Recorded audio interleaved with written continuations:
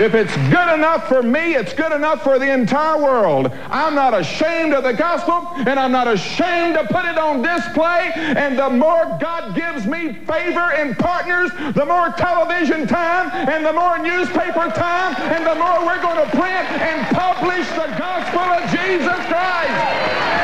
And we're not going to stop. I said we're not going to stop. I said we're not going to stop. I said we're not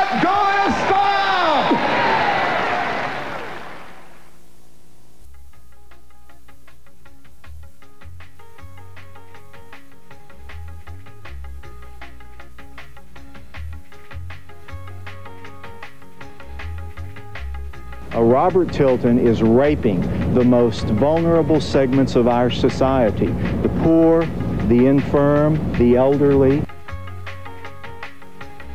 He said, I've got the faith. All you need to do is, do is obey and send the money.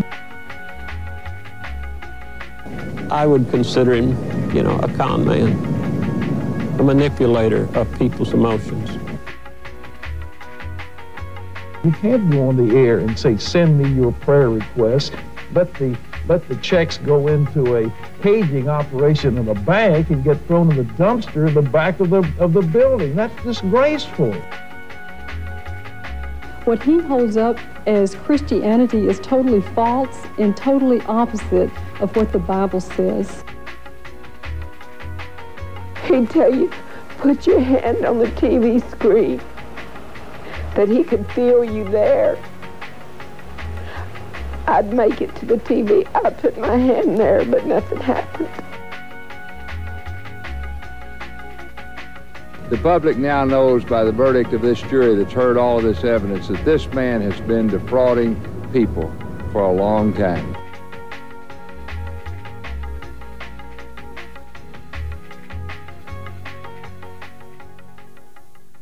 Pastor Tilton has a special message addressing the lies and twisted allegations the media recently has launched. Please don't edit it to pieces and make me look bad again. Hallelujah. Hallelujah. Hallelujah. Hallelujah. Come on, people. Give me a little break. Come on, people. Give me $10,000. All preachers are bad, and some of them have made some serious mistakes. They'll do anything to make a buck, including lying or stepping on people. Send your checks to us. $10,000. They'll do anything to make $10,000. Federal agents are at your house and have a warrant. Federal agents are at your house and have a warrant. Did God really say that? Federal agents seized Tilton's house in drug bust. The, the, the, the audacity. We owe $200,000 worth of back taxes. That's how we are. What are we doing? What are we doing with the money? Well, obviously we're spending it. And I'm making payments on the boat and I'm making payments on the house. Tilton's house, not any mansion. Some people call them. They're not. Jesus makes nothing out of something. The audacity, get that religious garbage out of your brain. Did God really say that? That's singing in tongues for you illiterate folks out there. Stop giving this organization. Go ahead. Let, Let the, devil, devil use it. Please don't edit it to pieces and make me look bad again. Hallelujah. You thought he disappeared from the airwaves. I'm back. The untold story of how this Dallas demon chaser is getting a second chance to raise millions from your donations. Robert Tilton was once the most successful televangelist in America. But unflattering publicity about his fundraising techniques and some legal problems knocked him off the air five years ago. But now he's back on TV, and Fox 4's Richard Ray joins us live from the newsroom now with the story. Richard. Hi, Ashley and Steve. A lot of you thought you'd seen the last of Robert Tilton, that he'd been driven off for good. But the untold story is that Bob beat the rap. He beat all the raps, and he's back. I am a prophet of prosperity, and I am not ashamed of it. Robert Tilton. Once he was the most visible TV evangelist in America, preaching the health and wealth gospel. Make a vow. God will give you what you want. Send money to me. I look at you and I see money. And millions poured in every month. You don't act this stuff. You don't conjure it up, make it up. Ha! It bubbles up. but with visibility came scrutiny, a series of unflattering exposés followed by investigations and lawsuits. I'm not a dirty dog. I'm not a thief. I'm not a fraud. I'm not a flake. I'm a born again son of God. But by the end of 1993, Bob Tilton was also off the air. The old brother Bob was often over the top. The new version still approaches the peak. Success in life with Robert Tilton. The devil's hearing a horrible noise when you call, and he's fleeing. He's 80% back. I mean, he, you watch, uh, you know, on a given day, he'll start beating the table and, and chasing the demons. I tell you, it's a devil. We're going to hit that devil between the eyes. We're going to go to the altar. Harry Getzloff is a member of the Trinity Foundation, an East Dallas church that monitors TV evangelists. It's the same stuff. he's doing it again.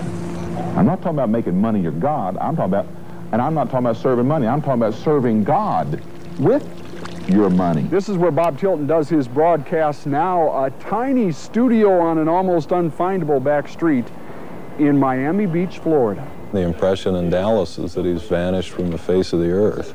In fact, he's alive and well and living in the land of second chances, South Florida, and rebuilding his empire spent some time with old. Sean Rowe is a writer who spent weeks trying to track Tilton and wrote a cover story about it for a Fort Lauderdale newspaper. At times I would follow him in his car, and I would always lose him. He would lose me. He's trying to keep the lowest profile possible. He's almost invisible. I don't think anybody in the United States' church could have withstood what that ministry withstood. Attorney J.C. Joyce says there's an untold story here. All of this smoke, never was any fire. Okay, what about that civil fraud judgment in federal court? $1.5 million in damages, overturned by an appeals court. Threw it out in total. Not a dime was paid. What about all those investigations? The Texas Attorney General, the FBI, postal inspectors, the IRS. Clean bill of health. Nothing wrong, not a dime misspent. There were two very messy divorces, the second one especially so. I had no idea when I married this man the extent of the abuse and alcoholism and the, the entertainment and the leisure living that he leads. Despite those allegations in the divorce case, Bob won there too. Lee didn't get a dime. In fact, she had to move out of the mansion and was ordered to reimburse Tilton's church some $280,000. Praise the Lord. There is one remaining lawsuit. First wife, Marty, is suing both Tilton and his attorney. The filing is revealing. In 1990 alone, it reads, the Word of Faith ministry had a total gross income of almost $70 million. Pastor Tilton's annual salary was something on the order of $1 million. Even at a low point, Marty claims total gross income for 1992 was slightly in excess of 27 million. A year later, he was off the air, but still the money poured in. How? Simple. Direct mail. The mailings didn't stop at all. They continued month after month after month. Television is just a cost of sales to him. It's the direct mail where he gets the money. And the Ole Anthony and his Dallas-based Trinity Foundation attempt to be a watchdog on TV evangelists. Other TV preachers, says Anthony, have learned from Robert Tilton's success and are now sending the same kind of letters with holy seeds, bracelets, candles. It's all of the gimmicks necessary to cause people who are in trouble to empty their wallets to give to Robert Tilton. People to worship Early God last summer, Bob gifts. Tilton went back And on the air, blaming the devil himself himself for the problems that had knocked him off. Those of you that know some of the stuff I've been through the last few years know that he gave it a good shot. But he didn't do it. Hallelujah. I'm still preaching and prophesying. Thank you, Lord, for giving her the seed. Robert Tilton declined our request for an interview, but clearly his Word of Faith ministry emerged with millions in assets left. He's now spending more than $50,000 a month to buy airtime, five days a week on BET, Black Entertainment Television, seen coast to coast. A warning he ah, delivered to his enemies in 1992 may stand the test of time. I'll come after you. I got a lot of attorneys, and we, this church got a lot of money. So don't mess with us.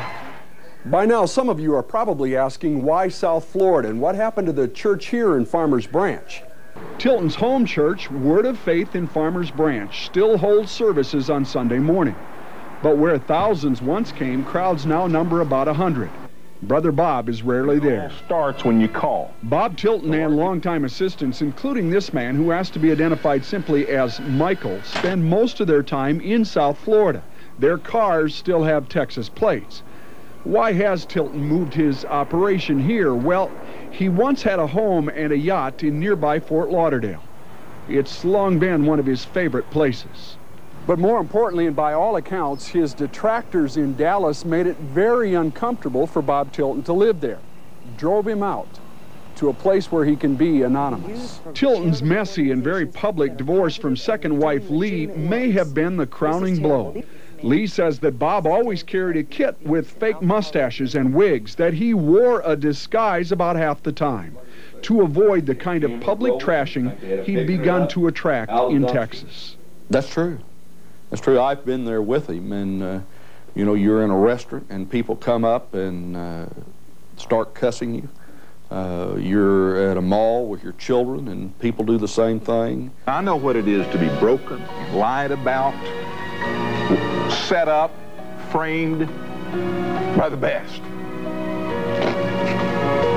I know what it is to have every feeling like everybody, or at least half the people in the world, want to kill me. In Bob Tilton's mind, one man is to blame for most of his troubles. Blessed art thou, the spiritual leader of a small church in East Dallas. Bringeth forth bread. Ole Anthony. By God's grace, we've lost the ability to act. A crusader out to expose TV ministries. And it's very difficult to prove um, these different charges in a religious matter because, rightly so, the First Amendment protects a lot of things.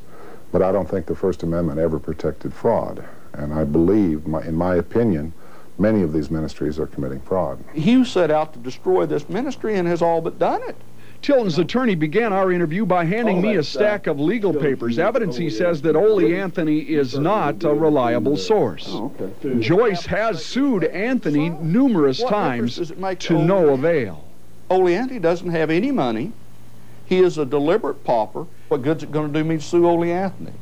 Nothing. But if you quote him and he's not a credible source, then you do have a deep pocket.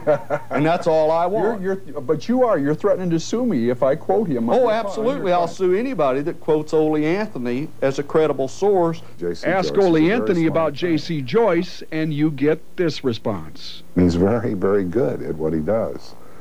And uh, he has kept Robert Tilton out of trouble, and he's done it very well. J.C. Joyce has made a fortune. Uh, a lot of it off me, if the truth were known.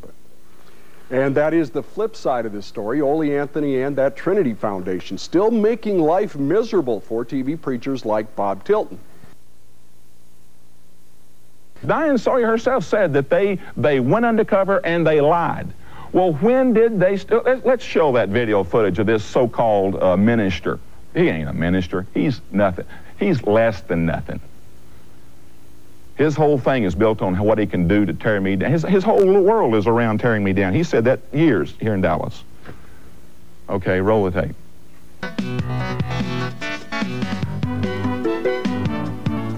Good evening. I'm Emily Quinn. Welcome to this special edition of Steals and Deals. Tonight we take a look at how trust can lead you down the wrong path.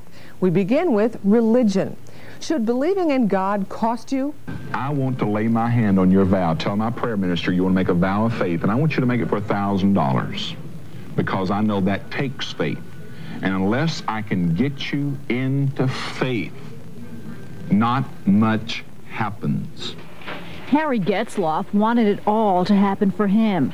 Already a successful corporate executive, he had an exclusive Dallas condo, fancy cars, and a sophisticated lifestyle. But despite his successes, he was on shaky ground, both financially and spiritually. He turned to Robert Tilton's health and wealth gospel to solve his problems. Getzloff began going to Robert Tilton's Word of Faith Church and through Tilton's urging made a $5,000 vow. Robert Tilton became his spiritual financial advisor. A financial consultant told me that if I invested in his whatever, that I would get back at least 10 times my investment, perhaps 100 times my investment, and maybe as much as 1,000 times my investment. He didn't. Despite the $5,000 donation, his problems didn't disappear. They grew. He ended up $500,000 in debt. He lost the penthouse, his marriage, everything. Harry was soon homeless. These days, he lives and works here at the Trinity Foundation, a Dallas religious watchdog group. He makes $80 a week as the group's media coordinator. Getzlaff is still $50,000 in debt. In part, he says, because of Robert Tilton. I saw a magician. I saw I saw somebody who had an inside line to, to what was going on in the power, and I could tap into God it. through told me that if I would show you on the authority of his word how to make a vow to him, that he would provide, he would pay that vow himself because he gives the seed to sow. He'll show you where some money is that you've forgotten. It was my greed that allowed Tilton to bilk me out of $5,000. It was my fear. It was my greed. It was my ego. Um, he didn't really do anything to me. Um, he's a pitch man. He's a con man. He's no different than the guy who's on TV tonight telling me how to make a million dollars selling real estate. Somebody is selling something everywhere you look. Reverend Robert Tilton is a leader in this latest televangelist trend. Experts claim Oral Roberts began perfecting this seed faith fundraising approach in 1987 when he pleaded for $8 million, saying he'd be taken from the world if he failed. We have three months. I'm asking you to help, help extend my life.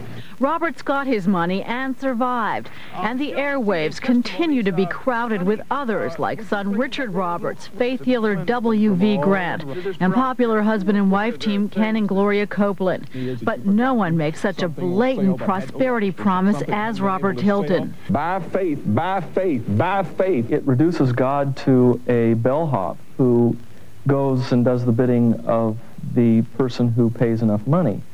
Michael Horton is an Episcopal minister in Anaheim, California. He recently edited a book called The Agony of Deceit, which attacks prosperity preachers like Tilton. When you associate money with salvation, you really are distorting the gospel at the most uh, carnal and ugly level. Problems, bills, I bind you and I cast you into the sea.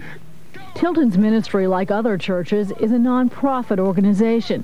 That means it doesn't have to disclose the majority of its financial investments and holdings. Well, that angers people like televangelist critic Ole Anthony, who wants TV ministers on a tighter leash. If we were talking about a uh, Food and Drug Act, the Food and Drug Administration, and somebody came along with a product that claimed that it tasted good and it would solve all your problems and everything would be wonderful, well, it would have to meet those standards for the public in order to, to, to continue buying it.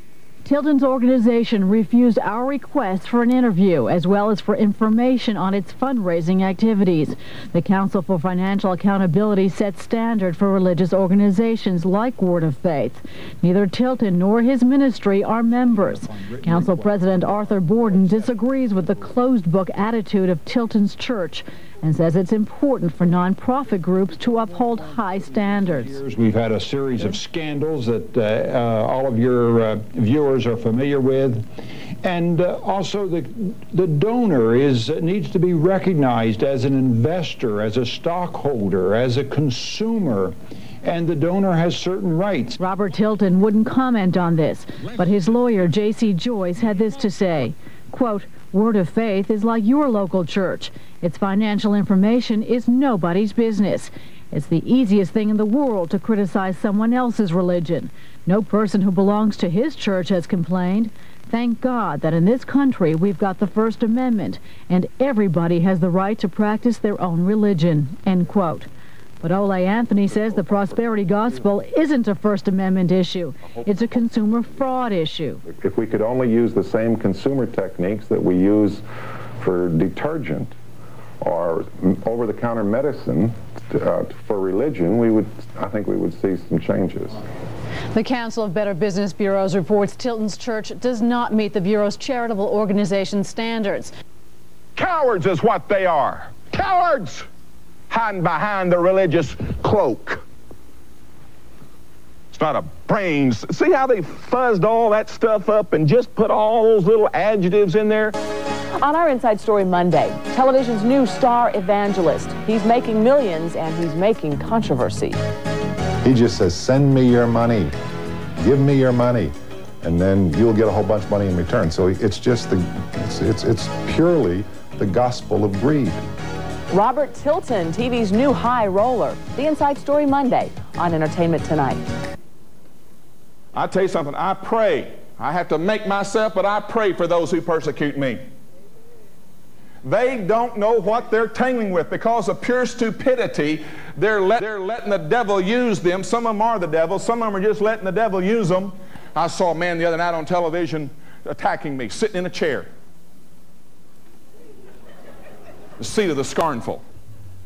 A scornful person is the one who is disrespectful and talks openly disrespectfully towards someone that is respectable. Scornful. Scornful. Look at that person. Blessed is the man who walks not in the counsel of the ungodly, those that don't know what they're talking about. Or sits in the seat of the scornful. You want to sit in the seat of the scornful? You want to sit with them? You want to sit with them? You want to sit? Who wants to sit in this seat? Anytime you agree with what they're saying and listen to all that deceitfulness and lies, you're sitting in that seat.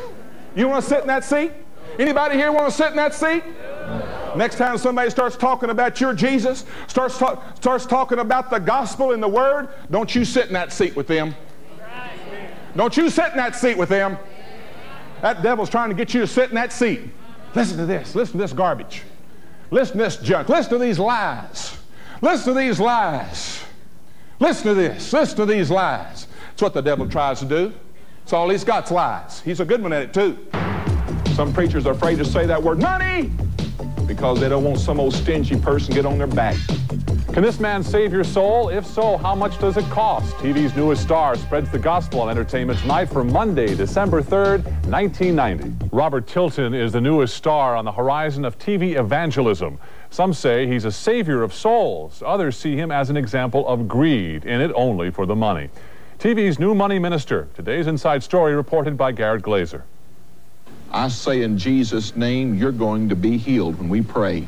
Reverend Robert Tilton has been called the country's fastest growing force in TV evangelism. Money! Some preachers are afraid to say that word, money! Tilton's ministry is headquartered here at the Word of Faith Church in Dallas, Texas. It's under renovation right now. The property is carefully guarded by a security staff. And when we telephoned with questions about Tilton's fundraising activities and alleged healing powers, Tilton declined our request for an interview. In fact, while outside Tilton's church, we were asked to leave by one of Tilton's uniformed security officers. Would you remove your vehicle? Would you get off the property, sir? We've had a lot of negative publicity, so he's trying to avoid you people. Tilton tells viewers that if they give him money, they'll be blessed with good fortune and more money in return.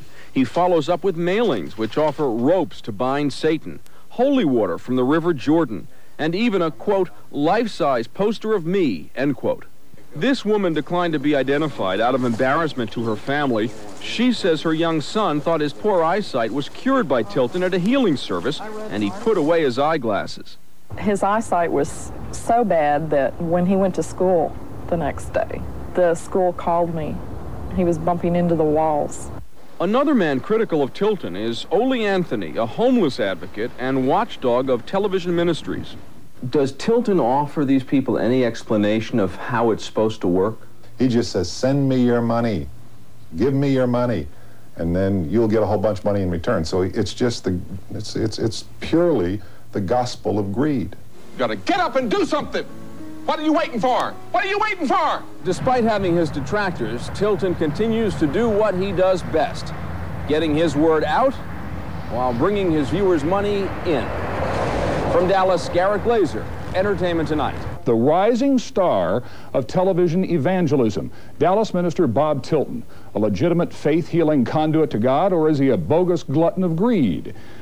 Ole, is this guy a fraud? He's without. Uh, he, he is. He is a joke. He's a fraud. He's a snake oil salesman. Then why can't we take him to court? On what if basis? he's a fraud? Because here's what he does. He's just a smart fraud. What he does, he doesn't do what T Jim and Tammy did, where they send, send me your money and we'll do this. He just says, send me your money. There's no act that, that says you can't send somebody your money. So he says, just send me the money. I'm not going to tell you what I'm going to do. No, I'm not going to tell you what, it. he says, it, in fact, he says it's none of your business what I'm going to do with it. Pretty nice business. And he gets a million bucks a week. Well, televangelism is a joke.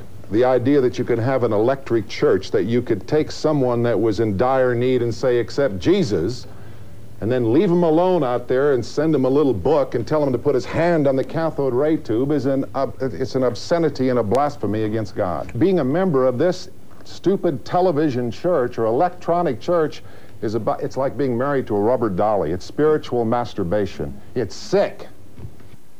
But then Nehemiah had some enemies that didn't like what he was doing. He had three men that began to mock him. He had some men that began to try to get him to stop what he was doing. They began to lie about him. They even infiltrated his army to try to stir up strife in the midst of his army to stop him from going forward and rebuilding the walls. Listen to me. In these last days, there will be some infiltrators. They tried to stop Nehemiah. They mocked him. They slandered him. They lied about him. They tried to get him to come down off the wall and talk. The time is talking is over. We're too busy to come down and stop what we're doing. Oh, Tilton, come and give us an interview. Talk to us. I already made that mistake once, and I'm not going to make it again. I'm too busy rebuilding broken lives. I'm too busy restoring the brokenhearted. I'm too busy preaching the gospel to the poor. I'm too busy healing the sick. I'm too busy getting people saved. No, I'm not going to stop. I've got a dream. You don't like Robert Tilton. I, I, uh, I think Robert Tilton is a snake oil salesman. Well, I, I mean, think he, he has uh, nothing to do with the God that I believe in. And from what I understand, he thinks you're Satan. He called me Satan on his national television show. Okay, so I mean, you I wish we could get together. That would maybe settle it for the minds of the people. some great brotherly love. going on. Brotherly love. Can I read something? Sure. One paragraph. The director of a North Dallas assistance group remembers when a woman came into his office looking for help. She had given her last $19,000 to Dallas-based televangelist Robert Tilton's ministry and moved here from the East Coast to live and work with the organization to which she had devoted her life and her life's earnings. When she got here, she went to the church and they told her, no, you don't have a job here. No, we are not going to help you. You're on your own. She ended up homeless. Okay, but so what? That's hundreds and hundreds and hundreds of people like this. So what's the, you know? There are gullible people out there. So what? Gullibil- gullibility is is uh, an easy sop to say that's why we shouldn't be concerned with them. But is it gullible if we were dealing with five million people in America who were dying of starvation and we had some idiot feeding them cotton candy and charging them their life savings to have the cotton candy? That's what Tilton is doing. He is. i i I don't think it's it's. We can't just excuse the fact that this exists by saying it's just gullibility and they deserve what they get. These people are desperate through no circumstance, no fault of their own, and and we have these guys preying on them. Dan, you got a question? Uh, I've got a little comment. I am a graduate of Robert Tilton's uh, Bible School, Mm-hmm. and I'm still in contact with a lot of his uh, ex-parishioners, quote unquote, and it's very disappointing for all of us the way he's gone. At one time, he was he was a pretty good guy. Can, may I comment? Sure. Dan, I, I really appreciate that because I didn't have the opportunity to say. I'm sure that he started out sincere. It was, didn't the change come when you get the television? Yeah, when he, when he when he started satellite programs, my wife used to be in the counting room where the money would come in after every day. He would walk in in the morning. His wife would walk in and say, "How you all, how you girls doing? Are there any problems? Can I help you with anything?" Bob would walk in, and first thing out of his mouth was, "How much money came in?" Two men, I want to encourage you to make a vow right now of a thousand dollars. two churches, He's a joker. He's a snake oil salesman in the name of God. locked in a holy war. I'm here to bring prosperity to you.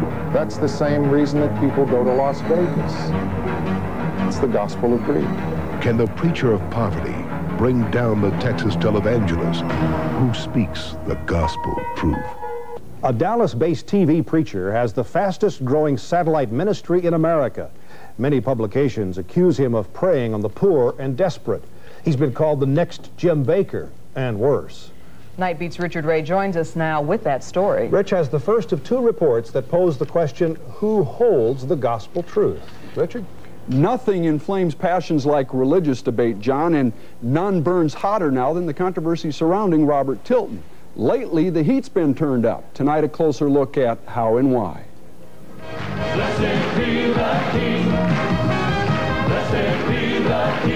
This is a tale of two churches. One is huge and wealthy. Oh Lord our God, King of the universe. The other small and poor.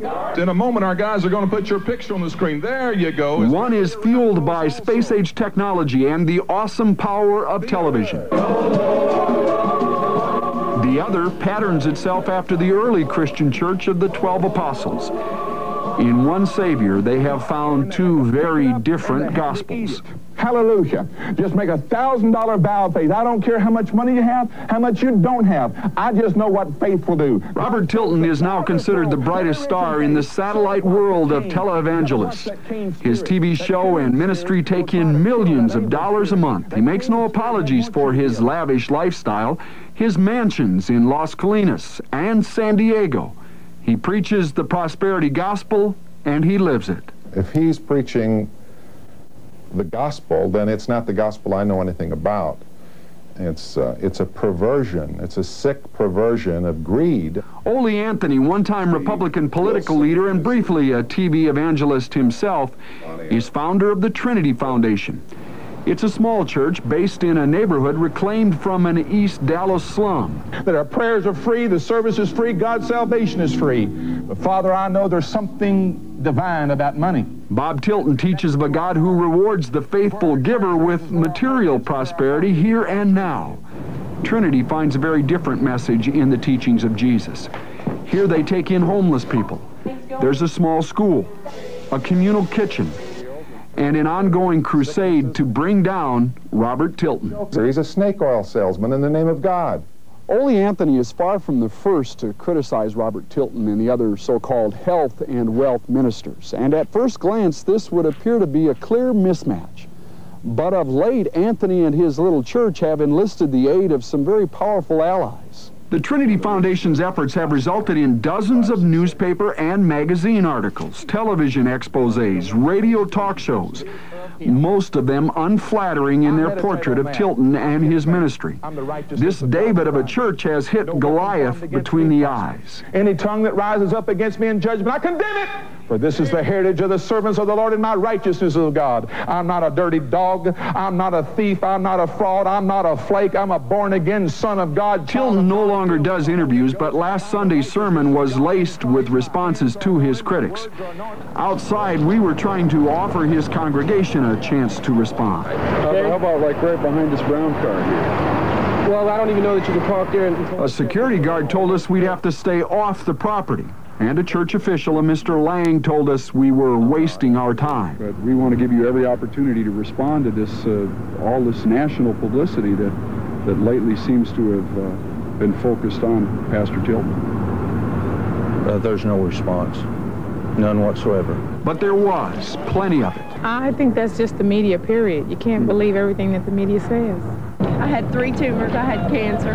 And I was healed, and we love Bob, and we love Jesus. We're, we're sad, you know, anytime he comes under attack, especially the, the blatant attacks, uh, you know, hideous that they are, you know, scandalous, the way they, they have to hide to get things. Which brings us to the ambush interview, a regrettable remark about Jews and the growing flap over what was meant to be a Tilton apology.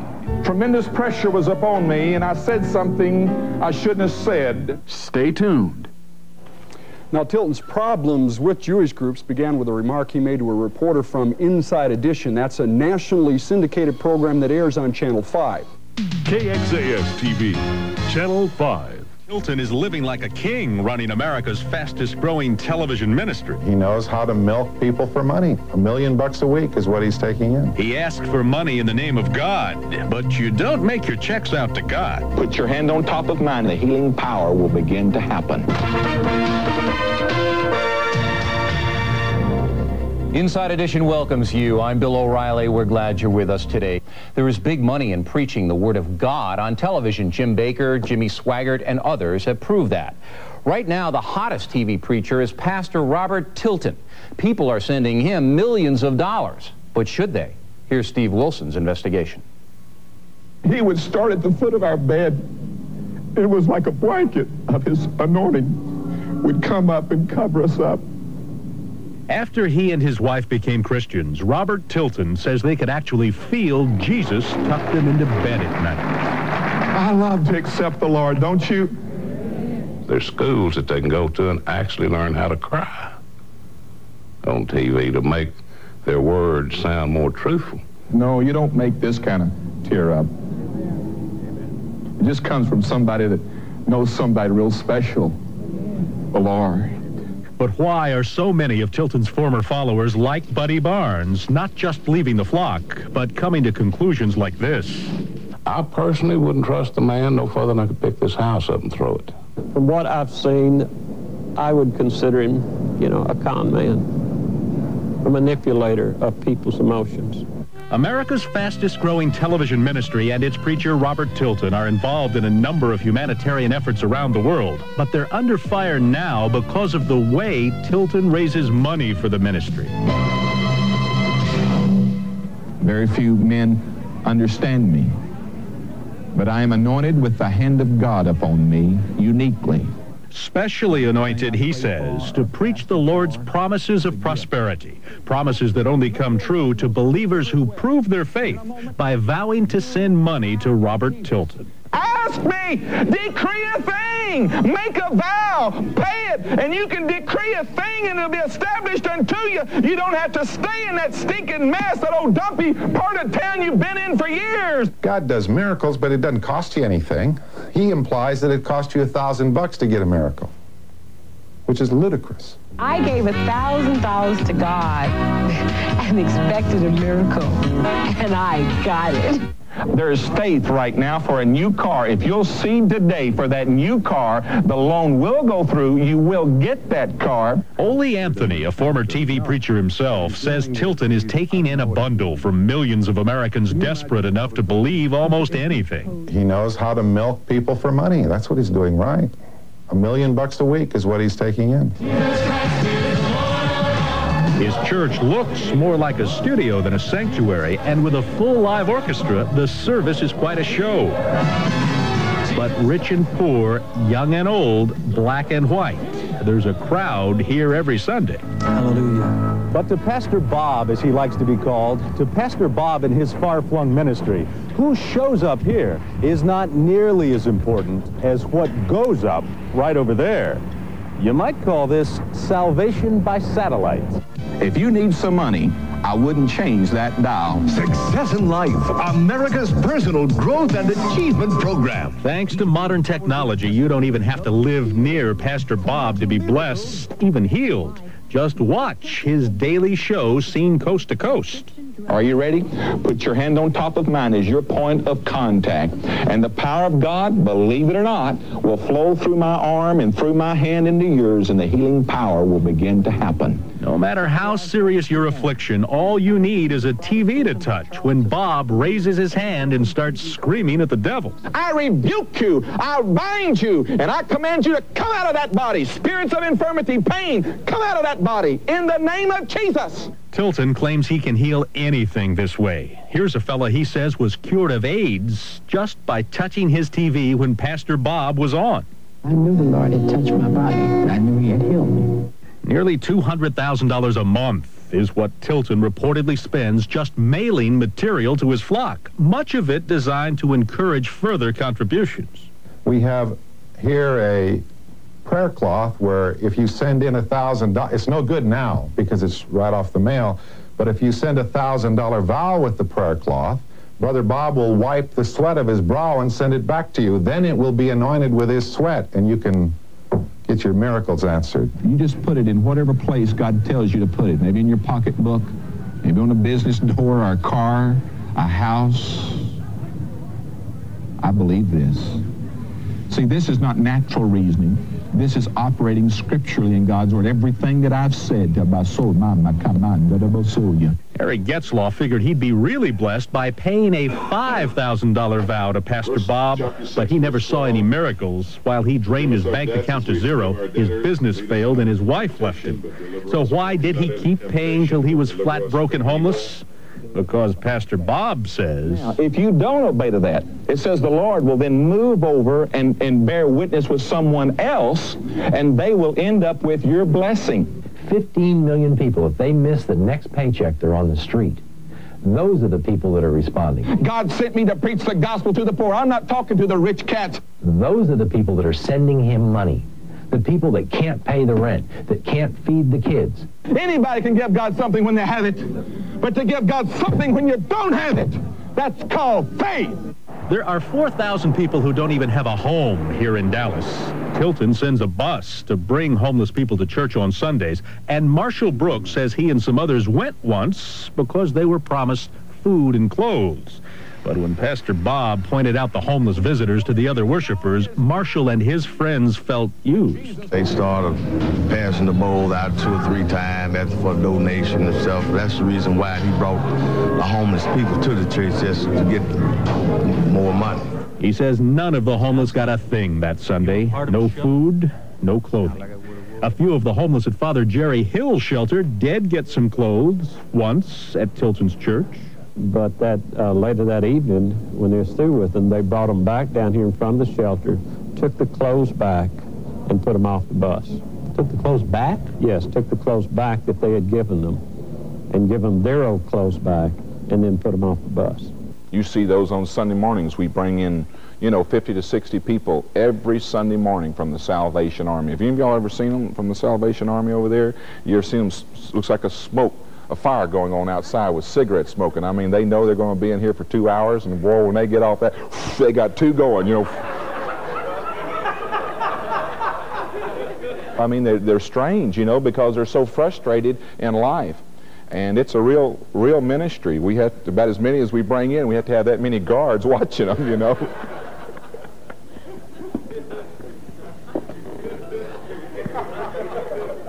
One went to the bathroom 50 times last Sunday. Did you see him? Did you see it, guy? So what do you suppose happens to the millions that flow into this ministry? Well, in addition to staging big crusades around the world, Tilton says he supports printing plants and schools and hospitals in the third world. We visited this one in Mexico and found it to be everything he claims it is. Praise God. You know why I'm so happy? Well, could it be because he's collecting a salary big enough for him and his wife to buy and drive his and her Mercedes? To live in a $6,000 a month mansion in Dallas or even a bigger one in California? Or maybe he's just so happy to be flying first class everywhere he goes. And uh, I preach prosperity. I live prosperity. I don't deny it. I'm not a hypocrite. Pastor Bob refuses all requests for news interviews. When he said no to us, I decided to buy a ticket and see if he would chat about his church during one of his regular trips between Dallas and San Diego. Why won't he ever talk with reporters? I don't have to explain what I do to anybody, how I do it. And I'm real prone not to because I found the more I do it, you don't cast your pearls among swine. Now, I suppose he did think it was a little strange when I asked him to watch a tape. Is it a video? Yeah, it's video. It sure is. A videotape of many of the people you've been watching in this report. Who is the preacher? He doesn't know yet that Marshall Brooks is talking about him using the homeless to help fill the collection plate. And listen carefully now to what Tilton thinks of a preacher who would do that. This is fraud right here. What do you mean? Fraud.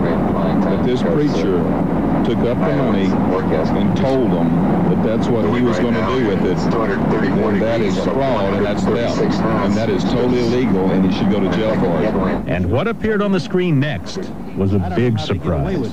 Pastor Tilton, these people are talking about you and your ministry. Well, you got a great interview. Were you wired? Huh? Were you wired? Can I have that back, please? No. Who are you? My name is Steve Wilson. And who you work for, Steve? I work for Inside Edition. well, Steve, you did a great job. He later told me I'd burn in everlasting hell for bringing you this story. And listen why this man of God thinks we even did this report. Because you know that I'm going to bring some ratings, and sell some commercials, and make some money for your Jews in New York. Quite a revelation. Reverend Tilton's programs are seen on 90 television stations across the country. Remember the deal on the airplane where Inside Edition sneaked on the airplane when Mar and I were going to California at our own expense and tickets, and I showed him the tickets after I found out who he was, that we had bought those tickets personally ourselves and upgraded them with our Advantages miles. He didn't say none of that stuff. What did they do? They got a hidden camera on the airplane, and he came and posed to me that he says, Hi, excuse me, are you Robert Tilton? And I said, Yes. He said, My mother is a fan of yours or a partner. And could I talk to you a few moments? I said, Sure. I spent an hour talking to that guy about the Lord, about Bible prosperity. Then he pulls a videotape out on me and says, Would you look at this? I said, Well, I don't really want to. Well, look at this. And he shows some woman screaming and hollering, mad at some preacher that she had given a donation to and he didn't do what he said he was going to do with it. Then he turns the tape off and he says, What do you think about that, uh, Reverend Tilton? I said, A preacher raises money for a particular thing. That's what he's supposed to spend the money for. And if he doesn't spend the money for that, that would be fraud and a criminal offense, and he'd probably go to jail. He turns the tape back on. Then he looks at me, on, and all of a sudden he's on the tape. See, I don't know what's going on. He's on the tape, and he says, You're that man, Robert Tilton. Don't you know that you're supposed to have you're, you're for you're supposed to tell a person if a camera's on? You know, how'd you like somebody to follow you around and try to? You know what? You know what the? You know what? I'll tell you. You know what? I'm not going to say it because they just quote me on this, but I was going to tell you what it feels like to have people do what those people do, but I'm not going to tell you what it feels like. We have more to tell you about our investigation into Robert Tilton, a TV evangelist whose success in life ministry is quickly growing in popularity. Mr. Tilton said some very controversial things in our investigation last week, and now he has issued a public apology. Here's Steve Wilson with a follow-up.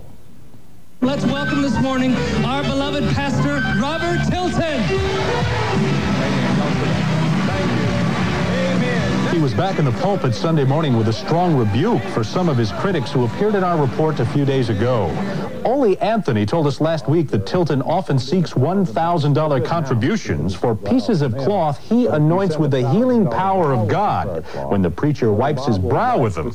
But Tilton insisted on Sunday that his critics are wrong. We send out probably 50,000 free prayer cloths a month that nobody has to pay a dime for them. And I'll tell you something else. I never wipe one ounce of sweat off my brow to send a prayer cloth or sell it for a thousand bucks. That's lies of the devil. He offered his proof, a videotaped story of this woman in Chicago. She claims she had a cancerous tumor in her mouth until the mailman came one day. I got a prayer cloth about maybe a week later. I got a prayer cloth. Alice immediately took the cloth, placed it in her mouth, and asked God to heal her. By the time she woke up the next morning, Tilton claims she was entirely healed. This woman that was healed of cancer, documented by the doctors. Take that, devil.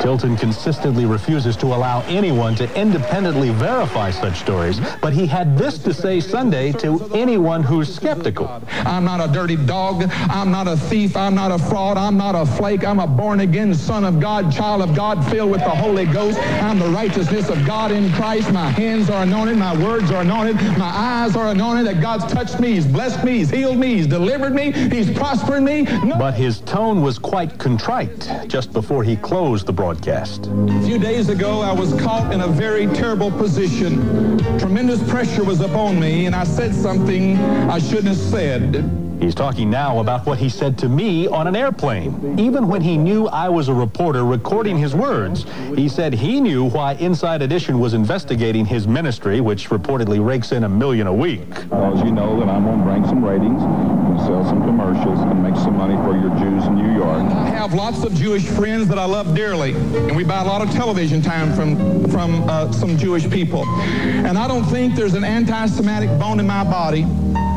but evidently there was. I don't know. I know about two-thirds of our television is controlled by uh, Jewish people, and thank God for that. They're good people. I love them. They're God's chosen people, okay? I love the Jewish people. But I made a slight statement that could be taken derogatorily. And to all of you that are the Jewish uh, descent at this time, I apologize to you publicly. I ask you to forgive me for saying the little comment that I made. A Tilton spokesman in Dallas says this week Pastor Bob is unavailable for any further comment and has apparently not changed his mind about refusing all requests for further interviews. Well, after hearing that apology, a spokesman for the Anti-Defamation League said he believes Robert Tilton still has a long way to go. And lay your hand on the screen. America's hottest TV preacher has run into some problems over what he meant to be an apology. I'm Richard Ray, and when Nightbeat continues, I'll tell you why. In the name of Jesus, that's fine. It's been hard to miss Robert Tilton lately. USA Today, Entertainment Tonight, the tabloids all have run unflattering stories about the best known of the so-called health and wealth TV preachers. Nightbeat's Richard Ray joins us now from our Dallas newsroom with part two of a series that poses the question, who holds the gospel truth? Rich?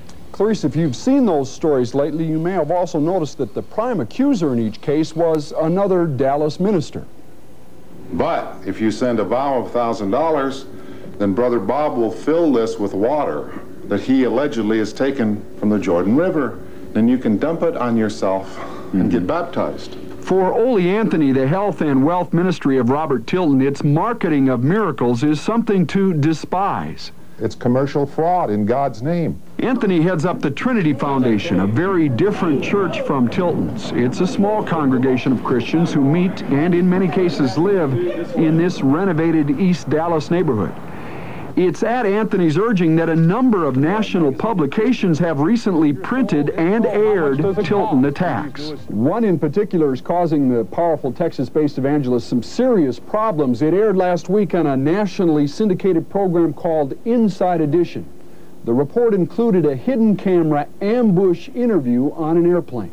When he realized what had happened, Tilton told the reporter he knew why he was doing the interview. Quote, you know that I'm going to bring some ratings and sell more commercials for your Jews in New York. And to all of you that are the Jewish uh, descent at this time, I apologize to you publicly. I ask you to forgive me for saying the little comment that I made. During last Sunday's sermon, Tilton attempted to apologize, but succeeded only in further offending with another comment.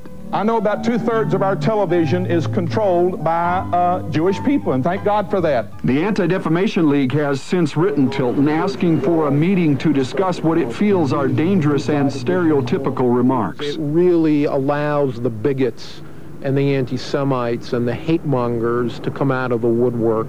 And we're growing by leaps and bounds. One of the biggest crowds we've had in years right now in this auditorium. It just keeps growing Sunday after Sunday.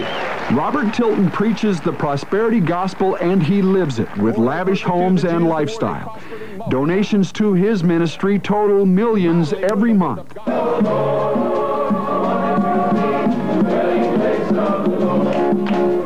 At Trinity, they take in the homeless who have no money. Ole Anthony and others who minister here draw a salary of $80 a week. Two men, two churches, reading one Bible and finding very different gods. Some of you, this church's too hot for you. You need to get out of here and go on down the street. That's right. Some of you, some of you don't belong here. I heard of a couple that used to come here, but it wasn't socially acceptable any longer in their circles. And they begin to draw back and draw back, and they found a place where nothing was happening, where they could be socially acceptable. A woman was telling Marty last night in the department store, she says, I don't know why people talk about you like they do. We love you so much, and it just infuriates my husband. She said, you know, in some social circles, y'all are really disrespected in.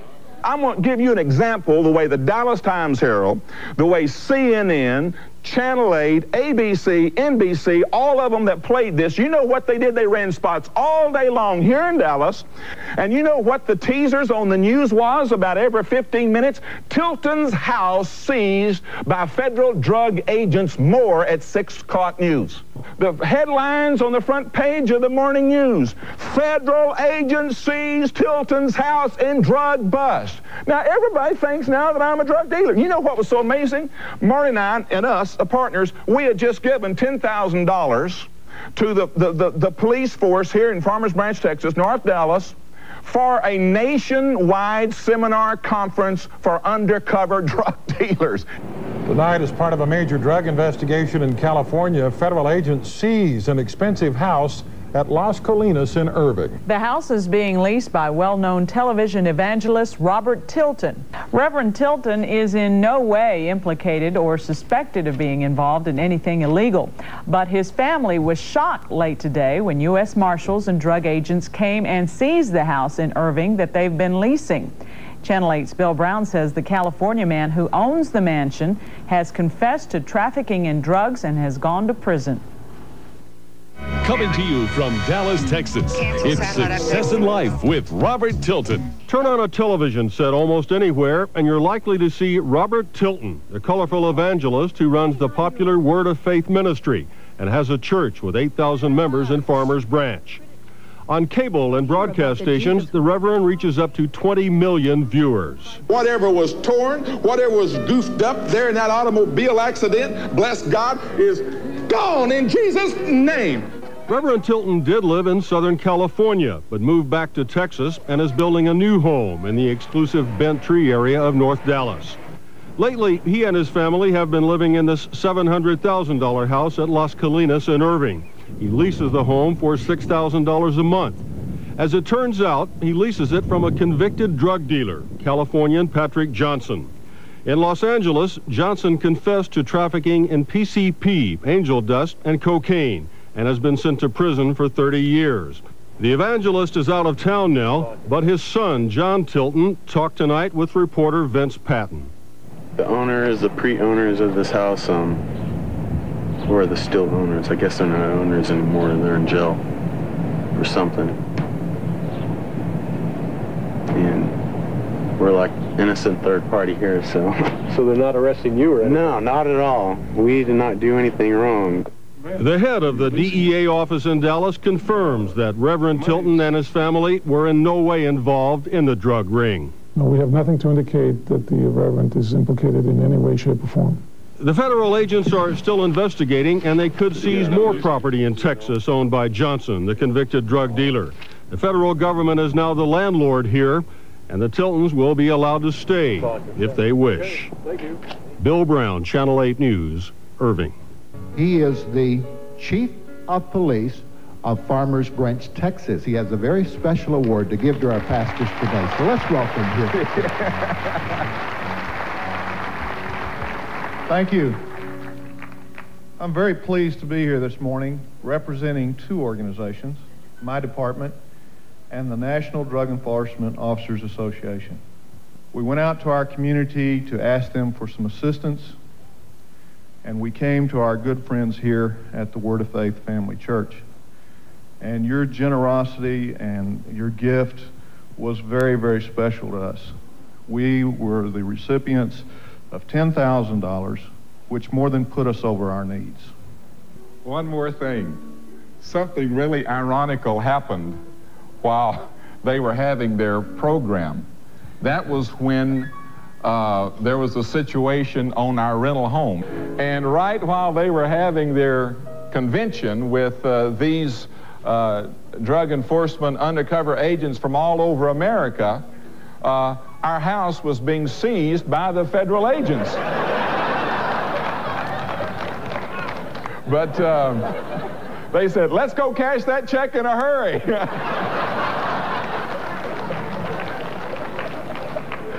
course, they, they told me later that they realized that the media had just uh, taken advantage of a situation and, uh, and you know, just uh, once again to scourge me a little bit. But, um, you know, of course, as always, I, always come out landing on my feet and uh, smelling like a rose. Hallelujah.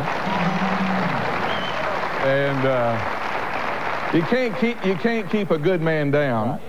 And uh, Maury and I do our best to live a quiet, uh, squeaky clean life, you know. But uh, when you preach the gospel of Jesus, they have a tendency of wanting to, to try to uh, make up things or, or twist things or exaggerate things or, or just, uh, I don't know. When I was in high school, I worked for a man and I, I had a fruit stand, and, and me and four or five other guys, we stole that guy blind. We used to get on top of the freeways and drop watermelons off. We'd go through a case of eggs on a Friday night. Parents, please forgive me for putting ideas in your kids' heads. I better not hear any watermelons dropped off any freeways. You can kill somebody like that.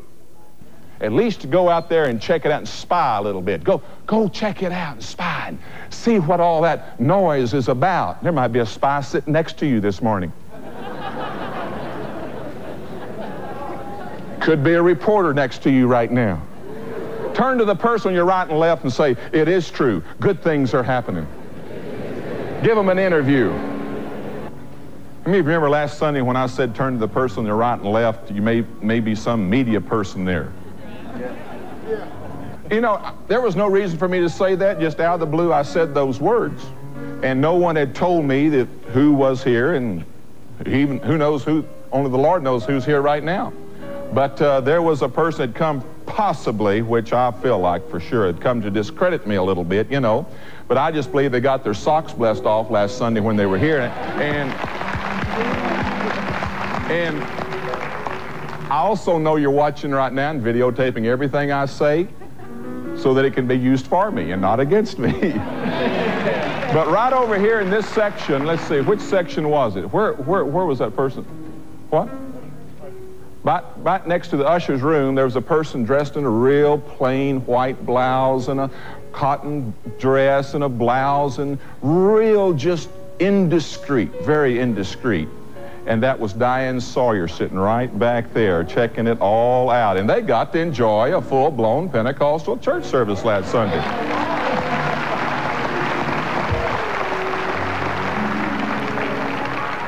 She got in the prayer line but didn't get prayed for, you know. She stepped out too quick.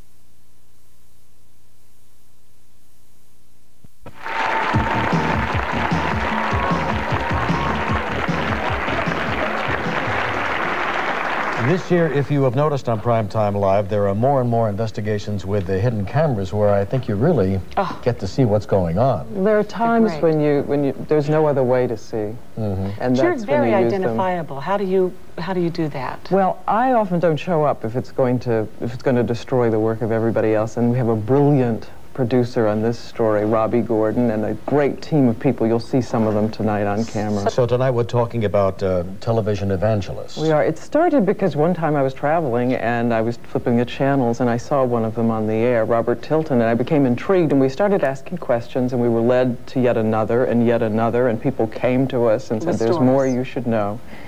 And so tonight we have three of them on the air. And, and I want to say, because I know you all know this, everyone and particularly people when you get near the subject of religion, people Very people touchy. don't trust reporters on this, and they think that somehow we're out to question faith or belief, and it is not true. I mean, this is something very close to a lot of people. What we set out to do was ask the question, is what is being said on the air true? You're Can we show you whether fraud. it's true or not? Mm. It, we want to know if there's hypocrisy, if it's an impression that isn't correct, there are lots of variations that you're going to see tonight. Well, we have some excerpts from uh, tonight's show. We do. I'll tell you This is about this one. This is just a tiny fraction of what you're going to see tonight from the three men. And I'll tell you something else. Those that mess with me, they're messing with the apple of God's eye. Robert Tilton has the fastest growing ministry on television today. Devil, I'm going to beat you up, you devil. I'm going to cut you to pieces in the name of Jesus. Primetime obtained documents indicating Robert Tilton's followers are sending him at least $80 million a year. And it's tax free. More about his money tonight. And I want you to make a $1,000 vow of faith. Oh, I know you probably don't have a $1,000, but vow it.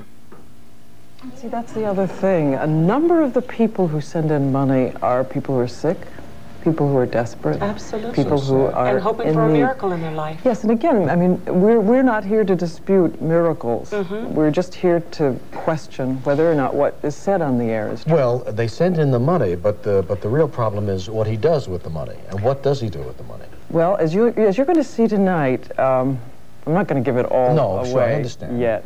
But uh, one of the things he says that he gives a huge amount to missions, or implies that he does. Mhm. They're very careful about this. He implies he gives a lot of money to mission.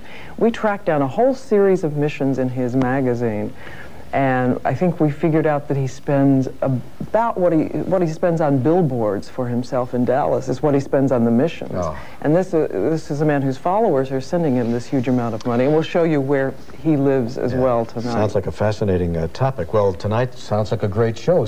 It's just like uh, the Inside Edition, Get Me on the Airplane. Uh, cheap shot, total yellow journalism. It's just an anti-Jesus, real Jesus. Oh, they let religious people get along, mosey on down the road. But you let somebody start shaking, rattling, and rolling for Jesus, they get all upset. Besides, that's ratings month. They wouldn't, they wouldn't be, they wouldn't be doing this sensationalism if it wasn't ratings month. I mean, and interrupting Kathie and Regis, what a cheap shot. You know what they were doing? They sent out promos to all the newspapers, got on all their stuff, so to build their ratings, so that they would have the highest ratings on their on the prime time, so that they could sell commercials for a higher cost to all of the commercial buyers. And I wonder how much Diane Sawyer makes to slander men of God. I mean, I wonder how much she makes. I wonder what kind of moral ethics she has. I wonder who she associates with and where she goes and what she does. I wonder if she could stand the, the magnifying glass. November 21st, 1991. I'll tell you something, the harder the devil kicks at me, the harder I'm going to kick back at him. God can get glory out of it. I understand that pain. Tonight, an undercover investigation of televangelists. You've never met anyone quite like Robert Tilton before. He heads today's fastest growing TV ministry. He takes in millions of tax free dollars. As those that mess with me, they're messing with the apple of God's eye. He says he has divine inspiration about what viewers need and how much they should give him. And you need to make a $5,000 value. But an old buddy of Tilton's remembers how in college it was all a big joke. Oh, dear God, come into this young woman's life here tonight. Tonight, we take hidden cameras into Tilton's ministry from his offices to the marketing company he uses to his luxurious homes. You'll see how the businessman deposits followers' money directly into the bank, but has a shocking place for their prayers and dreams. From ABC News, with anchors Diane Sawyer, Sam Donaldson, this is Prime Time.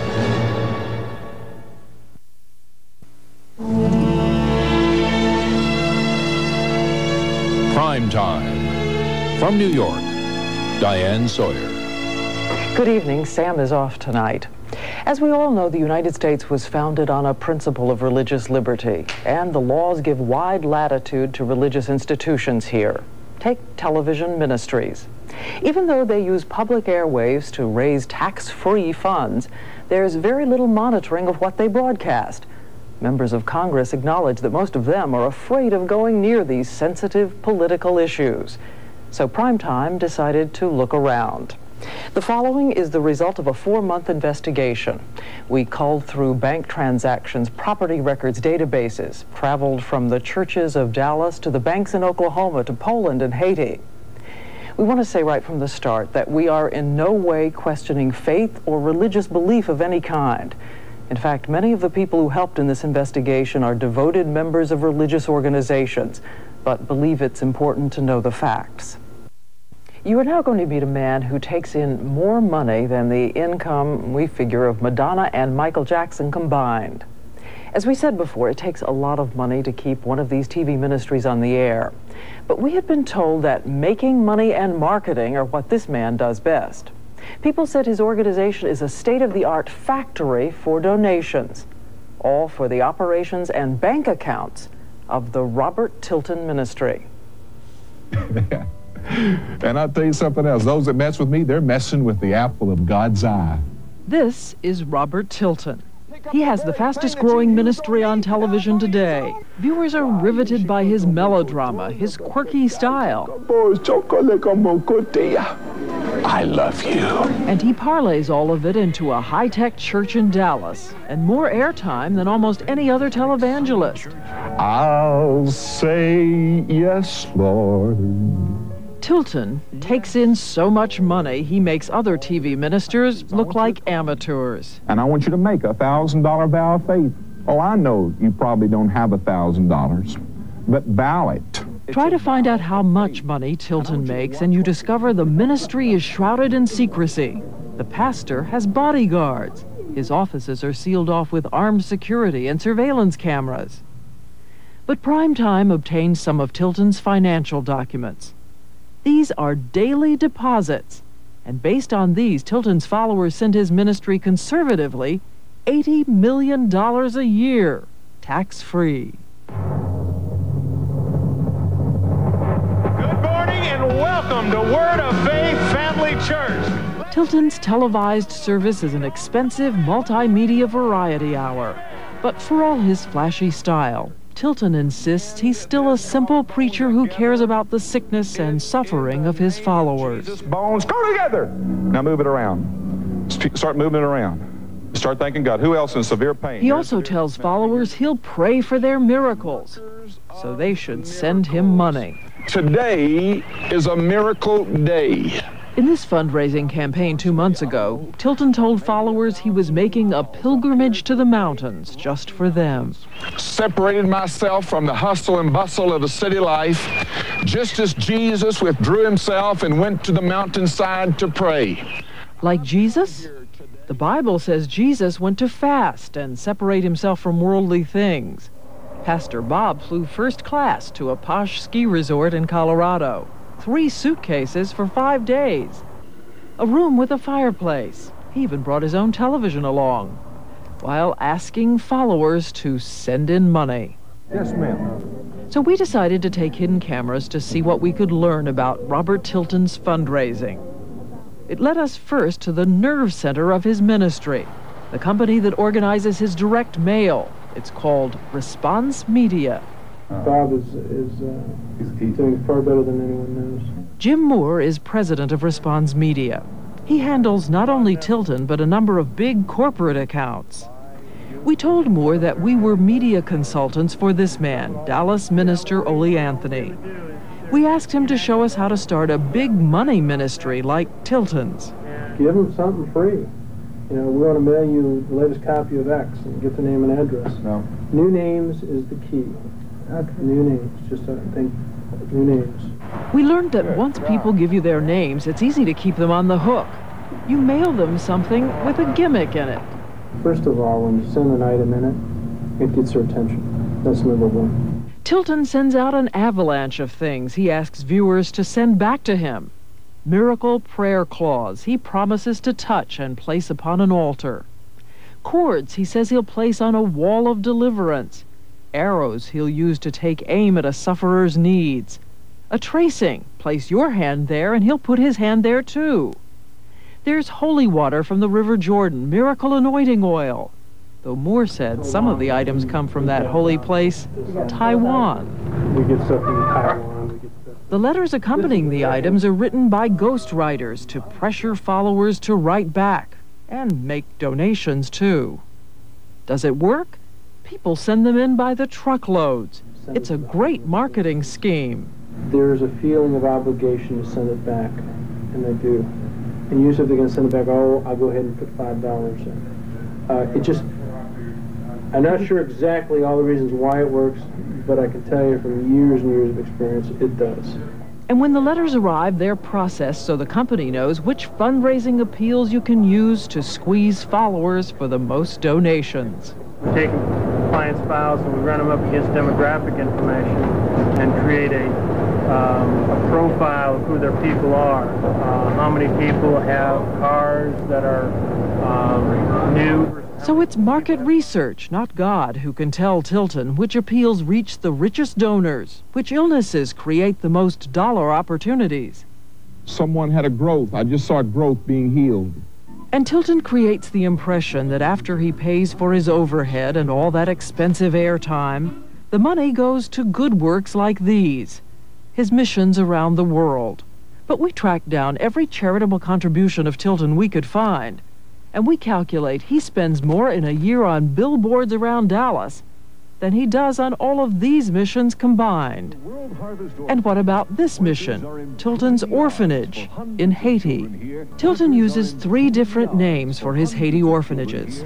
So when we went to Haiti, we asked the government officials in charge of foreign missions if they'd heard of any of Tilton's orphanages. They said no. So nothing from Robert Tilton here. And Tilton's marketing director made it clear when it comes to money for missions, Tilton is very smart. He's careful not to say what donation goes where, so he can avoid, again, how Jim and Tammy got caught. They could have, they could have taken as much money as they wanted to and never gotten in trouble. Yeah. See, that's why. So you advise clients to sort of keep it non-specific? Well, if you can raise it being non-specific, I always recommend that. Uh, he isn't, and, and Tilton does, does that, but I mean, he's, but he he's never, never raised money for a specific project. I tell you, you never heard a TV preacher asking for money like this before. Robert Tilton, as I knew him, was practicing to become a salesman. That was his concept of success. this man who wanted anonymity is just one of several old friends of Robert Tilton who talked to us.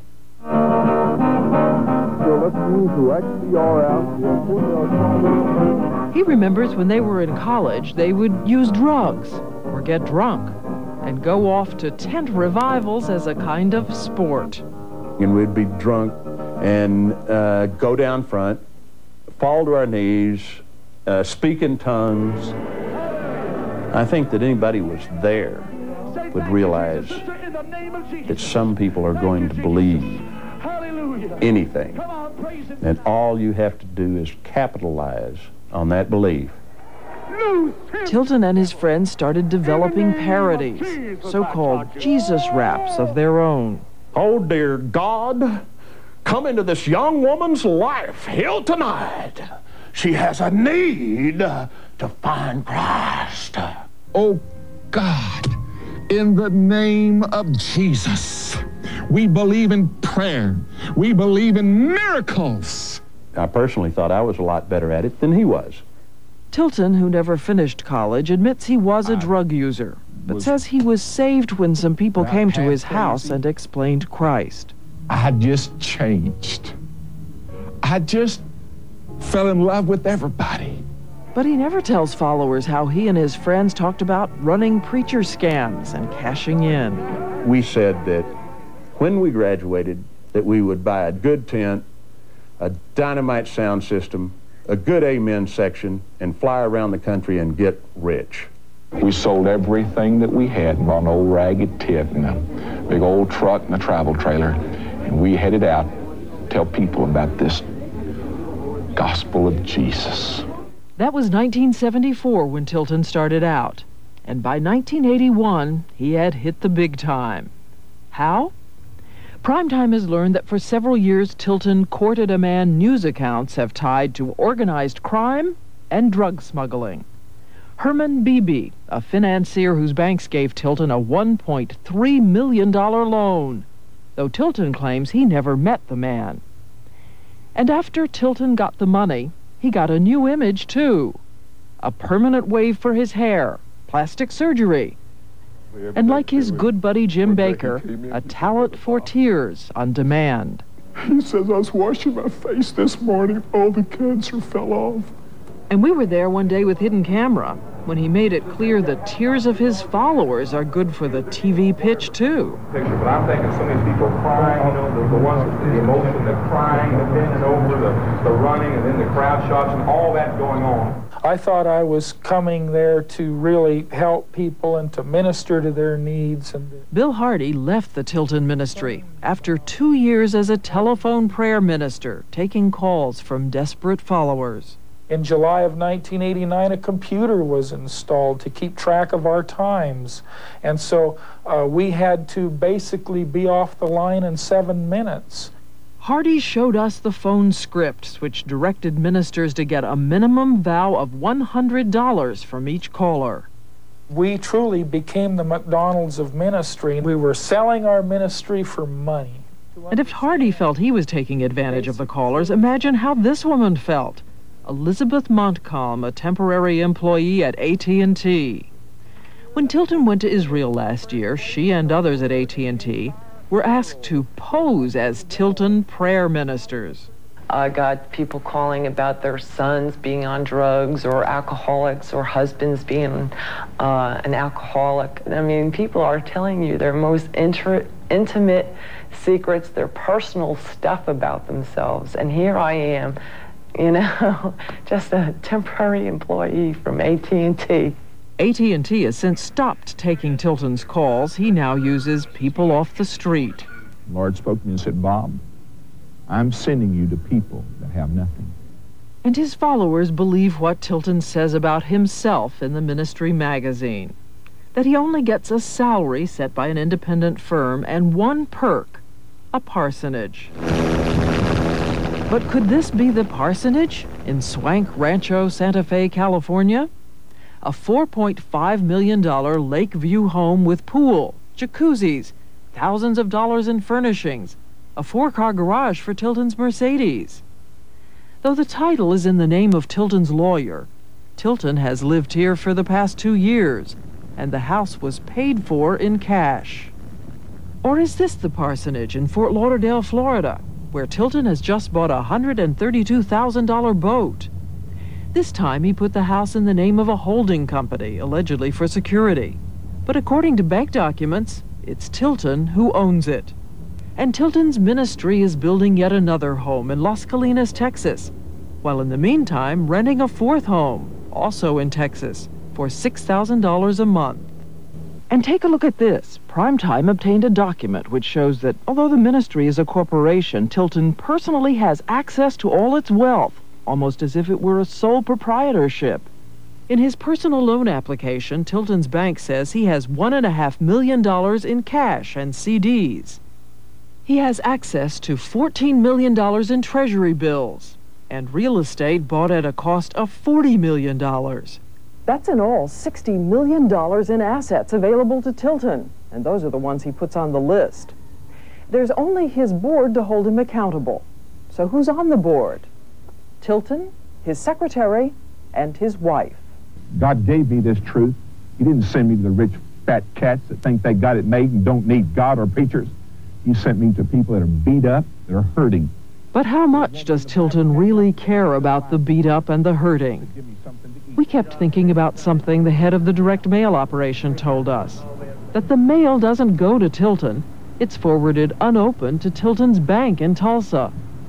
So the bank opens the followers' mail, not to share the agony, but to get the money.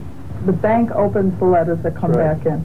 and takes your money and puts it in your account. All we get is the paper document and how much the person gave. And those items that people have prayed over and sent in, believing Robert Tilton would touch them and pray over them too. Well, if some made it to Tilton, there are thousands that didn't. We found them in the garbage, at the bank and the Marketing Research Center. The angels of God, the prayer cords, the arrows. This person wanted his aimed at getting a real dad. The tracing, where Tilton said he'd place his hand, ripped up by the bank. We found heartbreaking appeals from followers, and letters like this one. It came with personal photographs for Pastor Bob and a prayerful message. It also came with a $7,000 pledge. The money probably made it to Tilton. The prayers went in the trash. Robert Tilton refused Primetime's repeated requests for an interview. By the way, we don't know how much Tilton officially claims as his salary now, but Tilton ministry sources say as far back as 1985, Tilton and his wife clad a salary of $400,000 a year. A special thanks now to Robbie Gordon and associate producer Kelly Sutherland and the others on our investigative team. And a final word of thanks to that Dallas minister you saw, Ole Anthony of the Trinity Foundation, who helped us gain access to key parts of this investigation. His ministry is involved with the homeless and the local community, and he is a fierce critic of big money TV preachers. But before we leave, we'll sit with him for a moment to ask him about followers, the faith, and search for a congregation the belonging of a man's heart is for community, for a sense of, of being able to lay down his life for something important. That can't happen with a television tube. But there are people who come forward and say, I got a miracle. Because of what the money I gave, because I watched, I did get a miracle. Did you ever see The Wizard of Oz? Dorothy got her heart's desire. The Tin Man received his heart's desire. The lion received his heart's desire and the straw man received his heart's desire, even though the wizard was a charlatan. Why? Because the God of the universe was already resident within them. He just had to be let out. So what do you say to the person sitting at home, watching? Let's open your eyes and look at the need around you. Give to that need instead of some faraway evangelist that's talking you into playing a heavenly lottery or a heavenly slot machine. And they'll get those miracles they They'll want? get all the miracles that are promised. They'll get a hundredfold blessing returned onto them. Ole Anthony. This is the News 8 Update. The state of Texas wants to know if Brother Bob is defrauding the faithful. And for the first time, the state attorney general reveals he is investigating popular Dallas-based TV evangelist Robert Tilton for possible fraud and deception. Television preachers take in millions of dollars from faithful viewers, but critics say some of them use dishonest, even illegal methods to fill the collection plate. Now, the Texas Attorney General is investigating the minister called one of the richest and most theatrical of them all. Devil, I'm going to beat you up, you devil. I'm going to cut you to pieces in the name of Jesus. Once you catch Reverend Bob Tilton's TV show, you won't forget it. The flamboyant Texan jumps, shouts, sings, pleads, cries, prays, and heals the sick and the lame, or so he claims. But Brother Bob's rarest talent, ABC News reports, is getting his followers to open their pockets and send him $80 million a year. Critics of the Dallas-based televangelist say he doesn't pray for souls, but preys on victims. Now, the Texas Attorney General is conducting a formal investigation of Tilton's Word of Faith ministry, looking into whether all that money goes where the preacher says it goes. Lawyer Steve Gardner of the AG's Dallas office had a preview of the ABC primetime story. We're going to continue an investigation to see what Brother Bob is up to. Our inquiry is going to be directed primarily at learning whether or not uh, this money is going to help people's souls or just line Brother Bob's wallet. If they're talking about our Father, and our Father isn't, doesn't, doesn't reward greed. Dallas pastor Ole Anthony has investigated televangelists himself. He helped ABC News get a close look at Bob Tilton. I saw that what they were preaching was like going to Las Vegas. It's going like to, to a spiritual Las Vegas. You send in a thousand dollars and God's going to bless you a hundredfold, but you have to hold your face just right. Assistant Dallas DA Norm Kinne and Ted Steinke of his Specialized Crime Division also watched the ABC report. Steinke said with television preachers, it's tough to prove they're breaking the law. It may be uh, dishonest, it may be reprehensible, but that doesn't automatically make it criminal. Assistant AG Steve Gardner says he's received complaints about how Tilton operates, asking for an investigation. But when it's a faith in God that is being abused, that's the most cold, manipulative, and chilling kind of fraud I know of. And what does Bob Tilton think about all this? Reached by Channel 8 reporter Peggy Wehmeyer, Tilton said through a spokesman, I have less than nothing to say to you. The outcome of this investigation may be a long way off, but some feel, if nothing else, it will warn people to be very careful about who they send money to. It's like I've always been taught. Be wary of people who say, send your money to Jesus and give you their address. why can't you tell us how much he takes in? Because it's none of your business. I just told you that. You're being repetitious. And I'm not going to tell you that. I will tell the criminal investigators that. You will not be invited. Televangelist Robert Tilton and his supporters go on the offensive amid allegations of deception and fraud in the Word of Faith ministry. Well, Tilton's lawyer says he will open Word of Faith's financial accounts to law officers because they are the only ones to which the ministry is accountable. But apparently that doesn't go for those who send Tilton money in the hopes their prayers can be answered.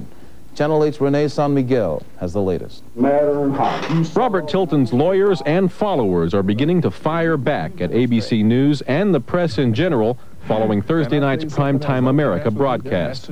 The show alleged that the Dallas area minister and his Word of Faith church practiced deceitful and possibly illegal tactics to get money from supporters. We'll give it to the people that are entitled to know. You're not one of them. In Tulsa, Tilton attorney J.C. Joyce announced he would open the church's account books Tuesday to any law agency that wanted to see them. But he told a Tulsa reporter that the press, and even those who send Tilton money, are not invited. The people don't want to give money to this church. They don't want to belong to this church. They don't have to belong to this church. those people don't have any uh, reason to know where their money goes. Absolutely not. Absolutely not. There is nothing that requires that. In the law? Nothing. But you're, you're going according to the strictest... Uh, Not the strictest, the broadest. That's freedom of religion. As expected, the ABC report was the favorite lunchtime topic during a Word of Faith luncheon in Las Colinas Saturday.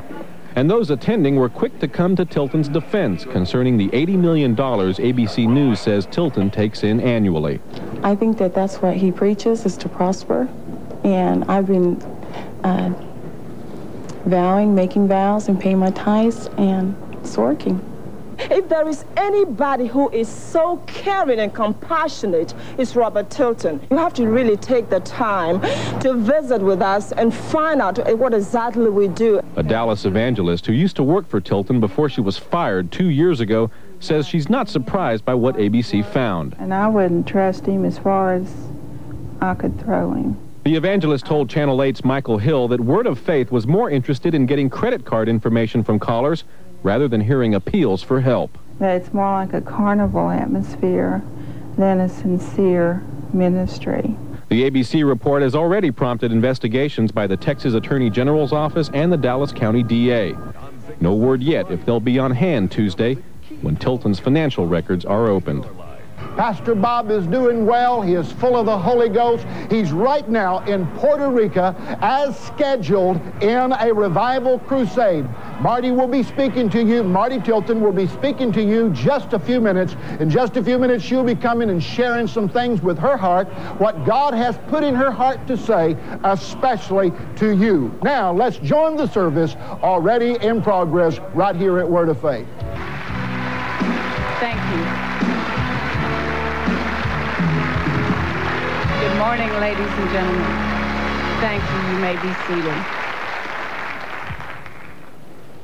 In the absence of my husband today, who is on a scheduled crusade out of the country, I would like to address not only our congregation, but our television viewing audience this morning. We've been judged, tried, and convicted since Thursday of criminal charges, not by a judge and a jury, but by the press. We have a man of God who has proclaimed all out war to bring Robert Tilton down, who has stooped himself to the position and fallen prey into the hands of the press to destroy a ministry. We should pray for him today. One who rolls a stone and tries to dig a pit for another generally falls in it, the Bible tells us. Unfortunately, this man of God and the press would like to dictate to you what you can and cannot believe by creating stories. But since we are people of integrity and we have scrutinized ourselves for the last six years, and every staff member can tell you that, they can't pick up a telephone and call and purchase and order anything without writing it down on a piece of paper and it being approved. And then the attorney scrutinizes everything of that and says, You don't need that. Well, that's tough scrutinizing. And we have done that to ourselves for the last six years. But Bob and I are honest people, and so we have said to our attorney, we waive our attorney client privileges. And we ask for no subpoenas. There is, it's not necessary. We would like for all people who say they are investigating us, the state attorney general, the district attorney of Dallas, the IRS, the FBI, anyone who would like to look at our books that is an institution that governs us, we invite them to come to our attorney's office on Tuesday morning, November 26th at 10 a.m. 515 South Main Mall, Tulsa, Oklahoma. He has all of our records and our books, and you're welcome to view them and ask any questions that you have.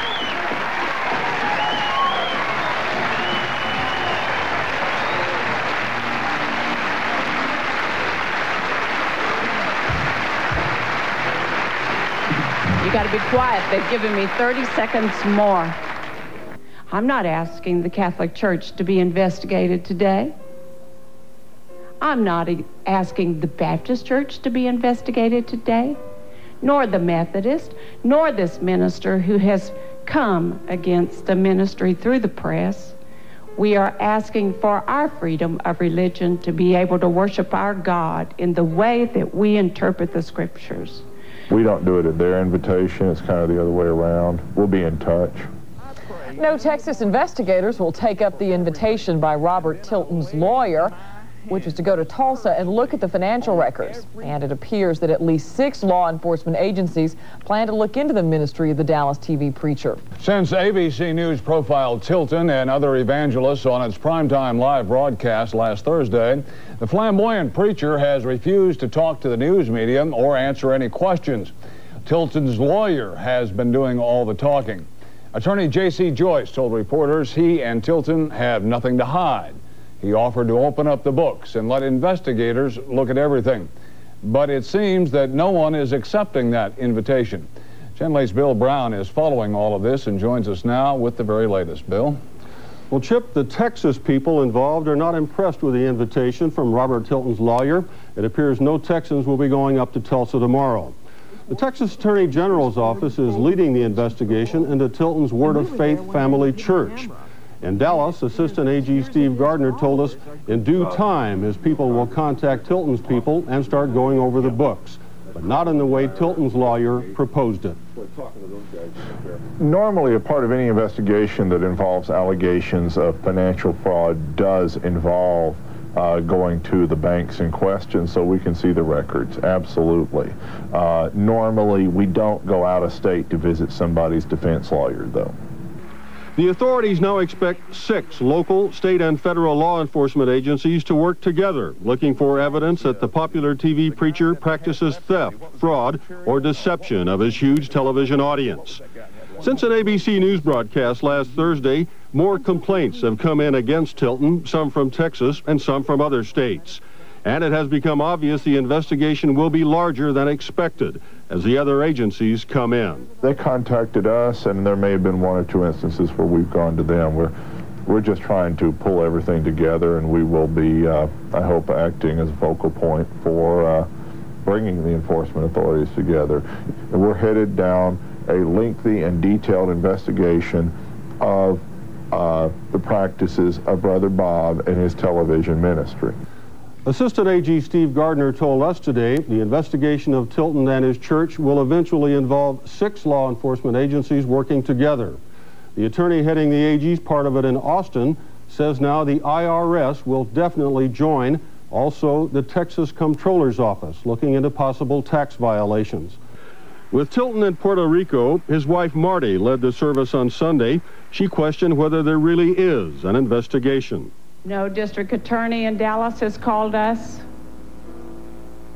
No state attorney general has called us. No FBI agents have appeared on our doorsteps. No IRS agents have come or called.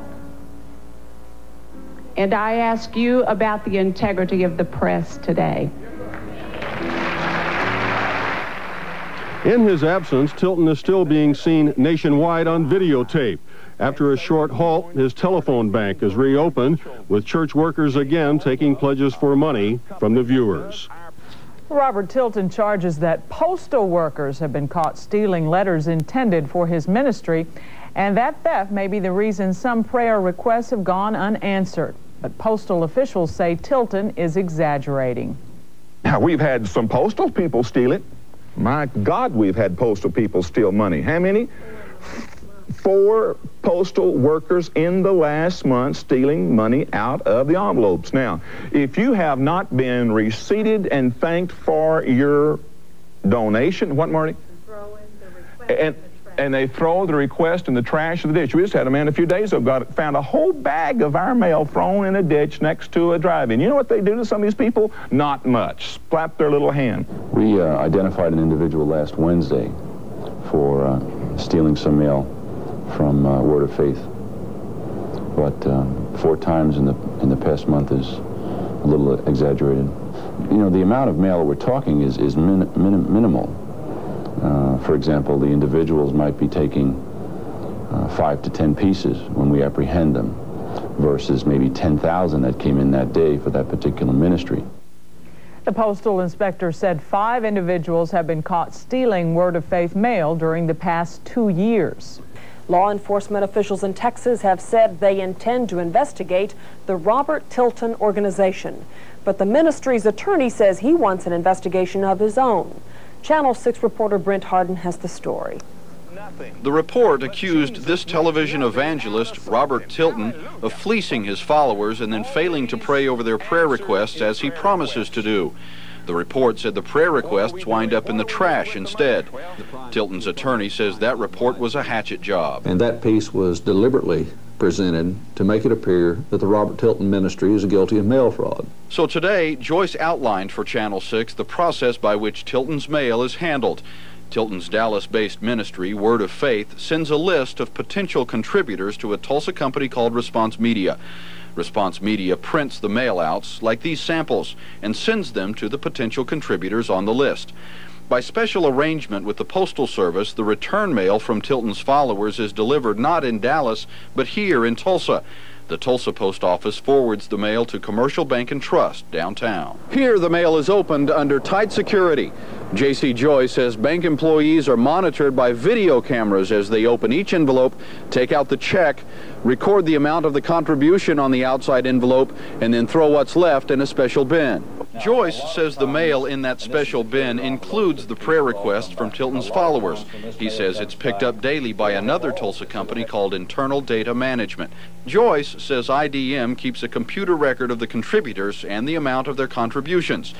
Last week's controversial report on the ABC network alleged that some prayer requests get thrown in the trash after the contributions are removed. But Joyce says IDM separates the prayer requests and makes sure they get to Robert Tilton. Any unnecessary mail that's left is picked up and incinerated. Every single day there's a shipment that goes from IDM down to Robert Tilton. And you say for every one of these things that comes back in the mail from a follower of the ministry, these two pieces are going to go back to the ministry. Yes. Joyce says once they get there, the requests do indeed receive the personal attention Tilton promises his followers. Tilton's mail comes not to him, but to this South Tulsa branch of Commercial Bank and Trust. News 8 has learned details of what goes on inside from interviews with two former workers and others familiar with the operation. They describe it as massive, involving not just Tilton's ministry, but three others as well. 15 workers sort through thousands of pieces of mail every day. In a secret room known as the lockbox, they pull out the checks and the cash, hundreds of thousands of dollars every day. On busy days, a night shift is called in. For people who think Robert Tilton actually reads what they send him, Tilton's attorney has an answer. Uh, no, there's not any man in the world that can answer 300,000 pieces of mail or read 300,000 pieces of mail. And you know, if you present that like there's something wrong with that, well, then you're a moron. Primetime estimated Tilton takes in $80 million a year, all of it tax-free. Tilton's attorney was asked how much of that is spent on fundraising. None. Not a cent. This church is about saving souls and reaching people and trying to convert them to Jesus Christ. Everything he does is to that end. None of it has anything to do with fundraising. That's what we're trying to find out. Is there fraud? Is there deception? If so, I think we'll come down like a ton of bricks. Law enforcement agencies investigating evangelist Robert Tilton meet to plan their strategy as the TV preacher returns after a crusade in Puerto Rico. Good afternoon. Thanks for joining us. Tilton still stoutly claims he has done nothing wrong and that he is the target of a media conspiracy.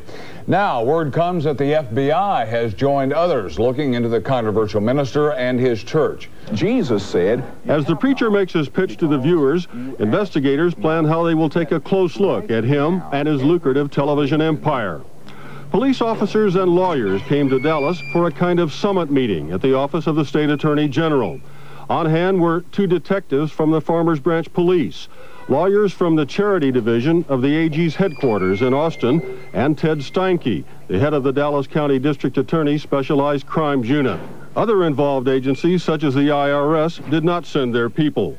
They all met here to plot their strategy in what will be a detailed and lengthy investigation of one of the most successful television preachers in the country. Reverend Tilton says all this is a conspiracy, that it's the devil at work, the Antichrist, everybody's out to get him. He's totally clean, and people just want to bring him down, a man who's doing good works. What about that? Uh, in fact, we don't want to bring anybody down, but we are out to stop any types of fraud that are being perpetrated on uh, people in the name of religion.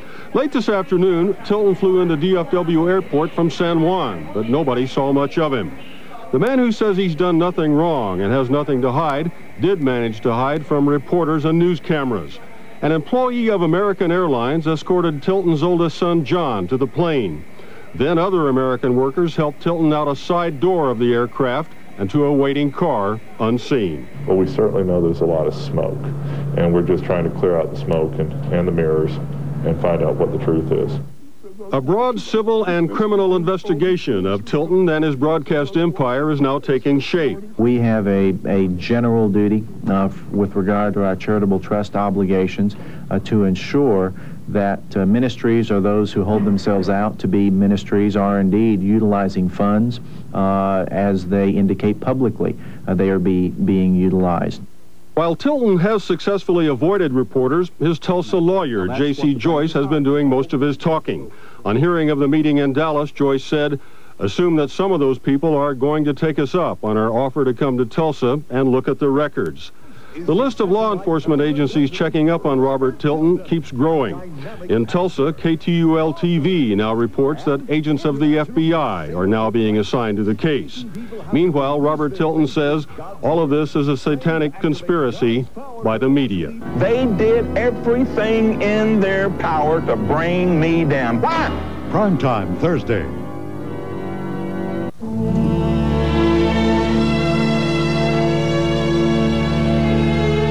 Prime Time. From New York, Diane Sawyer. Good evening and happy Thanksgiving. We start with a Thanksgiving confession tonight. This broadcast is on tape, so we can be with our families too. Last week, we broadcast a series of reports, a hidden camera investigation of some televangelists. Since then, a lot has happened. Last Friday, Tilton responded for his followers. So what? I never preached poverty to you. I said God would provide you with the best. Am I not supposed to? I can tell you, you can have the best, but I ain't supposed to have nothing? Get that religious garbage out of your brain. If we're going to. Tilton changed out of his usual suit for his hour long defense of the ministry. Diane Sawyer knows what she did. We had shown you how prayer requests sent to Tilton those heartbreaking appeals from people who are sick or in need go instead straight to his bank so the bank can get the money. Though Tilton insisted he does personally pray over every request. And not only that, he says he does it so much he became ill. Those prayer request forms have ink on them and uh, all kinds of chemicals. I laid on top of those prayer requests so much that the chemicals actually got into my bloodstream, begin to swell my capillaries, and I'm sure that, that this is going to be really a newsy thing, but I'm going to tell I'm going to tell it anyway. It got into my immune system, and I had two small strokes in my brain that brought about some numbness in my body. He said this was also the reason he had the plastic surgery we described. I mean, frankly, folks, it was a serious mess. Messed my bottom eyes up. They mentioned that I had some cosmetic surgery. Yeah, I had the, my eyes worked on to try to get the serious bags out from under my eyes and how all those chemicals had messed them up. Tilton said the luxury homes and the brand new boat in Florida were all because of his illness, too. His doctor said he had to relax, and he doesn't like the conventional way. And I don't like golf because it aggravates me chasing that golf ball all over the golf course and trying to hit it straight, and it stresses me more out than it does than, than when I don't play it. So I just soon fish where there are fish. But if Tilton says he prays over all those requests, what accounts for the thousands found in the garbage? That had to be somebody stole those prayer requests and put them in the dumpster just to shoot that picture. No prayer request is ever thrown in a dumpster, and if it has been, it's been stolen and set up there just for photography. But we didn't plant the garbage, we didn't steal it. In fact, what we showed was just some of what was found not once, but on 14 separate occasions in a one month period. We also remembered how the manager of the direct mail operation Tilton uses explained to our undercover cameras the way most of the items people pray over are handled when they come back in the mail. Now, what about when it comes back? Do we have to? We don't touch it either. Okay. We never have to deal with We never have to see it. Okay. But we talked to some of the people whose letters were in the trash. I feel like a fool. I really feel like I was taken. People like Tammy Newell of Cleveland, Tennessee, who told us since she didn't have the money for a donation, she sent Pastor Bob her most precious possession, her late mother's diamond ring. Thank you, Robert Tilton, for being a true man of God. I, I'm very disappointed. I'm hurt. Because I really trusted in him to be standing in agreement and prayer with me, and he wasn't. That, to me, is the worst thing that could happen. I mean, to me, that's even worse than taking my money. Laura Watson of Florida also talked about her letter from the trash. She said she had sent the Tilton ministry the little money she could. They asked me would I make a hundred dollars by. I told them that I wasn't able to work and I was on disability. Now, if you sent a donation in thinking you were buying a miracle, get real. You don't buy a miracle. A member of Tilton's choir told us Pastor Bob said he had a modest home. I saw that home on TV, and that's not modest, not by, by anybody's stretch of the imagination. And I don't want my money going to that. Robert Tilton, a dynamic pastor.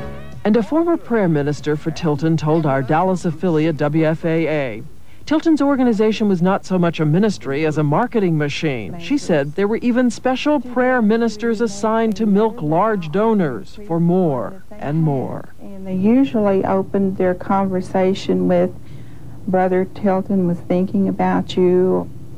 And the people on the other end of the phone, I know, must have thought that this was sincere. And that really tore my heart. Tilton's lawyer, J.C. Joyce, says what happens to the ministry's money is nobody's business including the business of the people who give it. To belong to this church. People don't have any uh, reason to know where their money goes. Absolutely not. Absolutely not. There is nothing that requires that. In the law? Nothing. It's not fair. And you lied. Don't edit that out.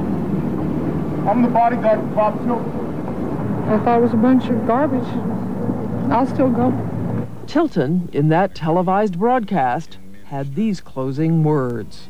So, until we meet again, happy trails. I love that song. Happy trails to you until we meet again. And Congressman Jake Pickle of Texas told us his subcommittee will likely hold hearings on all this in the new year. And finally, we heard from someone you may remember from presidential campaigns Pat Robertson, head of the Christian Broadcasting Network. Robertson said he had refused to air programs from W.V. Grant and added he personally canceled Robert Tilton four years ago from any appearance on his network. One, two, three. You can't go on the air and say, send me your prayer requests. Let the, let the checks go into a caging operation in a bank and get thrown in the dumpster in the back of the, of the building. That's disgraceful. And of course, we'll continue to follow this story and bring you more in the months to come. There's much more at stake than burn Bob Tilton. There's much more at stake than to burn this congregation, this church, through malicious lies and slander. There's much more at stake. It is the freedom of religion in this country.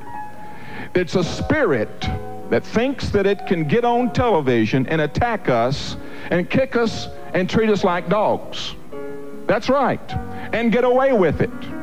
I don't know of any other preacher or church that has decided to stand up against them, but we have made a quality decision to stand up for our religious rights and freedoms in this church and against the malicious attacks of the lies of the media.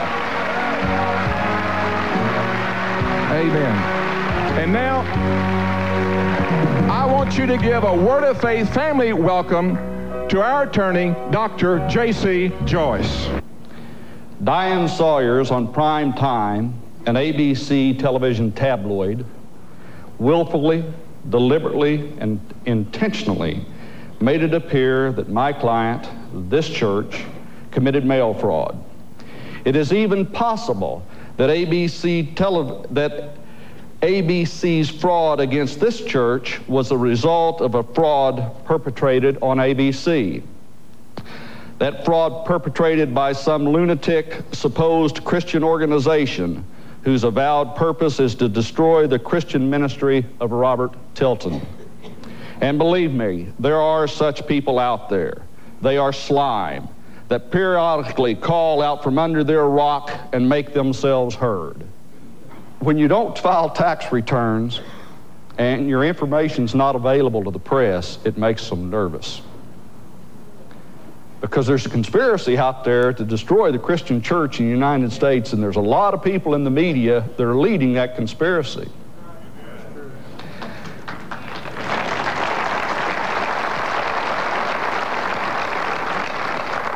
The ABC affiliate stationed in Tulsa interviewed me for approximately 40 minutes.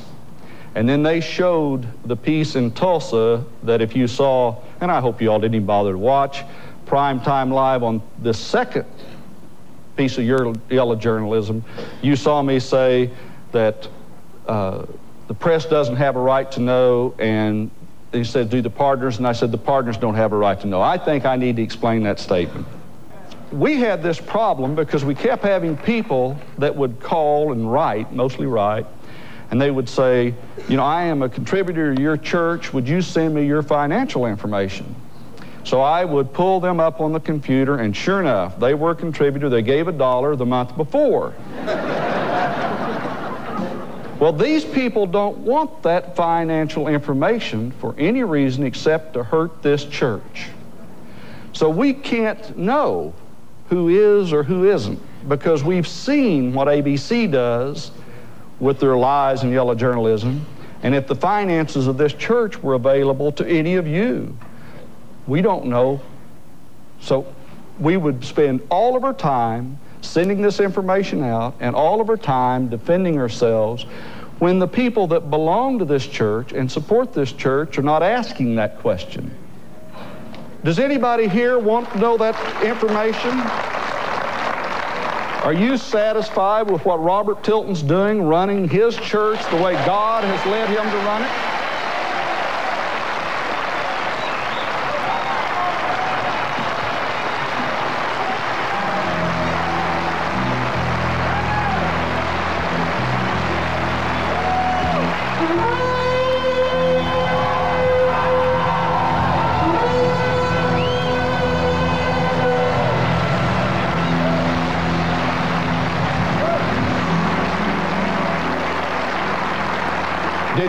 That, ABC? Did you hear that, law enforcement? It's these people's money that goes to this church. It's not yours. Mind your own business and get out of the church's business.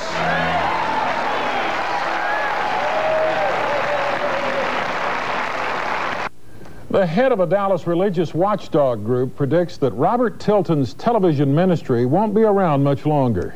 Ole Anthony, who worked with ABC News on an expose of Tilton and other televangelists, says more revelations about Tilton's operation are coming. Very important to call and write ABC because we demand an, a public apology. While Robert Tilton and his lawyer, J.C. Joyce, rail against ABC News and Diane Sawyer on television, the greatest object of their wrath really is Ole Anthony, who put the network people on Tilton's trail. Anthony is a former political lobbyist and media consultant who now runs the Dallas Trinity Foundation, which keeps an eye on televangelists. Ladies and gentlemen of this huge jury, Last Sunday, Attorney Joyce held a mock trial in which he asked followers of the church to be the jury and decide if the Word of Faith ministry had done anything wrong. The Dallas Times Herald reported the church pays Joyce $143,000 a month. Joyce never actually mentioned Ole Anthony by name, but his picture was flashed on the screen, as the attorney implied that Anthony's group misled ABC. That fraud perpetrated by some lunatic supposed Christian organization whose avowed purpose is to destroy the Christian ministry of Robert Tilton. And believe me, there are such people out there. They are slime. Anthony and his people say they're the ones Joyce calls slime. They're the ones who dug into the trash dumpsters in Tulsa and then gave ABC the church prayer requests shown on the air, which Tilton claims were stolen. Now, they're still going through what they found, including financial documents they feel make up a paper trail that leads to criminal fraud. We never came against Christians. We came against charlatans. We came against caricatures of Christ who are making themselves unbelievably wealthy on the backs of the poor who they say they're trying to help. That's who we're coming against. We're coming against these men of God that are eating the sheep instead of feeding them. Among other things, Anthony showed us a list he says is used to put donors into categories, like people who need jobs, so computers can send them letters back. Letters, Anthony says, often asking for more money. It's form letters, computer-generated letters. Made to look like personal. Made to look like they're having personal, heartfelt advice that he's giving out to these people in dire need. Anthony says what he found is a multi-million dollar business using religion to raise big bucks. It's a evangelist factory. It's a money-making machine. It's a wheel of fortune. Anthony also showed us some of the thousands of prayer requests he says he found in the trash. Please pray for him. If he loses his job, he will commit suicide. Ended up in the trash. Many, many, many, many, many, many, many. All over the place. Trash, trash, trash. This is one of the Tulsa dumpsters Anthony says he dug through. It belongs to attorney J.C. Joyce, who from his Tulsa office helps run Tilton's ministry. Joyce is asking District Attorney David Moss to investigate how Anthony and ABC got what he calls stolen bank documents. Anthony says it was easy. Joyce was our mole. He's the one that, uh, where this, the, in his trash is where we got most of the documents. It's been nearly two weeks since ABC broadcast an hour-long expose on televangelism. Tonight, the controversy rages hotter than ever. There are reports that handwritten letters from followers of the embattled evangelist somehow ended up in a North Tulsa recycling plant. This follows ABC's story that thousands of similar letters were thrown in the trash. Tonight, News 8 Scott Gordon reports that Tilton's Tulsa lawyer is finding himself in the middle of a growing controversy. This is Robert Tilton appearing on his Sunday TV show. But for much of the hour, it wasn't Tilton at the pulpit, it was J.C. Joyce, Tilton's Tulsa attorney, who launched an all-out defense of the ministry as if the congregation were a court.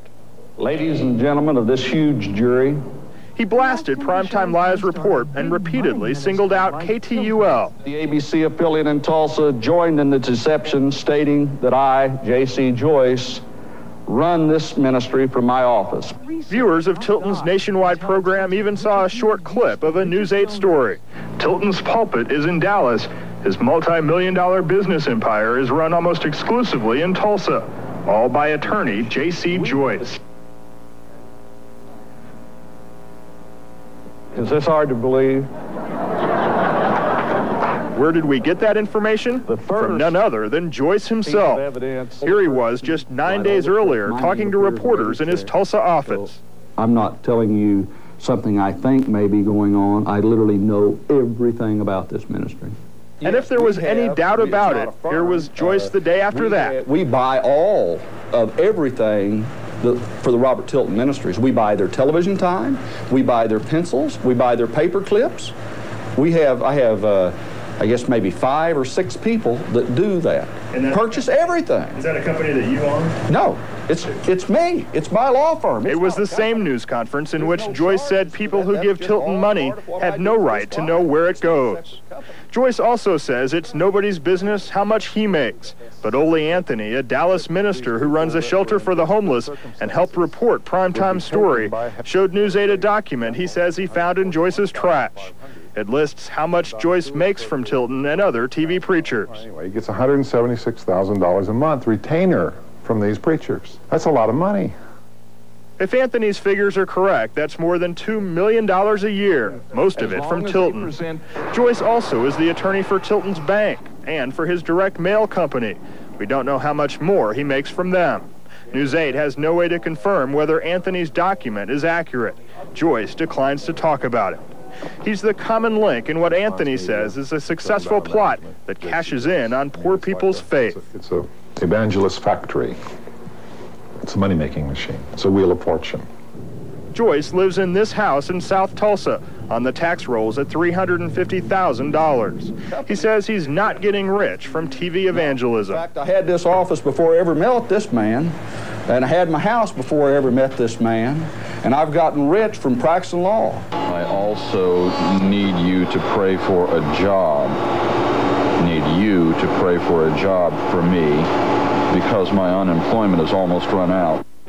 More prayer requests that apparently were never forwarded to Reverend Bob Tilton are found at a Tulsa paper recycling company. The Tilton ministry says it's a glitch in their system, but the discovery has apparently prompted a new investigation of the Tilton ministry. Dallas Minister Bob Tilton says he personally prays over every prayer request that viewers send him. And he says ABC News lied when its cameras showed prayer requests that had been thrown into a dumpster.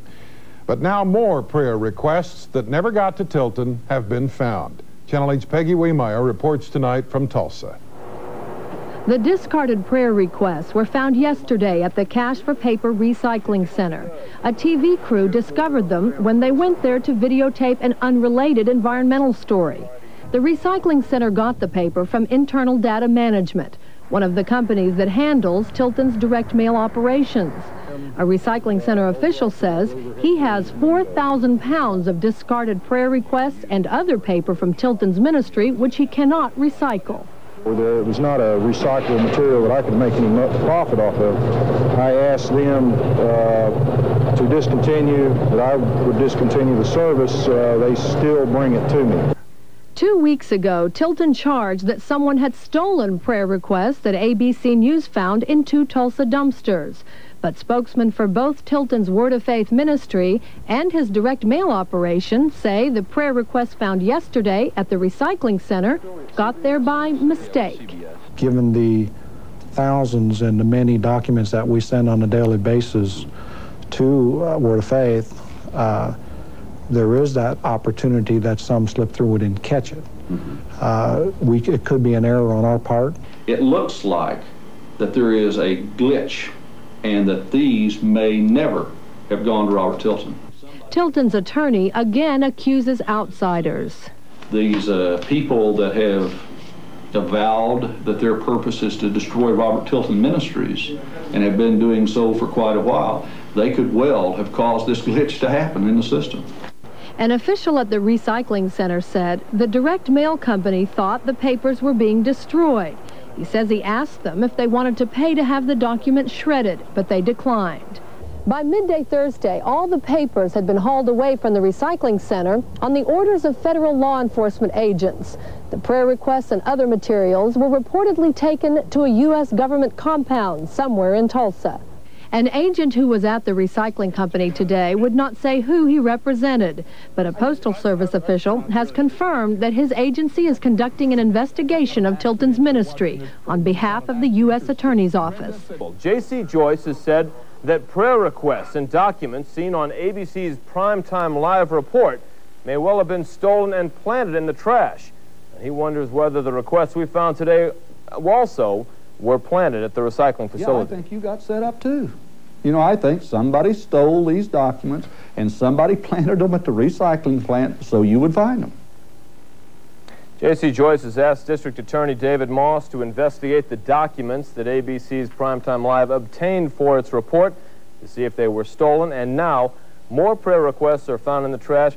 David Moss has yet to decide, however, if he's going to investigate any of this. Brad, there were there was a huge box, three or four boxes of those there. They had staples in them. They were mm-hmm. set aside by the recycling plant, and they were mixed in there with all sorts of envelopes. Now, how could those have just been randomly put there by someone? Well, what, what basically what the attorney for IDM has told me is that uh, these prayer requests appear to have just been in there mistakenly. They, they were not marked off in any way. Uh, it was just a mistake, is, is what they're saying. That, that's different than saying we were set up. Exactly. Now, that, that is different. Yeah. The, the IDM is not saying that at all. Postal inspectors have started an investigation into the Dallas Televangelist Ministry. Jim Travel, a spokesman for the U.S. Postal Service down in Fort Worth, says the U.S. Attorney's Office here in Tulsa has asked postal inspectors for help. The U.S. Attorney in Tulsa, Tony Graham, says he can't confirm or deny the investigation. This development comes at the same time Robert Tilton's lawyer, J.C. Joyce of Tulsa, says he's through answering questions from the media. Tulsa lawyer J.C. Joyce appeared on Robert Tilton's program last Sunday to discredit attacks on Tilton's church aired by ABC's Primetime Live. The main source for ABC's information is Ole Anthony, who runs the Dallas Trinity Foundation, which monitors televangelists. That man, through the years, has talked to every fired employee of this church. He's talked to uh, employees of the church and he has never been able to find where this church has done anything wrong. So he tried to frame this church. When we found more letters intended for Tilton at this North Tulsa paper recycling center, Joyce said it was another part of the conspiracy to destroy Tilton's church. Anthony calls that allegation ridiculous. He says he doesn't care about Robert Tilton or J.C. Joyce. Anthony says he wishes Tilton would sell everything he has and give it back to the poor. No questions. I will not dignify this anymore. You have heard the story. You're talking about Thank Ole, you. You're talking about Ole Anthony. You don't hear very well. As far as J.C. Joyce is concerned, he's had it with the media attention and refuses to answer any more questions about the Tilton ministry. Up with an allegation. Gentlemen, ladies, you're excused. But if the pastor is weak, the sheep will be weak. If the pastor's healthy, the sheep will be healthy. Might as well go the rest of the way. If the pastor's prosperous, the sheep will be prosperous.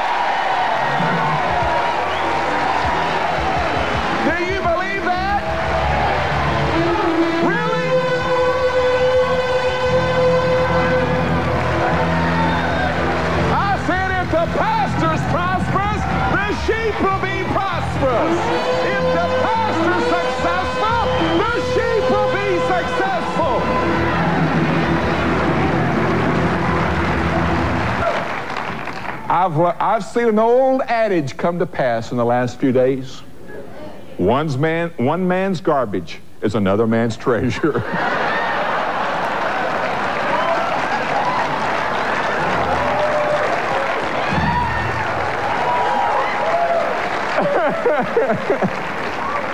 that sounds like headlines to me. I'm trying to help you folks out there. I know you need all the help you can get.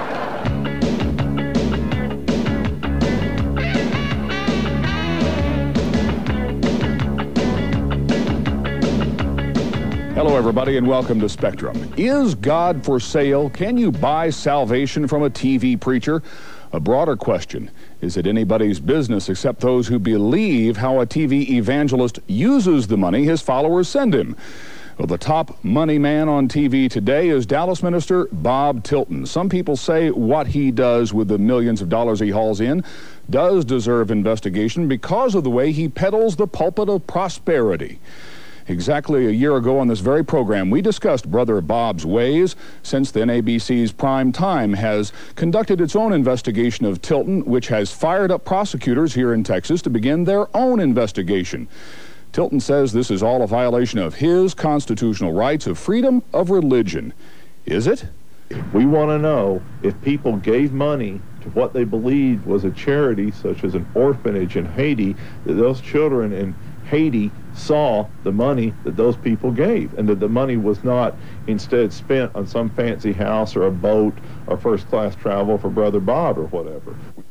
Pastor Tilton does live well. He rents a mansion in Las Colinas while his new mansion is being built a few blocks away. He has a million dollar mansion out in San Diego and has a waterfront house down in South Florida, a big yacht out front, and he rides around in nothing less than Mercedes style. Tilton doesn't apologize for his lifestyle. In fact, he says he preaches prosperity and should practice what he preaches. We invited Pastor Tilton and his attorney J.C. Joyce to be with us for this discussion. This empty chair represents their response to that invitation.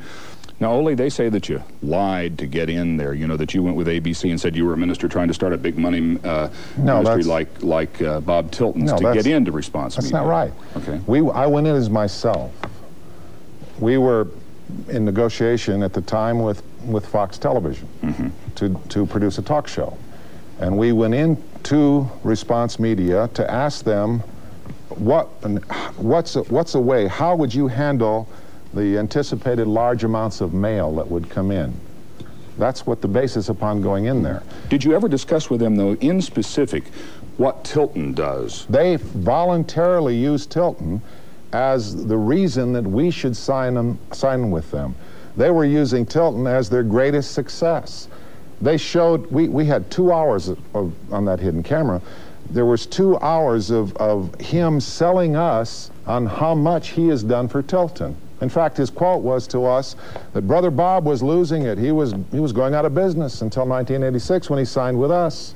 We made him. We can do the same for you. Now, when, when you were there, you were going over their ability in computerized lists to go through demographics, match up people so Exactly. they can get the most money from, from uh, the what group of people. Did they say specifically that Tilton uses that demographic service to match names with big money contributors? They are in, in a business relationship with another Tulsa company called Internal Data Management. And they, we have memos that show their seminars where they use the, the, the demographics to see how the best way to conduct these mailings. They use what they call in the marketing terms an A-B split. You remember the last time I was here, we brought all those obscene posters he sends out? Well, they decided that the posters were too expensive. So there, there's, in their marketing scheme, they had what's called an A-B split to determine whether or not they would get just as much money if they didn't spend the money to print the poster. So they sent half of the, half of the letters with the poster, half of them with just a letter. Ole, you and ABC say your investigation showed the vials of holy water that Tilton uh, offered as being from the River Jordan were actually acquired by Response Media from Taiwan. That's let me not right. Well, we did what- not what- say that. You think he got the water from Jordan? Of course he gets it, but it's a joke. It's a sh- even if everything he said was right, it's spiritual sorcery. They're gonna. You're, But did he mislead people if it's from the River Jordan, whether it's processed water or not? But the point is, we have evidence. We have people that testified on on on the on a on a, on a television station in Tulsa mm-hmm. Let's say they had all these part-time employees, and that, the, the problem with all these organizations, their weakness are their is their trash, their janitors, and their part-time employees. That say that whenever they run out of water, they just go back to the tap. they run out of holy oil, they go down to the to, to the supermarket and buy a, a bottle of, of, of uh, safflower oil. I mean, do you, do you understand? It's a sham. It's a joke. And you believe that, that that constitutes fraud that should be investigated? I believe that his whole persona, especially the idea of, I mean, do you understand this? He says, he claims that he takes every one of these prayer requests lays over them to the extent that the ink from the prayer request sort of chelates into his body and his lower eyes get messed up so he has to have plastic surgery. And he, and he probably, he, he lays on him so strong that his, that his hair gets so messed up that he has to have permanents every week. and he lays on this so bad that it that it that he has to have make more makeup and on than, people than who Tammy Faye that. Bakker. And there are people who believe that. I mean, he makes Tammy Faye look like she's sweet. Why is it wrong for somebody to believe that, though? If they believe it, if if they find Christ that way, what's wrong with that? If that's how they find Look, look, Christ. look, Mike. Let's be let's be let's look at this. Are you greedy? Oh, uh, some say I am. yeah. Well, of course you are. the human race is greedy. And if you can find a spiritual leader that justifies your greed, you will elevate him to the highest point, the highest pinnacle. And that's where you and say that's Robert what Tilton is. Robert Tilton is. He's a spiritual leader, allegedly, that elevates greed. The Dallas minister who helped ABC News investigate TV evangelist Robert Tilton today showed reporters thousands of pages of documents collected during the six-month investigation. Trinity Foundation President Ole Anthony says most of the prayer requests addressed to Tilton not only fail to reach him, but are never intended to reach him. At the bank, the money is taken out. If it doesn't have a legible name and address, it goes to the trash there. Here are some of the prayer requests that Anthony said he found in the bank's trash. One says, to be opened by Robert Tilton only, please. Jimmy was supposed to have a personal prayer appointment in October with Tilton. And where did you find that? in the trash at the bank. Both Tilton's bank and his direct mail company, Internal Data Management, deny they've ever knowingly thrown prayer requests in the trash. In fact, an internal 1988 IDM memo found by Anthony orders IDM employees not to throw prayer requests into the shred box. But the same memo seems to confirm that Tilton never even sees the prayer requests of his followers. It says the key is to document each piece and to treat it as though it were to be read and handled by Pastor Tilton himself. What would he have done with this document to serve the people the best way he could? Anthony says computers answer Tilton's mail. If you have a sister that is ready to commit suicide, they put the code in this computer that says, say, for instance, AB64. Well, AB64 then will automatically generate a personalized letter from Robert and Marte Tilton that, that says we have personally prayed over this problem of yours, and here is our answer. Dallas TV preacher Robert Tilton is tonight being accused of spiritual sorcery. A televangelist watchdog today outlined what he claims is Tilton's Wheel of Fortune, as Texas News 5 chief correspondent Mike Snyder explains. Names and addresses, names and addresses, names and addresses. Names are what feed the Wheel of Fortune. A Wheel of Fortune, Ole Anthony claims feeds $100 million a year into Tilton's Dallas-based TV ministry. Money Anthony and his Dallas-based Trinity Foundation claim is fraudulently pried out of believers who send prayer requests to Brother Bob. What she asked for is a real dad. But there was no name and address on it.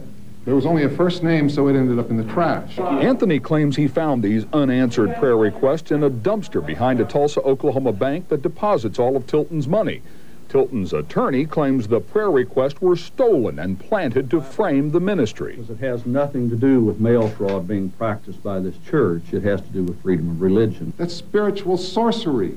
Anthony says he doesn't want to see Pastor Tilton put behind bars. What he'd rather see is Congress pass a new law regulating TV preachers, something like the truth in advertising laws that would require preachers like Tilton to prove their claims before they broadcast on your TV. Far from a TV preacher himself, Dallas minister Ole Anthony has emerged as televangelism's number one critic. At a news conference, he showed off maps, charts, and thousands of documents he says he found in Tulsa trash. To Anthony, it reveals a big and phony business, cashing in on the lonely and the elderly. It, it's got to break your heart to think about what this is doing to the people. You foul, rotten, stinking devil. I'm going to beat you up, you devil. I'm going to cut you to pieces in the name of... But according to Anthony, it isn't Tilton who really runs things. It's his Tulsa attorney, J.C. Joyce. The maestro.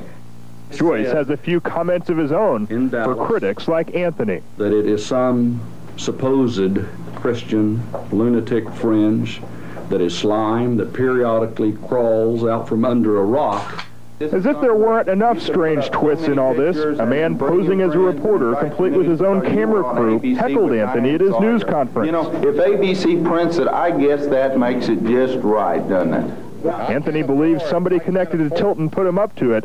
The man claims he came on his own. A Dallas-based church continues its assault on TV preacher Robert Tilton tonight. Today it was stacks of documents, more fraud allegations, and a shouting match with a shadowy figure. Almost all of the really damaging material we found on the business of evangelism came from the office of J.C. Joyce. In fact, J.C. Joyce has, I think, a camera crew here today, and I'd like to give him a hand. Minutes later, a man who at first identified himself as a reporter began shouting at Anthony. What? How much is Mr. Joyce paying you? Mr. Joyce is paying me, and I suppose you are working with who, sir? I'm working, my name is Pat Poole. I'm out of Albuquerque, New Mexico. I'm here with Shore Entertainment, and because we got questions, Poole was accompanied by a camera crew. He later described himself as unemployed, then self-employed, and finally as a man who makes movies. He also clashed briefly with a reporter from Tulsa who thought he should confine himself to questions. This is kind of fun. Let, I'm going to hold a press conference later today. You already are? And, well, no.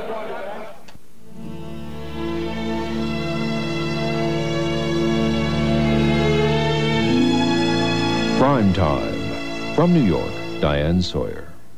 Three weeks ago, we told you about the $80 million ministry of Robert Tilton in Dallas. How he promises to pray over the personal responses of followers, most of which, in fact, just go to one of the banks he uses in Tulsa in his data processing plant so he can get the money. And the prayer requests go into the trash. Stop. Tilton and his lawyer immediately went on television denying this and denouncing us. ABC is attempting to burn this Christian church to the ground with their lies and yellow journalism. But last week, our story was confirmed when a television station in Tulsa photographed thousands of Tilton prayer mailings at a Tulsa recycling plant in the trash.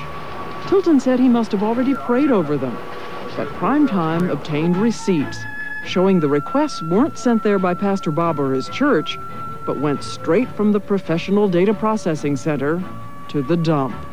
And it's been going on for years. The former owner of the plant says he saw it.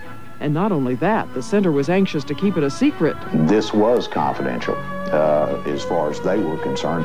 But it's no secret now, and federal investigators from the FBI and post office have seized the trash and joined three other government agencies looking into Tilton's ministry. You don't have to put anything in the offering if you don't want to. You weren't charged to park on the parking lot. You weren't charged to listen to the music. But come next week, I got to pay the band. Marzo, they're praying, Lord, shut Bob up.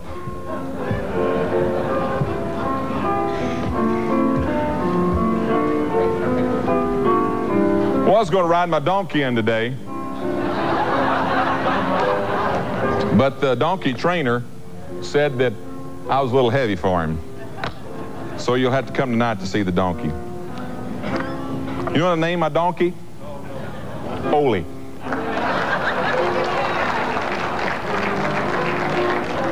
That's right, I said it on television. Oli.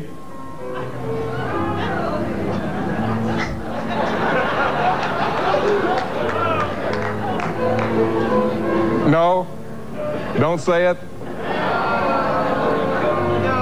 It's really, you know what I want to say, don't you? I'm not going to say it. I know the reporters are watching and listening and writing this and oh, please say it. It makes such great copy. If you say it, you're a liar, because I didn't say it. Robert Tilton's television ministry is under fire once again. Accusers say he claims to read prayer requests he never sees, requests that instead get thrown in the trash. Channel 6 reporter Terry Hadley went to Osage County today and visited with a woman who says she's sick of reading Tilton's mail. For some reason, I'm called to look at this camera and look right at you. Right into this home in Wynona, Oklahoma. Earlier this year, Beverly Crowley's husband Tom was dying. Dad, he was diabetic. His kidneys had failed on kidney dialysis. He'd almost went blind. His circulation, he'd lost part of one hand and was going to have to lose his leg and several other parts. Beverly Crowley says her husband was confined to his bed. He watched televangelists constantly, often sending money to their ministries. He died in September at age 38. Now, more than 10 weeks later, Robert Tilton's computerized mail system still addresses letters to Tom. Crowley says Tilton's letters to her dead husband offend her, especially the part where Tilton writes to Tom, I sensed God wanting me to ask you a very special question.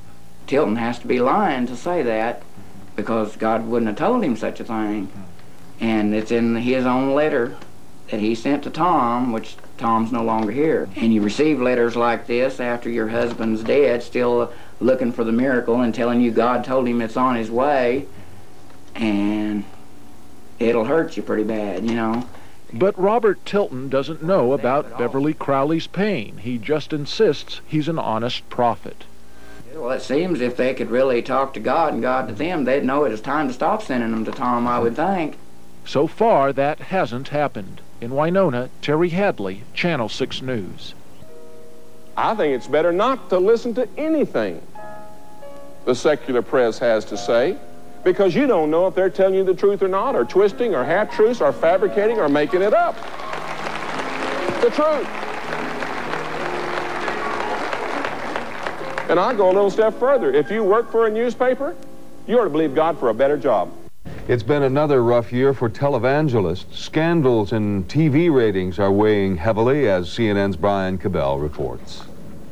For Jimmy Swaggart, it was deja vu. In October, he was discovered with a prostitute in his car. This after his 1988 involvement with another prostitute. His once thriving ministry has been decimated. One-time televangelist superstar Jim Bakker made one public appearance in 91 in shackles to get his prison sentence for fraud reduced.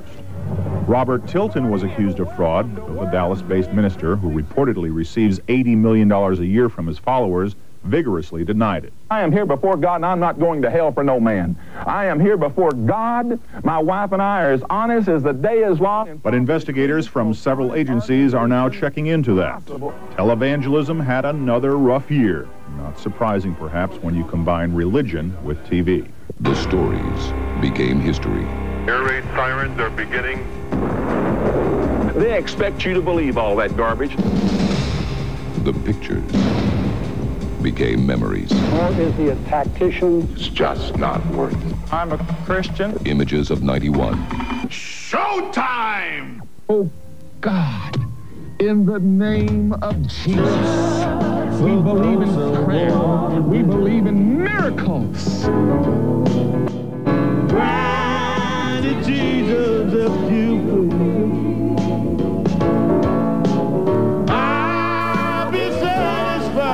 There's only one thing I like better. Is I walk Other people's money. So those washing my face this morning, all the cancer fell off. I am weak, but thou art strong. There's a prayer that I will be praying for the next year. God grant me the serenity to accept the things I cannot change, to change the things I can, and the wisdom to know the difference. Dear Lord, close to thee. I've got some dreams and visions. Glory bashanda, labo oh, soto basata. Oh, da basata, da da ba da ba da soto. Hallelujah. That's singing in tongues for you illiterate folks out there. And you media people that are taping this, please don't edit it to pieces and make me look bad again, or your blood is going to be on your own hands. God is my witness on a thousand Bibles. I pray over your prayer request. I spend hours in prayer breaking the powers of darkness. I have the boldness to get in front of this television set to preach you the truth and the gospel without being afraid of man, but only fearing that I don't preach the gospel that God commanded me to preach.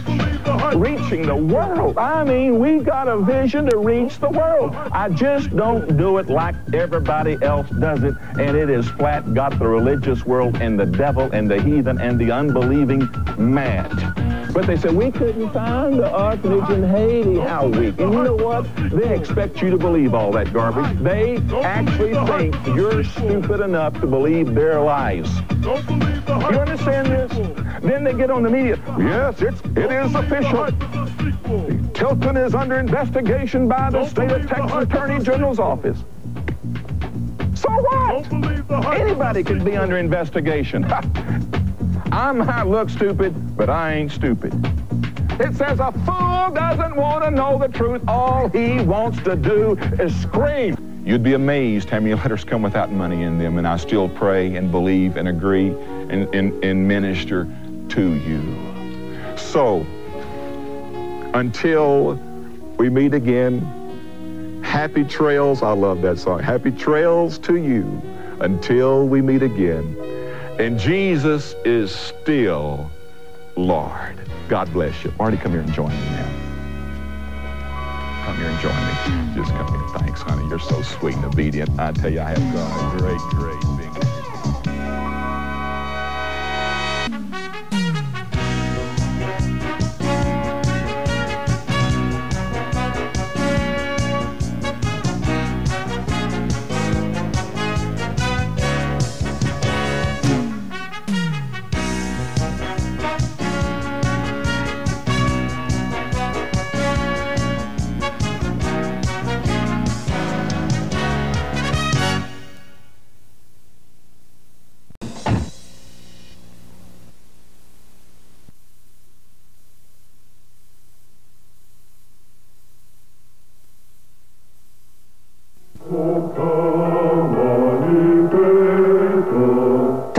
advantage of the only in Dallas used bookstore's exclusive Christmas offer. We have countless Bibles owned by Reverend Bob himself. Remember, you can't squeeze blood from a turnip, but you can twist a book to get money. Act now. Send unmarked cash only. Call 555 Contorted Ideals for our floating P.O. box number. Void where prohibited by reason. Religious commentary has always been with us, but what about when it takes the form of satire? Are some subjects too sacred to poke fun at? Are there topics or personalities too revered for ridicule? For those in our audience who do not know our first guest, let me introduce you to Ole Anthony. Ole became prominent in Dallas a few years ago when his investigation virtually ended the television ministry of Robert Tilton. But there's another side to Ole. He's the leader of, of a small Christian community in East Dallas and the publisher of a religious satire publication, The Door, that is something of a cult favorite among seminary students. Our next guest, Chris Tucker, is also well known in the Metroplex as a television and radio commentator for KERA, a published author and a former columnist and editor of D Magazine. With his tongue planted firmly in cheek, Chris has also been known to take some sharp pokes at everyone from our politicians to, you might have already guessed it, Robert Tilton. Thank you both for joining us this morning. Why Robert Tilton? What, what, why did you go after Robert Tilton? you spent quite a bit of time working on that. you that started it. one. you started it. Oh. Well, what, what, what we um, we we did a, an investigation for Primetime Live, and uh, and were sued more times than I can count over it for it. But uh, we were we, we started looking, just pulling strings, and and of course the thing that everybody remembers is we found the, the, the thousands of prayer requests that had been discarded uh, in the bank trash in Oklahoma, and that's what did him in. Well, what started you? One of the things that started your interest was your work with the homeless people, and you had met some who had Right. become homeless. Right, and, and one in particular had, had given his last thousand, five thousand dollars back to Tilton and went to him for help and uh, was turned away, told to go to a social This- service agency. This puts you right at the heart of why satire is a difficult and sometimes Right. misunderstood thing. Right. I come at this, I guess, from a somewhat different vantage Mhm. point than Ole does. Mhm. Uh, I, while I feel very sorry for all the people who gave their life savings and placed all that hope in Bob Tilton, to me he was always a comedian. Mm-hmm. I mean, I sort of hated to see him go. uh, I, am sorry that he bilked people. On the Mhm. other hand, uh, those people are there, and they're going to. The They're- bilkies are going to be found by the bilkers One way or of the the other. world, like Bob Tilton. Mhm. I just always saw him as an amazing showman, and I Mhm. can see how he probably pulled some people in that way. To me, he seemed so blatantly phony from the start. Mm-hmm. I couldn't imagine ever placing one one bit of belief in him.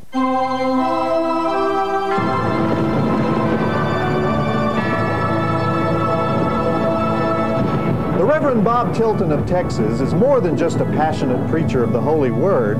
He's a man of many robes. To some, he is a learned ethnologist. You don't have to be black to make a vow. It's absolutely amazing sometimes the whites that sit back when the blacks and the browns and some of the other folks get out there and they're believing God for miracles in their life.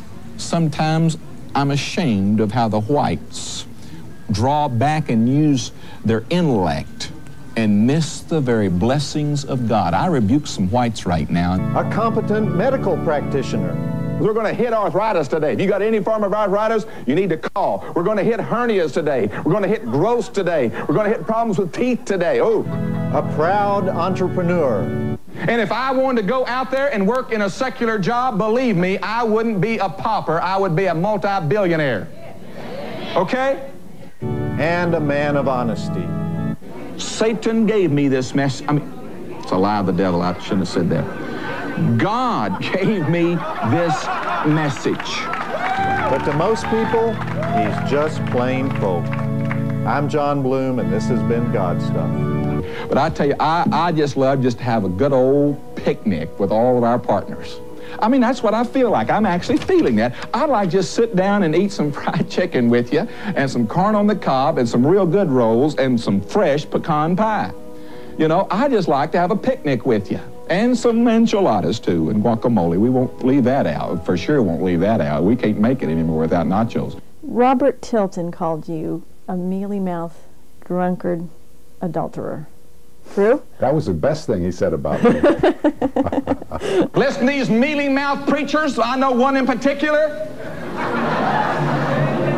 That's not at all, not a minister at all, but an adulterer and a drunkard and a womanizer that's been caught in the clubs, having the audacity to touch a prophet of God. Do you want to listen to that garbage pumped out by the garbage press? Texas Attorney General Dan Morales has tonight given flamboyant preacher Bob Tilton an ultimatum. Morales tonight is demanding Tilton open the records of his television ministry to prove he's not defrauding any of his followers.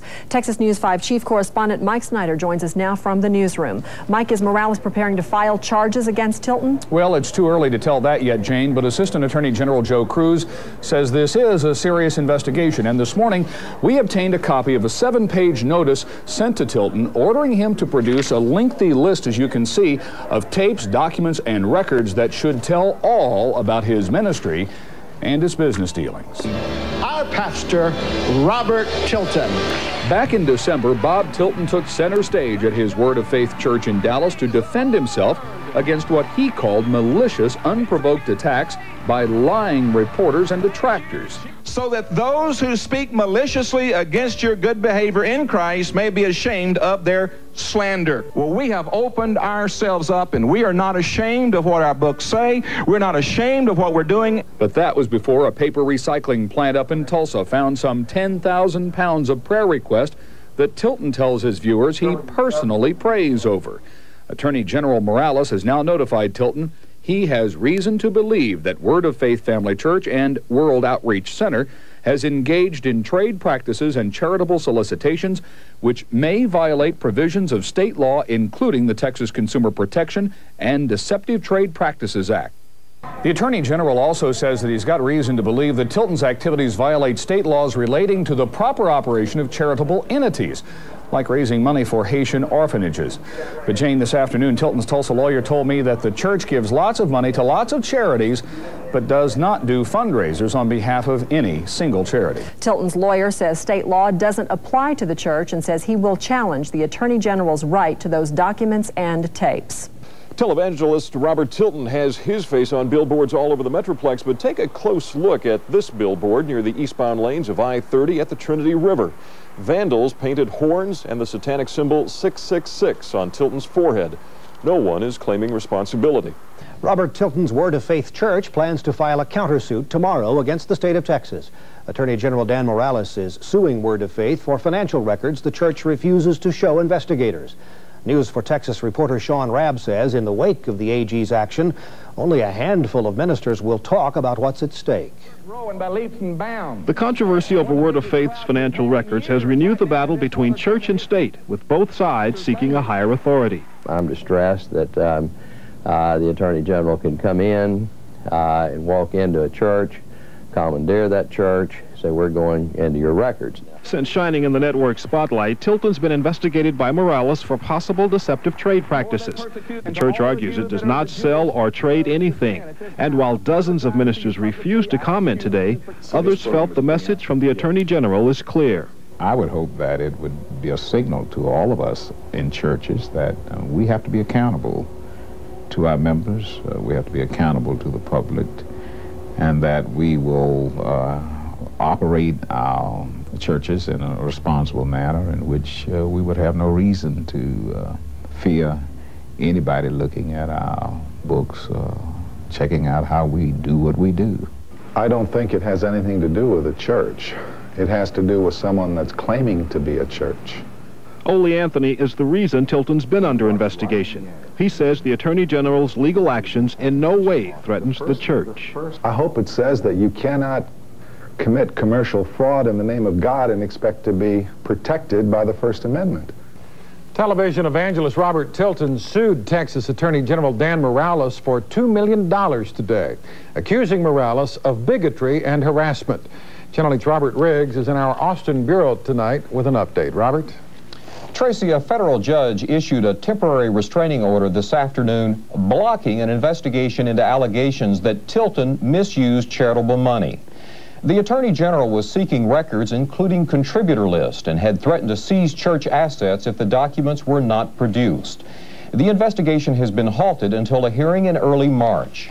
Robert Tilton's lawsuit accuses the Attorney General of conducting a vicious news blitz to make it appear the televangelist was guilty of mail fraud.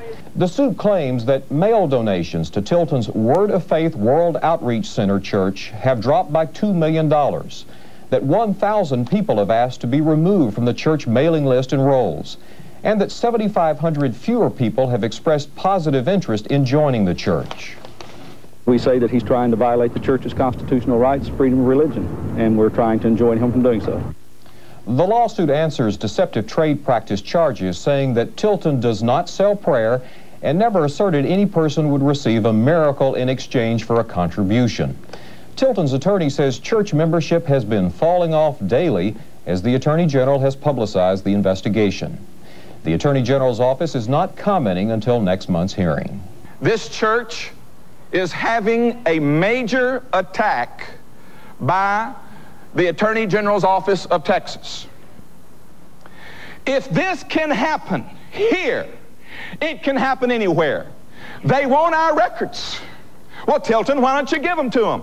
Are you trying to hide something? If I was trying to hide something, we would not have opened our books up to the FBI and the postal authorities. The FBI is the, is the big guys. Texas State Attorney General's is nothing but a, a flea compared to the authority of the FBI.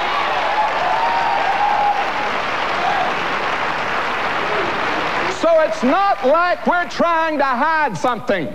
They just don't like me. Some, some Personally, I think it's political, and I think somebody's throwing some fuel on this little guy's fire. That's my personal opinion. If you want to quote me on that, you quote everything else. Doesn't make any difference whether I said it or didn't say it, whether it's upside down, backwards, or forwards, or whether it's spelled right or not. Go ahead and quote it. TV evangelist Robert Tilton today declared victory in his battle with State Attorney General Dan Morales. Morales wants to take a look at the ministry's financial records, but a judge has temporarily blocked that action. Nightbeat's Betty Smith reports.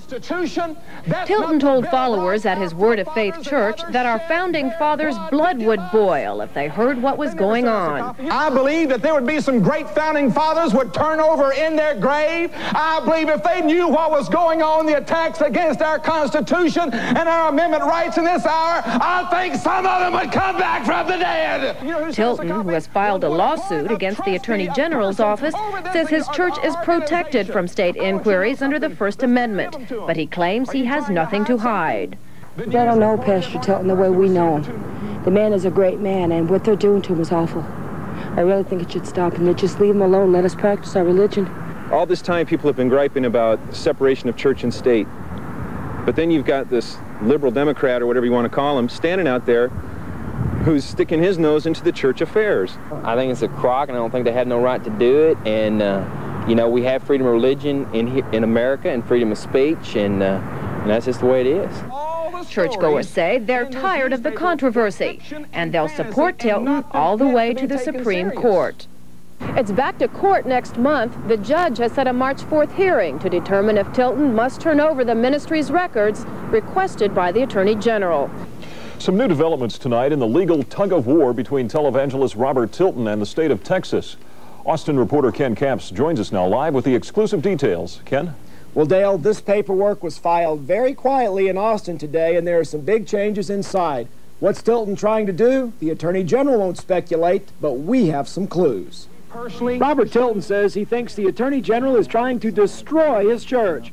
The state wants to look over the financial records of Tilton's multi-million dollar ministry. Tilton says Attorney General Dan Morales doesn't have the right to do that. He says Morales' actions violate his First Amendment rights of freedom of religion. But in this newly filed court document, Tilton drops his civil charges against several key people in the fraud division of the AG's office and drops his $2 million damage claim against the state. Two weeks ago, he told his congregation he wanted Texas to pay for trying to discredit his church. The church, you are at least two million, and the clock is ticking every day until they shut their mouths and acknowledge that there's nothing wrong here. Attorneys for both sides are being tight-lipped on judges' orders. The sources inside the AG's office tell me they think this is legal maneuvering by Tilton to avoid having to give a deposition. To detail his claims, he's losing millions of dollars and thousands of members, or to be helpful at all before his March 4th court date here in Austin. News 4 Texas has also learned Tilton was due to give a deposition in Dallas this morning and didn't show up. His wife is scheduled tomorrow. She's not expected to talk either. Television evangelist Robert Tilton was ordered by a federal judge today to answer questions about his controversial ministry in Farmers Branch. Tilton failed to appear yesterday for a deposition to be taken by the Texas Attorney General's Consumer Protection Office. Channel 8's Robert Riggs reports the Attorney General wants to question Tilton about his fundraising practices. Televangelist Robert Tilton will have to do what he has fought so hard uh-huh. not to do. Answer questions under oath about the fundraising practices of the nation's fastest growing TV ministry. It appears Tilton's $2 million lawsuit against the Attorney General may have backfired. Tilton's attorneys had temporarily halted an investigation into whether Tilton's ministry used deceptive trade practices or violated charitable solicitation laws. But the lawsuit gave the Attorney General a legal opening to take a deposition about Tilton's lavish lifestyle and explain how prayer requests got trashed outside the Tulsa Bank where Tilton deposits donations. My experience as a prosecutor leads me to believe that when someone acts as though they have something to hide, uh, they may very well uh, have something to hide. Uh, and I'm a little bit troubled by the degree of resistance uh, that we have met with so far in simply attempting to determine the facts. Tilton's lawyers say the Attorney General is trying their client in the media.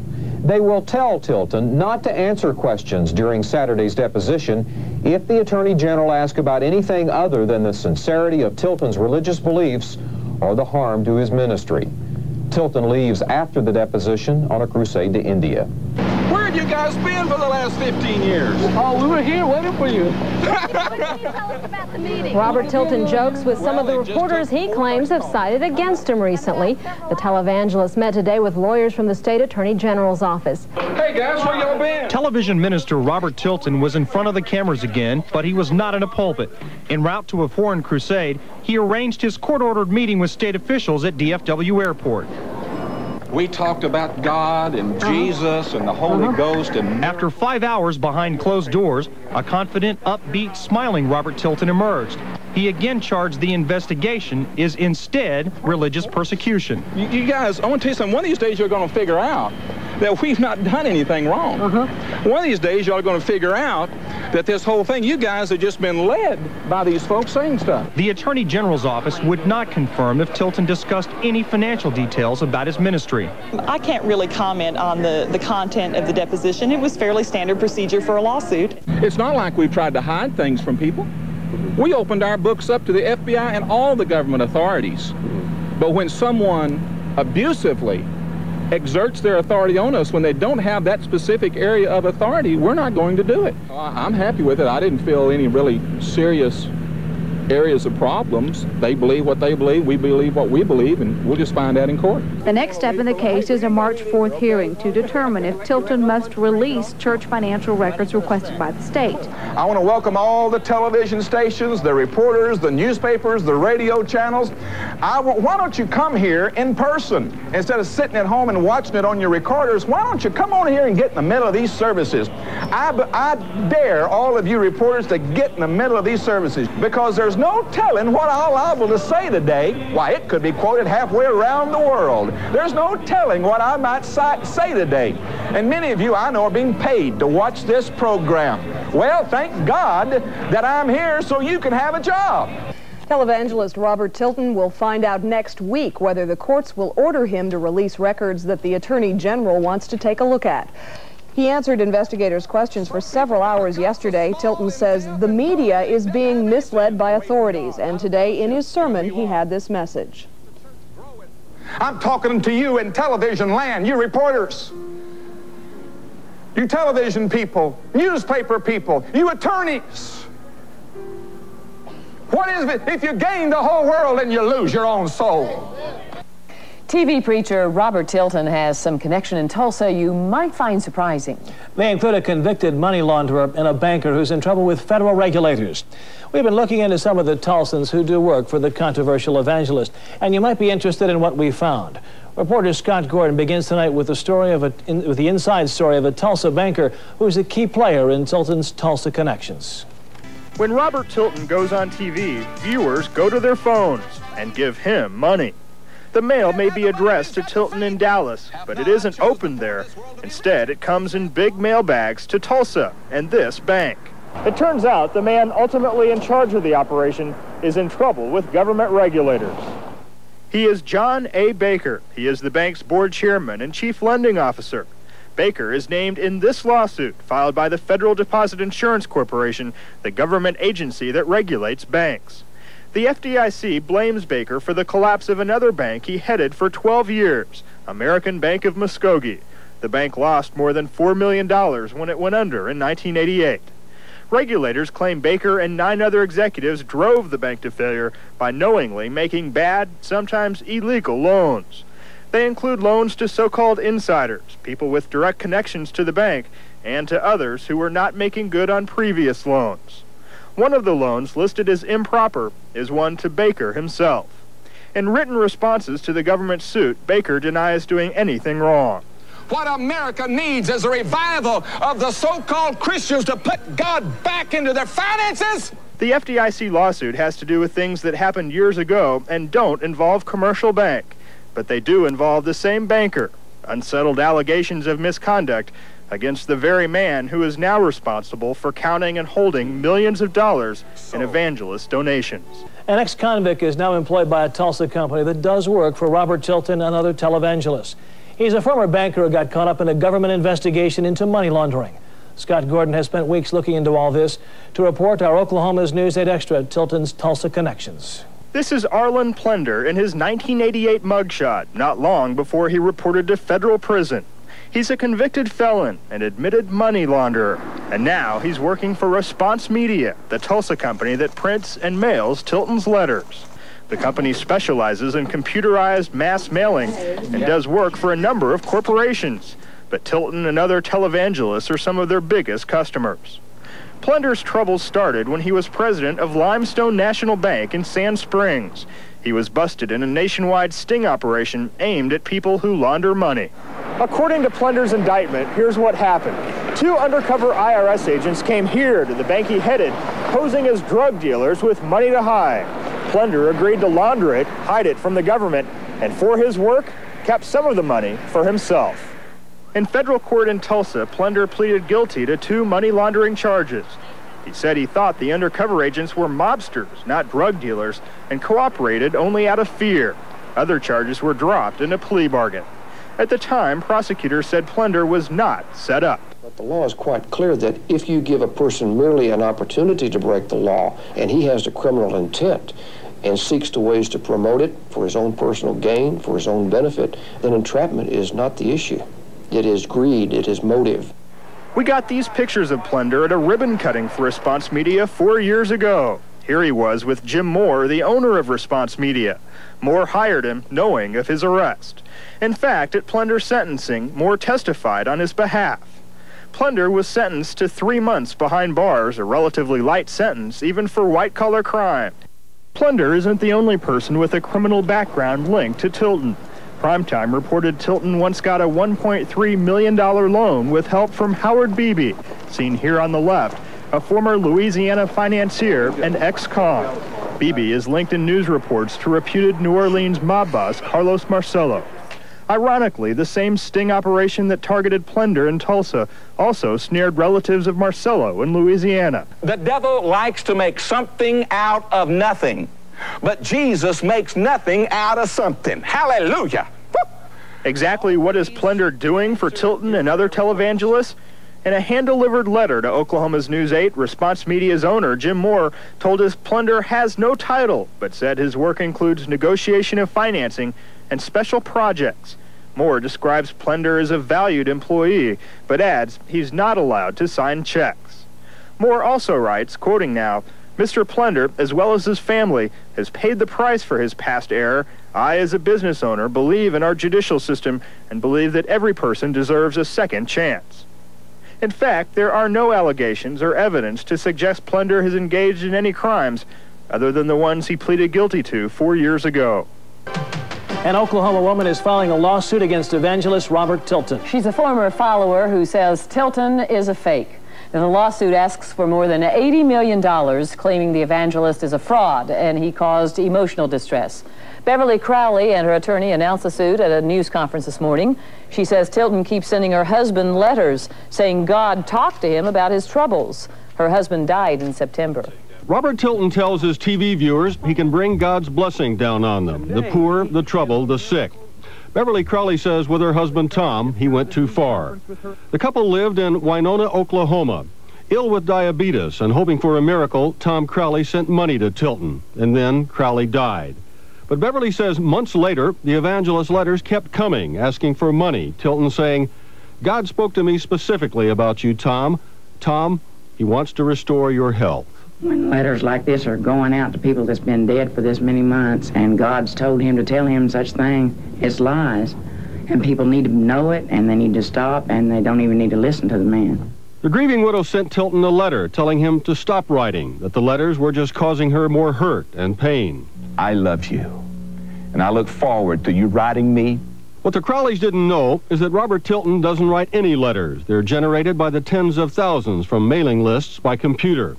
The letters didn't stop, so Beverly is suing Tilton in federal court for $40 million for fraud and intentional emotional distress. The uniqueness here is that Robert Tilton is telling uh, uh, Tom, anyway, who's dead, that God's still talking to him about Tom Crowley. It just can't be. This is the first such lawsuit against the Dallas preacher. The woman's lawyer feels other Tilton ex-followers will soon join in. Church officials contacted had nothing to say. Tilton's Tulsa attorney couldn't be reached. Beverly Crowley says if she could talk personally with Robert Tilton, she'd ask him one thing. If God really does talk to him, then why didn't God tell him her husband was dead? The Texas Attorney General is still grappling with Tilton and his lawyer regarding handing over church records. Tilton continues to say he has done nothing wrong and that the investigators and journalists are doing the work of the devil. Looking more like a revival than a trial, hundreds of Robert Tilton followers flocked to the state capitol in support of the embattled televangelist. In a classic battle of state versus church, Tilton and his wife came to Austin today to explain why they won't turn over ministry records. News 4 Texas reporter Ken Capps is just back from the courtroom. Ken, what is going on? Robert Tilton has been inside the courtroom all day. His supporters have been right here behind me outside. They brought their band, they brought their Bibles, and they brought their faith. Faith their preacher is not taking their money. Robert Tilton's believers wrapped the courthouse in their religion and in red, white, and blue believing, like their pastor, the Attorney General has no right to see the financial books of the church, that it violates the First Amendment freedoms of the faithful. So we actually felt that this was something that went way beyond our church and went into the real, real heart of what America is all about. Marte Tilton testified as the preacher's wife and church administrator. We're honest people, Marte told Judge Sam Sparks.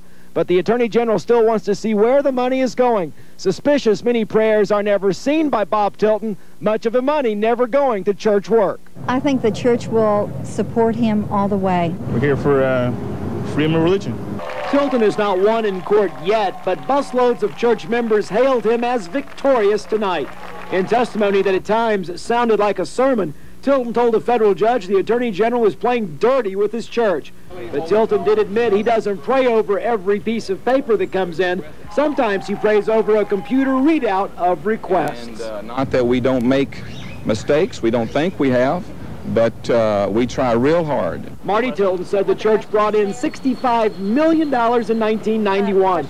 Supporters believe the Tiltons are worth every penny. Because he's bold, he speaks out the word and he gets people saved. Tilton brought hundreds of supporters to the courthouse with him. They say they're fighting for religious freedom. Sonia Van Sickle has been covering the demonstrations out here. You just came from court. Can you give us an update on what Mr. Tilton says the humiliation that he's suffered throughout this process? Well, Robert, just a few moments ago, Robert Tilton testified that he has been constantly harassed since the primetime live broadcast back in November. He says, quote, they yell at me from the golf course, they yell at me from the parking garage at the mall. Their house has been papered with monopoly money. He says we live continually on guard. Now, as you possibly can see behind me, there's still a couple of hundred of uh, Robert Tilton's supporters outside this courthouse. Tilton's well-wishers have been peaceful, but very determined. They want to bring a strong show of support for their minister and their church.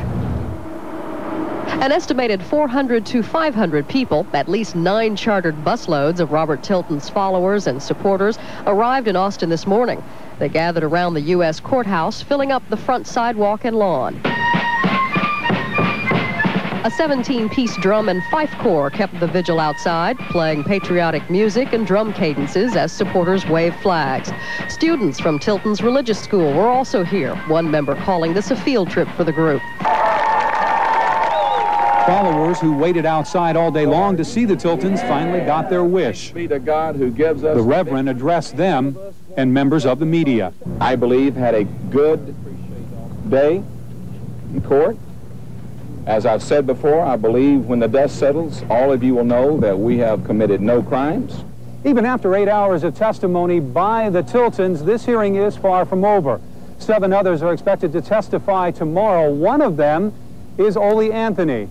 He's considered to be the thorn in Tilton's side. He's the man who went undercover to expose the Tilton ministry. Now, you saw the, the crush of Tilton followers in Austin, but not all of his fold stuck behind their shepherd after Primetime Live accused him of fraud. Today, we spoke with Roger North, a former church member, and he says ABC convinced him to get out. Yeah, but is that what God and Jesus Christ is all about? No, not at all. The opposite, you know. God and Jesus Christ are about giving money away, not making money. Roger North and his family left Tilton's flock after Primetime Live's expose on the Farmers Branch preacher. The Norths played an active role in worship for the two months they were members. Roger even sang in the choir.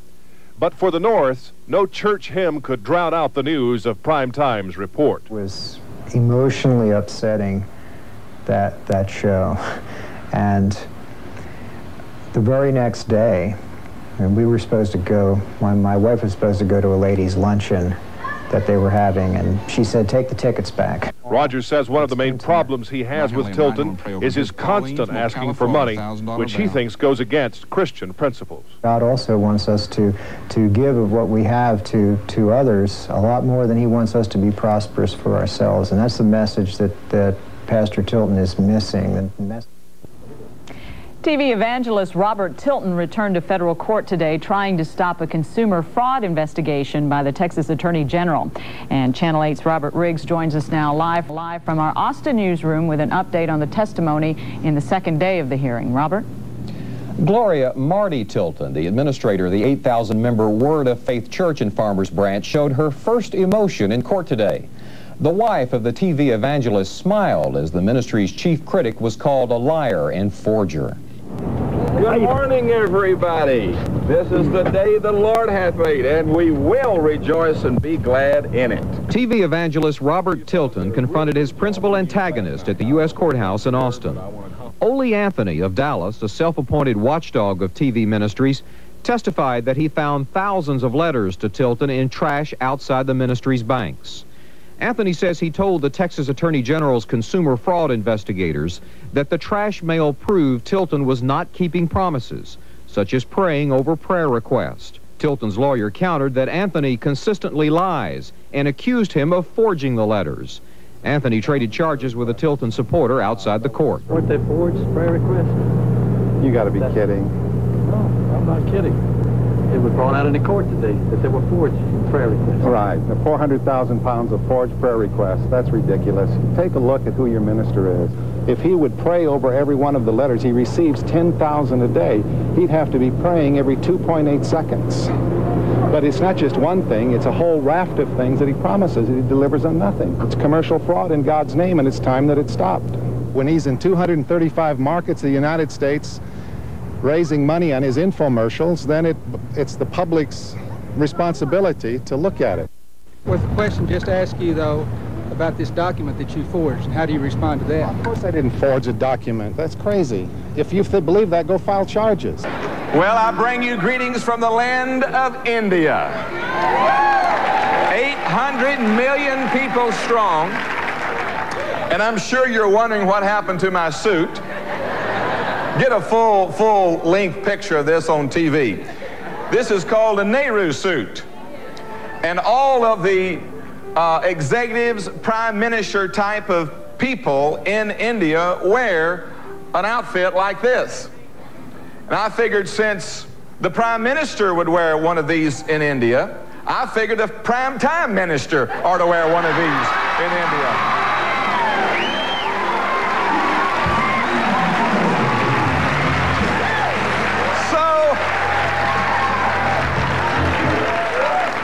Couldn't resist the temptation.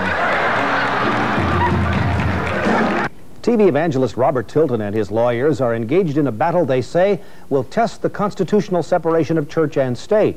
But some would argue another problem in this case, the separation of church and school. Nightbeat's Richard Ray explains. It was 4 a.m. last Wednesday when 11 buses left for Austin. On board, supporters of Reverend Bob Tilton and his wife Marte, including most of the high school students from Lexington Academy, the private school owned and operated by Word of Faith. Good morning, everybody. The Tiltons came to do battle with the Texas Attorney General over the release of financial records. The students, we were told, were part of a spontaneous outpouring of support. It's a voluntarily expression of religious freedom by all of the people. It's to show solidarity with our pastors, Bob and Marte Tilton. But when reporters attempted to ask members of the Drum and Fife Corps about the field trip, a school official quickly intervened. No question. Let's line up. This is business. Now at least some of the students and their parents say they were less than enthusiastic about the trip. That all 8th through 12th graders were given a choice. Go to Austin or stay behind and do five reports. Fearing retribution, the disgruntled students and their parents asked not to be identified. Lexington Academy also denied our repeated requests for interviews. But Superintendent Larry Lindsay did tell News 4 Texas over the phone that the choice was not five reports, but a five-hour project and one report. We worked it out with every parent that called. We excused every student who had a note, said Dr. Lindsay. We were not arbitrarily coercing kids. When we were upstairs and the, the, the fife and drum corps were playing the songs, it was hard not to cry. You know, it was so beautiful. Even the parents who complained about the Austin trip were quick to point out that Lexington is a good school academically. But a majority of the upper grade students do not attend Word of Faith, and a few at least were not eager to be enlisted in the very public battle being waged by Pastor Tilton and his lawyers. The state is trying to force the Tiltons to turn over certain financial records for an investigation into possible marketing fraud. U.S. District Judge Sam Sparks has given both sides until tomorrow to submit more evidence. He's promised to rule sometime in the next two weeks. Okay, Rich, thank you very much. While they're coming, I want to show you my Bible. My Bible got wet yesterday.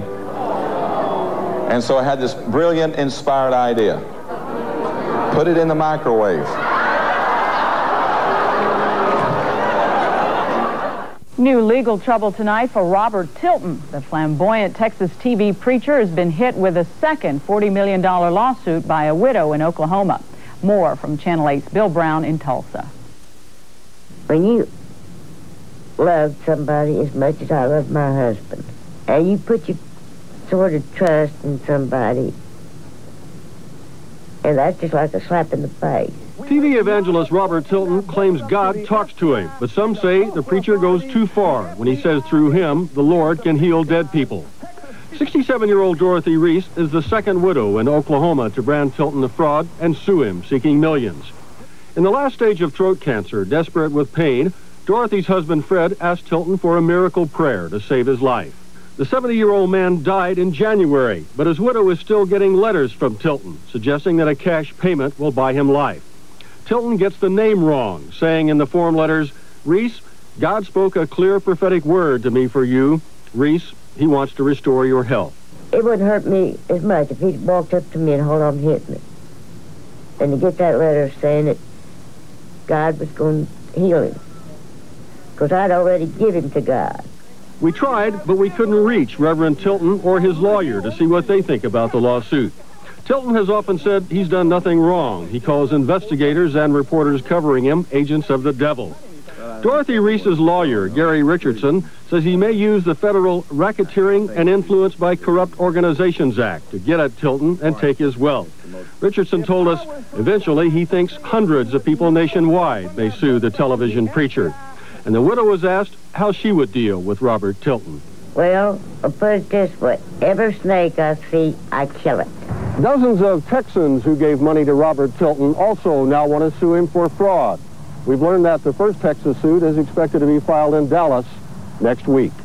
Robert Tilton has reason to rejoice today after a partial victory in an Austin court. But it was not a total win for the Word of Faith ministry. Attorney General Dan Morales will be able to look at some of the Reverend's records. Joining us live now from our Austin Bureau is Joe Cruz, head of the Attorney General's Consumer Fraud Division. He's playing a key part in the Tilton investigation. Mr. Cruz, thanks for joining us today. Sure. Does this ruling mean that your fraud investigation of Robert Tilton is essentially dead in the water? Absolutely not. The uh, uh, investigation uh, will continue. In fact, it now has new impetus because the federal judge has given us specific authority to go after specific financial records of the ministry, and that's uh, basically what we've been looking for from the beginning of this investigation. Does this ruling today have any larger implication for other churches out there? Does it uh, somehow uh, put new restrictions on uh, what records the state can look at uh, at a church? This ruling with respect to uh, our ability to continue our investigation has uh, no impact at all and it's not any change in the law. There, there were some other rulings made by the court that we intend to appeal to the Fifth Circuit uh, that we think uh, dramatically change some aspects of the law that limit our uh, investigatory authority under other consumer protection statutes. Okay, so despite the ruling today, uh, Texas Attorney General's office is going ahead with its fraud investigation of Robert Tilton. Full steam ahead. Cheering church workers and members hailed him as a conquering hero as Robert Tilton walked in, basking in the glow of victory. Amid reports of fraud and deception of television viewers, the Texas Attorney General has been digging into Tilton and the way he does things. The minister has battled back, refusing to turn over his records. Now, a federal judge has slapped down the AG's office and citing separation of church and state, sharply limited the records lawyers may have. All of it makes the Reverend a most happy man. Is a tremendous victory. In fact, it's probably one of the greatest victories in recent years for the First Amendment rights of freedom of religion for all. Two widows in Oklahoma are now suing Robert Tilton for $80 million, saying after their husbands died, Tilton still sent letters asking for cash, offering the healing of God. Clearly, Tilton did not want to talk about that. Uh, I'm not going to make any statement. Can I heal dead people? No.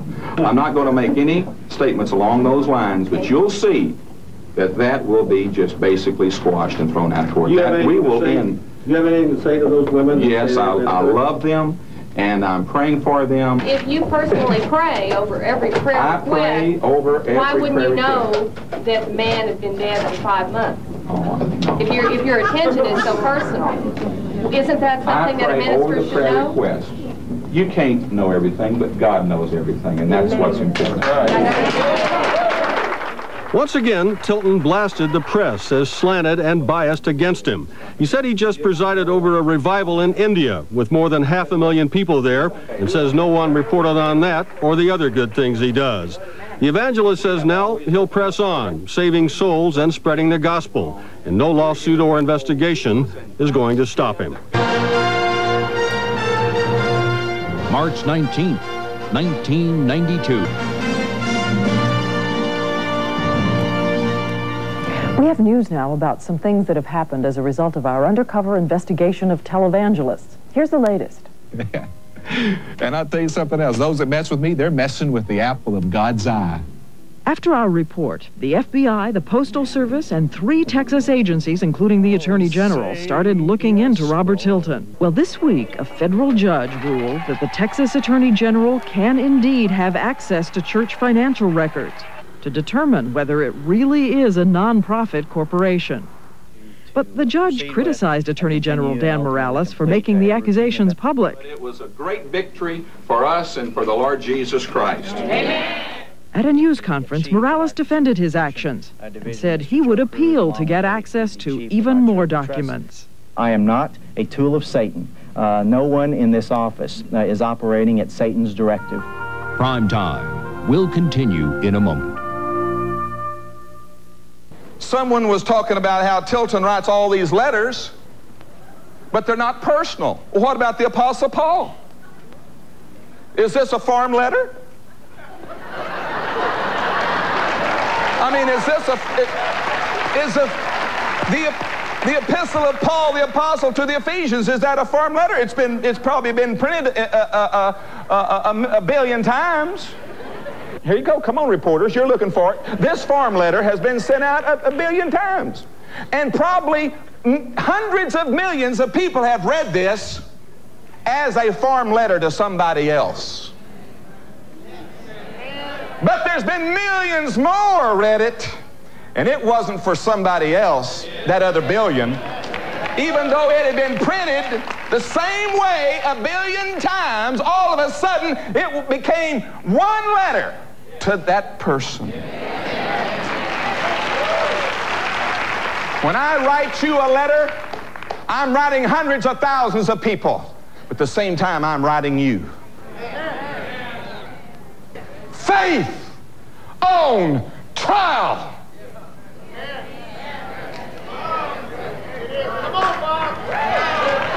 Faith on trial. That's the court case that's going on. And it's more than in the natural. It's spiritual wickedness in high places.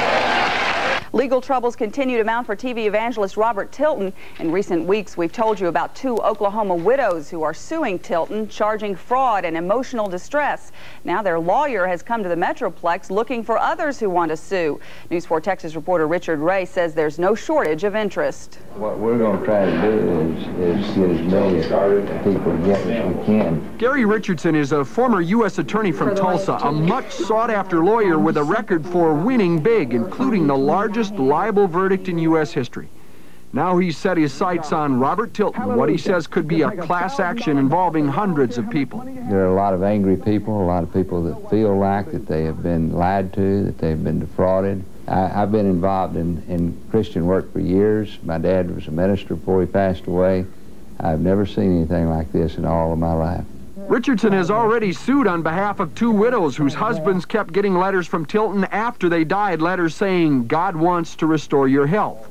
Rose Rowney of DeSoto was another who feels victimized by Tilton mailings. They started when her son developed a heart problem and continued despite her written and telephone pleas to stop. And I said, my son died two months ago and I don't want anything to do with you. I said, you people have harassed me till I'm sick. Rose never gave the ministry money, but Pagine Vega did. Eight or nine thousand dollars, she says, until hard times forced her to ask for help. On the phone, they were behind me a hundred percent. But when I showed up at their front door, they wanted nothing to do with me. Richardson believes he can prove commercial fraud in court, and if he does, the plaintiffs in the lawsuit could win everything Tilton has. This mission is far more than just about money, far more. We welcome all of you that are joining with us this beautiful Sunday morning right here at Word of Faith Family Church. And if I were you, because I know what's going to happen today, some of it. If I were you, I would not change that dial. Today is going to be a history-making service. It's going to be the most unusual service, as far as I know, the kind of service that has never, ever happened before in the history of Christianity. And by the way, all of you reporters and media and press people, we're so glad you're in our services today by videotape. And I just pray that when you make your edits today, you'll always find the best views and shots and that you won't turn things around. And uh, frankly speaking, the more I get to know many of you that are reporters, many of you are, I've found to be just really great people working very, very hard to earn a living. So really, I, I don't have any problems with you, but I do like things put in the protect, correct uh, uh, sentence structure and to and to and to say the good things I want you to say. I've asked uh, our attorney, uh, J.C. Joyce, to be here with us today, and we have some things that have happened, and he does a better job explaining them legally, and I do a better job explaining them scripturally.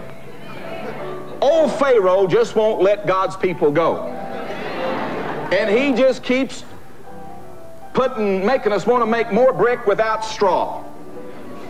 And trying to make things tougher and harder on us to stay in the ministry to, to help more people and save more souls.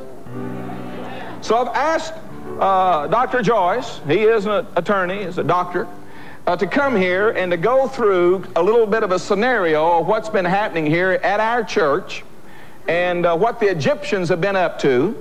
And uh, uh anyway, we do have some very serious matters to deal with today, and uh, uh, JC is going to go through them with you, and, and then I'm going to come and I'm going to have some more things to share. Thank you, so, Dr. Joyce, the pulpit is yours and the press, the cameras, the media, I'm sure they're on the phone by now.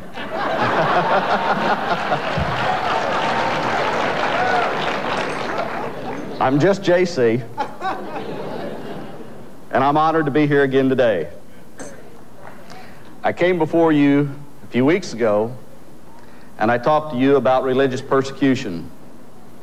And I think that you have seen by now what I said was all but prophetic. You have seen the religious persecution of this church. You have seen it beyond anybody's comprehension. I want to cover Ole Anthony. I hate bitching in the man's name in the house of God. But I'm going to show you because this man's been the darling of the media and the thousands of words that have been printed, uttered out of his mouth are appalling to me. And what I'm going to show you just easily and quickly what a liar this person is. And I'm not prone to stand up and call a person a liar if I don't have the proof. I've got it out of his mouth. And the Bible says you'll be convicted out of your own mouths. And you'll remember this, and media, you'll remember this. They started off this yellow journalistic piece at Diane Sawyer's saying, We told this man, we were me media consultants for this man, Ole Anthony, a Dallas minister, and that we wanted to set up a big time ministry like Robert Tilton's. That was a lie. Testified under oath that Diane Sawyer's ABC came to him and they wanted to do an investigative report of Robert Tilton and these other ministries, and that's why they were there, to do an investigative report, not to hire the man. And so you, everything there is a lie. When you start with a lie, it goes downhill. Another little lie, you'll remember that you've seen this man on television. He said, we were getting the stuff out of the dumpsters. Employees came by and they said, what are you doing? We said, oh, man, nothing, man, we're just getting cans. Well, that's just a lie. You know, lies just trip out of his mouth just like that. That man, every time he opens his mouth, tells a lie. And that man is a religious bigot. He doesn't believe in this religion. He has made it his goal for 12 years to attempt to destroy this church. He told this lie, and he made the lie so big that people believed it. He got all the governmental agencies together, led and orchestrated by the Attorney General. And now he's got an attorney that's going to file civil suits against the church. And I say, he's got it. That man was on television recently, and I looked, and sure enough, in the background there was Ole Anthony, and that was Ole Anthony's office, and that was Ole Anthony's garbage that was on the wall. And that man is also a bigot because he said he came to this church twice and it made him sick. Now, if that's not a bigoted statement, I don't care what the man believes, but to go into someone else's church and say that this religious service makes him sick, is proof positive of bigotry. This church, Marte and I, our family, has been ridiculed, persecuted, bullied, muscled by religious bigots. We've seen them consorting together, and we know that they have one agenda in mind and that's to come of anything to save their face, to say there's something wrong. So we have made a decision today. Actually, we made the decision Friday. We decided that we did not need the Texas Nonprofit Corporation. Listen closely. So what we did, we opened a brand new church that is not incorporated as a nonprofit corporation in the state of Texas, but is simply a legal, legal church. We are not under the authority of a Texas nonprofit corporation any longer. Because we are not, what does that, you say, Bob, does that mean we're no longer tax? No, we're still tax exempt. You still get to write off your income taxes. We're still respected by the IRS. We're still under the authorities of, of, of criminal authorities or the authorities of, of uh, uh, the United States, like the FBI. We're not saying that we've done this so that, that we're not uh, under uh, any longer under uh, government authorities, but we're saying the Attorney General does not have jurisdiction over us as a church. Well, why did you sign up on that nonprofit corporation to begin with? Because we were just told to in those days. We didn't know it didn't buy us anything. And I'll tell you something, you pastors and parishioners of other churches, if you're incorporated in the state of Texas, you better get rid of that thing and you better get rid of it in a hurry. You say it can't happen to me, you don't know when they're going to zero in on you and try to put the heavy hand. You don't know when Ole's going to get after you and decide he doesn't like you or lie about you or try to stir up lies about you. This is the News 8 Update. So at this particular moment, you, those of you that were members of Word of Faith Inc., uh, you don't have a church anymore. That would like to... The embattled Word of Faith television ministry changes its name and its status. Pastor Robert Tilton says the ministry is no longer a nonprofit corporation. Tilton says he and his followers are going to cross the Red Sea to a place where his enemies cannot go. But as Channel 8's Anita Vanetti reports, the formation of the new Word of Faith Outreach Center Church won't protect Tilton from legal questions he still must answer. If there is any fixed star,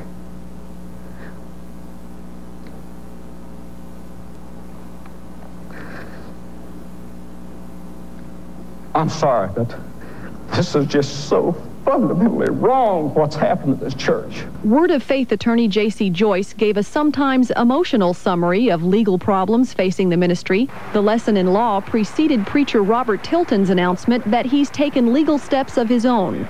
That is, the Word of Faith nonprofit corporation is dissolved, and the new Word of Faith Church is born. We gave all of the assets, all of the facilities, all of the legal liabilities, is that right? Yeah. We gave everything, now listen closely, press.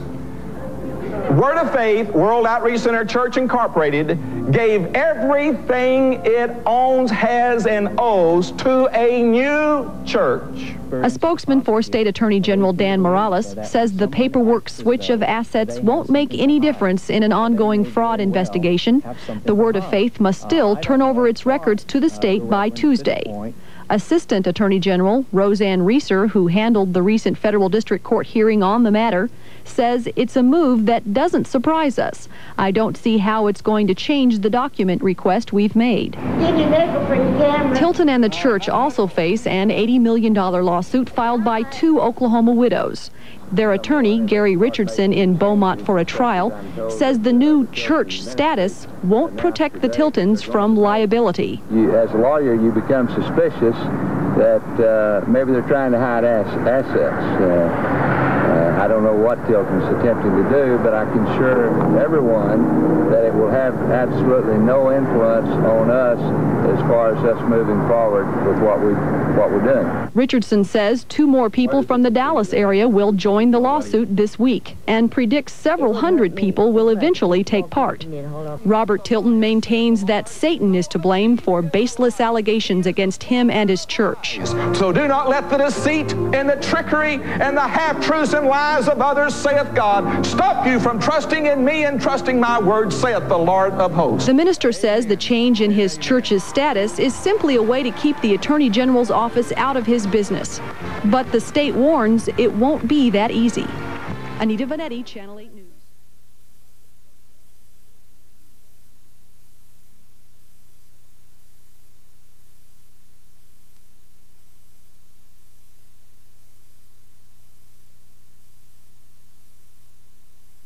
Dallas TV evangelist Robert Tilton now faces a new criminal investigation by the Texas Attorney General. And tomorrow morning, two Dallas women who claim Tilton harmed their lives are expected to sue the preacher.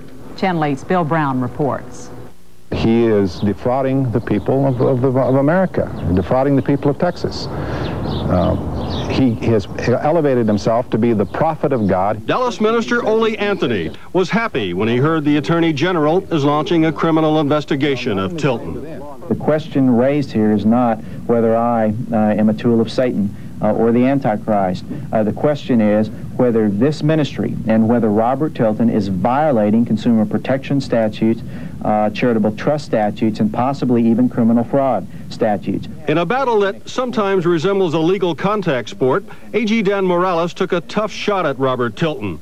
Morales says he will not only see if the pastor has broken the law, but he will share what he finds with federal investigators with the IRS and the U.S. Postal Service. Dan Morales did not call me to preach, and he didn't hire me, and he can't fire me. We wanted to get Reverend Tilton's side of the story, but he is said to be in Hawaii. His main lawyer, J.C. Joyce, is also unreachable in California. Tilton's attorney in Austin claims Morales is doing this because earlier a federal court ruling went against him. She said, the Attorney General is intent upon continuing to persecute this church. The Tiltons are appalled that Morales would try to save face after losing miserably in court. There is no legitimate basis for a criminal investigation. I'm very proud of the Attorney General that he took this action. It took a lot of courage. Anthony feels Morales is simply doing what he has to do. He didn't want to file criminal charges at first because he didn't want to embarrass the Universal Church. The idea of filing criminal charges against a pastor is an embarrassment to all of us that name the name of God. I think he was trying to be kind, and I think now he's taking the gloves off. The Dallas minister claims in every piece of mail he sends out, Tilton commits 16 counts of postal fraud. On Friday, the first Texans will file suit against Tilton, joining two widows in Oklahoma who earlier sued. We've learned that two Dallas women will now sue. One is dying of cancer and sent money to Tilton after seeing his television show. After she came down with cancer, she will claim, she was so swayed by the preacher, she turned away from medical help and felt a miracle from Tilton would heal her. The other woman we're told who will sue is from Holland. After tithing for years to Tilton and his church, she came to Dallas to be near the pastor. She will claim in suit she later had hard times and sought help from Tilton, but was turned away. And how does Tilton's chief accuser feel all of this will turn out? This way, but if he doesn't do the act of beginning the process of selling what he has and giving to the poor, I believe he'll end up in jail and this church will be a parking lot. Now, Pastor Tilton has asked me to uh, read a statement that he has prepared for you this morning. I am shocked and appalled by the continual abuse and unethical actions by the Attorney General of the state of Texas, Dan Morales. Once again, he is harassing us and making negative statements about me, our church, and my ministry. He is now publicly saying he is investigating me for criminal fraud. Obviously, he has not read, nor does he show respect for the federal judge's permanent injunction along these lines. It appears his motives are political, and he is slandering our church to draw attention to himself. The Attorney General's office has met several times with a garbologist, a man who has lied about my ministry for years.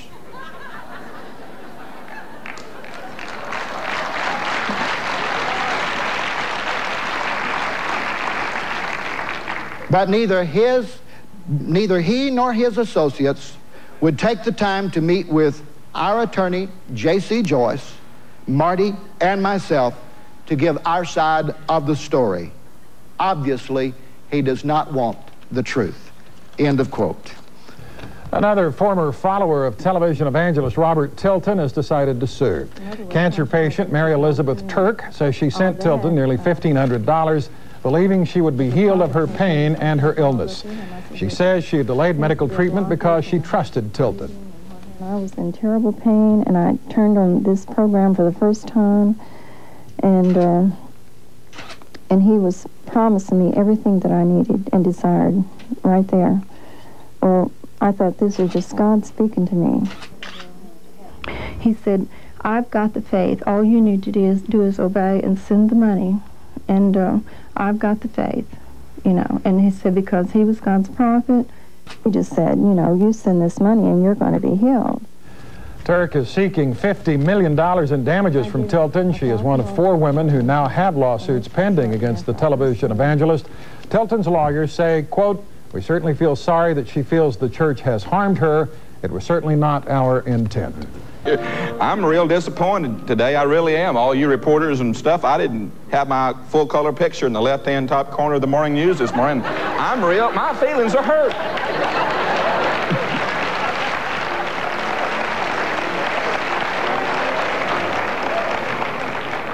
And I heard they were going to picket us today, you know, and going to have, all, I mean, you know, just hundreds and thousands were going to come, and I heard one was out there.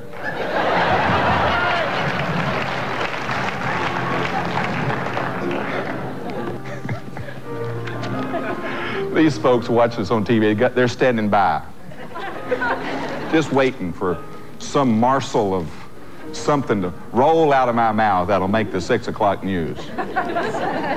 Still ahead, putting your faith, your health, and your money in the hands of televangelist Robert Tilton. I want you right now to make a vow of a $1,000. It's a plea that's paying off, but for whom? The Texas-based television evangelist is under criminal investigation for the way he operates his Word of Faith ministry. In addition, Tilton faces civil suits from people who charge he did not deliver on a promise of miracles for money. CNN's Tony Clark reports. There's people out of jobs. Mary Turk spends most of her time lying down. The 67-year-old widow is terminally ill with colon cancer. For much of the past two years, she avoided going to the doctor waiting instead for her illness to be healed through televangelist Robert Tilton. He said, um, whatever your need is, if you need healing, or if you need a financial miracle, or whatever your need is, you can have the desires of your heart. I'm telling you, this is the way you can break the curses. But as Tilton says repeatedly in his television programs, there is a price for miracles. I want you right now to make a vow of a $1,000. T H O U S A N D. Why do you say a thousand, Bob? Well, I've given hundreds, and I've given fifties, and I've given five hundreds, and I like a thousand. Once on the mailing list, Mary got a flood of letters from Tilton's organization, and she responded with checks. But as the weeks passed, there was no miracle, only more letters. And when the letter would come in the mail, I think, oh, wonderful, this is the day. I'll get my miracle today, you know? And, um, but I have to write another letter and send another offering. Mary sent Tilton around $1,500 from her Social Security benefits and her husband's life insurance. And though she was in pain, she refused to go to the doctor, believing that that would be a sign that she lacked faith. We believe there are thousands of Mary Turks out in the hinterlands of America. Ole Anthony heads the Trinity Foundation, a nonprofit group he set up nine years ago to, among other things, monitor the activities of religious broadcasters. Later this month, Anthony plans to have a toll-free number available for people to call who feel they've been victims of televangelists. It's one of the saddest things that exists in our society that these alleged men of God have taken advantage of the widows and orphans that are in our society. And I believe that that means, you know... Four women, including Turk, are now suing Tilton, and the Texas Attorney General is pursuing a criminal investigation.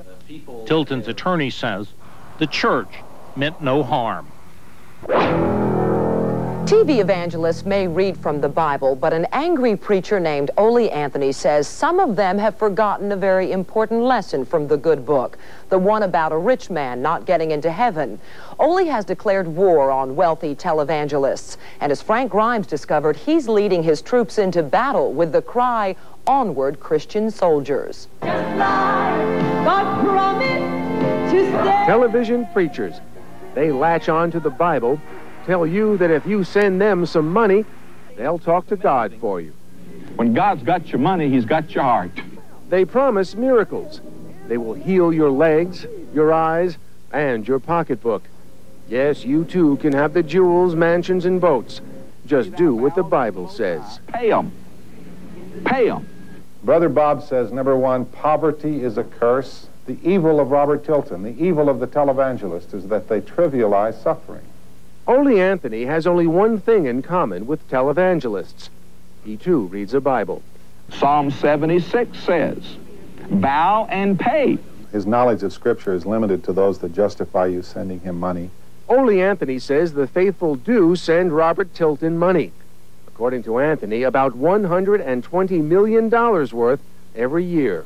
Welcome to real Christianity. Not so, says Ole Anthony. 20 years ago, he created the Trinity Foundation here in Dallas, Texas, as the antithesis to and a watchdog against televangelists. Trinity has grown into an organized community, but only Anthony does not solicit money. He offers no miracles. Anybody that would come here has to be off his rocker a little bit because you don't get anything here except a sense of peace. You're promised nothing. You have to work your little butt off 24 hours a day. Many of these folks were crack addicts, convicts, and homeless before coming to Trinity, where material rewards are meager. It's friendship. That's the biggest payoff, and being accepted without, you know, unconditionally, you know, without any strings. Ole Anthony mocks religious bigots by describing himself as a Jew, a Muslim, and a Christian. He is using his talents as a former U.S. intelligence agent and businessman yeah, is... to wage a holy war against TV preachers, especially Robert Tilton. Ole Anthony has a whole room dedicated to explaining how Tilton works. This is the televangelist Wheel of Fortune. It starts out in Dallas at the television studio where they have 800 people working most of them taking phone calls 24 hours a day. The object is to get names and addresses, names and addresses. Names and addresses are what feed the Wheel of Fortune. Anthony says every two weeks, Tilton's people send stuff like this to 880,000 households. A prayer cloth or maybe a prayer cord with attached literature explaining what to do and where to send it with your vow. According to Ole Anthony, Vow means money. And that, along with the $1,000 you send him, will cause your miracle to come to pass. It's just, it's a heavenly Las Vegas. It's worse than Las Vegas. Ole Anthony says it only gets worse. He says that during a month and a half period, he and others found 15 tons of these prayer requests in the garbage behind a building involved in Tilton's operation. These are prayers, prayers, prayers that we found in the trash, bundles, thousands of prayers. And of the people's sincere prayers that they sent in, they just took the money out and ran. Robert Tilton has denied any fraud in connection with his organization and claims that someone planted the prayer requests in the garbage. The Trinity Foundation has established an 800 number for alleged victims of televangelists. Tilton is currently under investigation by the Texas Attorney General's office. I've said this often that I don't want to see these men in jail. I don't want to see Robert Tilton in jail. What I'd like him to do is sell all he has, give to the poor, and start following the real Jesus. There are more legal problems for the embattled TV ministry of Robert Tilton. A fifth widow has filed suit against Tilton. Norma Smith's attorney calls the lawsuit against Tilton the pledge from the grave. Norma's husband Tommy mowed yards to send money to Robert Tilton. Tommy dies, but continues to get mail from the ministry telling Tommy to pay up his pledge. The problem, the date of the pledge, is after his death. I think that he's a fraud. I think he's ungodly. I don't think he's a, a, true disciple like I thought he would and many other people think. He don't know us. If he did, like I said, he would know that my husband was dead. Either God or Reverend Tilton has got their, got their wires crossed. And I want a jury to determine who's telling the truth. If more lawsuits are filed, Tilton may be spending more time in court than here at his church. Tilton's Tulsa attorney tells me today in response to this latest suit that Tilton meant no harm to Mrs. Smith. My mama didn't raise no fool. This is my bulletproof vest. Said, this is my bulletproof vest, the Word of God. That'll make a nice bite for you. If you, if, if you cannot handle your pastor prospering, then you need to find another, another church. Because you're in the wrong church. We have purchased all of the airtime on a television station here in Dallas. 24 hours a day of television broadcasting from Word of Faith. We're going to have our own TV broadcast 24 hours a day right here in Dallas. 24 hours a day. 20, it's called, we're going to call it the Power Channel. Behold, I give unto you power to get well. Power. Can you imagine when our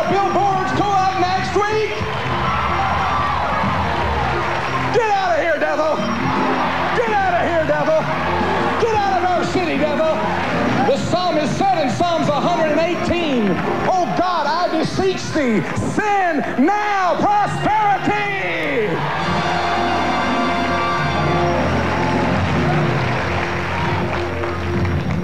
And you know the whole city is going to tune in and watch it. You know, with the kind of press that we have, everybody watches everything we do. I bet those other networks are shaking their boots. Television evangelist Robert Tilton today is facing still more multi-million dollar lawsuits. And the colorful preacher is getting ready to preach on television around the clock, as Channel 8's Bill Brown reports. I believed in his ministry and I was hurt. Andrea Johnson says she turned to a man of God for help and healing and instead was handed lies and cheating.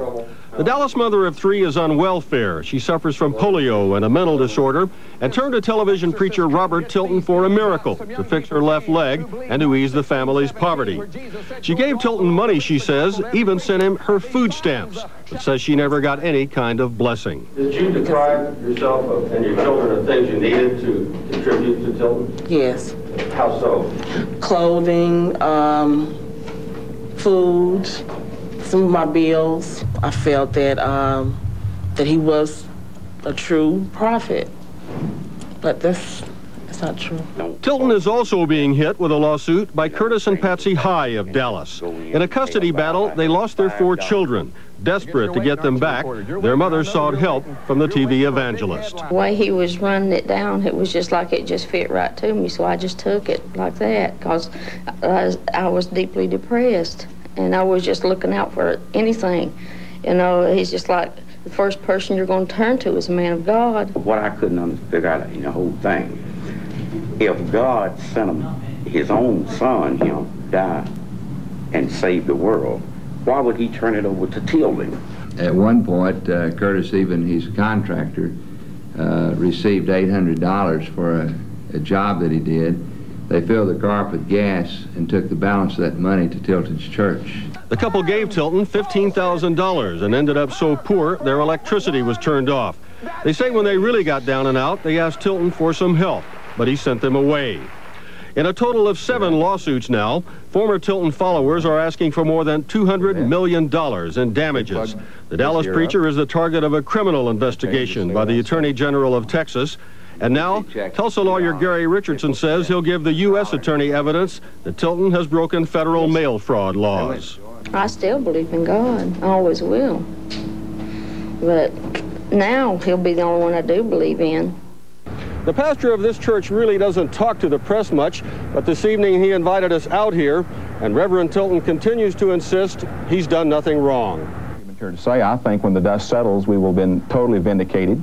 Uh, I think that uh, we have not done anything legally wrong and uh, uh, I can't really comment, comment on what I haven't seen or heard. It amazes me that these uh, attorneys always have a press conference to announce uh, more things they're doing. And I think it's just people getting on a bandwagon thinking they're going to get a bunch of money. And I, I have several adversaries out there that um, I think, frank, frankly, are just very jealous of our success and have personal vendettas to destroy this church and ministry.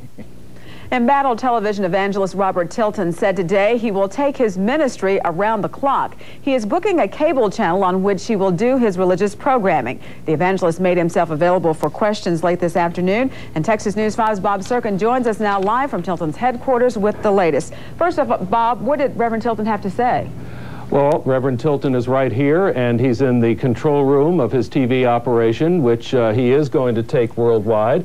But uh, you're prophesying. Well, uh, first of all, I got to ask you about the news of the day, and yeah. that is uh, two more lawsuits yeah. filed against you, a total of seven. Uh, a woman who claims that she sent you two thousand dollars food stamps yeah. uh, well, first in of return all, we, for healing? We don't uh, receive food stamps.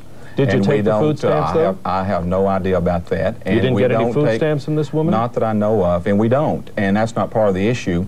But we feel like what these is the lawsuits... Issue? What is the issue? They're very frivolous. There is no legal content or substance to them. But a woman says that she gave you $2,000 in food stamps. Yeah, I know nothing about that. And that, you know, and, what you about know, the couple who says they gave you $15,000 to reunite them with their four children? I know nothing about that. And I'll tell you something. Is all of this out of thin air? I, Where does this come from? I think it just comes from some some people being victimized by attorneys and people with hidden agendas. I think totally I think baseless. I charges. think it's baseless, frivolous. Now, I don't doubt these women do not have sincere hurts in their lives lives because I help hurting people. Yeah. But I think they've been victimized. But seven lawsuits. Seven, seven, lawsuits. They're all Could they all be wrong? Absolutely. And that we will be vindicated when the dust settles. I hope you put us at the top of the hour. All right, there it is, uh, Reverend Robert. Don't forget Tilton. the 24-hour channel. That's what Reverend you said Robert you're going to talk Tilton, about. Uh, telling us, uh, giving us his reaction to these lawsuits, numbering seven now. This reporter was interviewing me this week, the one that was such a jerk on Channel 5.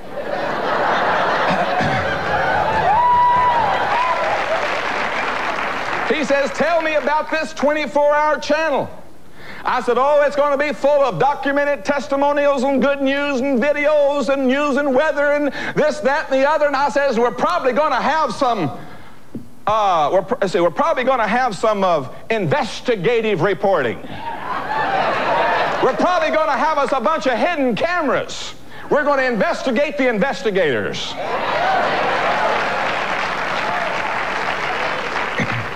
He ought to be the first one investigated, anybody disrespect like that. You know, we've got some folks right now that are real aggravated because they didn't get their prayers answered that they sent in to me. And uh, actually suing me because they didn't get their prayers answered. Believe me, that is ignorance gone to seed.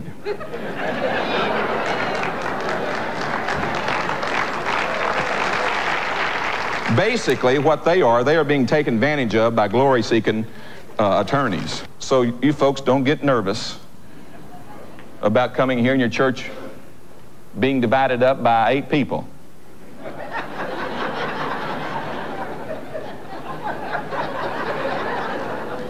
if anybody ought to sue anybody, you folks are to sue somebody trying to steal your church. TV evangelist Robert Tilton says he doesn't answer people's prayers, God does. And if God doesn't give you what you want, Tilton says, don't be mad at him. It works for some and doesn't work for others. And if you want to get mad at somebody, get mad at God. Don't sue me. We base our healing and our prosperity on faith, and faith is something you cannot see, and you cannot sue something you cannot see. It has nothing to do with faith. It has to do with commercial fraud in the name of God. He's ludicrous. Of course, he's going to be sued so many times it's going to make his head swim. There's hundreds and hundreds of lawsuits that are forthcoming. Ole Anthony says the trouble for Tilton is just beginning. Later this month, Anthony will have an 800 number for people to call to report problems with televangelists. I'm going to be talking about financial breakthrough. Financial breakthrough. You mean we don't have to be sick and tired of being sick and tired and broke anymore? Oh, you don't have to be broke anymore. That's the choice that people make is being broke. When you get into the Word of God and you find out what God's Word has to say, it changes your life. I can hear someone right now in the religious crowd. Watch out for those prosperity preachers. Can't you hear it? Just echoing. No, watch out for those that tell you God wants you poor. You can't preach the gospel if you're poor. He maketh me to lie down in green pastures. You know what that word, you know, I, th- I was reading that word green. Boy, I mean, I got to thinking about dollar bills. Then I got to thinking about $5 bills. Then I got to thinking about $20 bills. Then I got to thinking about $100 bills. Lord, just make me lie down in the green. oh, yes, Lord. Let me lie down in the green. I want to be in the green, Lord. That'll make good television coverage. I think I've been misled. yeah, I feel betrayed. It's getting to be a familiar scene. A disgruntled Robert Tilton supporter sits next to Tulsa attorney Gary Richardson and announces a lawsuit. Eileen Gaines used to tune in religiously. Yeah, I was listening to him every morning. I made him my business to get up every morning to hear him. I prophesy abundance into your life. Gaines says she believed sending Tilton money would solve her financial problems. She says she paid him about $2,500. At Christmas, she says she couldn't afford presents for her kids. And I asked for a loan. And I told him we would repay it. When I never heard from him. This makes at least eight people who are now taking Tilton to court accusing him of fraud, and the number just keeps growing. So far, none of the cases has actually gone to trial. Attorney Richardson says he's still considering what's called a RICO lawsuit against Tilton that would accuse the entire ministry of being a scam. We tentatively uh, are trying to uh, schedule a deposition for Robert Tilton uh, around mid-June, and we will be seeking uh, uh, all kinds of records and documents. A federal judge up in Tulsa has tonight rejected a plea from Dallas TV evangelist Robert Tilton to shut up his critics. Tilton went to federal court up in Tulsa today trying to silence those who claim he defrauds his followers preaching the gospel of greed. Televangelist Robert Tilton admits tonight his ministry has lost viewers and lost contributors since a number of former believers started filing fraud suits against him. In Tulsa today, Tilton's lawyer, J.C. Joyce, asked a federal judge for a restraining order to stop the TV preacher's enemies from making alleged libelous and slanderous comments that are chasing away his followers. Among those Tilton wanted to shut up is Ole Anthony, whose Dallas-based Trinity Foundation has led the way in exposing Tilton's style of preaching. But he's taken the teachings of Christ and based on half scriptures developed a theology that justifies greed. Justifies commercial fraud even. The lawsuit, as I read it, is an act of fiction. He accused me in it, as you saw earlier, that uh, uh, I duped ABC News, Primetime Live. I, I duped Diane Sawyer into uh, believing that uh, Tilton was a bad man when he was in truth this wonderful, wonderful person. Signs! Evidence! Proof! Reverend Tilton is furious at things people are saying about him, and in federal court he oh, fired back. Tilton claims his enemies are out to destroy him and his church and deny him his constitutional right to practice his religion. He asked the judge to force them to pay an unnamed amount of money, plus order all of them not to make false and malicious statements about him or imply he has broken the law. Let him go talk to Mary Turk, who's going to die of cancer because of his activities. Let him talk to the uh, hundreds of people who gave him everything they owned and then came to the church for help and they were turned away because they said, uh, we don't help people here. Our mission is to preach the gospel. Uh, that's just ludicrous. We figure that we've cost him $5 million a month since uh, we started uh, exposing his fraudulent activities. And are you suggesting that he's retaliating because you're taking money out of his pocket? Oh, of course, that's the only reason. In his lawsuit, Tilton's attorneys write, quoting now, the firestorm of negative media coverage is being fueled by Ole Anthony and fanned by Gary Richardson for the purpose of destroying Tilton and his religious rights.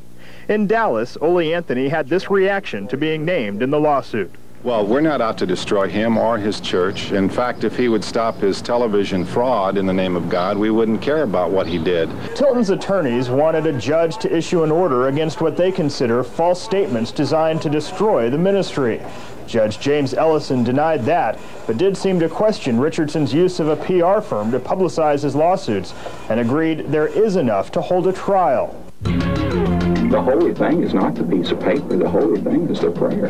Tonight on the News 8 Update at 10. New information in a News 8 exclusive. Robert Tilton's controversial prayer requests. And what happens to the actual document? It's all in.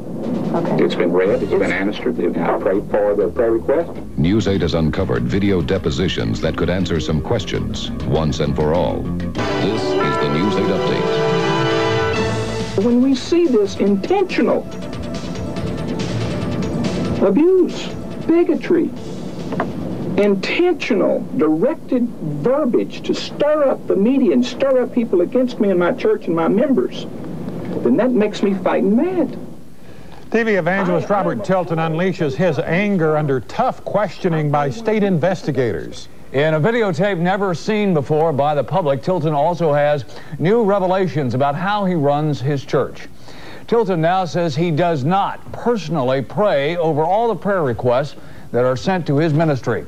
That admission comes in a new videotape deposition obtained by Channel 8 News under the Texas Open Records Act.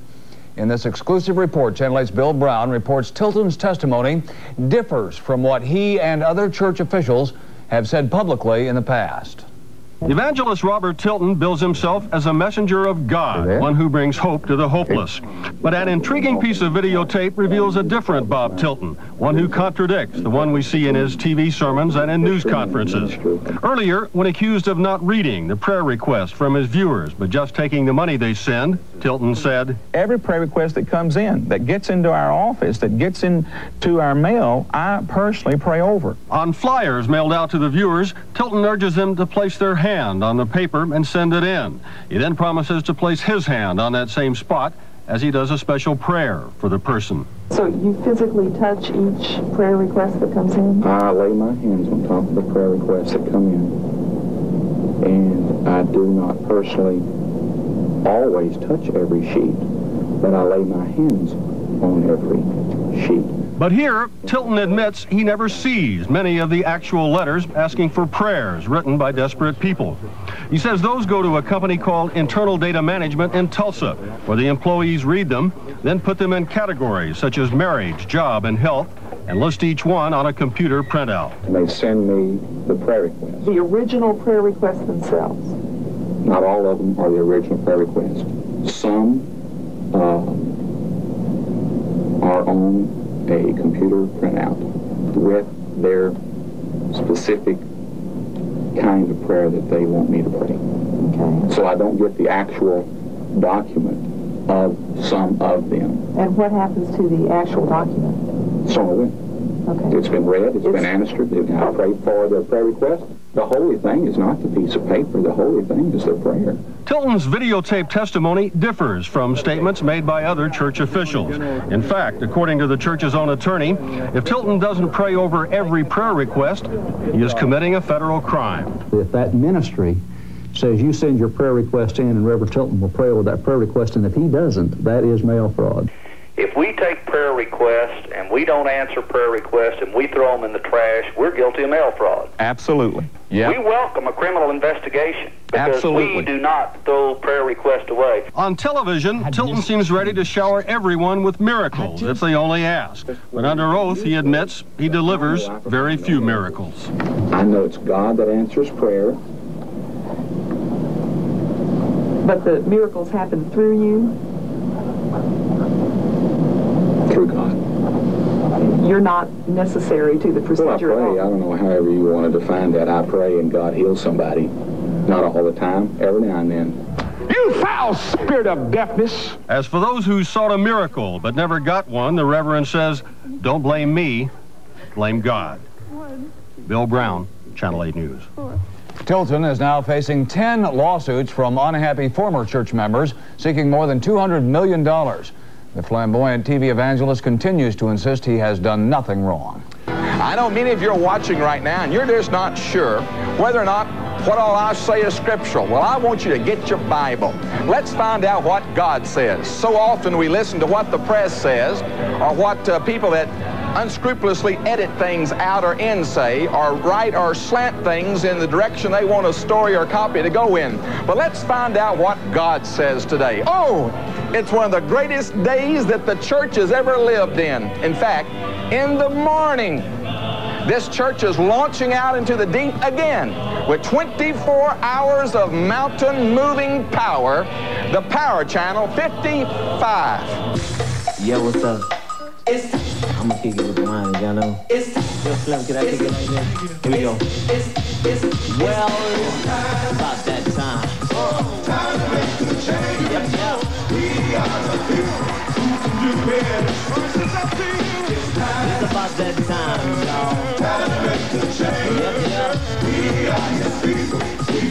Yo, mob, kick it for me one more time. It's time to make that change. People of the world today are fading. All of us have our ups and downs. You better think about it or you won't be around. What we need is a little bit of love. Sent by one from heaven up above. Take a tea, it's simple and plain. This ain't no game, you know what I'm saying? What? It's time. Yep, yep. Here we go. We are the people who can do it. Oh, yeah.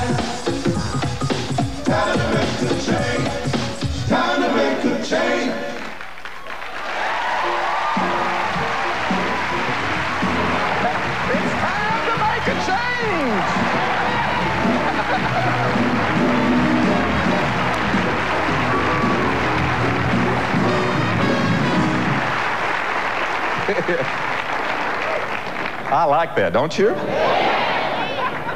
Tilton TV is on the air. The controversial Dallas tele- uh, televangelist Robert Tilton took over his own TV channel today.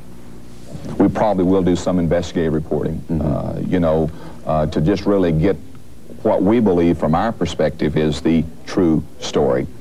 Pastor Tilton took a shot at reporters who have been digging into his ministry as he took over the airwaves at KDLT TV Channel 55 in Lewisville this morning.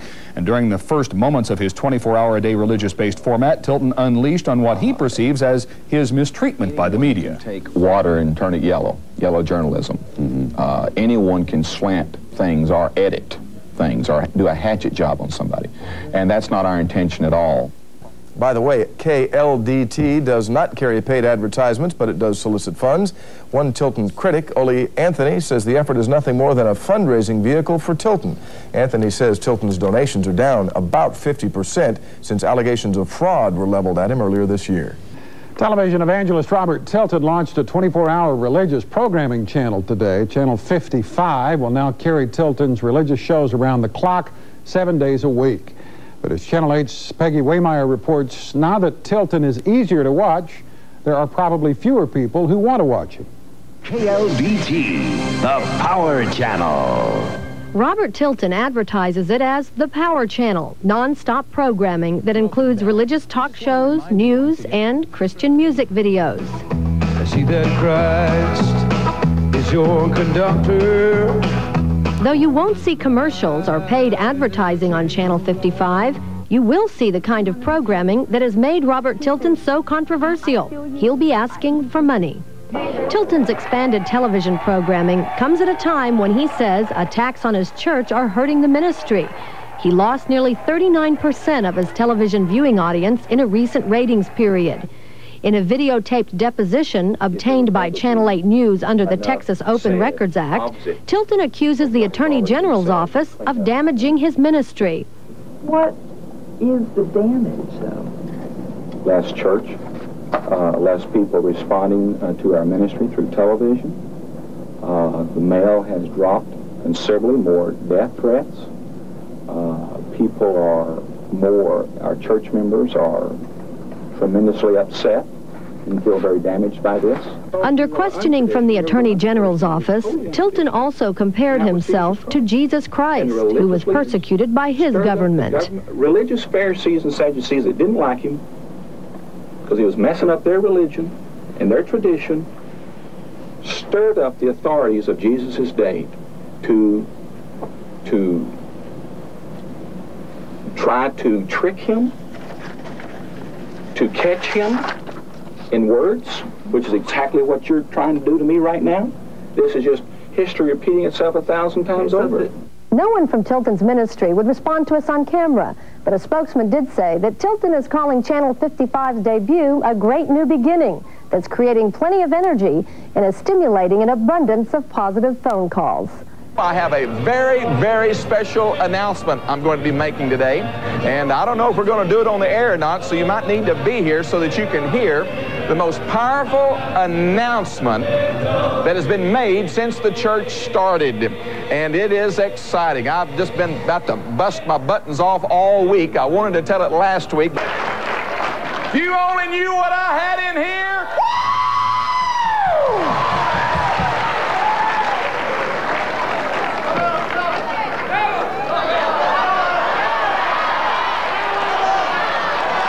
I got a secret, I got a secret, and I'm not gonna tell.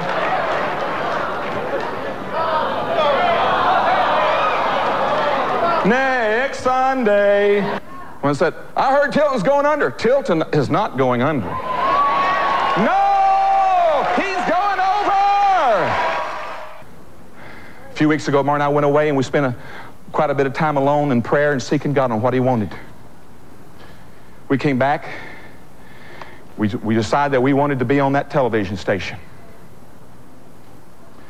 And we got on it.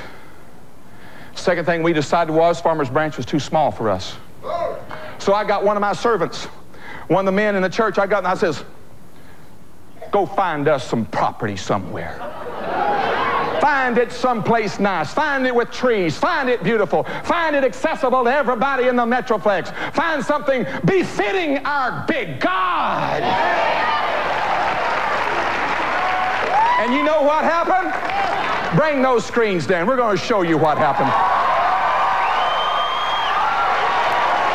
We're going to show you what God said. Rule in the midst of your enemies till I make them your footstool. Exciting? Listen, it's not 20 miles that away out in the country where the land is cheap.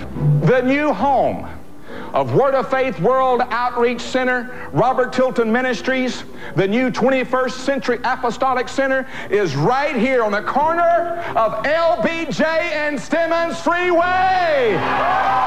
56 acres. Watch this. Roll the tape. There's the intersection right there.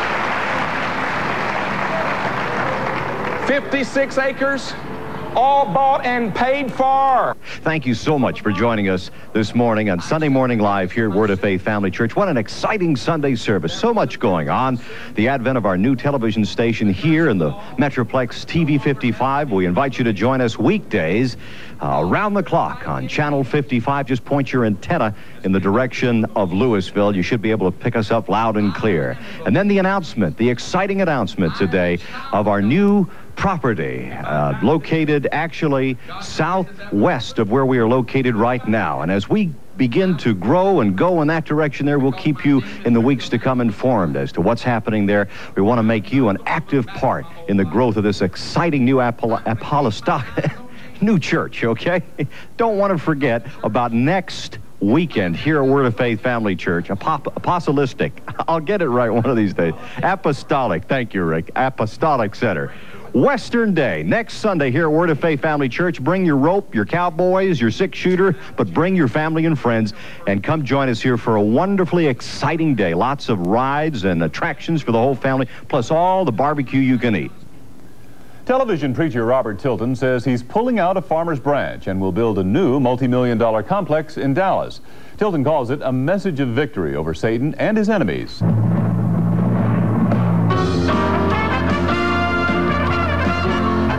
Pursued by investigators and besieged by lawsuits, Robert Tilton promised his flock some good news.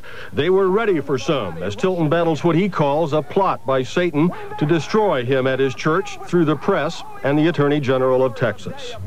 But while some say it's just a matter of time until he falls, Tilton is now vowing to be bigger than ever. He says he's tired of land disputes with city leaders of Farmers Branch, so he's leaving the town and moving into Dallas. The preacher says he'll sell everything on the present site, north of LBJ Freeway and east of I-35, and move south to the southwest corner of the two freeways. Tilton says amid all of his troubles, he went away to pray, and God told him to move and rebuild. I hear that Jesus said, rule in the midst of thine enemies until I make them your footstool. That's what I hear. But while publicly Tilton says all is well, under oath a while back, he told an assistant attorney general investigations are badly hurting his ministry. You further alleged that um, over 1,000 members of the plaintiff church, because of the actions of the attorney general, have asked to be removed from its roles and mailing list. Yes. Okay. You further allege that um, the church has suffered a substantial diminution in the number of new people joining this religion. Okay. Um, do you have any numbers on that? Yes. Okay. What do you have an estimate that you can tell me today? 7,500 to 10,000 maybe. Tilton will call his 56-acre site the 21st Century Apostolic Center. He says it'll have a 10-story office building, a 10,000-seat auditorium, a student academy, an athletic complex with swimming pools, tennis courts, a gym and a track, plus a new broadcast center. The minister said money is needed now more than ever, and he urged his followers to give more than they ever have. We are having Western Day Cowboy Day here at Word of Faith Family Church, and I'm Pastor Bob Tilton, and this is one of my special friends just kind of walking through here. What is your name? D.W. Phillips. D.W. Phillips, and D.W., where are you from? Well, I'm from Jacksonville, Texas. You know, that was the first town that Marte and I preached in after we went into ministry full time, and uh, we preached in a funeral home there. Really? And had a lot, actually had a lot of miracles. Only prayed for one dead person and didn't come back to life, but uh, we had a lot of miracles and a lot of people saved. This would be great on Channel 8 tonight. I dare you guys out there. I know you're watching. I dare you to put this on.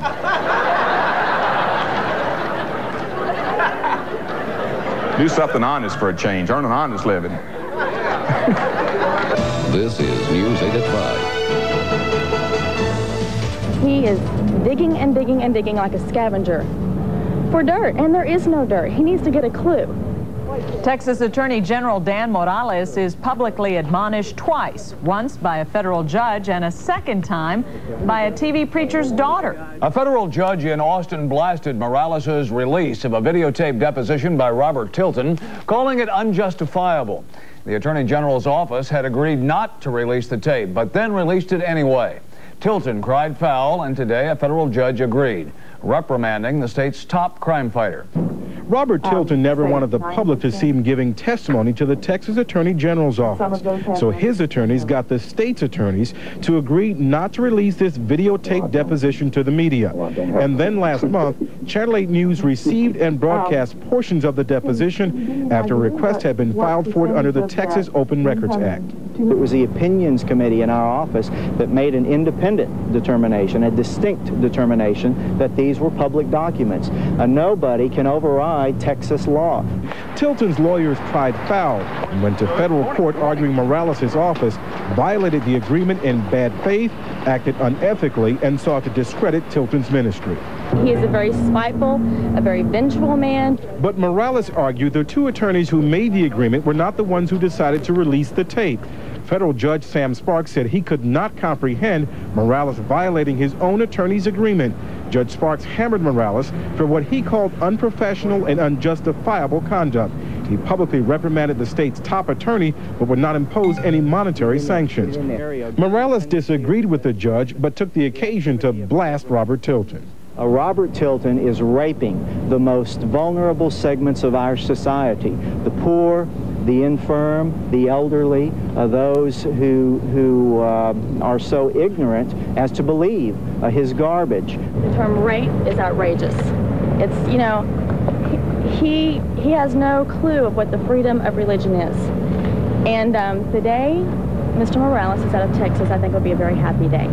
It's really sickening to see poor people, to see elderly people, to see individuals who believe some of these claims that the Reverend is going to heal them if they'll just send them money. So as another battle in this legal scuffle ends, the Attorney General's office says the investigation into the Word of Faith ministry will continue. And I really don't like getting into it, but many of you are questioning what happened. What happened was there was a, a video deposition when we were suing the Attorney General. We made an agreement with their attorney generals, four of them, three or four of them in a room, that they would not release the deposition to the media because they had already been releasing stuff to the media, attacking me. And that's what one of the thing, things the whole thing was about, was attacking me in the media through their public relations office. Then they released it, though, without even phoning us and giving us an opportunity to legally block that injunction. And those of you that saw Channel 8, they edited it up just like some of those idiots know how to do, turned it all around and made it look like I was saying things that uh, I um, didn't say. And they did exactly what we thought the press would do if they got a hold of something because they're not interested in the truth. Well, the Attorney General comes right back out on the steps of the courthouse and starts running his mouth again, which he's going to, he will eat those words. One way or another, he will eat them. But anyway, I do apologize uh, for having to bring this into the service. I think it's important. I think many of you are wondering what has happened. Uh, the bottom line is the Attorney General would never meet with us in the very beginning of all of this. Uh, they would meet with uh, uh, Ole Anthony. They would meet with the press, but they would not meet with us. I have found the secret to being happy in the midst of storms. Oh, I could get sad. I could, if I really wanted to work at it, I could get real depressed. I mean, I could just really tribulate. Oh, I could think about people mocking me on radio and television, writing lies about me in newspaper articles and magazines. I could, I could get all upset about songs written about me actually being mocking me on the radio and stuff, but I don't let those things bother me. You need to make a vow of faith of a thousand dollars. Oh, Bob, couldn't you say 25? No! See, I like a thousand because I know I got, I got, I got you. Bob, don't you talk like that! Glorify me. You believe that's in the Bible. You got a Bible.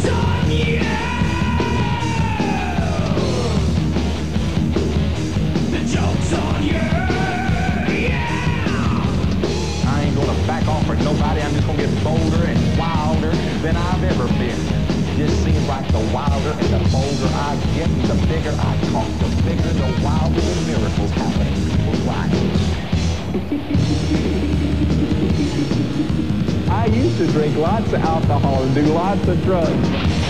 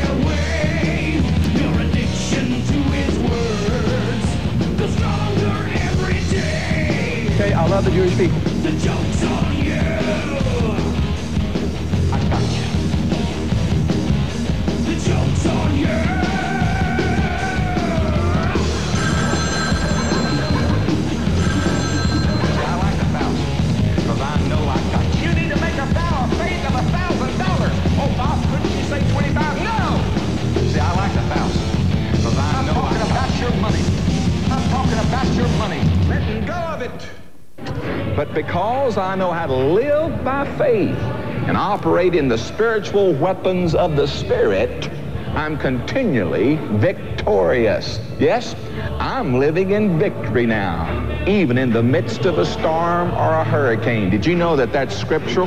Well, if I were you, I would stay tuned for the best. Is yet to come.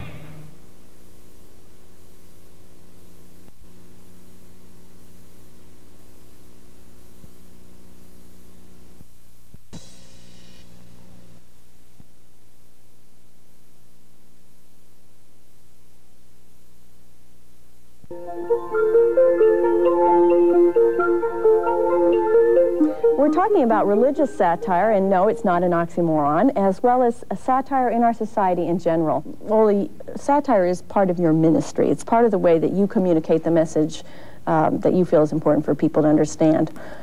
What are, what are the kinds of things that you're trying to say through the door? Well, satire is, the, is to me the, the, the, the missing link that the modern church has lost in, dis, in destroying uh, idolatry. Uh, I mean, pride and vanity are so rooted in our hearts that when we come to God, we then think that our own ideas become God's ideas. I mean, we have these people, every God. other word they say, oh, God is telling me. Well, no, he's not. Mm-hmm. Jesus was his only son, and he only spoke to him three times verbally. Uh-huh. I mean, this is crazy. Uh-huh. And we're leading millions of people astray. Well, that's satire. I mean, we, we, we make fun of guys all the time who say, oh, God told me. Well, Mm-hmm. he didn't tell them. I mean, that's, that's just a lie. Okay. Well, you you wrote a, a piece, a satirical piece on on Bob Tilton. Why was he good material for satire? It was called A Letter from Hell, and I guess Okay, it was my, it. my small attempt to do something like C.S. Lewis did Uh-huh. with the Screwtape Letters. Uh-huh. Basically, it was a letter from a demon in hell congratulating Tilton for all his good work here on Earth. Mm-hmm. Uh, so the whole thing comes from, from that, that point of view. Uh, and I just found it, it was written while Ole and, and Primetime Live and all were having their battle with Tilton, and while he was showing us how he not only prayed over those prayer requests in the dumpster, he would lie down on them and wallow on them. And so he, he even showed us, I remember, the ink on his hands, like this, the stigmata here, you know. That the point of satire is not just to hurt or to criticize, it's also to suggest a solution, a way of moving past a problem. Uh, a satire of Bob Tilton is, uh, while it may seem on the surface uh, somewhat vicious, is a way of saying, why do we need people like Bob Right. Tilton to, to lead us by our checkbooks to God?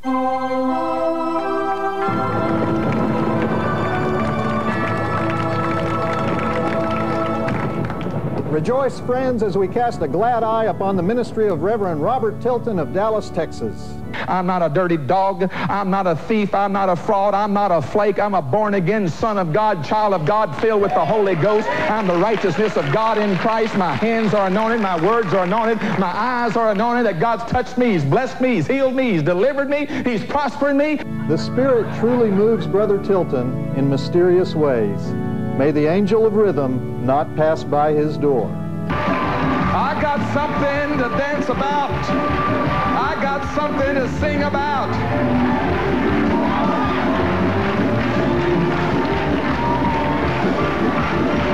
Hold it. I got some more stuff to shout about.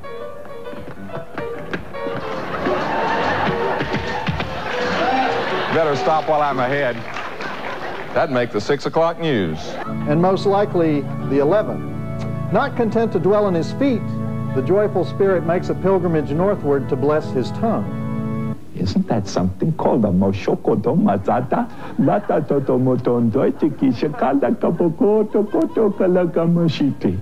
Kali shikodo bokoto le bakatai shakabo chokole kamokotea. I love you. Nor are his eyes immune to the passion of his faith.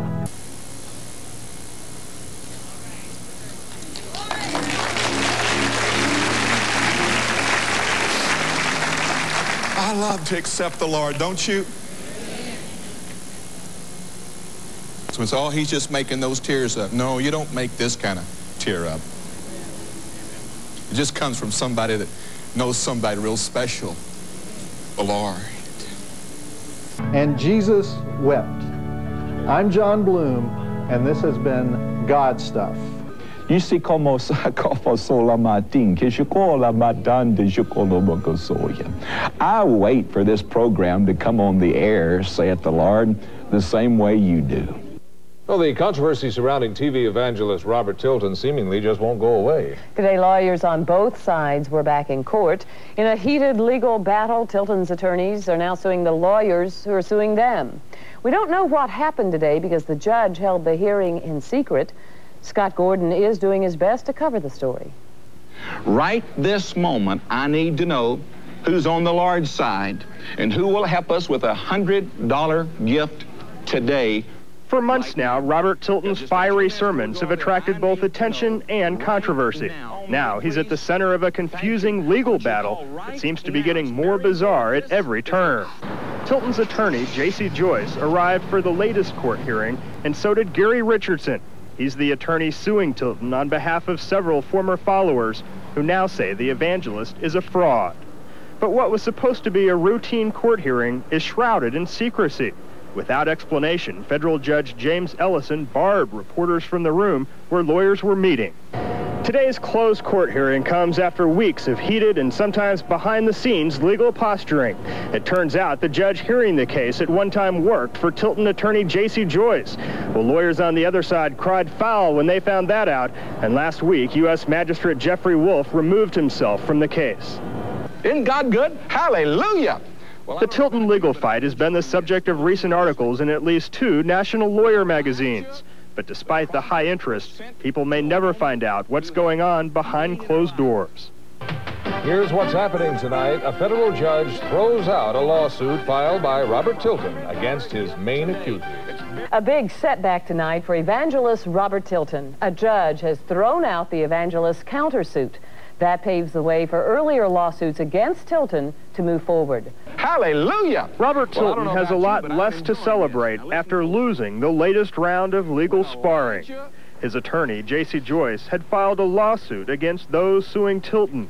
But today, federal judge James Ellison threw out that countersuit, agreeing with Tilton's critics that it lacked merit. The suit had named attorney Gary Richardson, and it also named others, including Dallas minister Ole Anthony, a leading Tilton critic.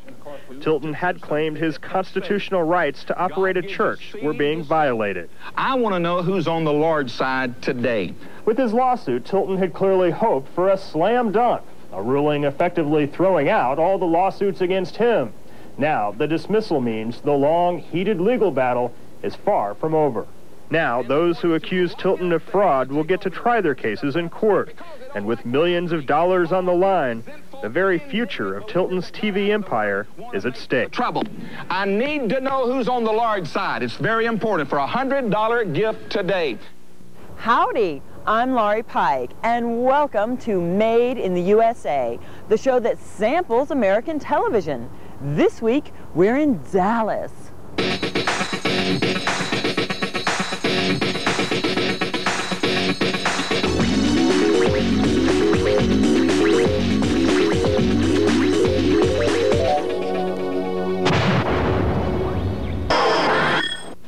Anyone who thinks that televangelists were all disgraced in the 80s is wrong. Rising like a phoenix out of their ashes is Robert Tilton, who leaves Jimmy Swaggart and Jim Bakker in the dust. Bill Judkins went to check out Tilton Mania. Robert Tilton, a local Texas kid with no formal education, could have easily wound up pumping gas. Instead, he wound up pumping for Jesus, forming America's fastest growing television ministry. His Success in Life show is seen in over 200 markets across the country and pulls in hundreds of millions of dollars a year. Of course, it goes without saying he's under investigation for fraud. He's preaching the word. I know the word, and he's preaching the word. The Lord is just somehow using him to help me. Do you know the Lord as your Savior? Robert Tilton is not speaking to the press. Matter of fact, we're not allowed to take three steps backward onto his property. He did, however, decide to address some of the accusations that have been brought against him on his weekly television broadcast. And you critics out there, if you don't like me, you don't have to watch this TV show. Turn that zapper. Zap me. Go, go watch Donahue. Go watch Oprah. Go watch uh, Maury Povich. Go watch Ted Koppel. Go watch all that stuff they put on TV. Don't you don't? Nobody's twisting your arm to watch me. Nobody's twisting your arm to send a donation in to support this ministry and the work of God. Whether you think Robert Tilton is an angel or the devil, there's no denying he makes some pretty terrific television. But for many, it's Reverend Tilton's eclectic brand of media-savvy performance that makes him worthy of praise and devotion. Come with me as we meet the unauthorized Robert Tilton fan club. The thing about Robert Tilton to me that's so good is that he's so over the top, so unabashed, so blatantly insincere and downright evil that it's refreshing. I'll drink to that. The bigger trouble Bob gets in, the more demand there is for Bob products. This is uh, the uh, Robert Tilton paddle ball set. It, it, it's something that's just going into production. This is kind of the prototype. A few new names are being added to the lawsuits against embattled televangelist Robert Tilton. The names include Tilton's Tulsa attorney. Scott Gordon has the latest twist in the high-stakes legal saga. Until now, the lawsuits accusing Robert Tilton of fraud have named only him. Until now, Tilton's Tulsa attorney, J.C. Joyce, has defended the evangelist in what's become an all-out legal battle with attorney Gary Richardson. Now, the latest twist. Richardson is adding Joyce as a defendant in the case, along with two Tulsa companies that do work for Tilton. Response Media, a direct mail company, and Internal Data Management, a computer company. They will be accused, uh, generally speaking, of being part of the Tilton operation that we have accused of defrauding these people. Joyce had little to say as he left the courthouse. Now that he's a defendant in the case, he may not also be able to serve as Tilton's attorney. Already, this case has dragged on for months of twists and turns, suits and countersuits. This latest move, adding new defendants, is likely to push back the timetable even more, meaning it could be many more months, even years, before the case ever goes to trial. This is News Watch 11. There's a new attack on Robert Tilton tonight. Flak from a familiar flank. Televangelist Robert Tilton and media watchdog Ole Anthony have been at odds for more than a decade now. And tonight they're at it again. Anthony has started a hotline for Tilton's alleged victims. And as Newswatch 11's Rich Isom shows us, Tiltonites are fighting back. The volume is up on... We have reached Trinity Foundation's hotline to report abuses by televangelists. That's what you get when you call 1-800-229-VICTIM. The hotline's the latest weapon in an ongoing battle with TV preachers. It's run by Ole Anthony, who's made Robert Tilton his prime target. It's, it's fundamentally so to cause uh, an exchange between the people who've been victimized. It's not by natural intellect. Tilton was not available to comment on the hotline. But his spokesman Dan Moroso did. Well, I think it's pretty obvious that Ole Anthony has made it apparent he's out to destroy Christianity in America, and this hotline is another example. At this point, the hotline is getting about a call a minute. Many of them are harassing. Anthony believes they are coming from Word of Faith supporters. God is going to get you. He's tired of you missing. He's tired of it. You're going to burn in hell. Anthony showed his phone company records listing the first few weeks of incoming calls. Word of Faith's main number in Farmers Branch is listed again and again. A 1-800 number is not an inexpensive venture. It costs thousands and thousands of dollars. This coming from a man who says he's taken a vow of poverty and he has no money. People dismiss them as a, oh, they're just a Southern cultural phenomenon. And the people that get taken, they deserve to be taken, you know, because they're dumb or something. I mean, that's crazy. Anthony vows to keep the pressure on Tilton. Tilton claims he's done nothing wrong and says Anthony and others are jealous of his successful ministry. Rich Isom News, Watch 11. And tomorrow night, uh, ABC's Primetime Live will rebroadcast a report on Tilton's ministry first aired last November. Ole Anthony played a key role in ABC's probe of Tilton. Unprecedented. For the third year in a row, Primetime has won the prestigious Investigative Reporters and Editors Award. Diane Sawyer's tough undercover investigation of televangelism recognized as the best of the best. What's happened to these televangelists since Primetime exposed the way they get money and live like kings? You need money? Open thy mouth wide! He's a phony. He's taken people. New information on our investigation. Primetime next. July 9th, 1992. And tonight, new information on the three televangelists. He has got to know inside that he's a phony, that he's taken people. I think he has become cynical. Including more former employees of Robert Tilton, who come forward to say he's not what he pretends to be.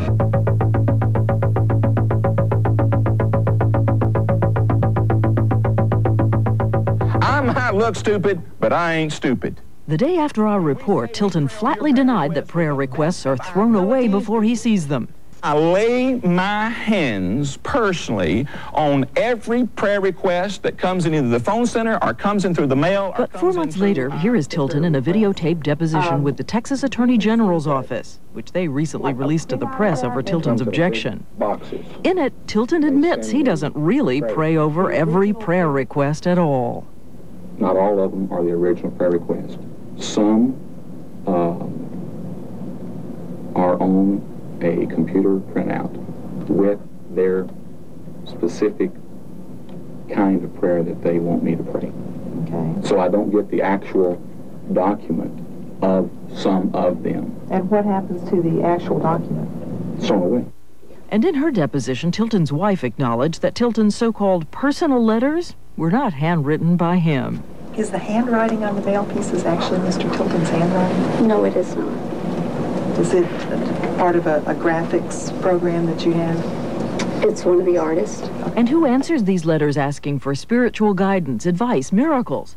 Not Tilton, nor his prayer ministers, but people hired by that data processing center in Tulsa. And does Word of Faith specify what kind of training they'll receive? No. The orphanage in Haiti, the people's names on there that run the orphanage and support it, if the idiots would just read it. Also, after our broadcast, Tilton attacked us for what we said about his missions, the ones he implies are his own. Like this one. Here's how he promotes it on his TV show. Wings of Mercy, a center sponsored by Robert Tilton Ministries. The promotion makes you think this is Tilton's center, but listen to his deposition. You know what Wings of Mercy is? Not really. No wonder, since Primetime has learned that Tilton's contribution to that mission is just $300 a month. And what about something else Tilton said in his deposition? He claims that his contribution to his mission in Guatemala is 100% of their needs. You were going to provide We would be. 100% of the support that they needed to maintain their operation. So we checked this out. We spoke to the on-site missionary in Guatemala, who told us, in fact, Tilton is only a partial sponsor. And the Guatemalan government has gone public to say that Tilton and his promotional material exaggerate his contribution for personal gain. including his claim of a special invitation. I've been invited to be in the inauguration, the ball, and all the celebrations. And That's not true, according to the president's spokesman, Fernando Muniz. No, that the president has invited him to attend the inauguration is by all means false, nor does he have any relation with the government. But we cannot take action against a swindler of this caliber. We are going to take this good news of Jesus Christ around the world. You get to help make it happen through your tithes and offerings. And something else about Tilton the missionary. Repeatedly, he tells his viewers that their donations enable him to win souls around the world. And we totally, Word of Faith Ministries, you, the family church, underwrites totally this particular evangelism unit. Tilton tells followers they finance crusades in countries too poor to pay themselves. He's come all the way from America. So Primetime decided to follow Robert Tilton to India this past March. Do you want to please God tonight? Well, there was Tilton passing the collection plates nightly. If each of these people gave just a few pennies, Tilton would get back hundreds of thousands of dollars. Money taken from the people he himself calls the poorest people on earth. Tilton said, please donate money, please donate money. So everybody got disappointed, and then everybody whispered, this is not a crusade, it's a business. And before we leave you, we wanted you to meet two people who decided recently to speak out, to confirm Robert Tilton is not the devoted minister he claims. I never saw him visiting the sick. I never saw him counseling. I never saw him with anybody from the congregation. And I'm not Connie Cohn was the Tiltons' personal secretary in the early 80s. She and her husband were so devoted they donated $30,000 to the church. She says she started out in awe of Tilton until she saw the real man up close. She says Tilton had a library filled with get-rich-quick books, which he even used for his sermons, though he told her not to tell. I saw some of the sermons and some of the quotes from the books. It's like he takes some of the things out of the books, incorporates them into the sermons, and uses it as the Word of God. Hey, I'm quoting to you what God said. They had a swim pool put in, spent lots and lots of money. Brenda Reynolds also saw Tilton at home. She took care of his children for six years and was head of housekeeping at the ministry for two more. She says Mrs. Tilton ran things at home and the ministry, and the two of them lived like royalty. Oh, yeah, she had diamonds and furs, and I think every pair of shoes she had cost at least a hundred bucks, and she had about 150 pair. Him, same thing. And Brenda Reynolds also saw something else. She says the ministry sent over boxes and boxes of prayer requests to Tilton's home for him to look at and pray over. But she says um, he didn't want them in the house. He had told me to just put them in the garage when they bring them out. Did you ever try to bring them in the house? Well, like I said, I did one time. What happened then? And from then on, well, uh, he just told me to just put them in the garage, and they stayed in the garage, and they stacked up and stacked up. And I told him, I said, well, that, those are things that you're supposed to be praying over, you know. And he told me, he said, well, just take them to the trash, throw them away. I laid on top of those prayer requests so much that the chemicals actually got into my bloodstream. I know for a fact that he did not pray over them, and he, that I took them to the trash myself. And I would look at her and, and I would remember thinking to myself, boy, if these people only knew, you know, what they were doing. He has got to know inside that he's a phony, that he's taken people. I think he has become cynical. And Connie Cohn, a devout Christian, is speaking out because she wants to urge people to follow the Bible. Not, she says, false prophets like Robert Tilton.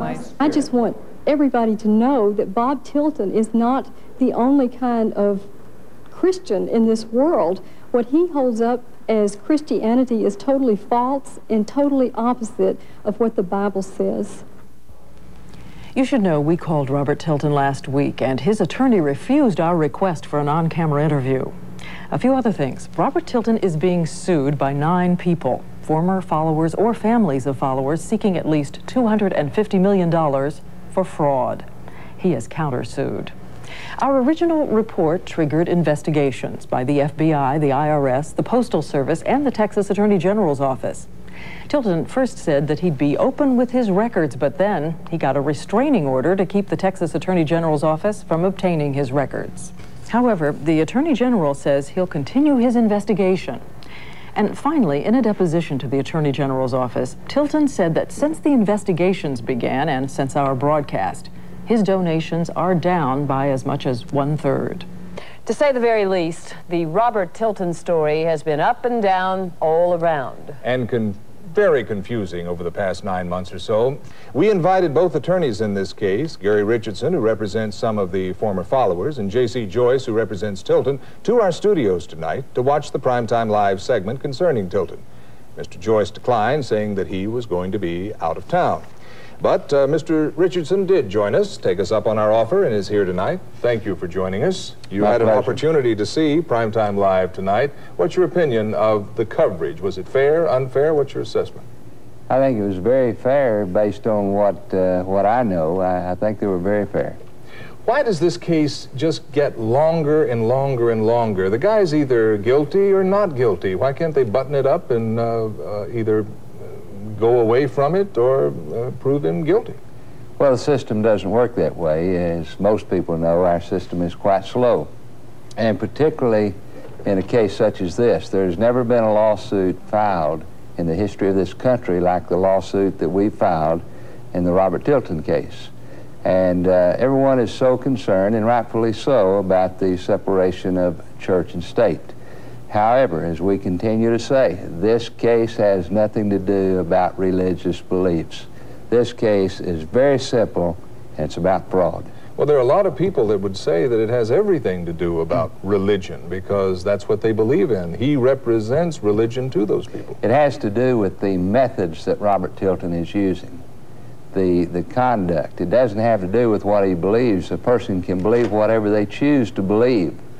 But, uh, you know, the question is, is how he goes about uh, causing other people to react and, and give their money, telling them that he's going to do certain things. Certain things are going to happen. Mr. Richardson, uh, excuse me, we've reported on several cases that people are suing, and you are representing most of those people. Where's the scorecard now? I know it's been several. How many people are you representing? Well- How many lawsuits are, are we talking about? We're talking about, we have filed seven, but there are several more, and, and uh, uh, I'm sure we'll be filing some more. KLBT, the Power Channel. It is really a sad day in American history, in American journalism, when we see broadcasts and reports like the one we saw last night on ABC. You'll remember that there was a man shrouded in a dark shadow who claims to have been a uh, young school buddy of Pastor Tilton's. Would Primetime give the public the name of this person who alleges that they knew Robert Tilton in his youthful days, who alleges that they mocked tent revival meetings? Of course not, because it never happened. Up until that time of the new birth, I'd laughed at preach about preachers. I'd sit in a bar and drink beer and, and, and imitate them. I think the Holy Ghost must have been listening, don't y'all? He pulled my file. He said, I think one of the angels ran up and said, hey, there's a good candidate down there in the bar. He's down there drinks, getting, he's always filled with unholy spirit. If he'll get filled with unholy spirit, I believe if he decides to follow Jesus, he'll be filled all the time with the Holy Spirit. And that angel was right. Reverend Robert Tilton says since November, he has borne the cross of controversy and worn a crown of lies placed on his head by what he calls tabloid journalism. Tilton says the allegations have hurt him, and this Sunday is the last broadcast from Word of Faith. But in a program to air tonight on Tilton's religious channel, there is no mention of Sunday services being dropped from national television. In a program called Prime Time Lies, Tilton attacks those he says have attacked him. Ole Anthony, a network television program, and what is referred to as tabloid journalism. The most scathing attack against Ole Anthony, suggesting Anthony's Trinity Foundation is a cult. It hit the airwaves today. Reverend Robert Tilton's attack on the media and his nemesis, Ole Anthony. Ole Anthony has gotten a lot of mileage out of his little stint. As During the one-hour-long show, Tilton responds to allegations made by the primetime live program that aired last November. Ole Anthony assisted ABC News with the program and says he stands by it. He thinks all the publicity from it and all the time Tilton spent in court is wearing Tilton down. I think he's lost it. Really? I think he's about to you know, he's going to have another small stroke in his brain if he keeps this up. Anthony says he hasn't watched Primetime Lies yet, but in response to why Tilton won't be broadcasting his Sunday morning worship services, he says, I think what they did is his managers are afraid of him as a loose cannon, that he can't be trusted to be live unedited any longer on the air. And J.C. Joyce and Marte Tilton said no more.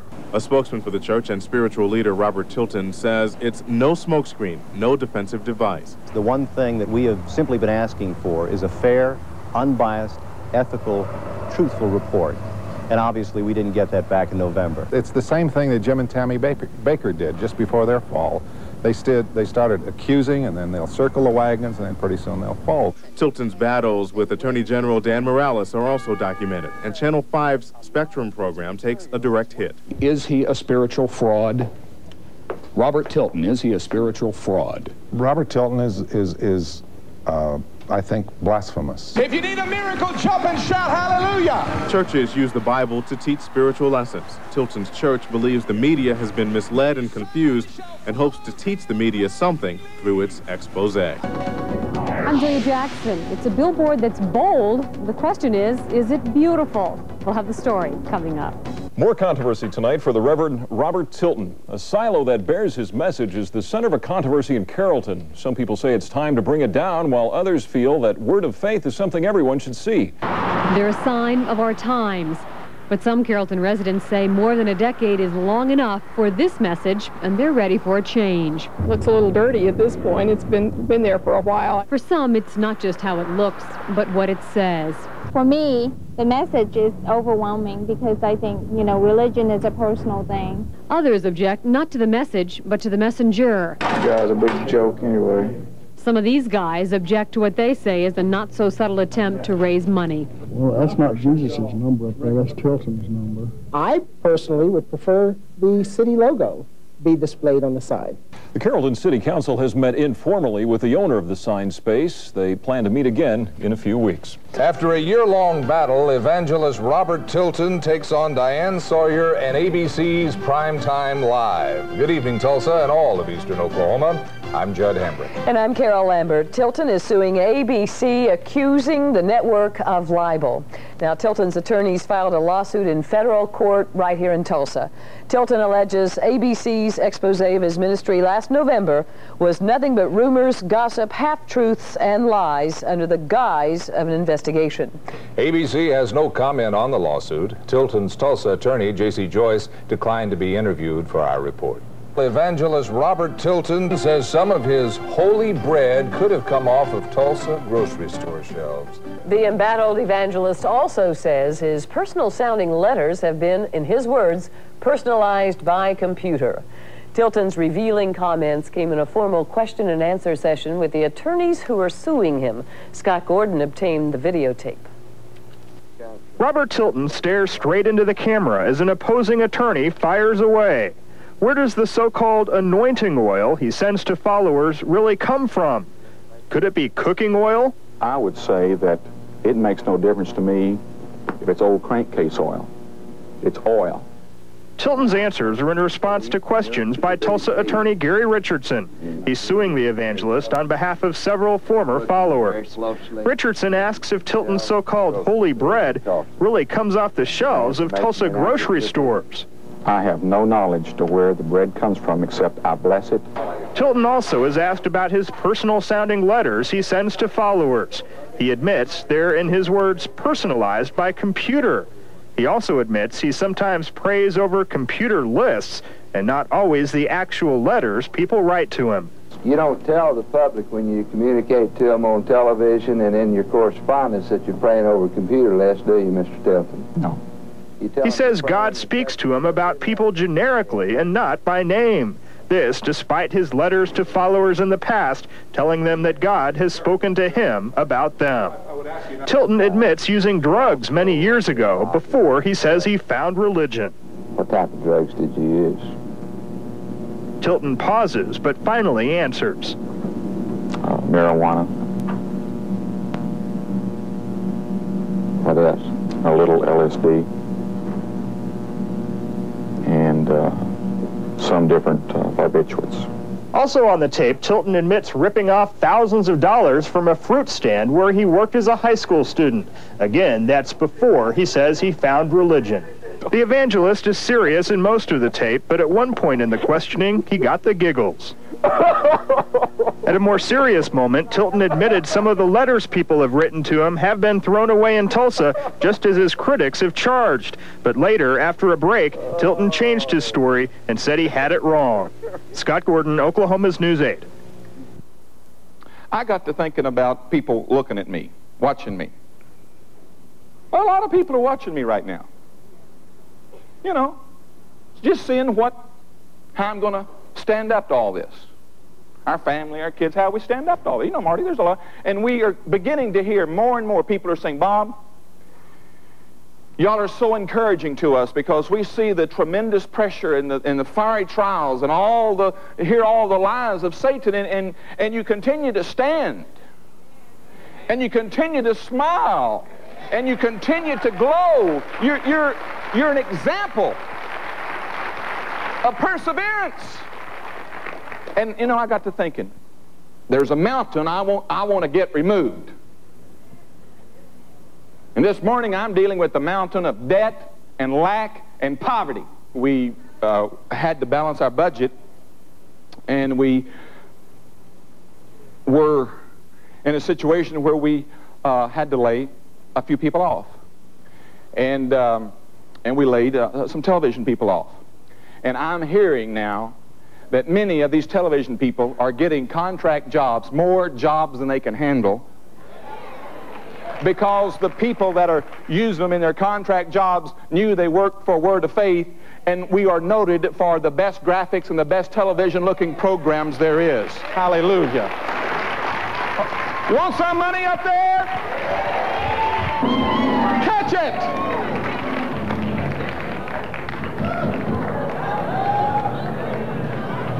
Don, you need to do this because you're the one get written, gets written up in the paper on this.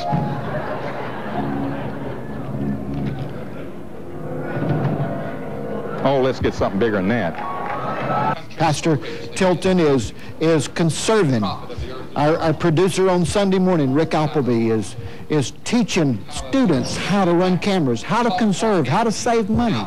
We are actually doing everything we know to do here to cut corners but yet bring you the best. I was reading a book on the importance of saving. And uh, if this church hadn't had a savings account, uh, we would have uh, sank. Without getting into a long dissertation on that that I don't like to regurgitate, but if we hadn't had a savings, we wouldn't have been able to weather the storm that uh, we weathered. If we hadn't had, if this church hadn't been debt free, we wouldn't have been able to handle uh, the cash flow. And uh, so this particular television station in Tulsa, I'll just go ahead and tell you what it is. It's Channel 8 in Tulsa, of all things. It's an ABC, just like Channel 8 here in Dallas is ABC. And this station in Tulsa for months has just uh, really uh, just really didn't try to present the evidence and the truth unbiased. I believe in the freedom of the press. I just want it unbiased. Okay? But this particular station had a, had a reporter that uh, had a, a camera in his hand and he just used it like a gun. But uh, we called the hand of the station. And they have now decided to apologize for the things that they said about me on television and the way that they edited it up. And so in the next few days, they will be on the 5 o'clock news, 6 o'clock news, and 10 o'clock news apologizing to Robert Tilton for any mis impressions we may have created in airing those reports. Big deal, people, big deal. The worm is turning. The cookie is crumbling. The mountain is being removed. Rock by rock, pebble by pebble, boulder by boulder, dirt by dirt. Up in Tulsa, Oklahoma, those three news anchors had to get up and look at that camera and admit that they did a bunch of garble on television, making me look like a loony bird, and had to apologize and had to say the word apologize. Last November, Oklahoma's News 8 ran stories about a videotaped deposition given by evangelist Robert Tilton. During one of those reports, we showed video of evangelist Tilton laughing. At the same time, we talked about Tilton's admitted use of drugs during a time in his life before he was saved. Showing that video may have created the false impression that Tilton was laughing while talking about taking drugs, when in fact during questioning about his past drug use, the evangelist was straight-faced and very serious. We apologize to Robert Tilton for any misimpression we may have created in airing those reports. It's happening everywhere. The AP wire service picked up some of the good news that had happened in Dallas this week and it went all over America. More good news for Tilton. You just don't want to live. You want to live happily, healthy. Might as well throw the rest of it in. Prosperous. I know my critics was waiting for me to say that. I know they're out there. It's okay. We're triumphing over all of our critics, and we're going to have their head in a basket before it's all over with. I believe that. They are bread for us. I like that part too. Mm, mm, mm, what did Tilton preach on Sunday morning? I can just hear the news in the radio station. He was licking his chops and lips and saying the defense is departed and they are bread for us. I wonder who he was talking about. David went up at once when it was time to do his thing, he was ready. He didn't sit around and say, well, let's talk about it a little bit more. when it was time to fight, he threw the first blow. The early bird gets the worm. David was agile. He wasn't sluggish. He was agile. You see those boxers on their feet. They're light on their feet. They're just keeping it, keeping everything moving. Pow to the moon. It looks like the fight between TV evangelist Robert Tilton and the Texas Attorney General is back on. A federal judge has allowed Dan Morales to go through state courts to try and subpoena certain documents from Tilton. Documents the Attorney General believes show Tilton violated consumer laws by mishandling money from his contributors. Reaction to that decision out of Austin is positive but guarded.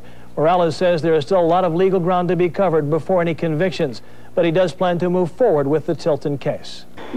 Robert Tilton's attorney, J.C. Joyce of Tulsa, says he isn't worried about the recent decision. All along, he's claimed his client has done nothing wrong. We'll go through state court, we'll go back to the federal court, we'll go to the United States Supreme Court, but we will not subject ourselves to an attorney general that gets up in front of the public and says what my client preaches is garbage. We're not after a Reverend Tilton. We simply want to make sure that nobody uh, gets away uh, with thinking of himself as being above the law. Uh, that's just not the way it is in Texas, uh, at least not so long as, as uh, I am the Attorney General. Everyone has to obey the law in our state. Uh, the next step for Morales is to get the state courts to let him subpoena Tilton's records, but Tilton's lawyer, J.C. Joyce, says that is unconstitutional. And in his words, we will not give them any documents, period. They are not entitled to anything. We've won that ruling before, and we will win it again and again and again. Another legal setback for televangelist Robert Tilton. Today, a judge denied Tilton's request that a lawsuit be dismissed as frivolous. William Harrison accuses the minister of fraud and intentionally causing emotional distress. Harrison says Tilton's ministry continued to send letters asking for money and offering to cure his wife's cancer long after she was dead. Earlier this week, an appeals court ruled that Texas Attorney General Dan Morales could resume his investigation of Tilton. How many of you seen that movie, The Rocketeer? Well, it's, it's, it's just kind of a strange movie. This guy puts some tanks on his back and, and he flies around. He's got rockets on his back. And it looks like this guy's plunging to his death. And the, the, the MC, the, the master of ceremonies, he's trying to settle the crowd. And he comes up and he says, Don't worry, folks, it's all a part of the show. Now listen, the people didn't know the guy had rockets on. Sometimes they think Tilton's falling out of an airplane and he's plunging to his death. Folks, don't worry. It's all a part of the show. They don't know I got rockets on. Hallelujah! This week there was an article published in the, the, Dallas Morning News talking about one of our cases being dismissed or uh, uh, uh, stopped. And the article was absolutely the most ridiculous article, slanted, biased, prejudiced, opinionated, vicious article that I'd ever read. Did not say anything about the fact or the truth, and the press release this particular gentleman uh, had, uh, had released. Why the press cannot print this, I have no idea. It tells me that they've got a big problem, and they're about to have a bigger problem.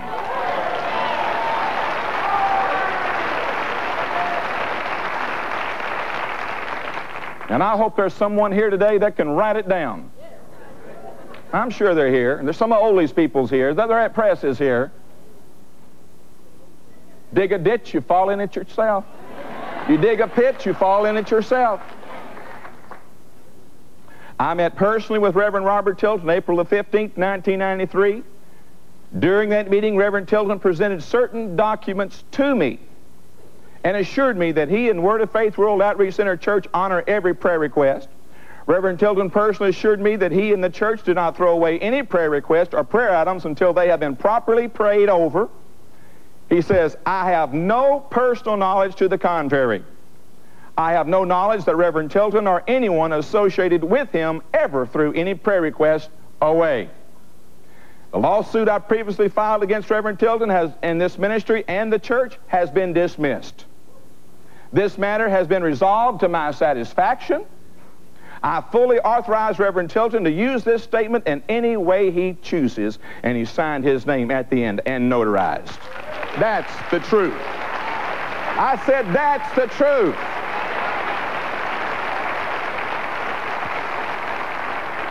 I just don't understand why the press just can't just tell it like it is. Strong doubts about Robert Tilton's version of the settlement of his lawsuit. Night beats next. Reverend Robert Tilton is making headlines again tonight, but this time he's paying for the coverage. A full-page ad in today's Dallas Morning News. It's a copy of an affidavit from a man in East Texas who's dropped his $50 million lawsuit against the Reverend and his Word of Faith church. Pastor Tilton felt that it was just simply time to uh, let the public know that we are in fact having victories, that uh, Mr. Harrison did drop his lawsuit, and uh, that we are a, a decent uh, Christian church. News 4 Texas asked Mr. Moroso if the agreement to dismiss the lawsuit was fueled by a financial settlement. His response was absolutely not. But a representative for Mr. Harrison says that response is an absolute misstatement.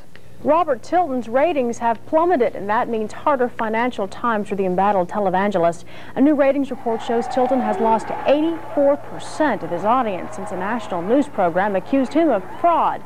J.C. Joyce, Tilton's Tulsa attorney, says those numbers add up to lost jobs. Joyce says 600 of Tilton's 850 employees have been laid off. Meditate. Meditate means to ponder, to think on, to imagine, to mutter, even to moose. Muse. Muse, not mo you moose your hair, you muse your mind.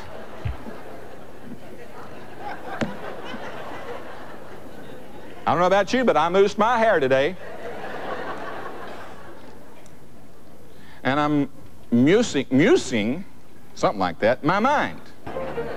Don't forget the roller skating tonight at 6.30 mean, we're going to have church at a roller rink, church on wheels, holy rollers. As uh, many of you kind of been keeping up with what's going on, um, last, let's see, we filed a lawsuit against ABC, Primetime, Diane Sawyer, and Robbie Garden, several of the producers. And we sent a documentary, Primetime Lies, to every one of their major board of directors several months ago. And uh, before they played the second Primetime Live, a repeat, uh, they, we sent them documents and evidence and proof that uh, what they were saying was lies and they didn't correct any of it. And so they began to run commercials again the last few weeks showing my face saying the best of the best is coming this summer. And so we filed another suit against them, uh, preliminary temporary restraining order stopping them from playing that until we can go to court and show all of our evidence.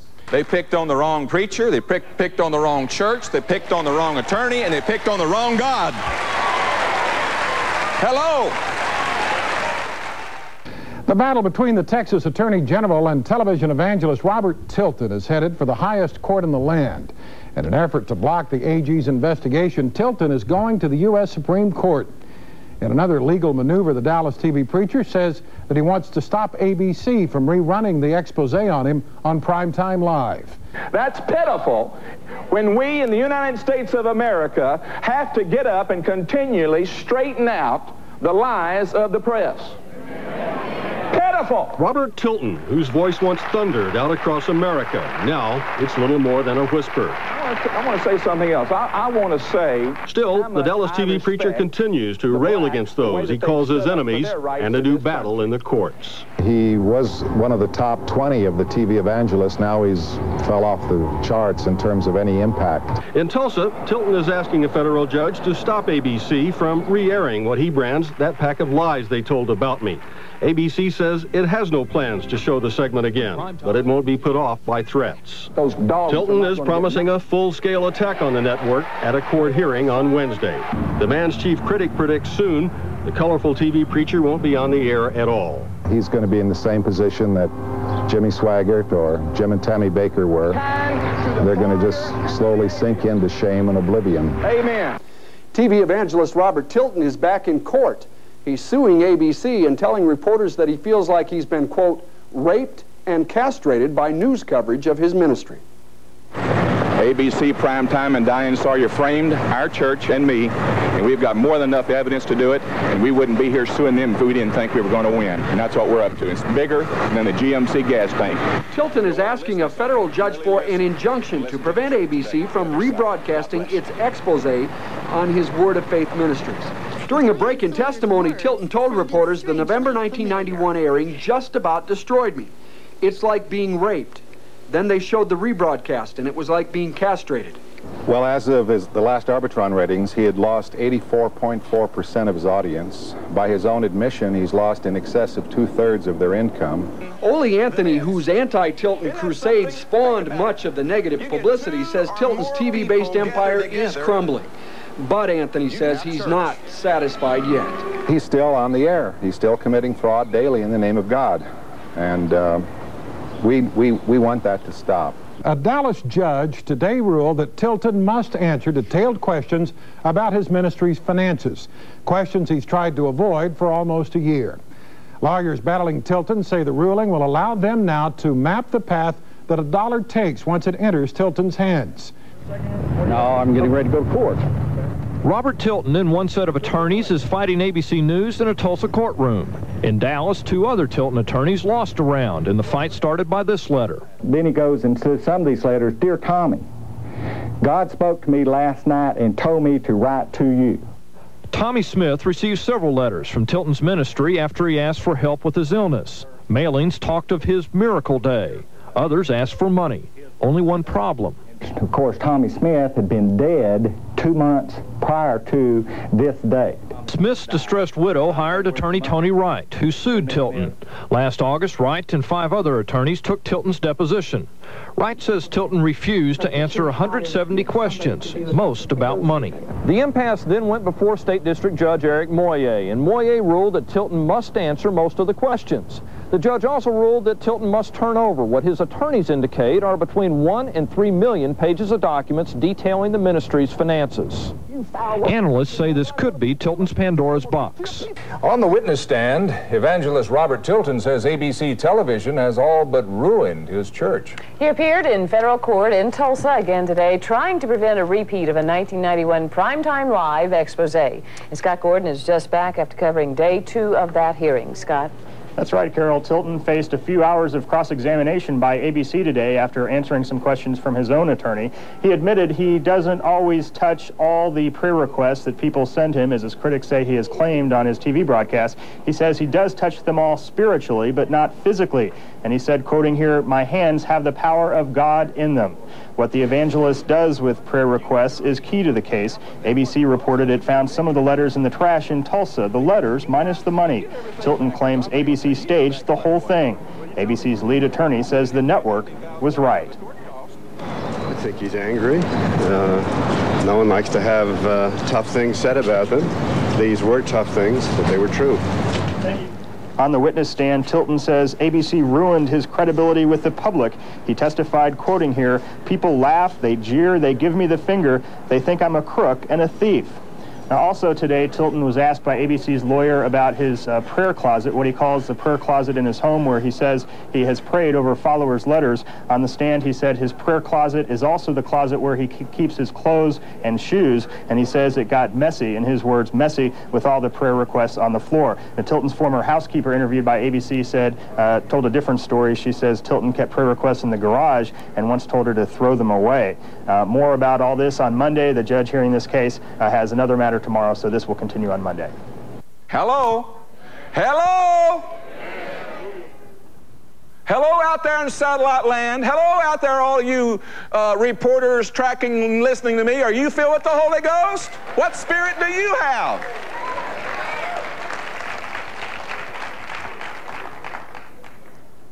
Get your Bible.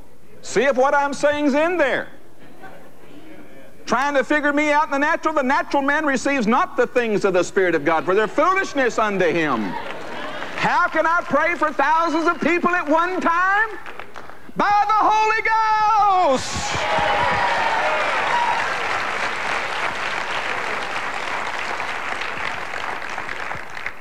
How can I touch prayer requests that are underneath the prayer request that I'm laying my hands on? By faith.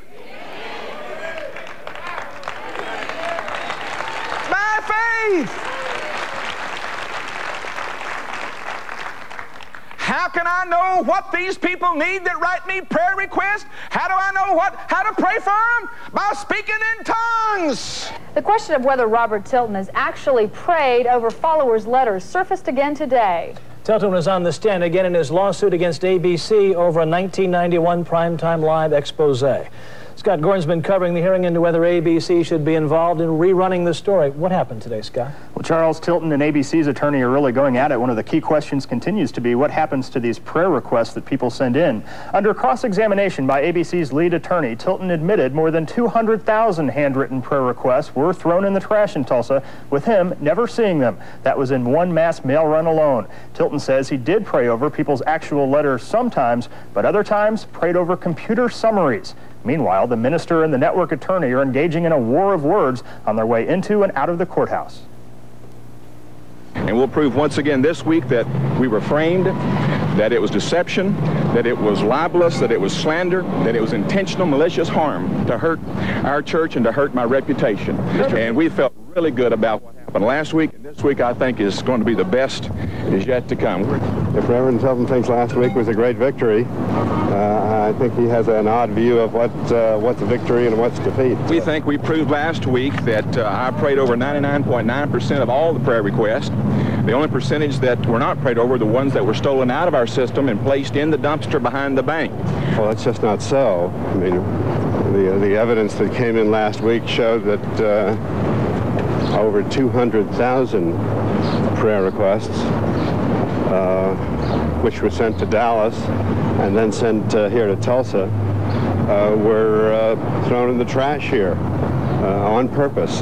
That the American public only knew how much the press influences with negative half-truths, false light, false evidence, they would be appalled.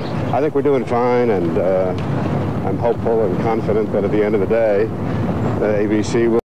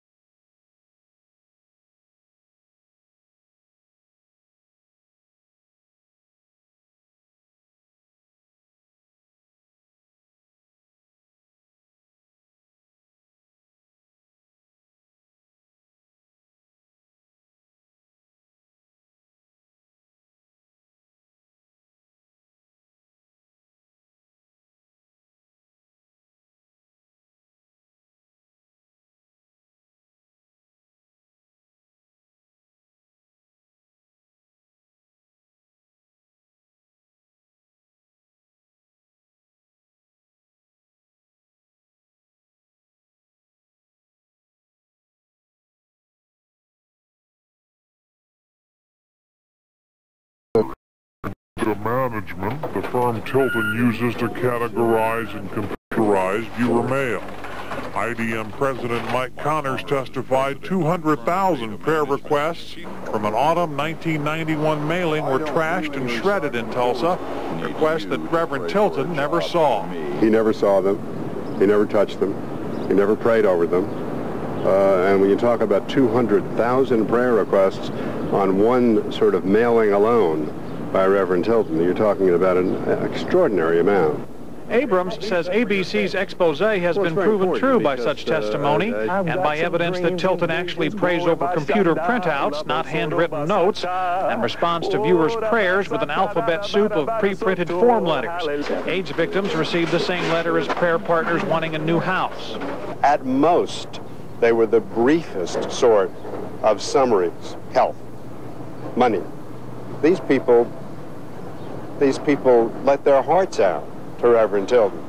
On the stand last week, Tilton said God knows the specifics. Our response is that the people who wrote in expected and had reason to expect Reverend Tilton to read their prayer requests and to pray over them, and that that didn't happen. Asked if he's confident the judge will prohibit ABC from rerunning its report, Tilton didn't sound overly optimistic. Win, lose, or draw, we feel good that we're once and for all getting our evidence out as completely as possible at this time. The case is giving us an unusual inside look at the big business of television evangelism. Witnesses use words like reply devices and batch records. Mass mailings are measured by the thousands of pounds. And of course, in a general way, it's also putting on trial the business of investigative journalism, the techniques of using hidden cameras and deception to get information. Dallas televangelist Robert Tilton was excused from his last day in Tulsa federal court today because of a cream pie in his face. Tilton is trying to stop ABC television from rebroadcasting an expose on his ministry. His lawyer says some of that pie, thrown by a man outside of the courthouse last night, stuck in Tilton's ear, and the preacher had to go home for medical attention. Marte Tilton walked to court without her husband Wednesday morning. As he was leaving court Tuesday evening, someone threw a piece of pie at Robert Tilton. He was hit in the side of the head. Mrs. Tilton says her husband was shocked. Uh, obviously very humiliated. We're just glad it wasn't a gun. Is he okay, or was he? I believe he's fine. His he couldn't hear for a while. The courthouse sidewalk and door still bear traces of the pie. Tilton's lawyer says the preacher still has pie in his ear and got him excused for the rest of the hearing. Whatever it was that they threw caught him in the side of the head and it drove the substance up in his ear and uh, he couldn't get it out so he's had to go to the doctor this morning. Joyce says the pie incident is typical of what's happened to Tilton since the primetime live segment critical of his ministry first aired and one of the reasons Tilton needs an injunction to keep ABC from running the segment again. I'm not surprised he'd say that, but uh, it really, it has nothing to do with anything other than the willingness of some people to break the law. One of the issues of this hearing is whether Tilton's organization knowingly tossed prayer requests in the trash in Tulsa without reading them, as ABC claimed in its expose. In the courtroom, Paul Nunn testified tons of trash prayer requests would come into his North Tulsa recycling plant, along with trinkets like miracle cloths, sand, and holy water. Federal Judge Thomas Brett could take weeks before deciding whether to issue an injunction against ABC. Scott Thompson, Channel 6 News. At all these rock throwers. There's just a lot of rock throwers out there. A lot of pie throwers out there. Lemon meringue pie throwers. Second, by the way, we had a great week in uh, Tulsa. Many of the press that was there said it was obvious to them that it was a major frame job.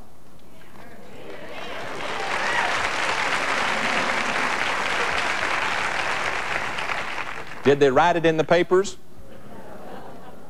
The pie made it on the news. The pie made it all over the world. Said I had to go to the doctor. Thought something terrible had happened to me. Only thing that happened to me was it embarrassed me.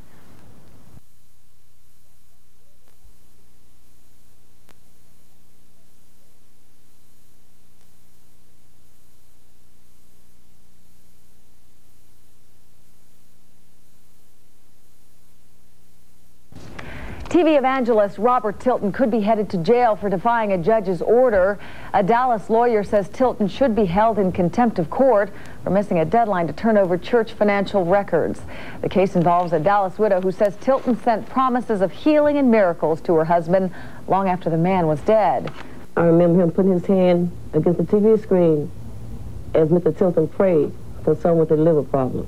Norma Smith says as her husband, Tommy Lee, lay dying, he turned in his final desperation to TV minister Bob Tilton.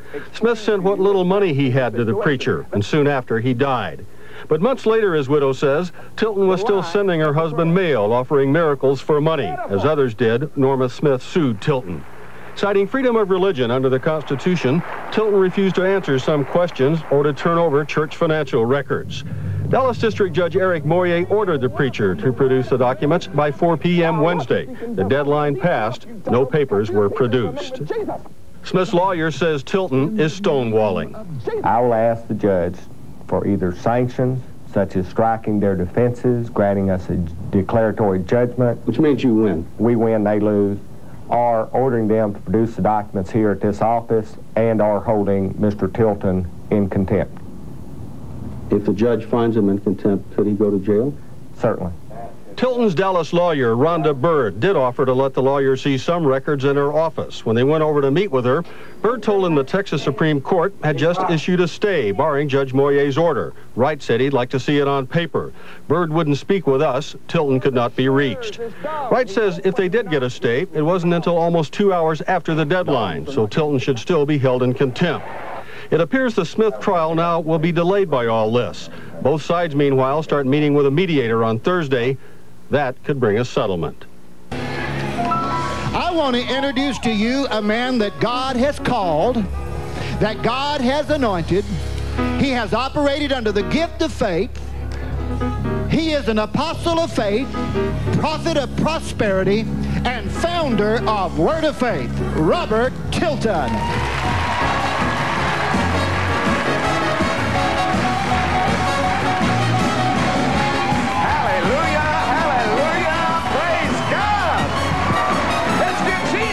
A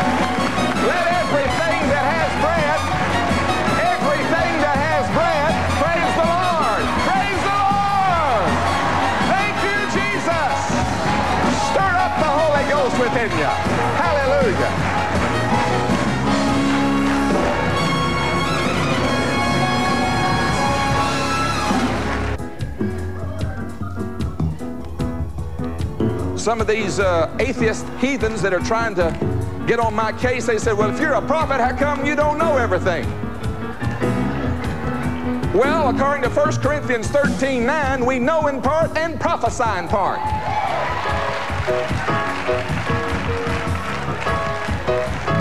So at least prophesy what you know.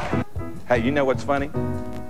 ABC with their hidden camera up in Tulsa accidentally left their camera on in the back seat of their car and we got the conversation of what they were saying in the back seat of the car and they got a problem. Oh, it's looking good. I see the victory. I see the hundredfold return. Yes, I see it. I see victory in every lawsuit. I see victory over ABC.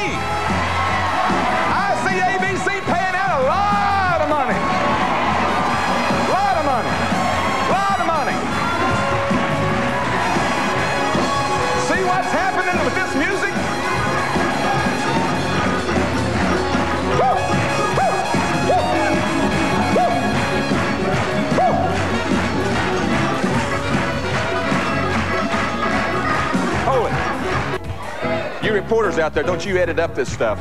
I'll come after you. I got a lot of attorneys, and we, this church got a lot of money. So don't mess with us. Well, the leader of the Word of Faith Church, the Reverend uh, Robert Tilton, has called a news conference for this hour. And we understand that he is responding to a contempt motion filed against him. And Texas News 5's John Garcia joins us live now with the latest on this ongoing story from the Church and Farmers Branch. John? Yeah, indeed, Brad. We are waiting for uh, Robert Tilton to come on down and uh, speak with us uh, shortly. He's uh, got a news conference scheduled. A very uh, unusual situation, as a matter of fact. Uh, Tilton, as you probably know, usually shies away from the media. We've not seen a whole lot of him lately, but he has called this news conference specifically to respond to charges of contempt of court follow, filed by one of his former followers. He is approaching the microphone right now, and we're going to listen to what he has to say.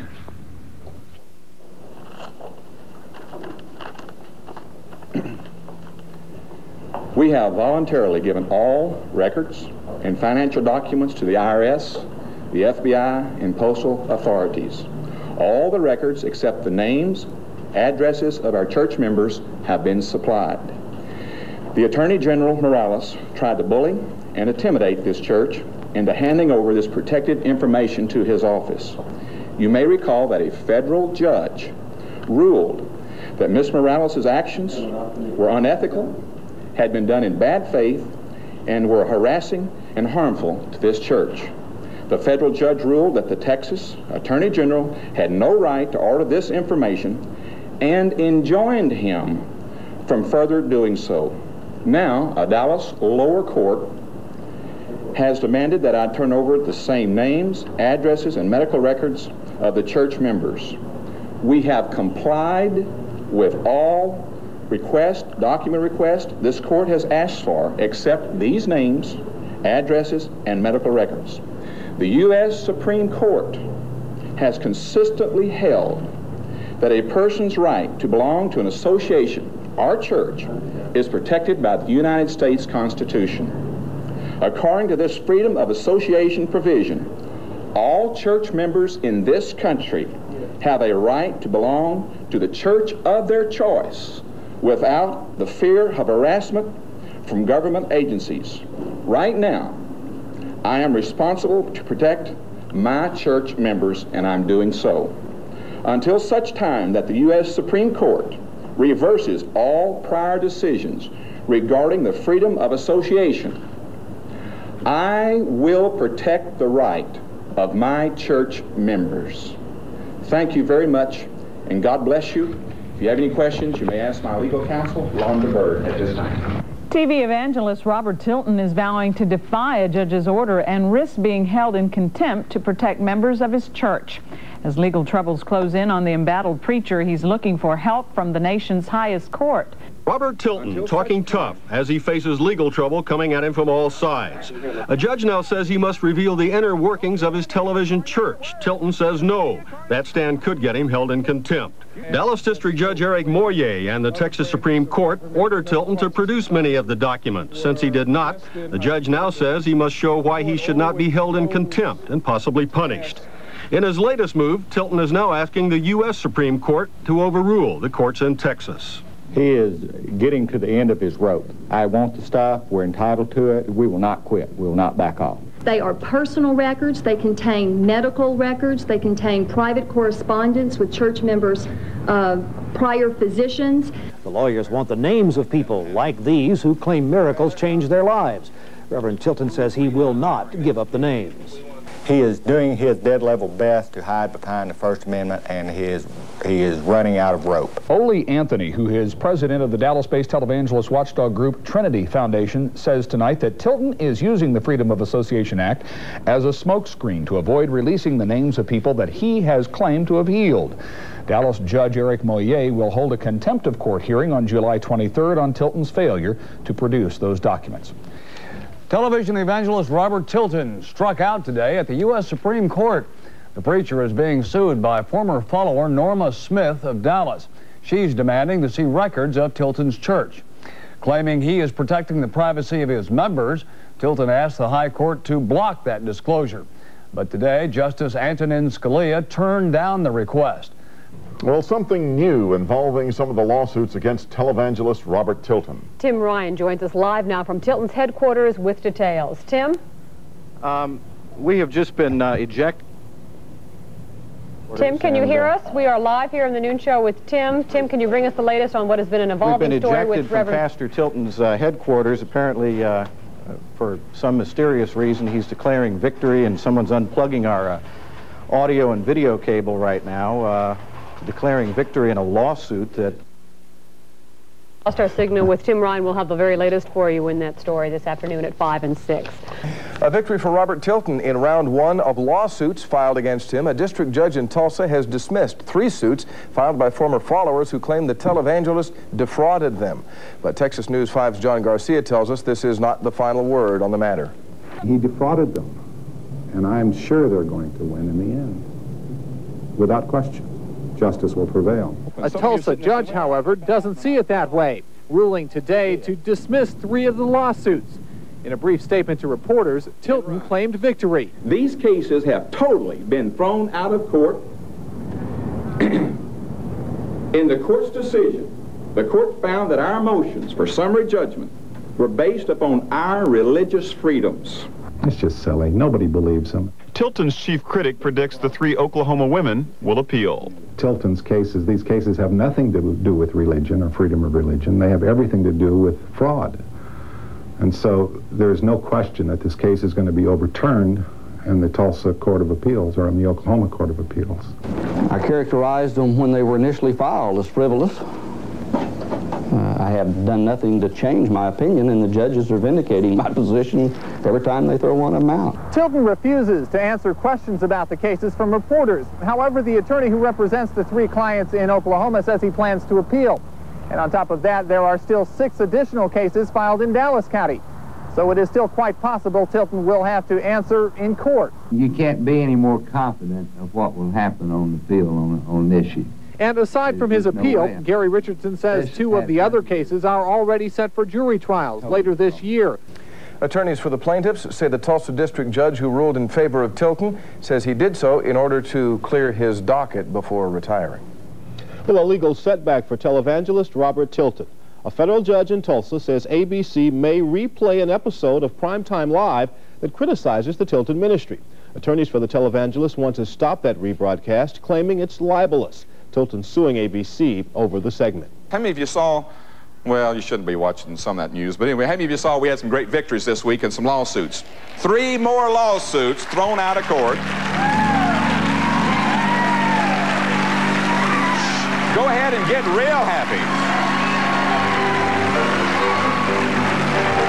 That, I, I, I think that's nine now that either been dismissed or thrown out of court, and the judge in Tulsa said that they were so frivolous that they never should have been in the court system and process to begin with. So frivolous, ridiculous.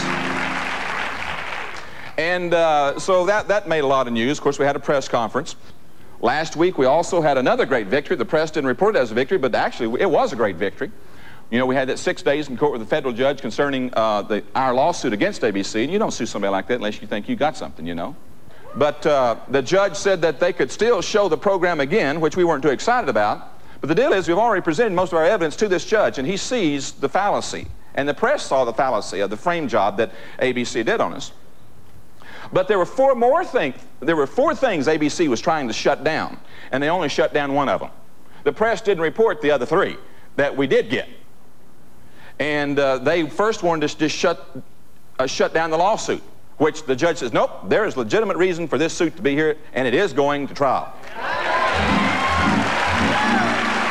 Hallelujah. Number two, Diane Sawyer is going to be here. Sitting in Tulsa, Oklahoma, along with some of her cohorts to answer our questions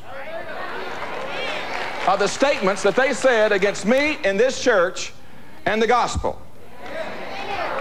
So it may look like we lost something by stopping them from rebroadcasting it. I don't think they will, but if they do, who cares?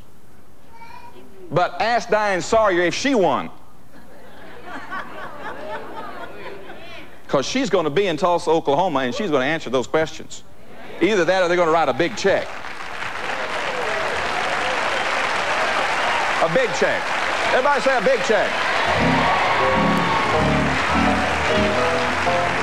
So that was, to me, that was another token or sign of God's goodness. Also, you know that uh, they, they want our membership list. The, the judge, the judge here wants a membership list. Well, you don't have to give the membership list to any government organization. But we've got one judge that doesn't understand that. And so we went to see Barefoot Sanders. How many of you ever heard of the infamous Barefoot Sanders? I thought him and Billy the Kid were long gone, but he's still alive. And so we got to see Barefoot Sanders this week. And the back of the courtroom was just filled with all these people, and I thought it was the press, but they didn't look like the press. It looked like a bunch of young attorneys. And what it was, it was the court clerks, which are our young attorneys. And they'd all come back in the back to see this happening that went on in this courtroom Friday with Tilton showing up to meet with this federal judge. And I said, well, what are they all doing here? He says, he says, normally it's not very exciting around here. But with you here, it's exciting. They all come to see what's going to happen.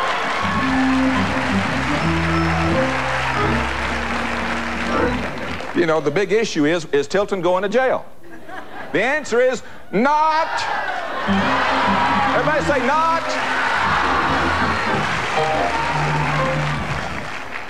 A federal judge today rejected Robert Tilton's latest attempt to avoid a Friday court date. The TV preacher wanted an injunction against Dallas uh, Judge Eric Moye so Tilton could not be forced to surrender church records. But Tilton's request was denied, and the evangelist has been ordered to appear in Moye's court on Friday morning. Good evening. Controversial evangelist Robert Tilton could claim victory today. At least he did not end up in jail. Tilton avoids a contempt of court charge, but is under orders to turn over church documents he says are privileged. Tim Ryan reports. The flamboyant TV preacher said he would not turn over the documents, but faced with going to jail, he's willing to back down. And this is not the final say here, you know. I am going to obey all the laws. So if it comes down to it, you've exhausted everything, and they say you got to turn this stuff over, you turn it over? Absolutely. Absolutely. You won't like it? No, no, and my members won't like it because they're really up in arms. You would be too if you were a member of a church and you that if you gave out, uh, if you were a pastor and they asked you for your church membership list. Judge Eric Moye overruled Tilton's arguments. He ordered the preacher to turn over the papers and 2,000 hours of tapes within a week. Tilton's feet are to the fire.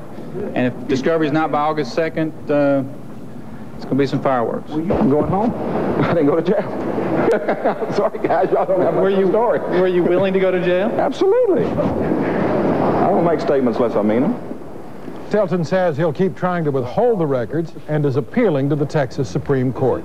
And all of you that are watching by satellite, this just blesses me that you would take the time to turn on your dish, be a part of our Satellite Home Church membership group. And thanks to all of you for continuing to support the satellite feed uh, financially and to continue to pray for us that we'll continue to be victorious over all of our enemies. And I think we've got nine lawsuits thrown out now and about three or four left to go. Or nine people uh, who sued me are no longer suing me. Let's put it that way, either dismissed or uh, thrown out of court. I think there's three or four left, but uh, those are very insignificant. And we're just going to keep pursuing our enemies until we conquer ABC in prime time. And uh, all these attorneys that tried to clog up our legal system, judicial system, we're going to go after, continue to go after them on the conspiracy charges. So we're pursuing, overtaking, and without fail, we will recover all. Amen. God bless you. And you know we had a little court thing yesterday, day before yesterday. I'm not sure what happened except I'm not in jail today. That's all I know. And they didn't get the membership list. Amazing. Say, Bob, they asked me, said, Bob, what happened? I said, I don't know, except I'm going home. and they didn't get anything new, you know, so just got to turn one-inch tapes into half-inch tapes. That'd take about 10 years, but anyway. Be a good job for somebody for 10 years. Anyway, I'd like to make a, I would like to make a statement this morning for the press and those that are watching up at ABC. We know you watch and monitor the Sunday services and so forth, looking for anything you can catch me on. So I have something to say. So if you want to get your pencil and piece of paper or turn your tape recorders on, I'd like to read you a statement that was prepared several thousand years ago. Psalms 1837 from the Living Bible. I chased my enemies and caught up with them. Hello?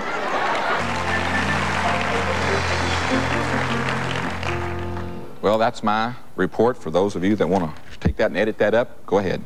A Dallas judge has refused to dismiss a lawsuit against television evangelist Robert Tilton and his Word of Faith Church.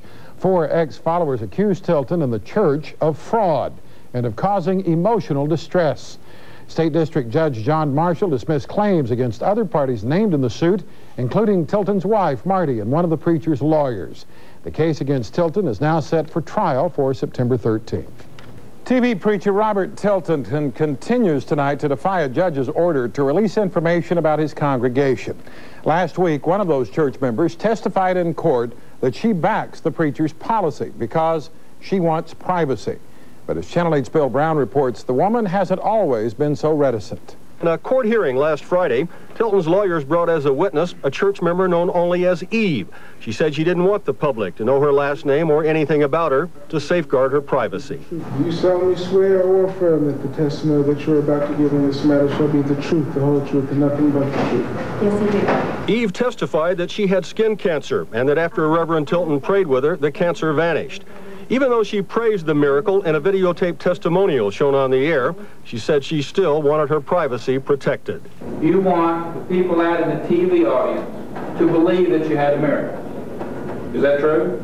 Yes. But you don't want them to be able to question you personally for their own satisfaction to determine if there really was a miracle. Is that no. what you're telling the court? No. However, in late 1991, Eve and her husband went with Tilton on a church tour of Israel, and while there, appeared on a live broadcast with him. I have here with me Dr. Mark and Eve Lover. And Eve, you had something wrong with you. What was wrong with you, and when was this?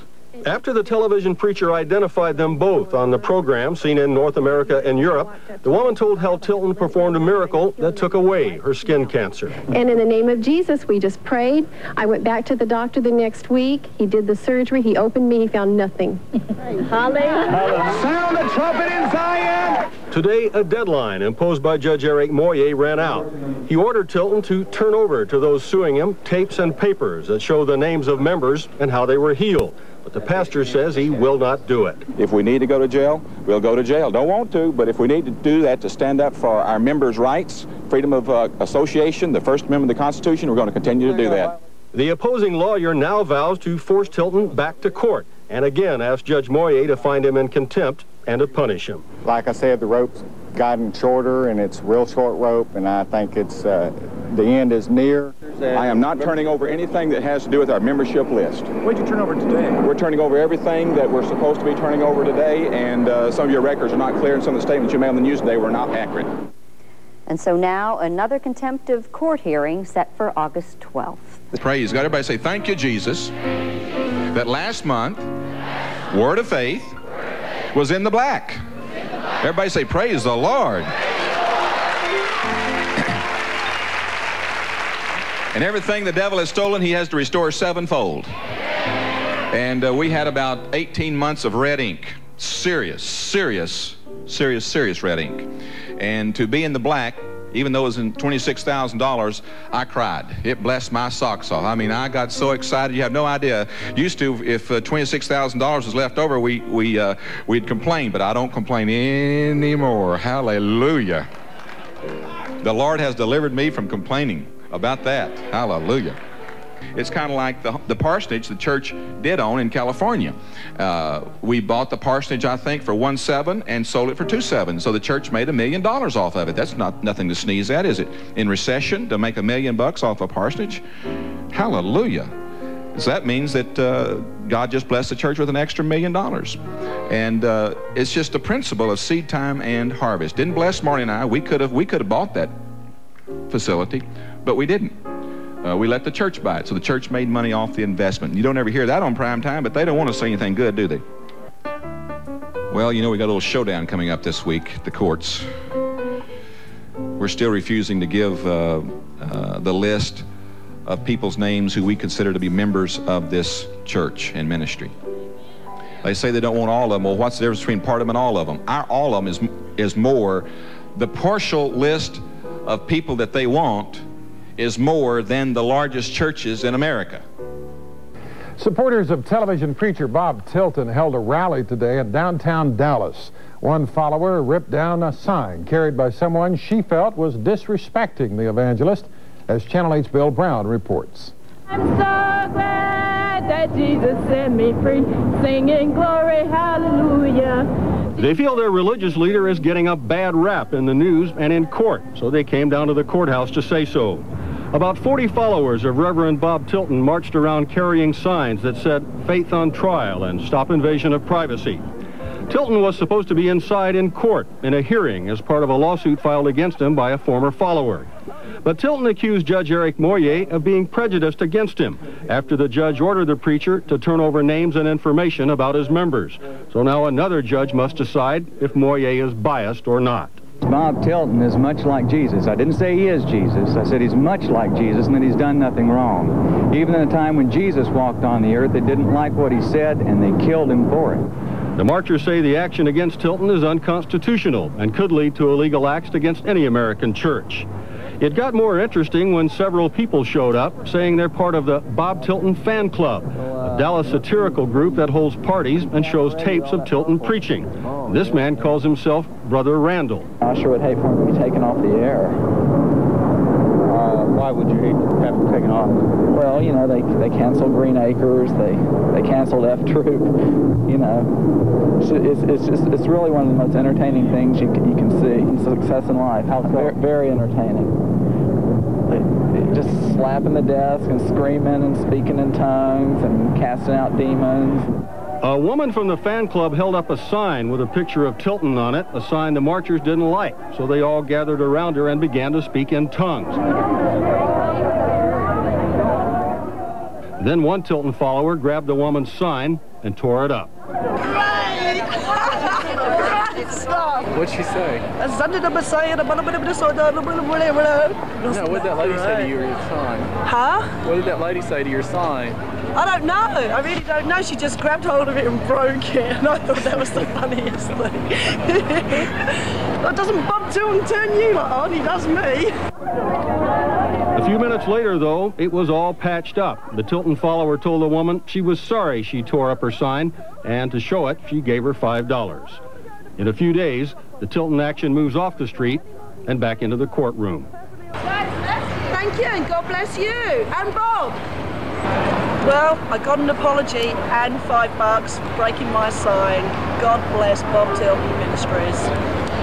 Robert Tilton supporters picket outside the George Allen Courts building. They don't believe Word of Faith members are getting a fair shake in the legal system. Neither does their leader. Church members that uh, are really uh, tired of being pushed around and treated as second-class citizens and are standing up for their rights. Tilton is not here at the rally and insists he had nothing to do with setting it up. But he will be back here at the courthouse August 25th when he tries to have Judge Eric Moye removed from one of his legal battles. We just want a, a, uh balanced justice system, and uh, we feel like that he is definitely uh, prejudiced against us. Tilton admits two years of legal battles and bad publicity have hurt his church. Membership is down and giving has dropped from 64 million to $26 million a year. But Tilton says he's not giving up and says he'll go to jail before turning over his membership list. I believe it's right. I believe it's ethical. And until the highest court in America tells me that I have to turn it over, I'm not going to turn it over. And the supporters marching at the courts building today are solidly behind him. As for the judge, he has refused to comment on Tilton's claim that he's prejudiced or the televangelist's efforts to remove him from the case. TV preacher Robert Tilton filed today for divorce from his wife, Marte. It could get messy and lead to a battle over who gets what from the couple's multi-million dollar television church empire. And there's more, as Channel 8's Bill Brown reports. I just changed. I just fell in love with everybody. Not anymore. TV preacher Bob Tilton says he's fallen out of love with his wife Marte. He wants her out of his church, out of his life, and so he filed for divorce in Dallas. Married for 25 years, they joined in a profitable partnership. With his fire and brimstone performances on stage, on camera, Bob lured the people to their TV sets at home to watch him. Marte was the business brains of the television church, and it made them multimillionaires. In his filing, the minister said, the marriage has become insupportable because of discord or conflict of personalities that destroys the legitimate ends of the marriage relationship. There are indications that the two have not lived together for weeks, perhaps months. Marte Tilton has told people that five weeks ago, her husband fired her from her top job in the church. An attorney for an ex-follower suing Tilton feels the divorce may be a trick to hide millions of dollars, and he says he'll legally try to stop anything underhanded either try to get a restraining order from depleting assets, uh, filed a, a suit as a third-party claimant in the divorce saying that we have a potential claim and that we want it addressed by the divorce court uh, so that the assets don't dis disappear. The Tiltons have two grown children and two boys still living at home, ages 8 and 10. The evangelist says he'll go on supporting the kids, that his wife can have primary possession, but he wants them part of the time. And he says he and Marte will agree to split up what they own. That includes the Word of Faith Parsonage, their home, an 11,000 square foot mansion in Las Colinas, their luxury condo and yacht in Florida, and other wealth, perhaps $90 million or more. Who's this woman that stood up? One of Tilton's critics believes the Tilton breakup could devastate the church it probably was inevitable, and it probably will cause the downfall of uh, the success in life in the Word of Faith ministries. As recently as three weeks ago, Tilton joked about rumors that his wife was planning to leave him. This is the man that's rumored to run off with my wife and is scounded with $4 million. Dan, is that true? I'm sorry you found out about it. it had to come out sooner or later. Boy, For like Tilton's followers, it is yet another unsettling development. Ole Anthony, a frequent critic, calls it a disaster for the Tiltons and their church. In the world of the Word Faith movement, uh, divorce is, is a no-no for, for their spiritual leaders. Uh, there'll, there'll be a huge defection. I think it's a disaster, a, a divorce. I hate divorce almost above all things. Um, and for his church, it's just a sad day. Um, we've never had anything to, bad to say against his church. It's always been the fraud that was being perpetrated in the television ministry that we had uh, the problems with. A Word of Faith spokesperson says they will have no comment on the staff members' private lives. Robert Tilton is calling upon his faith, he says, to pull him through troubled times. The local televangelist spoke yesterday as part of a two-hour message at the Word of Faith Family Church. He never mentioned his recently announced divorce proceedings per se. Tilton told some 2,000 church members that God had ministered to him in a special way this week. His wife, Marte Tilton, attended yesterday's services. Televangelist Robert Tilton was back in court today. The Word of Faith minister says District Judge Eric Moye is biased against him and he wants him removed from the case. 9 o'clock news reporter Rhonda Guess has more on the hearing and the supporters who turned out for Tilton. Word of Faith members marched in front of the George Allen Courts building this morning in support of their pastor. They say this woman's voice was healed by the televangelist last Sunday, and it is just such claims of healing which are at the heart of a $50 million lawsuit brought by Norma Smith. Tilton supporters stand behind him. The only people who don't like Robert Tilton are people who are against the things he stands for, which is healing, which is speaking in tongues, which is laying hands on the sick. Today is the third rally by Word of Faith members to show support for their pastor, Robert Tilton. But they say they're also out here to defend their constitutional rights. Like Robert Tilton, they want to see Judge Eric Moye off the case. They say Moye's order for Tilton to release church records is a violation of the right to association. Moye chose to testify today about telephone conversations with Word of Faith members about the case. The district judge told the court many people have tried to engage him in conversation about the case. The People who wish to express an opinion about this matter. And in each of those occasions, I say I do not want to hear your opinion about whether one side or the other side should prevail. Tilton says he will continue to fight Judge Moye's order. Uh, all the way to the Supreme Court. The Supreme Court has not turned it down. The Supreme Court said it was not in the proper procedure or timing, and when it was in correct timing, they would hear. I think it's awful what they're trying to say about Judge Moye.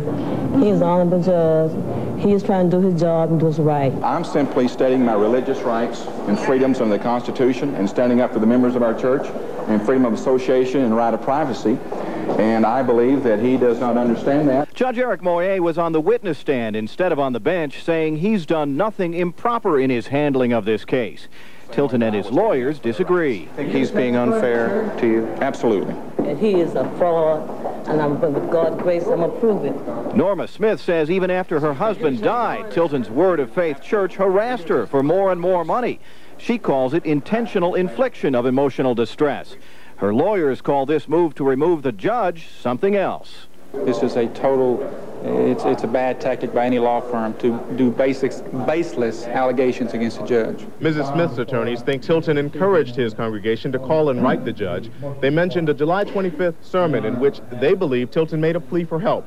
They said they had a tape recording of Tilton claiming one particular judge was giving him a lot of trouble. Tilton denies the accusation. I was simply standing up for their rights by standing up for the freedom of association, not turning over the church membership list. If they want to do something about it, that was their business, and we were not recommending it or, or encouraging them to do it.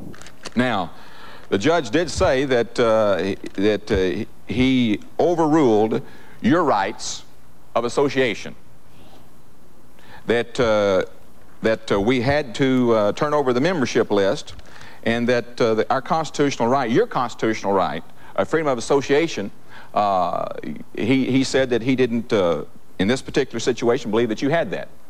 So if you want your name to be given out uh, to people that are notorious for leaks and so forth, uh, fine. If you don't, then you need to start letting your voice be heard and your fingers do some writing and the postman do the walking and start doing everything you can to uh, to uh, get aggravated because you've got enough reason to get aggravated and you at other churches out there you got enough reason to be aggravated too.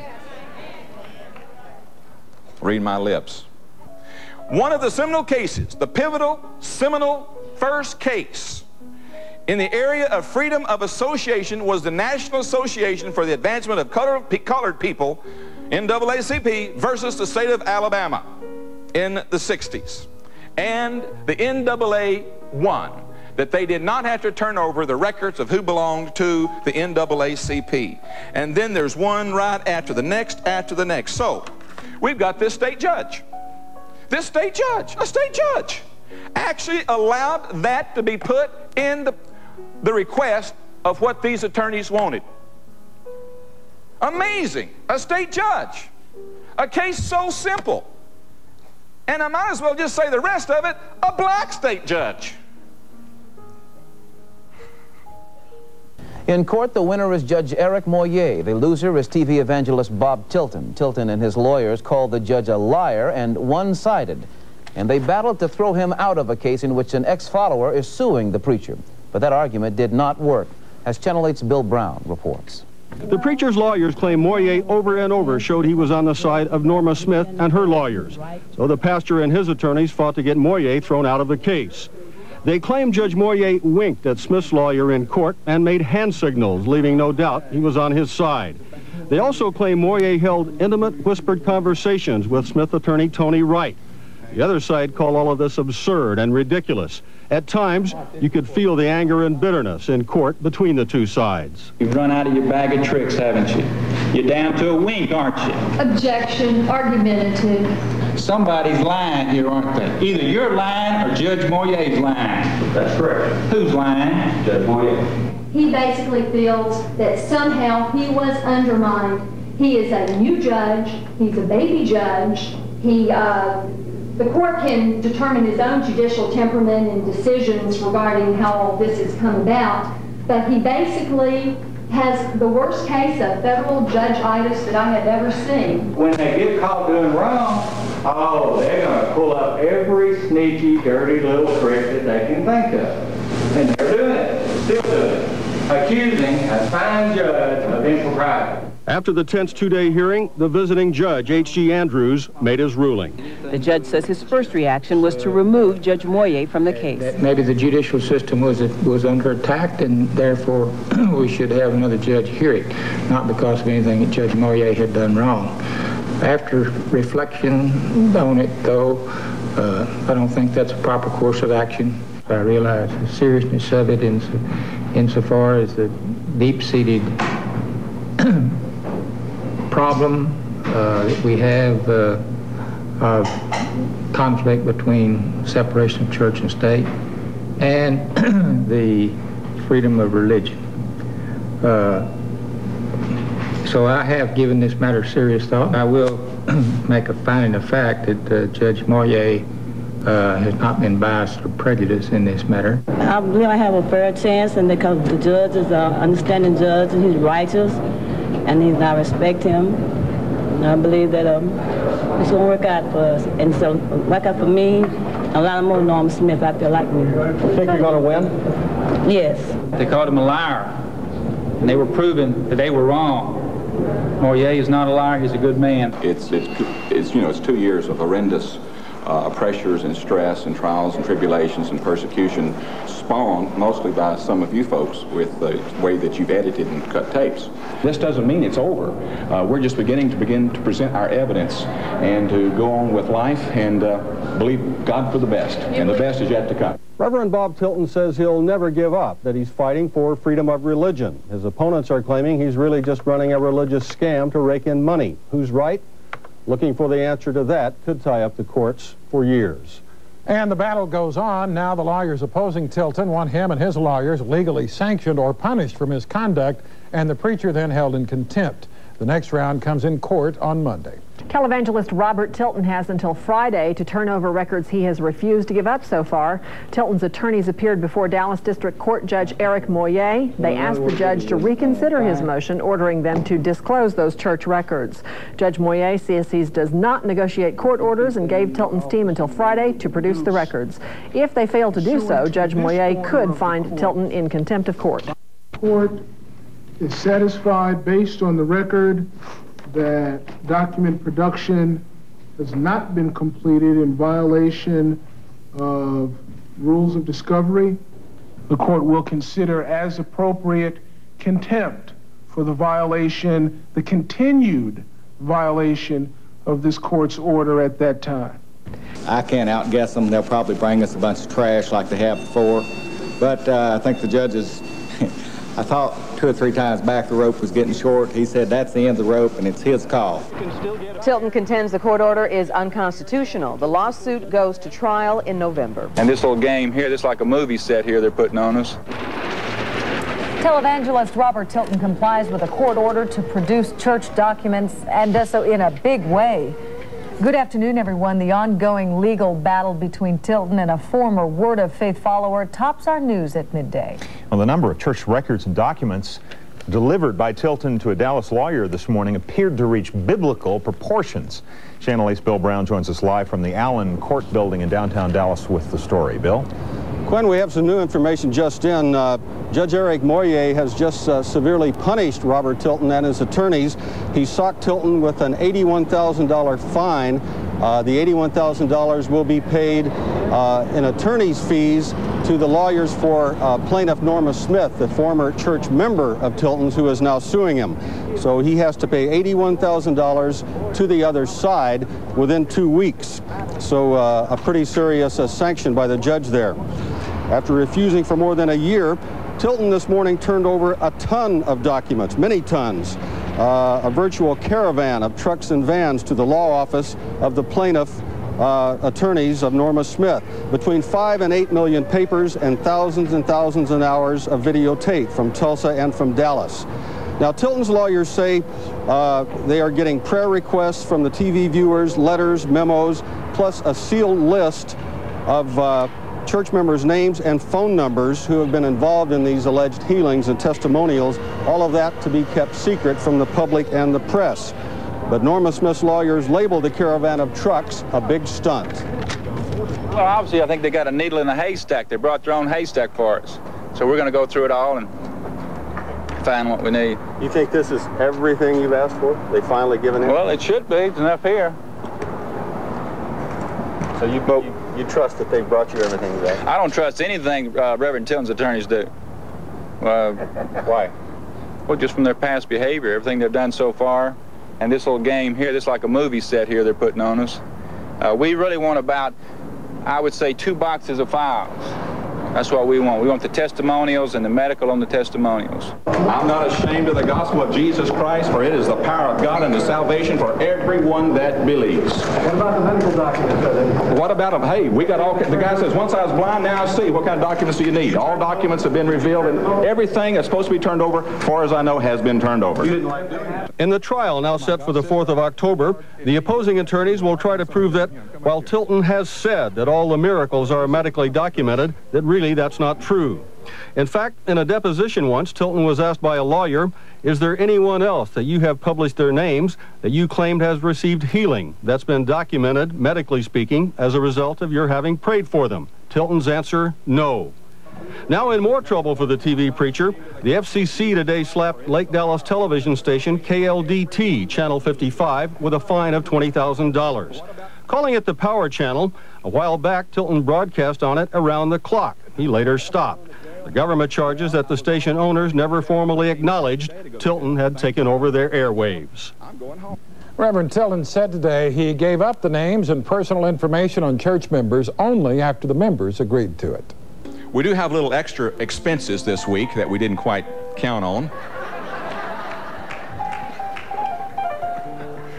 $81,000 worth, but that's nothing for a church like us, is it? That didn't sound like $81,000 off, extra offering to me. that sounded like about a thousand. How many of you going to tithe this morning? How many of you going to give an extra offering this morning? How many of you want to give the devil a real big black eye? I mean a black eye. The devil can't push us around, can he? One of the most powerful ways of releasing your faith is through your giving. Not giving what you don't have, the Word of God declares in our daily Bible reading today, but giving what you do have and what you can do. So we're going to worship the Lord through our giving. I want you to let the Lord speak to you about an extra amount this morning. And I'm not kidding. Read my lips. An extra amount. Some of you, God, God speak to some of them with an extra thousand bucks. In the name of Jesus. Who is that person? We need 81 of them. Dallas televangelist Robert Tilton pays up tonight. Tilton's lawyers appeared in Dallas Judge Eric Moye's courtroom today to pay the $81,000 fine for delaying production of documents requested by the court. The Tilton's attorneys, by the way, failed to get that case thrown out today. And a federal appeals court up in Denver today upheld dismissal of Tilton's lawsuit against the Dallas-based televangelist watchdog Ole Anthony, saying his Trinity Foundation did not conspire to destroy Tilton or his Word of Faith church. Okay, get your checkbooks out. We're going to plant some seed. Press down, shaking together, running over. Get your, get your wallet, your checkbook, your purse, and hold them up high. We're going to bless them. If your offering's already ready, get it up. Okay, get your checks ready. And if you normally give 50, give 100. If you normally give 100, give 10,000. I got your attention there, didn't I? What are you going to do with all that money, Bob? Spend it? That's the fact. Live, this is Texas News 5 at noon. Dallas televangelist Robert Tilton is pulling the plug on his TV ministry today. Good afternoon, and thank you for joining us. Topping our news, the embattled TV minister is taking his show off the air, and that will reportedly mean massive layoffs in his ministry. A Dallas-based watchdog group is pleased with Tilton's decision to go off the air. Ole Anthony's Trinity Foundation has had its eye on Tilton's ministry for some time. Texas News 5's Marion Connor is at the foundation headquarters. She joins us now live with the very latest. Marion. The Trinity Foundation began its investigation of the ministry back in the in the late 80s, and it was Mr. Ole Anthony who personally rooted through Tilton's trash and found thousands of prayer requests that he says Tilton not only didn't even look at, much less pray over. I have Mr. Anthony with me this morning. Could you tell me, first of all, what is your reaction to Tilton going off the air? Well, I'm, I'm very sad for all of the people that have lost their jobs and they, they were without employment insurance. They won't get unemployment. But from the standpoint of all of the scandalous activities that he's been per perpetrating in the American public, I'm very, very happy. Uh, the scandal, the, the, fraud, the mail fraud, can, and the, uh, the, the stuff that he was doing on the air can stop. What kind of uh, effect do you think this is really going to have on other televangelists? Well, it will always, just like in the 87 when Jim and Tammy Bakker's uh, scandal happened, televangelism watching went way down. I think it probably will go down now also. My hope is that the people will start going to their local churches instead of trying to have an electronic church. In television speak, we call it fade to black, and that is exactly what troubled Dallas televangelist Robert Tilton is doing this evening. His TV preachings of prosperity through making a vow of money have finally fallen on deaf ears, and he is pulling the plug on his own television ministry. It was inevitable that, that he would have to go off the air. He was bleeding money. Ole Anthony is a major reason Robert Tilton has been bleeding money. He helped Primetime Live, the state, and the federal government investigate Tilton's ministry. Strangely enough, it was Anthony's work with the homeless that got him interested in Tilton. Their last act before becoming homeless was to give everything to Robert Tilton, or one of these televangelists. And then when they lost everything, they went to him for help, and they were told to go to a social service agency. And that kind of callousness just was beyond my comprehension. Anthony says he's glad Tilton is off the air. Now he hopes Tilton will retire as pastor. I'm truly concerned about the members of his church. Uh, they have been used as, as props on a stage. I pray now that that can cease and they can establish church government and church elders and become a real church. Being a member of an electronic church is like being married to a rubber dolly. There's no satisfaction. So what I hope all these people do is go to their local churches. If they want to give money to meet needs, open their eyes, look around them, look at the homeless people, look at their neighbors that are in dire need. Reverend Bob Tilton has warned for months that Satan, the government, and the press have all conspired to take him off the air. But in the end, it was the viewers.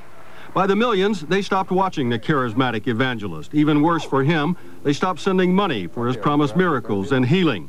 Stung by scandal, lawsuits nipping at his heels, Bob Tilton's TV image was slipping badly. Now he'll fade to black and leave television.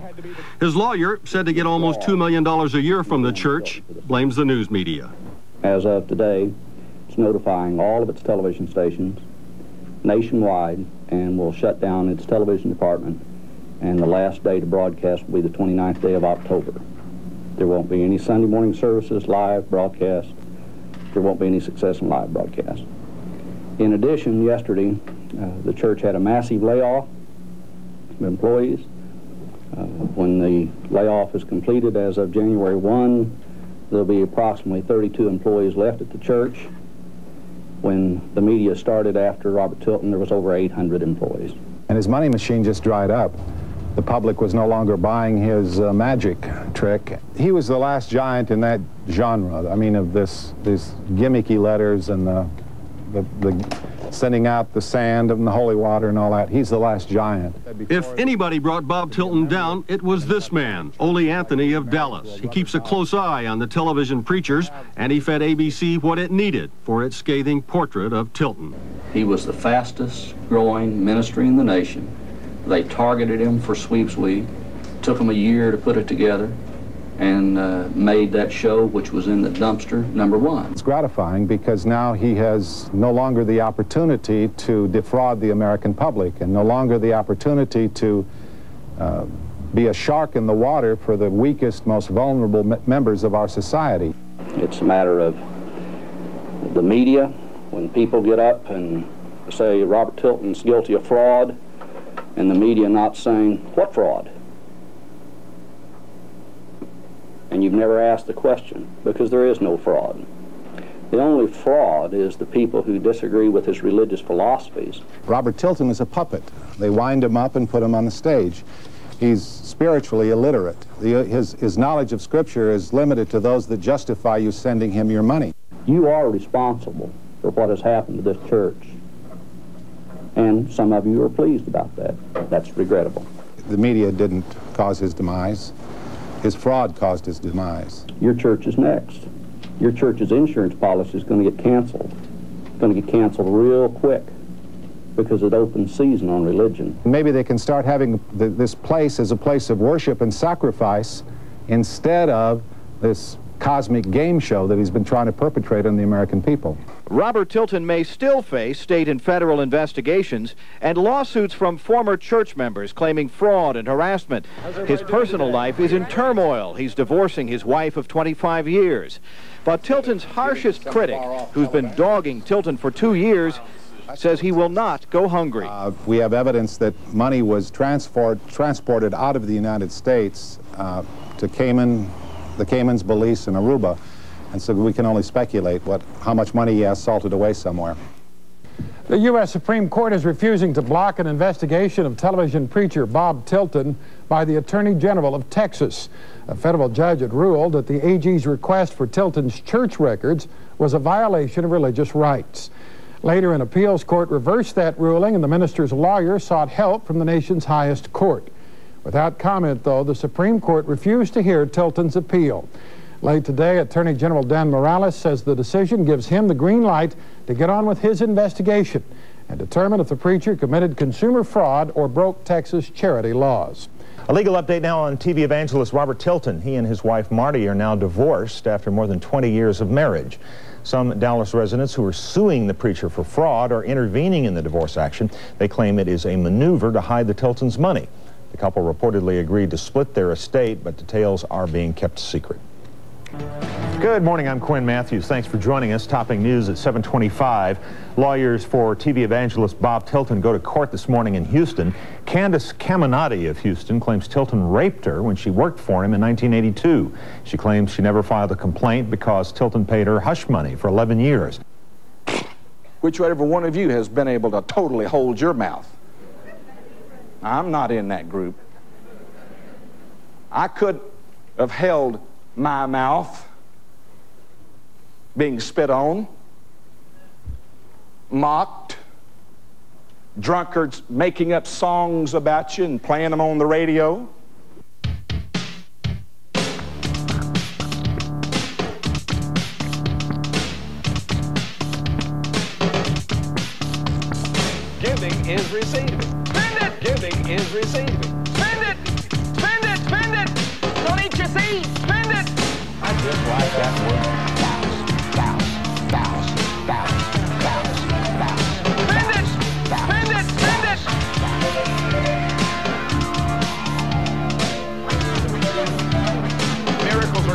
Begin to happen. It's, it, it, it, it, it's the word of, it's the word of God.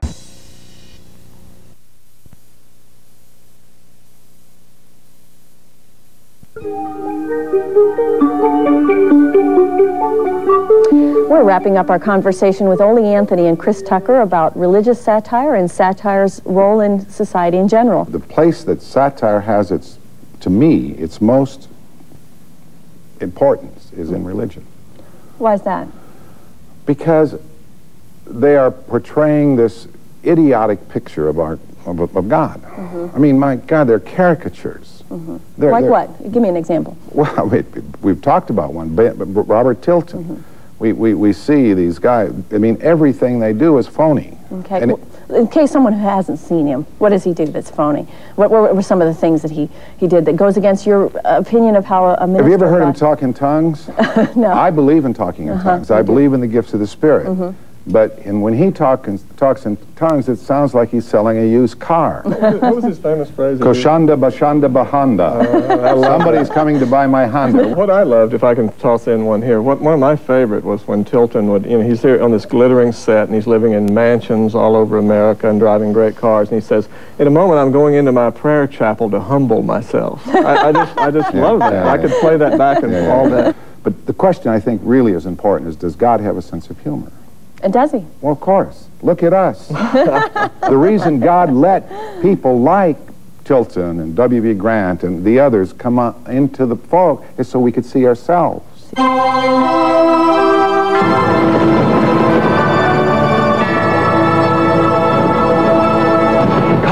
Chose the foolish things, and that would be me, to confound the wise. You can search heaven and earth and not find another like the Reverend Bob Tilton of Dallas, Texas. His powers are manifold. I can build houses, shopping centers, high-rise hotels in my sleep. Trust me. And if I wanted to go out there and work in a secular job, believe me, I wouldn't be a pauper. I would be a multi-billionaire. Okay? His message unique. They love to quote me when I do bad verbiage. His voice hypnotic. In a moment, going into my chapel, I'm going to kneel down and pray. I want so much to pray for you, but I know that God's got he haba haba. His enemies legion. You see, I know that I'm mocked, ridiculed, written about, laughed about, even bumper stickers made about me. But how can I look at this camera with such boldness, such bravery and courage? His authority unchallenged. Satan sees that step of faith and he says, he says, oh no, oh no, Tilton didn't shut his mouth. No, Tilton didn't shut his mouth because you're worth it. You're worth it. His generosity boundless. A thousand dollar vow of faith, big deal. We got people on welfare that's got enough faith to make a thousand dollar vow and paying it. His mystery profound. See, it, it has to do with Mars. and spaceships from outer space. I think that's what it's all about. It's about the cosmics. And it's about interplanetary crossings and alignments. There is only one Bob Tilton, and for that, we are truly grateful. I'm John Bloom, and this has been God Stuff. Well, I'm probably the most checked up on preacher in America. Channel 8 News reported this morning that Candace Caminati of Houston claimed local TV evangelist Robert Tilton raped her when she worked for him in 1982. We also reported Caminati claimed she never filed the complaint because Tilton paid her hush money for 11 years. That report was broadcast without first speaking to Caminati or Tilton. The spokesman for both of them later denied the statements. The report was broadcast as the result of a mistake by this television station. Channel 8 retracts the report in its entirety and apologizes to Candace Caminati and Robert Tilton for the error. Well, in other news, televangelist Robert Tilton wants to sue a Tulsa lawyer and five others for denying his right to exercise his religion. Now, Tilton alleges that Tulsa attorney Gary Richardson and the other defendants conspired against him and his church because of bigotry. Now, you may remember Richardson represents two women who sued the church. The U.S. Supreme Court will decide if Tilton can sue. Former television evangelist Robert Tilton is fighting back. Tilton and his church have filed a libel and slander lawsuit against one of Tilton's longtime adversaries. The suit claims Ole Anthony and members of his Trinity Foundation defamed Tilton at a news conference last September. Anthony's group said Tilton was taking money out of the country and defrauding the American public. Anthony says he's flabbergasted by the lawsuit. He says Tilton has money for frivolous lawsuits, but not for paying his former workers unemployment benefits. Elsewhere on the legal front, former television preacher Bob Tilton may be hauled into court and told to prove he can perform miracles and heal people. The Dallas minister says he has healed many people of cancer, AIDS, and other diseases. He left television last summer saying he was forced off the air by enemies led by the devil.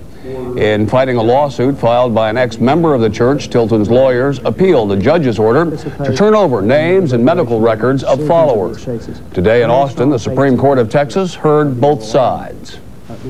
There has been quite a bit of harassment and ridicule and even death threats involving certain members of the church. He confesses overbreadth with regard to the baptism documents. He confesses he wishes to contest these people's religious beliefs. He basically wishes to engage in religious persecution. Mr. Tilton has stated in deposition that he has no medical proof of any healing except possibly one, as the gentleman supposedly cured of AIDS.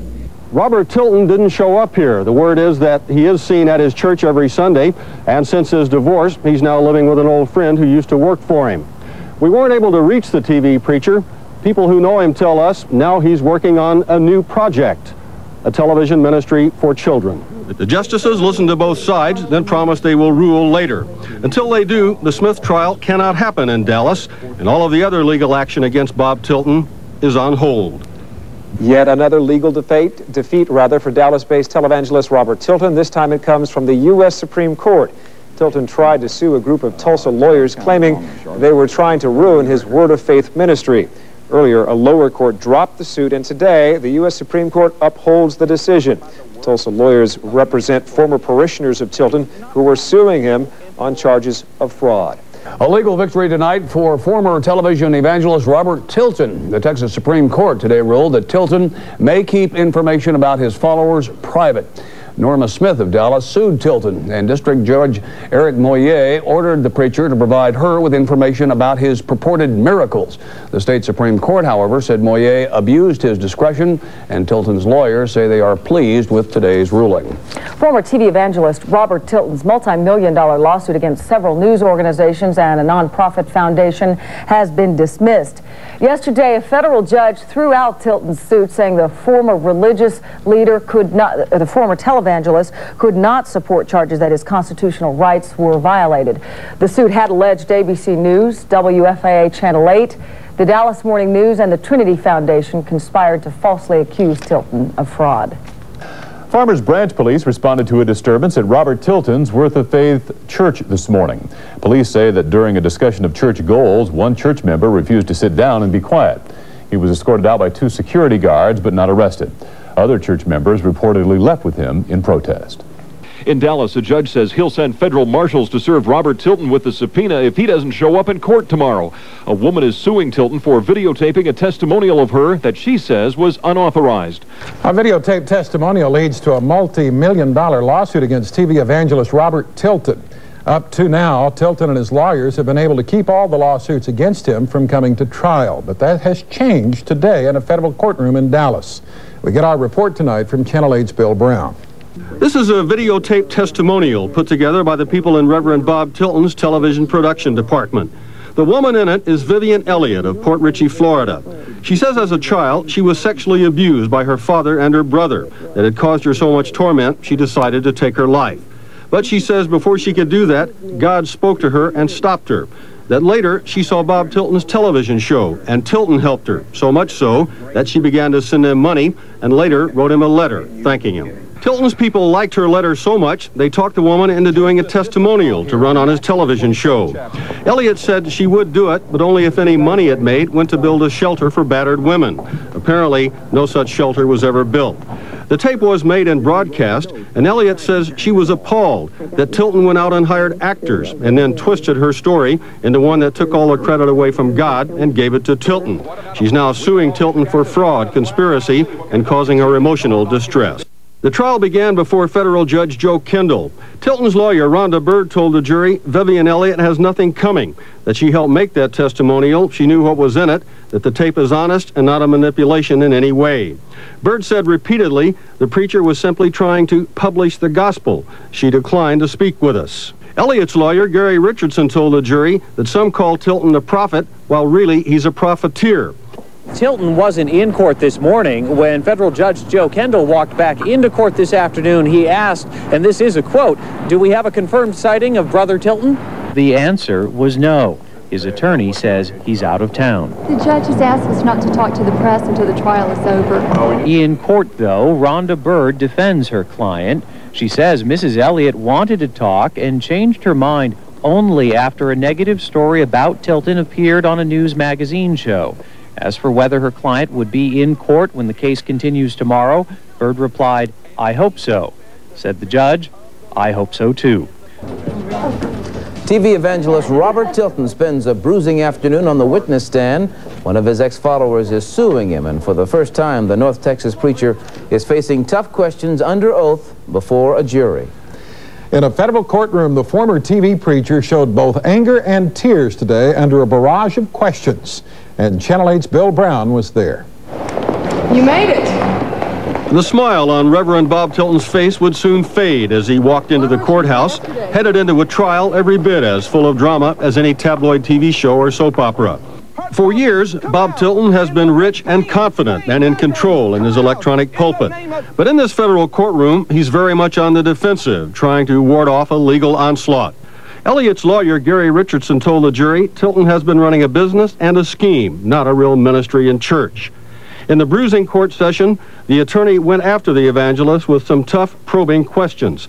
Tilton was very emotional. He flared into anger at times. His face got red. At times, his voice dropped to a whisper.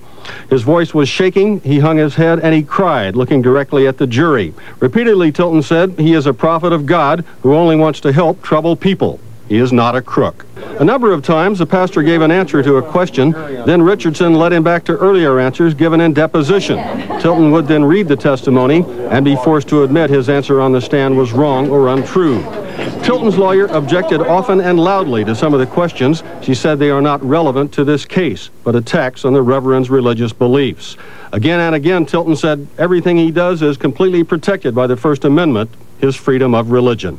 How do you think it went for you today? The judge has told us not to make any comments on the trial, so we're going to respect that. The Reverend told us the real news is that he just won a big victory. The Dallas County Appraisal District, after a battle, agreed that he does run a church and does not have to pay taxes on much of his property. That will save him almost $300,000 a year. Tilton challenged the press, which he says lies about him, to report that singling out Channel 8 News. Hey, here's some good news for us. It's going to be interesting to see how you report that. this will be real interesting yeah. to see how you report, report that. Good news. This case resumes in federal court Tuesday morning, but the lawyers are finished with Bob Tilton. The judge's words to Tilton, you're free to come and go as you please or go back to wherever it was you came from. A Florida woman wept on the stand this afternoon, recalling how former televangelist Robert Tilton nearly destroyed her faith in God. Vivian Elliott is suing Tilton for allegedly misusing an interview and then for rebroadcasting a reenactment of her being sexually abused. Elliott became emotional talking about how she trusted Tilton. She says she felt used when she saw how Tilton's ministry broadcast her interview even after she requested it be taken off the air.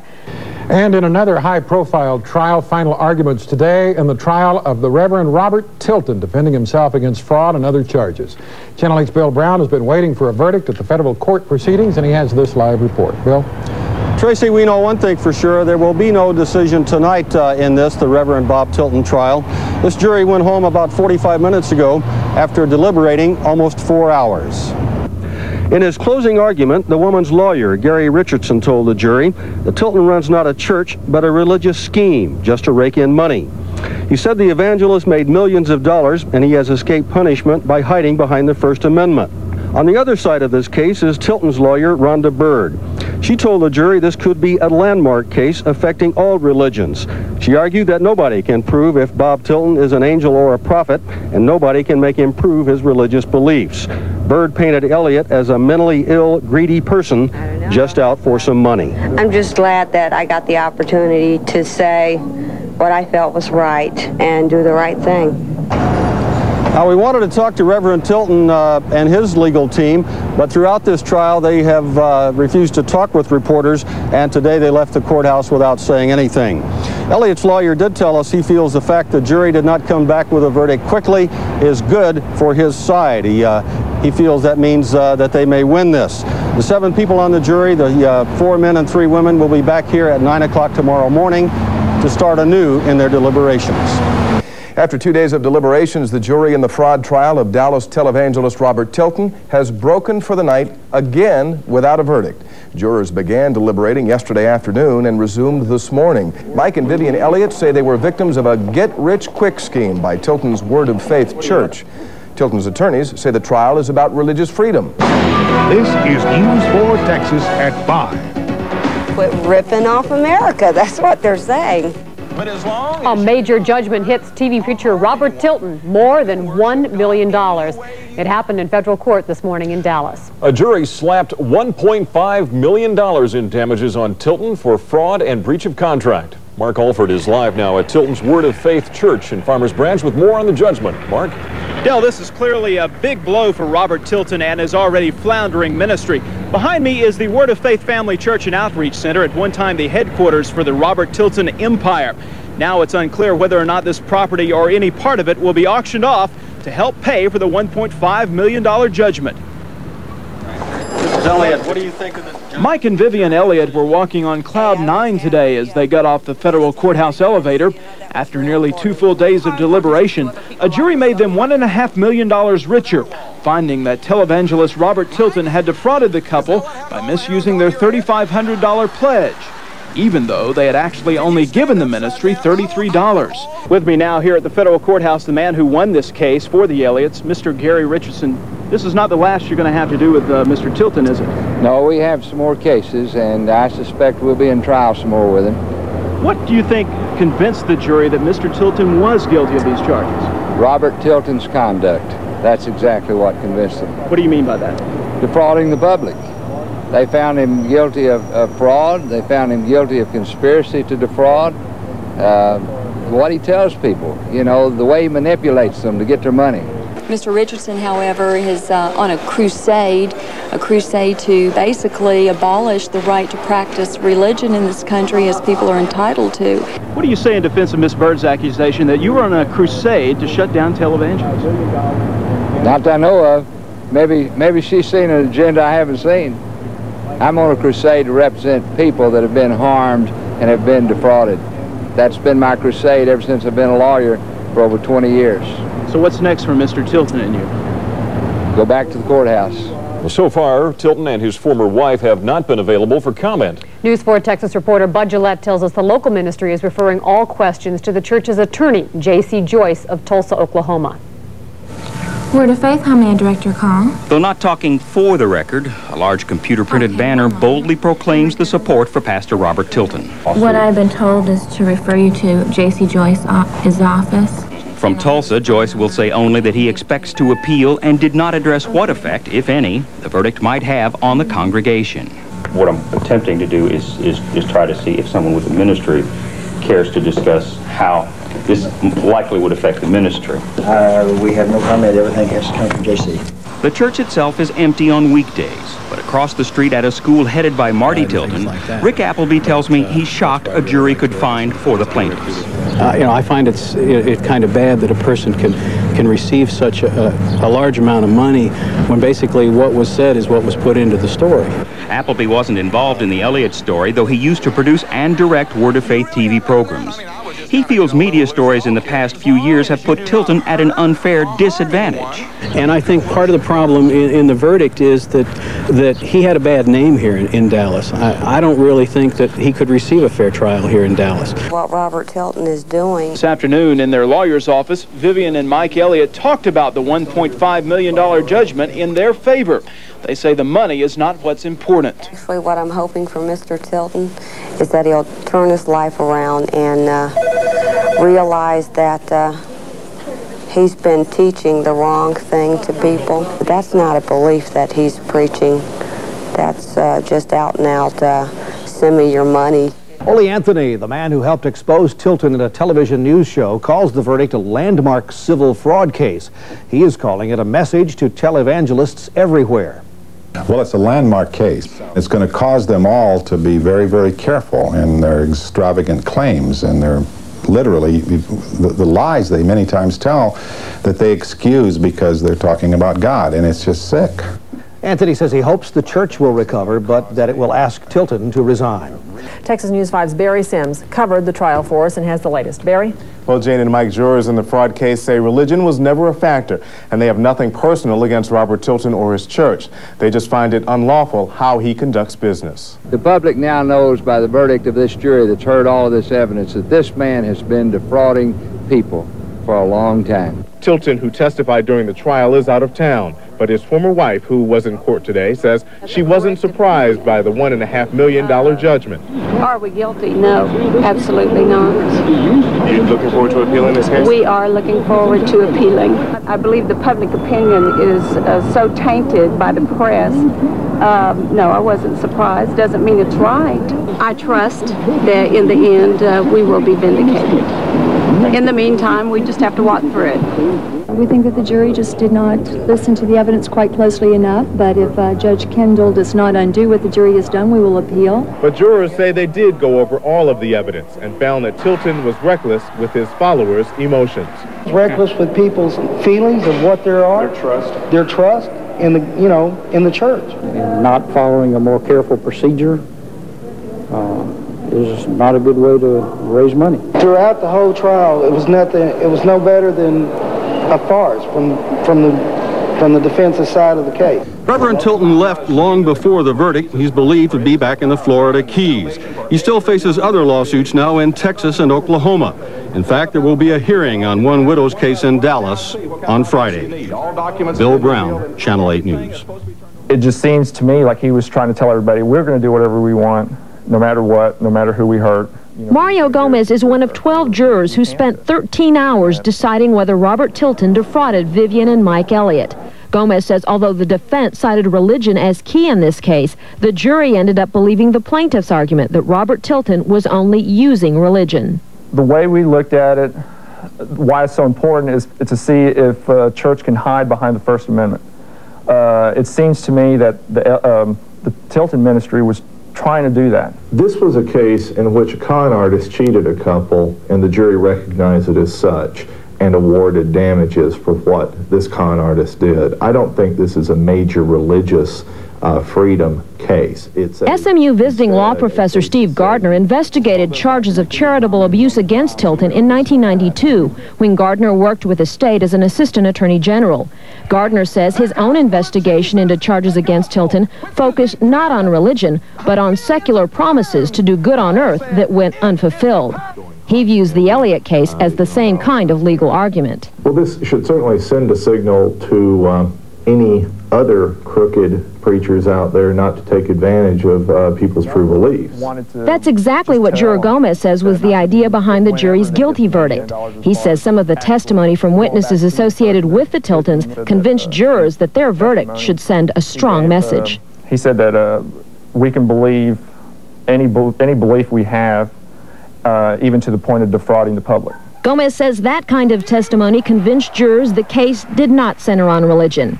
Tilton's attorney maintains it does. She says she'll appeal the verdict. And Tilton's lawyer says her appeal will come if the judge declines her motion to, in her words, correct the jury's verdict. In this country, big-time TV preacher Robert Tilton has received the word from a jury. Some of the people Tilton hit up for money hit back in court. Correspondent Vicki Mabry has chapter and verse on it. We are here to worship the Lord.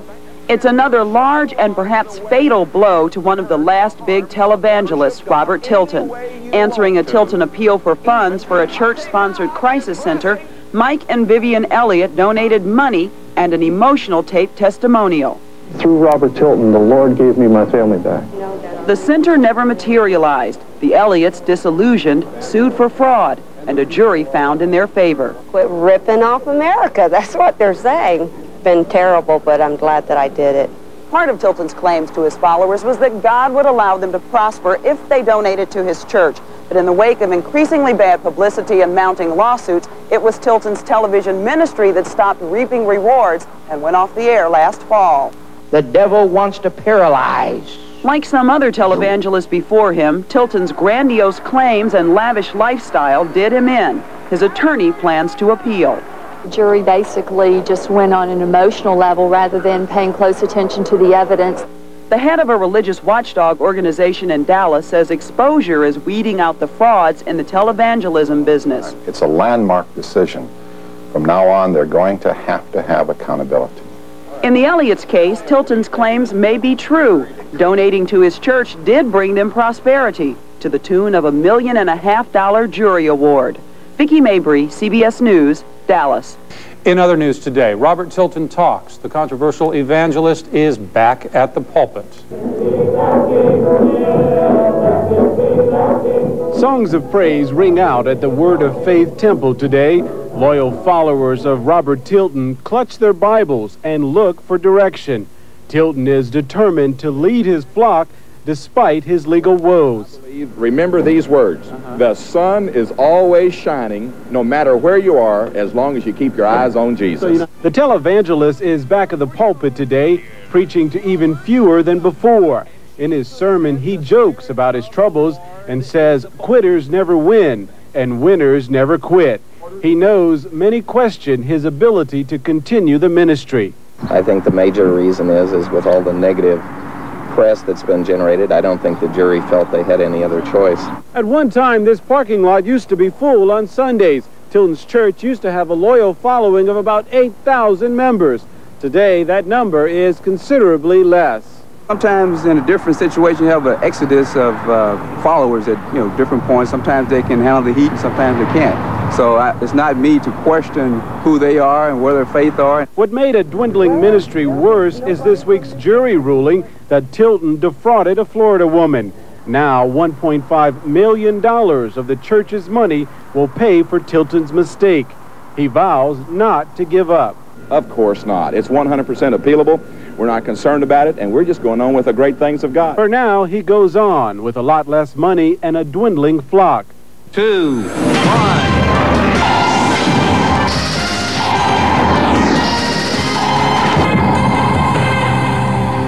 At one time, Reverend Robert Tilton was one of the hottest TV preachers around, raking in millions of dollars. But an Inside Edition investigation exposed Tilton's ministry, and now he's the one paying up. Steve Wilson with an update.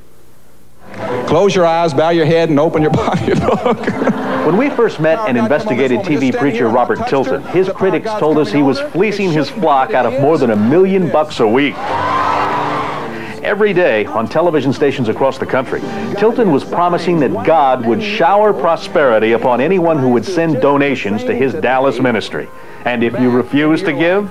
Just then, just, you saw me take a breath in, just then, I saw a person who had stopped fulfilling their vow to this ministry, just then.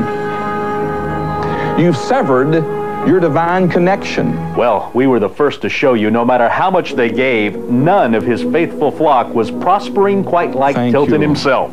There's no religion there. There's no, it's all fraud.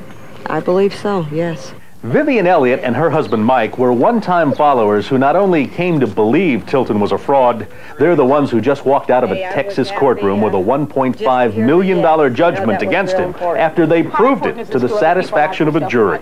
He takes just little pieces of the Bible, and every piece that he takes out is only something he can turn into making money with. Vivian Elliott says Tilton also exploited her by dramatizing her past emotional problems just to entice others to donate.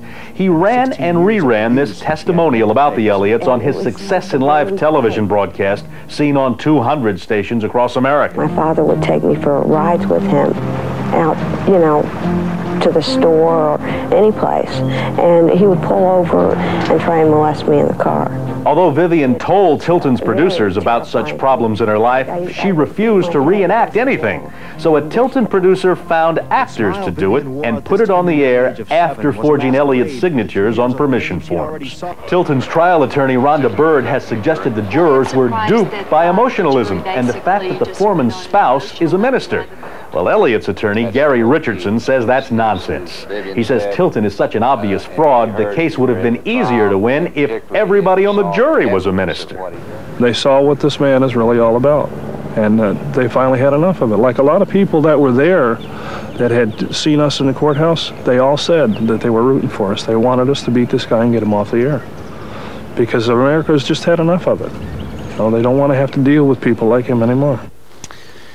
At least eight other members of Tilton's flock are also suing him for using their contributions for personal use. As for the preacher himself, he has divorced his wife and vows to keep fighting in court. More trouble for embattled preacher Robert Tilton. An insurance company for the former televangelist is balking at paying damages. Northfield Insurance filed suit in Dallas saying it should not have to pay any of a $1.5 million judgment against Tilton. Last month, jury members ruled in favor of a Florida couple. That case is under appeal. You believe Bob Tilton is responsible for your mother's Yes, death? yes I do. Why? Because it was his influence that prevented her from seeking medical care. Controversial evangelist Bob Tilton goes back to court to face accusations that he lied to and cheated his former followers. The Farmers Branch preacher lost his television ministry after an expose by ABC News. He has already lost one major lawsuit by a former follower and now faces more trials. Channel 8's Bill Brown was in the Dallas courtroom this morning and he joins us now live from our newsroom with the details. Bill? Renee, Robert Tilton has now been sued by 11 disenchanted former followers. Some of the suits have been thrown out, but he still faces other suits. Lawsuits by three groups of Dallas people have now been combined into one case, and that trial was to start today. It didn't. The embattled preacher showed up in court looking cheerful in the face of what may be heavy odds against him. Three groups of ex-followers claim Tilton promised them personal miracles but never delivered. They claim he cheated them and hurt their lives. Tilton is now being accused of fraud, conspiracy, and intentional infliction of emotional distress.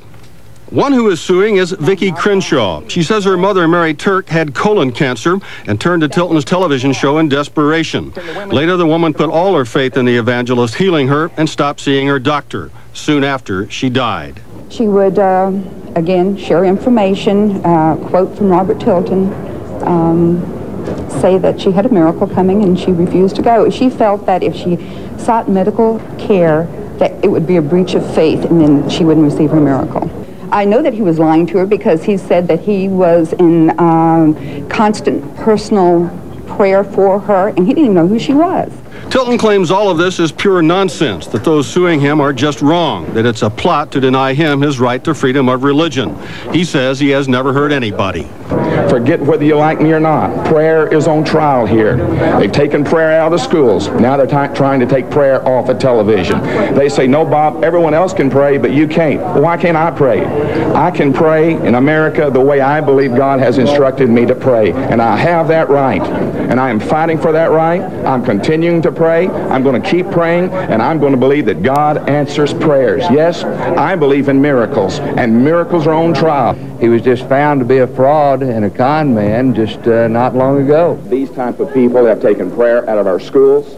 Now they're trying to take my right and your right to not be able to pray on television or to pray the way that I believe God has instructed me to pray for miracles. But this trial has been delayed. Lawyers for Tilton, his wife, and the church said they're not ready to go to trial, and they asked for a continuance today. Uh, District Judge John Marshall agreed. The trial has now been set for sometime in November. Other trials are backed up behind this one, so it looks as if Mr. Tilton will be spending a lot of his future time in a courtroom. Well, coming up on News 8 at 6, a federal judge disciplines Bob Tilton's defense lawyer for misrepresenting the facts. And the punishment includes a hefty fine. Rhonda Byrd has represented Tilton in a number of lawsuits filed against him, as Channel 8's Bill Brown reports.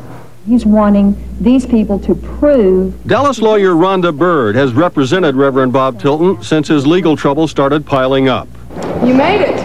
Last April, before federal judge Joe Kendall, Byrd defended the preacher in a case in which two former church members, Mike and Vivian Elliott, won a million and a half dollar judgment against Tilton. In that trial, the man who produced videotape testimonials that were shown on Tilton's television show testified. On the witness stand, he admitted that he forged the couple's names on a release form. Judge Kendall said, long after she learned that the producer had likely forged those names, Rhonda Byrd denied any knowledge of it. So the judge ordered Tilton's attorney to pay the Elliott's lawyer, Gary Richardson, $7,850. In his order, Judge Kendall wrote that Byrd misrepresented these events concerning the releases in her closing argument to the jury. Byrd's statements at trial were misleading, the judge said. They showed dishonesty, the judge said. Byrd's conduct has been deceptive to the court. I've been practicing law over 20 years. I have never, ever dealt with a lawyer like Rhonda Byrd. Ever. And what do you mean by that? Not being able to accept the things she says is truth.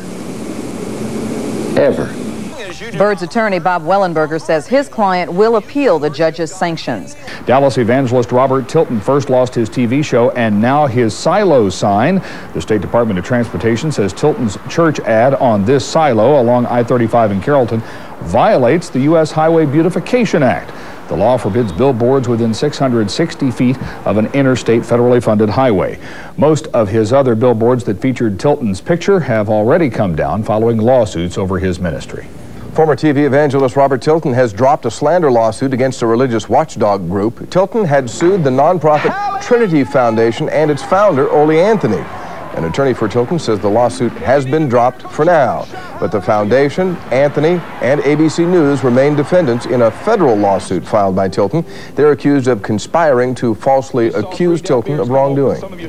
Dallas televangelist Robert Tilton is trying to make a comeback tonight after legal problems that ruined his old ministry. But not everyone is excited about his return. Texas News 5's Jay Gray joins us now with details. Jay? Robert Tilton is working to put the problems of his past behind him, but longtime opponents question whether it is a kinder, gentler Tilton that is back on the air. Here's Pastor Tilton. Oh, how I love to come on these airwaves. Robert Tilton is back on the air in four cities Jacksonville, Florida, Washington, D.C., Canton, Ohio, and Charlotte, North Carolina. And there are reports that the pastor is working on a full fledged comeback, which apparently includes this multi million dollar North Dallas home and a new wife. Forget about me, what you've heard about me or haven't heard about me. Indeed, longtime Tilton opponents say the televangelist has changed. In, in the past, he was uh, success in life, $1,000 vow, hundredfold blessing. Now he's very subdued, and there's a demon. Everything that Robert Tilton doesn't like is a demon. Now I'm going to hit those devils, so don't don't be afraid. But while Tilton doesn't ask for money on his 30-minute daily show, Anderson believes his motives are less than pure. And if you're going to call, you need to call right now. Saddam Calls, Anderson says, are used to develop money-making direct mailing lists. And it's pinpointed, very subtle, very high-tech marketing, advertising, all the techniques to use to, to get people to send him their money. Important to point out, we tried repeatedly to talk with Robert Tilton. He would not return any of our calls. Word of Faith Ministries referred all calls to Tilton's attorney, J.C. Joyce in Tulsa, Oklahoma. His office said he was also unavailable for comment. Speaking of Mr. Tilton's lawyer, what about all those lawsuits filed by his former followers claiming fraud? He will still spend time in court. Tilton has a date in court with ABC Television scheduled for June 15th in Tulsa. There are also five plaintiff suits Tilton must settle before that court date. Back here in Dallas, a federal judge has dismissed televangelist Robert Tilton's lawsuit against ABC News and a religious watchdog group. U.S. Judge Robert Maloney disagreed with Tilton's contentions that the network and the Dallas-based Trinity Foundation had engaged in a criminal conspiracy to falsely accuse him of fraud. Televangelist Robert Tilton won't have to answer to charges from three lawsuits filed against him. The Oklahoma Court of Appeals has ruled that freedom of religion protects the Dallas area preacher. The appeals court yesterday ruled unanimously to uphold a 1993 decision by a Tulsa judge who cited religious freedom.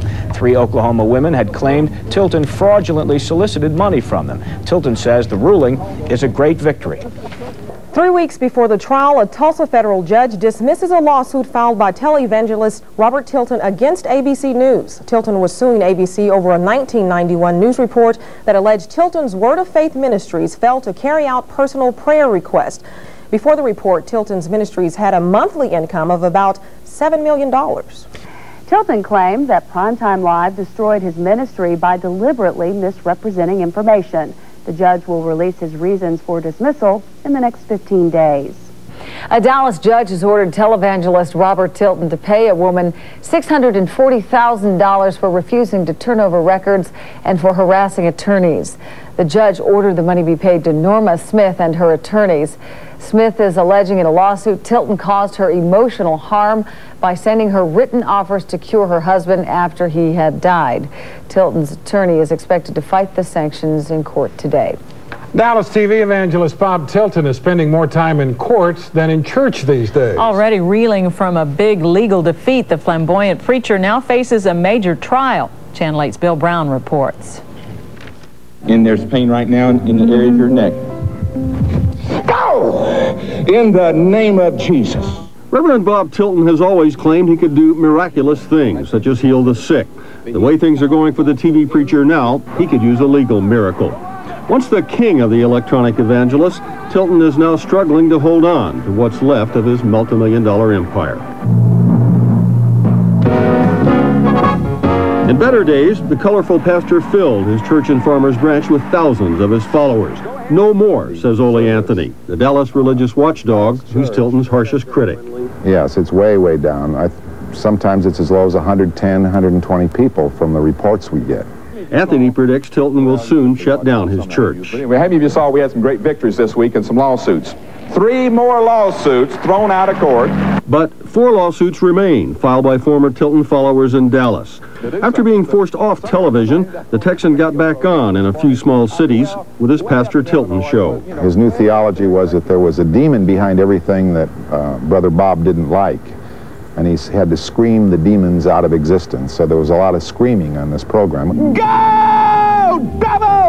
Jesus' name! Jesus' name! Arthritis, go! Pain, go! Sickness, go! Cancer, go! But that show too ended, and now Tilton is not on TV at all.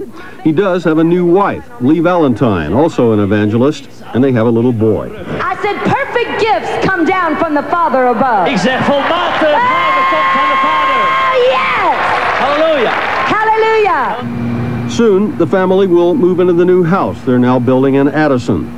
A Dallas judge recently ordered Tilton to pay Norma Smith $640,000 as punishment for not turning over financial records. The Reverend claims if he has to pay that, he'll be bankrupt.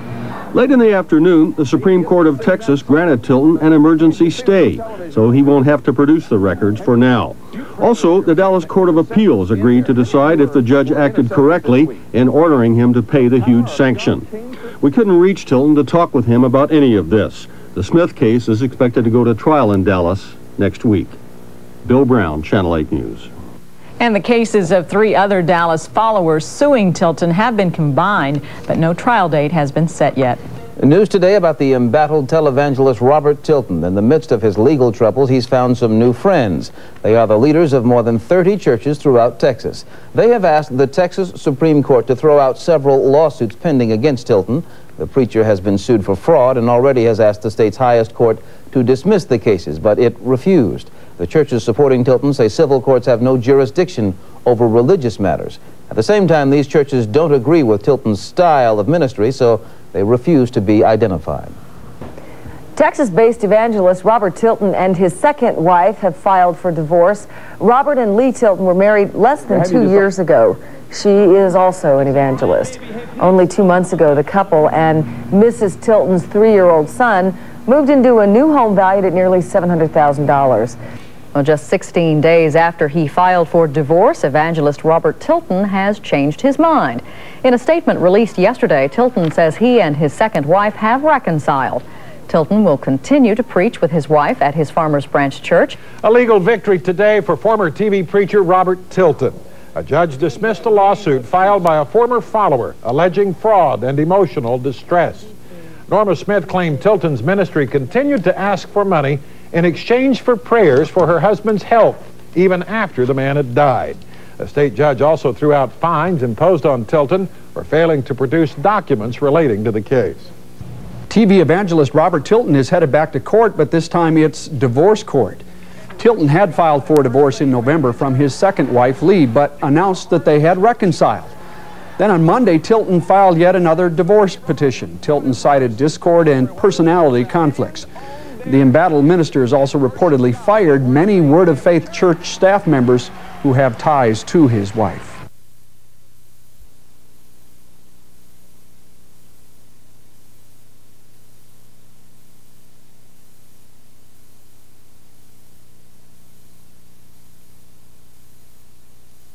Uh, coming up next on News 8 at 10, Robert Tilton is back in court. His estranged wife claims he hit her. From WFAA TV, this is the News 8 Update. Why would you be scared of him? I just think right now he's making many irrational decisions. He's not thinking straight. The second wife of evangelist Bob Tilton charges he has beaten her and threatened her life. And now in the middle of a bitter divorce battle, Leigh Tilton is asking a, ju a judge to keep her husband away from her. And dramatic charges in a Dallas courtroom top the update. Good evening. Thank you for joining us. At an angry divorce hearing in Dallas, Leigh Tilton, the evangelist's wife of two years, testified the preacher pushed her downstairs and hurt her so badly she'll need surgery. She said Tilton's heavy drinking made him violent. Channel 8's Bill Brown reports.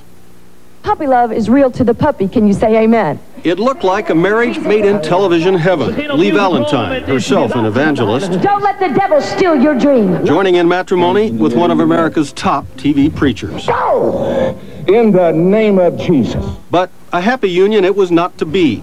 Amid accusations of drinking binges, infidelity, and beatings, Leigh Tilton is now divorcing her pastor partner, his second split up in four years. In a family court hearing, the two and their lawyers tangled over how much money and property Tilton has and how much Leigh will get. While both are ministers, most of the talk was not of Scripture, the good book, and things holy, but of Jaguars, yachts, million dollar homes, and first class plane trips. He's kept none of the promises that he's said and um, made a few threats, many threats. After their 27 month marriage, these days the Reverend is living on his half million dollar yacht in Fort Lauderdale, Florida. His wife now lives in their one and a half million dollar mansion in Addison, officially the church parsonage. In seeking a court order to keep Tilton away from her, Leigh told of her husband's wild drinking binges and violent rages. She said, he slapped me and knocked me against the wall. She said she was violently struck and said he knocked me down the stairs. Tilton's wife claims he told her he fears he's going crazy and he has wild visions of rats eating his brains. You're telling the court that you fear for your life when you're around Reverend Tilton. Is that still the case? Yes. Fear for your life? You think he might try to take your life? He's a very angry man right now. She accuses Tilton of sending church workers out to break into the house. There's maybe fifty to eighty thousand dollars worth of stuff that the church came out there with no court order, broke into the house, and just took stuff. I mean, ripped the safe out of the wall, took her personal items. Pastor Tilton did not refute any of the charges. He didn't say anything. You uh, knocked your wife down the flight of stairs, remember? And she said you did? At another hearing, the church will try to throw Leigh Tilton out of the house. She will try to get her husband held in contempt. This bitter confrontation is a long way from over. On Monday here, the divorce hearing will continue. As he has for several years now, Bob Tilton is spending a lot more time in courtrooms than he is in church. Next on the News 8 Update at 10. And what's next for Robert Tilton's estranged wife after alarming allegations? New tonight, former televangelist Robert Tilton's second wife is evicted from her Addison home today. A judge ruled that Leigh Tilton, her son, and mother must move out by next month. The eviction was brought on by her estranged husband, Robert Tilton. My son is there and my 70-year-old mom. Well, we just basically, we want, we need, um, you know, we need a place to stay, that's all. And it's just been unfair.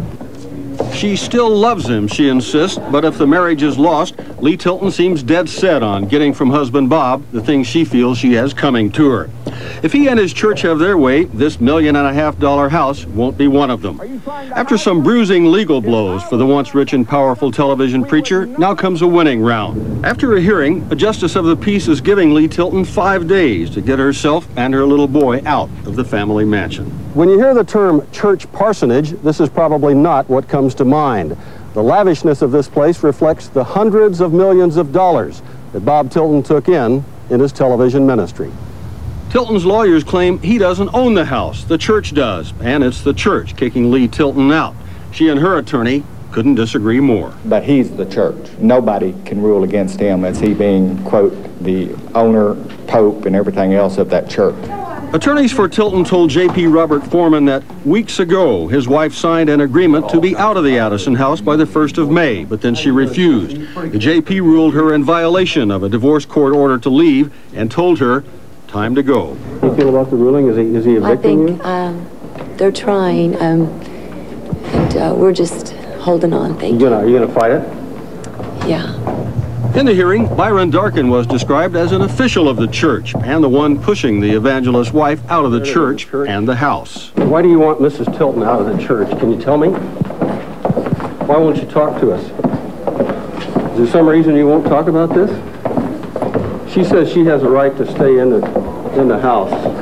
Why do you want her out? In the past, when some labeled him a fraud who preyed on the sick and the helpless, Bob Tilton spoke up loudly to deny it. These days, his lips are sealed. His wife's lawyer vows to appeal the eviction order before the five days are up. He says he's ready for a long and nasty fight. As usual, from Mr. Tilton and his barrage of attorneys, uh, there'll be hearings in every court in the state probably before it's over. Bill Brown, Channel 8 News. TV preacher Robert Tilton and his estranged wife are back in court today. Leigh Valentine Tilton says she wants her husband held in contempt of court. They're in the middle of a messy divorce case. Mrs. Til Tilton has told the Dallas Morning News that her husband is losing his life and his soul to alcohol and money. She says Robert Tilton physically abused her. She says he makes personal use of church money and that he hates Dallas and wants to get out of town. Robert Tilton's attorney says the fight should not be played out in public. He says Mrs. Tilton's claims are lies. After finding him in contempt, a Dallas judge today ordered evangelist Bob Tilton to jail. It happened during a hearing in Tilton's bitter divorce case. His second wife, Leigh, accuses him of taking $100,000 worth of her personal items. Judge John Elder found the former TV preacher is not in contempt on four other issues, but should be punished for not giving back his wife's possessions. There was, however, one big legal victory today for Tilton. The judge denied an attempt to add his Word of Faith Church as a defendant in the divorce case. His lawyers say to do so would violate church members' religious freedom. The religious beliefs are totally up to them. I believe in that 100%. Uh, and that's not the issue. It's the right of control of the 30 or 40 million dollars that Bob Tilton controls, uses the interest of, and used to pay any bill he chooses to pay, buy what he wants to buy. Tilton must go to jail if by July the 8th he has not returned his wife's personal things. The former TV preacher left the courthouse without commenting. An appellate court has reversed a ruling that found Dallas televangelist Robert Tilton and his now ex-wife guilty of defrauding a Florida couple. When asked yesterday about the reversal of the million-dollar judgment, Tilton said he felt vindicated. Yesterday, a Dallas judge ruled Tilton's second wife, Leigh, may stay in the $1.5 million house owned by her husband's church pending settlement of their divorce. Bob Tilton must pay $8,500 in support and pay his wife's bills and her attorney's fees of up to $25,000. The actual divorce trial was set for December. A legal setback today for former television evangelist Robert Tilton. He lost another try in his attempt to sue ABC Television. Tilton sued ABC, alleging it and other organizations violated racketeering laws by conspiring against Tilton and his Word of Faith Church. Lower courts have ruled against Tilton, and today the federal Fifth Circuit Court of Appeals upheld those lower court decisions. The court said Tilton failed to make a case that the RICO laws had been broken. Evangelist Robert Tilton and his second wife, Leigh Tilton, are back in court today talking divorce. The current issue is whether Tilton's once powerful Word of Faith Church and all its assets, including a $1.6 million home in Addison, will be part of the divorce battle. 11 News reporter Angela Hale is just back from a hearing in civil court where this could be a precedent-setting case, Angela. Well, Cameron, there is a long history of rulings in the United States which uphold the separation of church and state. But what if a church and an evangelist like Robert Tilton are so closely intertwined that the operation is like a corporation rather than a separate church? That is exactly what a judge is going to decide. Strolling into court today, televangelist Robert Tilton is confident. Everything's going to turn out okay. Tilton and his second wife, Leigh, are embroiled in a nasty divorce, a battle over money and property. At issue is whether Tilton and his ministry are one and the same, or whether assets like the couple's $1.6 million mansion, which Tilton calls a parsonage, are protected by the constitutional powers of the separation of church and state.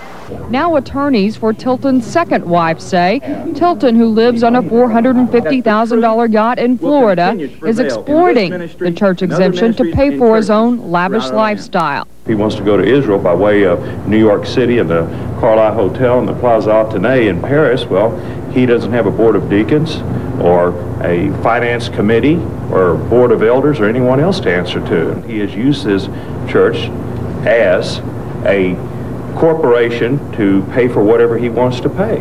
And he can't hide behind the First Amendment and the Religious Reformation Act in the state of Texas. Tilton's attorneys say all church property is protected. It is a church. It is it's recognized by the IRS as a church, by Dallas County Appraisal District as a church. It's got members who donate their money for the work of the ministry. It doesn't belong to Bob Tilton. It doesn't belong to Leigh Tilton. A judge will have the final say. A judge says Robert Tilton's Word of Faith Church can be considered community property. Now a jury will decide if the church can be divided up as part of a divorce case. A local judge denied Robert Tilton's request to keep church assets from becoming part of any community property settlement. Bud Gillette talked with Mrs. Tilton's attorney today, and Bud, this has got to be a big victory for them right now. Yeah, it is, Stephen Ashley. Uh, Leigh Valentine Tilton brought a ministry of her own into the marriage, and it was engulfed by Robert Tilton's. Now her attorney says she wants something back. Robert Tilton lives the life of the rich and famous, but he claims to be broke. Tony Wright says while Tilton may not have many personal assets, he nonetheless controls a business worth $30 million. Now a divorce trial jury will decide whether Mrs. Tilton should get a part of that.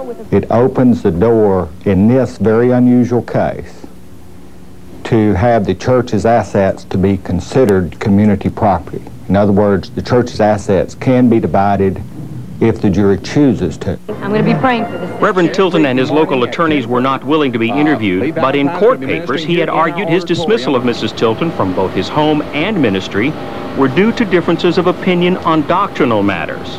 Now, a jury will decide. Attorney Wright insists Tilton's church should not get any special consideration. 99% of your churches do things correctly. They have a board of deacons, a board of elders, uh, an expense review committee, so they can't spend $10,000 uh, stopping at the French Riviera on the way to uh, Israel. The devil would not be making a play for God's servants over the last couple of three, four, five years if there wasn't something God's trying to do. When Bob Tilton went on television and asked people to send him money, the cash came rolling in, about $100 million a year. Now, after investigations and news exposés, the colorful preacher may be taking in only about 10 to 12 million a year. There is no real church in the terms that most people think of a church. This is Bob Tilton running an empire. Earlier from the witness stand, Leigh Tilton testified that her husband hit her, knocked her down some stairs, and broke her collarbone. And she said he drank heavily and had women on the side. The empire is worth in the neighborhood of $30 million. And it's bringing in somewhere in the neighborhood of 750000 uh, up to about a million dollars per month. If I was trying to hide something... Tilton and the attorneys for the church claim under freedom of religion, what the church owns cannot be touched by his wife. But this ruling disagrees. It's a huge legal blow to the television evangelist. Without this decision, if it would have been ruled the other way, it would be impossible for her to get a fair trial on all the questions. The church's lawyers had no comment. Bob Tilton and his attorneys could not be reached. The divorce trial begins on Monday. And Bob Tilton has been living on his yacht in Fort Lauderdale, Florida. He recently bought a new condo there. Tilton says he plans as soon as possible to get back to preaching on TV. Topping 11 News at 6, the troubles of televangelist Robert Tilton. His first ex-wife is back in the picture, making his divorce from wife number two a bit more complicated. That's because a school run by Tilton's first wife is now laying claim to money and property from the church itself. 11 News reporter Mark Anik joins us from our Dallas newsroom with details. And Mark, it's the school and not Marte Tilton herself that made today's move. Jerry, yes, it is. Her attorney says that's because Marte Tilton is a generous person who's not interested in any money for herself. She is, however, interested in making sure that if church assets are divided, they go to whom they belong, in this case, her school. Under normal circumstances, this would be a simple he said, she said. But this case is anything but normal. It's not by the works of man's flesh. He is Robert Tilton, television pastor whose church is only a shadow of what it once was. I mean, everything was stripped from me. She is Leigh, wife number two. In the midst of their divorce case, a judge has ruled that church property might be considered community property in the divorce settlement.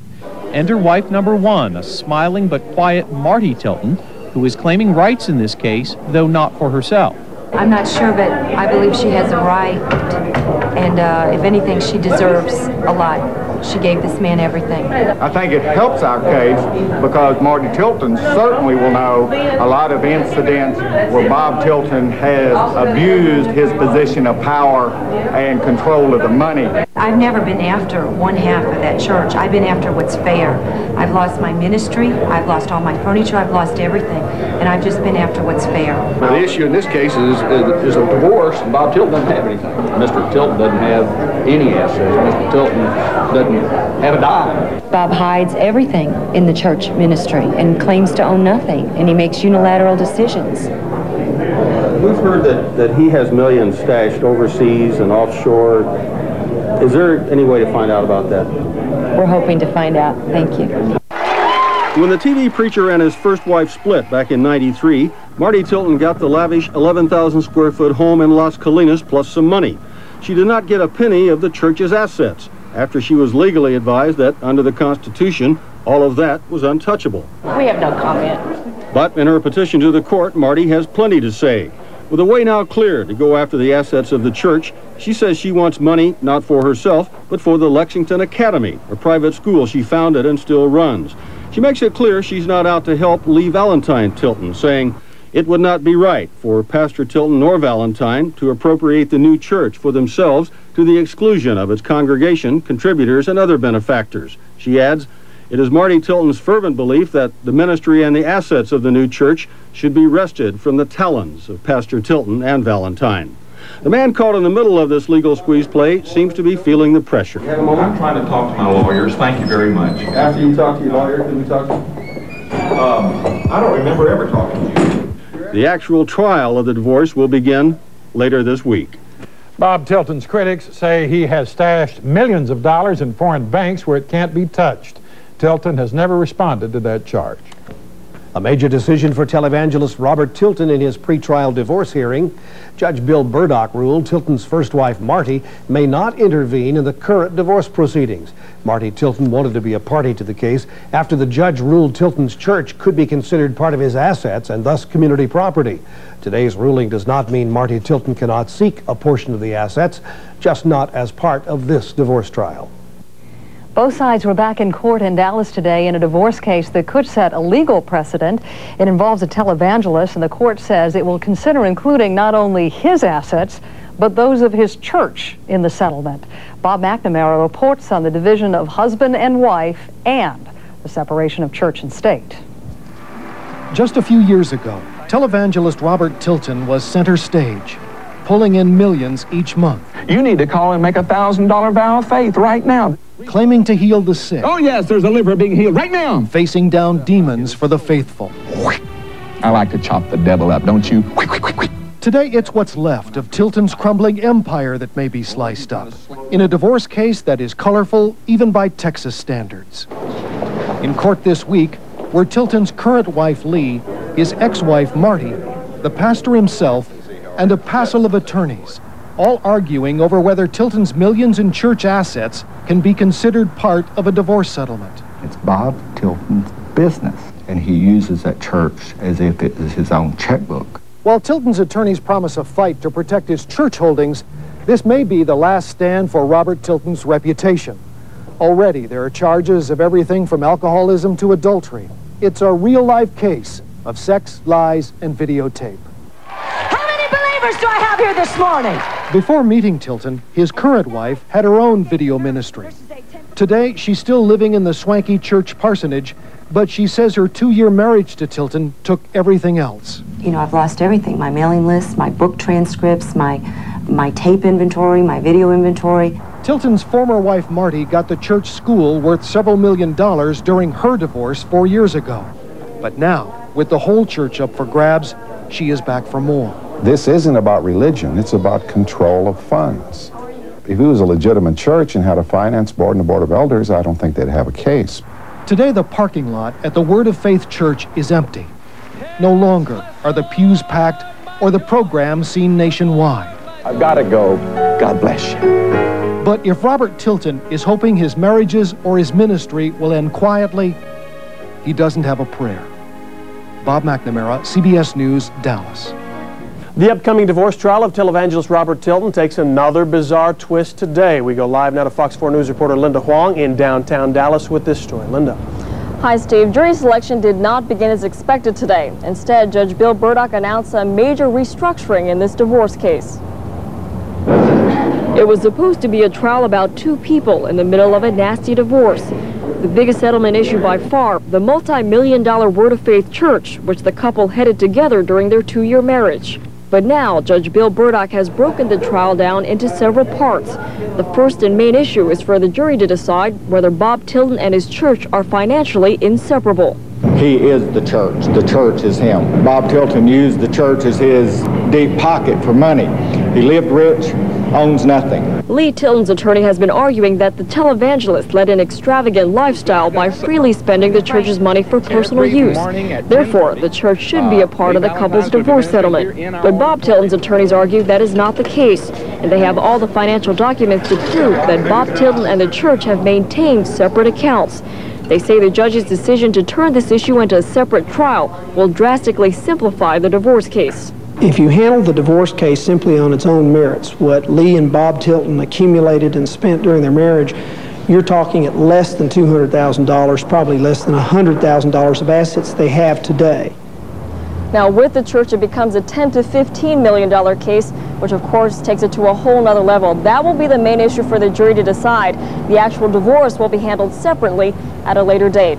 Televangelist Robert Tilton took the stand today in his own trial, calling the whole ordeal, quote, a stupid waste of the government's and the jury's time. Linda Wong has been at the courthouse all day, joins us live now with the latest on the story. Linda. Ashley, they spent most of today going over the points of this six-page document called the Church Charter, and both sides are using it to support their case in this trial.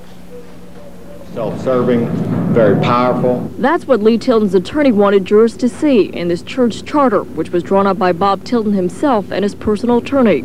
It basically states that the Word of Faith pastor will have total absolute authority over spiritual and secular affairs of the church. Also, that the pastor will be paid like anyone else who is considered to be the best in their profession. He could set it the same as Michael Jackson's salary, I guess, or Steven Spielberg, or any of those type people. Can we talk to you for a second? I'm not allowed to comment at this time. This has become a battle over which Tilton pastor is more greedy. Robert Tilton's attorneys claim they're willing to hand over practically everything the couple attained during their brief two-year marriage. She's not willing to do that. Instead, she wants to try to reach the church's assets, just so she'll have something to walk away with. Which is what this trial is all about. The church charter clearly states that the only limitation on the absolute authority of the church pastor is this, that all the assets are owned by the church, and the pastor may never transfer any property belonging to the church to himself or any member of his family. Leigh's attorney claims Bob Tilton violated that agreement himself when he gave his first wife, Marte, $4.1 million in church property. And they're trying to say that's not a, a, uh, a giving away of the church's assets to settle the divorce. Yeah, right. Robert Tilton's attorney claims the moral fault goes both ways when Leigh Tilton signed over their Addison home into her name shortly after the couple split up in May. It's around 40 or 50 probably now as Bob and Leigh Tilton enter into more hand-to-hand courthouse combat. Leigh continues to press her fight to win cash plus the $1.6 million Addison mansion built as the church parsonage. The Reverend continues to insist she keep her hands off all of it. Tilton was on the witness stand for hours as his wife's lawyer hammered away at him. Under intense questioning about his written church charter, the TV preacher admitted that he wrote in the names of his board of elders without telling the people or getting their permission. Testy and often combative on the stand, Tilton said he was glad to be heard. Giving my side of the story, which is a lot different from the other side. Leigh Tilton portrays her husband as a man who runs his church like a dictator and pushes people around. A multimillionaire, she says, who lives a rich lifestyle while claiming to have nothing. Bob Tilton portrays his wife as a greedy gold digger who would lie, cheat, and even steal to get money and property that's not rightfully hers. The evangelist told the jury the giving of anything of the church to his wife would violate his religious beliefs. He called her claim ridiculous, scandalous, and stupid, a waste of time with no place in divorce court. I think he is shocked that somebody that's a minister would claim that the church they were a minister of was actually a fraud. There was an injustice to my client that shows his power and control and which hat he has on or doesn't have on, have on and, and therefore he can use his position of power and control unjustly and to harm her and did so. This jury will decide if Leigh Tilton may or may not get at the $30 million wealth of the church. Then comes the next phase actually carving up the Tilton pie. Testimony continued today in the divorce trial of TV evangelist Robert Tilton, and today it was Leigh Tilton's turn to tell jurors why she thinks she's entitled to some of the thousands of dollars in church assets. Leigh Tilton, an ordained minister and former Miss Missouri beauty pageant winner, took the stand to testify about her two-year marriage that crumbled amidst the trappings of wealth.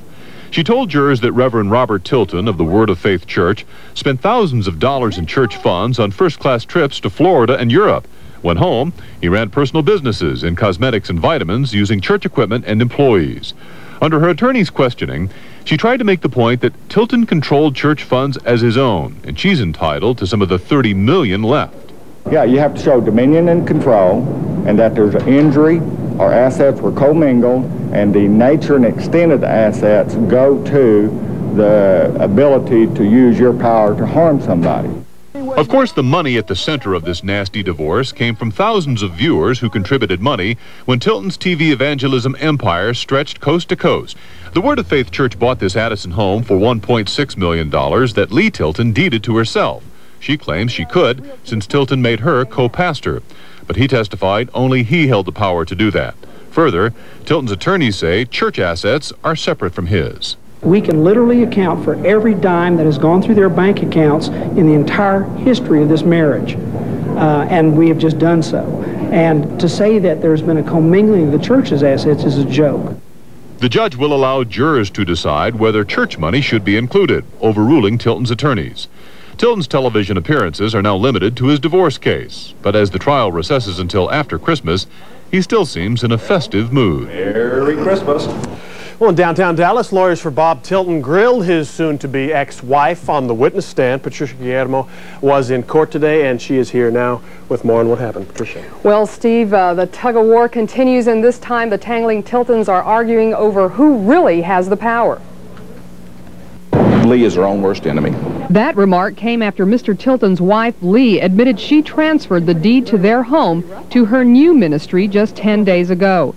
Mrs. Tilton says she was made co-pastor of the Word of Faith Church by her husband. Where they messed up was they gave her equal authority.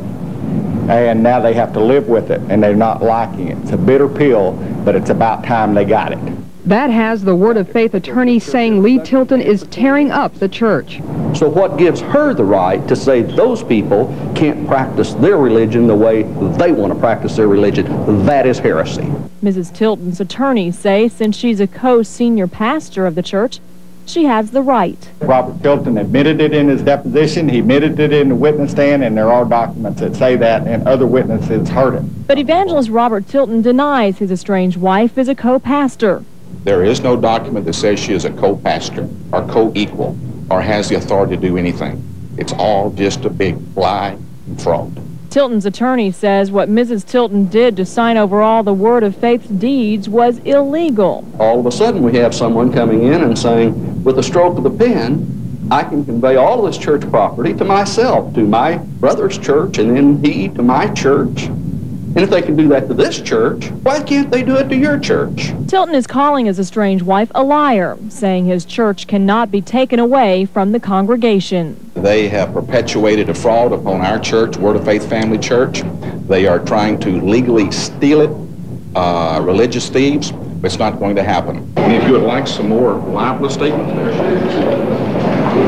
What do you have to say? How do you think things are going so far? I can't speak right now, my attorney, but thank you. Thank you. Things are going very well. Thank you. The truth is coming out. The emotions and stakes are high. Mr. Tilton's attorney never let up, and at one point he even implied Leigh Tilton was lying under oath. Pretty rough on her, don't you think? Appropriately so. I think when somebody's trying to steal several million dollars worth of a church's assets, they should be treated roughly. Tilton is no stranger to the courtroom, and he readily admits it. Hey, we've got 13 cases we've won. We're not going to lose this one, and we're going to keep going. It always works that way.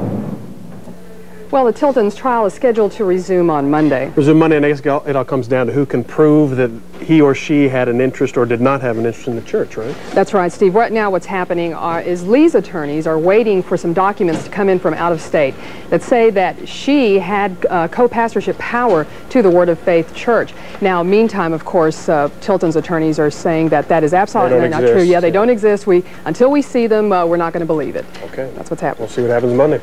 And the Dallas jury continues its deliberations tomorrow morning in the latest court squabble involving controversial minister Bob Tilton. In closing arguments today, lawyers for Leigh Tilton claimed her estranged husband personally controls everything dealing with the Word of Faith Church. I had no idea when I married this man the great injustice he's doing to all of Christendom and uh, all of our faiths by taking these funds and using them for personal use. He tells everyone he owns nothing, but yet he has full use of all those church assets. It's wrong, and he is the alter ego of the Word of Faith. There's no question about it. He is in total control of that ministry, and he's set it under oath. Nobody can make any decisions except for him. I am definitely not the alter ego of the church. Uh, we've done everything humanly possible, above and beyond the majority of most all ministries, to dot every I and cross every T. Lawyers for Bob Tilton called his wife greedy. They say she is trying to steal the church and its $1.5 million parsonage. A verdict is in on the assets trial of televangelist Robert Tilton. As 11 News reporter Robbie Chavez shows us, money from Tilton's church won't be divided up in his upcoming divorce settlement. It was clearly a big loss for Leigh Tilton. The preacher's second wife will never get her hands on Robert Tilton's $30 million Word of Faith church empire. The jury decided it cannot be divided in their messy divorce. So it's very sad. It's very sad for other pastors, legitimate ministries. It's very sad for Christendom. It's just sad. This is, was a, is a major victory, not just for our church or myself personally, the vindication of no alter ego, uh, but for all churches. I cannot believe they didn't rule an alter ego, the extent to which the church is used for his own personal use and gain. So that does shock me. She is not left with nothing. She's left with a regular divorce suit with her husband and community property, which has nothing to do with the church. You don't steal a church. Robert Tilton had a lot of grist all during the trial. His attorneys presented Leigh Valentine as a woman consumed by greed. Tilton was in tears to see what he called an immoral takeover of his church fail. I just um, uh, know that this sends a signal. Uh, though a minister may, a pastor, a minister may fail in his marriage and get a divorce, by no means uh, uh can uh, uh, church uh, assets and properties become a pawn in a divorce suit. I had no idea when I married this man the extent of the abuse and alcoholism and the, the entertainment and the leisure living that he leads. I mean, basically, I was abused for two years. He's not a godly man. He's not a true Christian. And he lives the lifestyle of, he's not a, he's not a pastor. It's very sad. He lives an ungodly lifestyle. Uh, I wish we had more time that we could have shown the jury the American Express bills, the telephone bills, but we were just two little attorneys fighting these million dollar attorneys and all these big law firms. We had a tough road to hoe, okay? They've had 20, 30, almost 30 years of how to hide evidence. And so you don't leave much of a paper trail when you're conspiring to violate the law. As the two Tiltons fight about their past, both are busily mapping a future. Perhaps the one common trait they share is ambition. We have new television equipment we just purchased. We're working on a new um, uh, television program. We just finished a new special. And I'm going to do an info commercial. And I've had several offers to do a book. We'll see. And uh, I'll continue in helping people. But those goals will take a back seat while she goes after the self-proclaimed pauper who came to court in alligator shoes. Allenberg, Channel 8 News. Leigh Tilton, wife of televangelist Robert Tilton, has a month and a half to move out.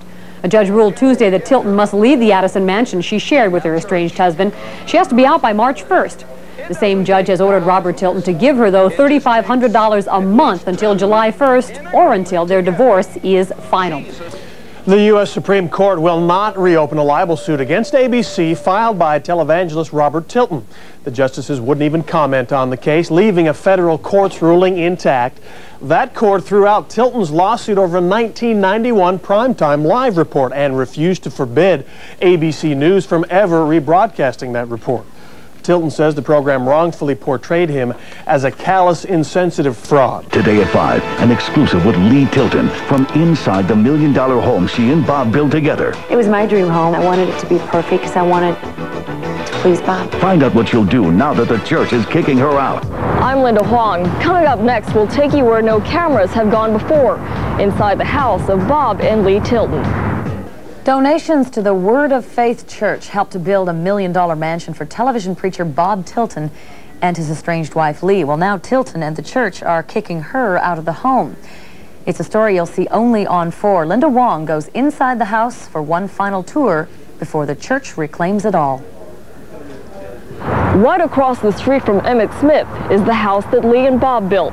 Estimated at $1.5 million, the couple actually spent more time building the house than they did living in it together as a married couple. Then we probably lived here about nine months together. The 6,000 square foot house took over a year to build. But this was our dream home, and it was my dream home. I mean, I built it from scratch, and it meant a lot to me, and I wanted it to be perfect because I wanted to please Bob. I wanted it to be perfect.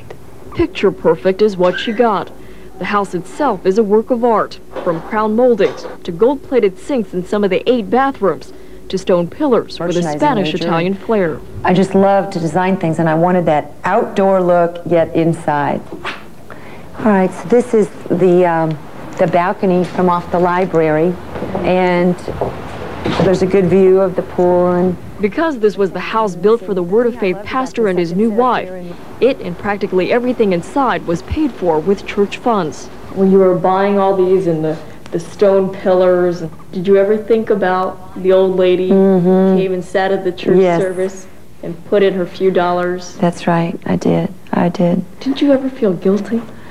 Yes, a lot. Um, Bob would justify it and say, well, I've made so much money off real estate deals and buying and selling property, and that's how he would justify it.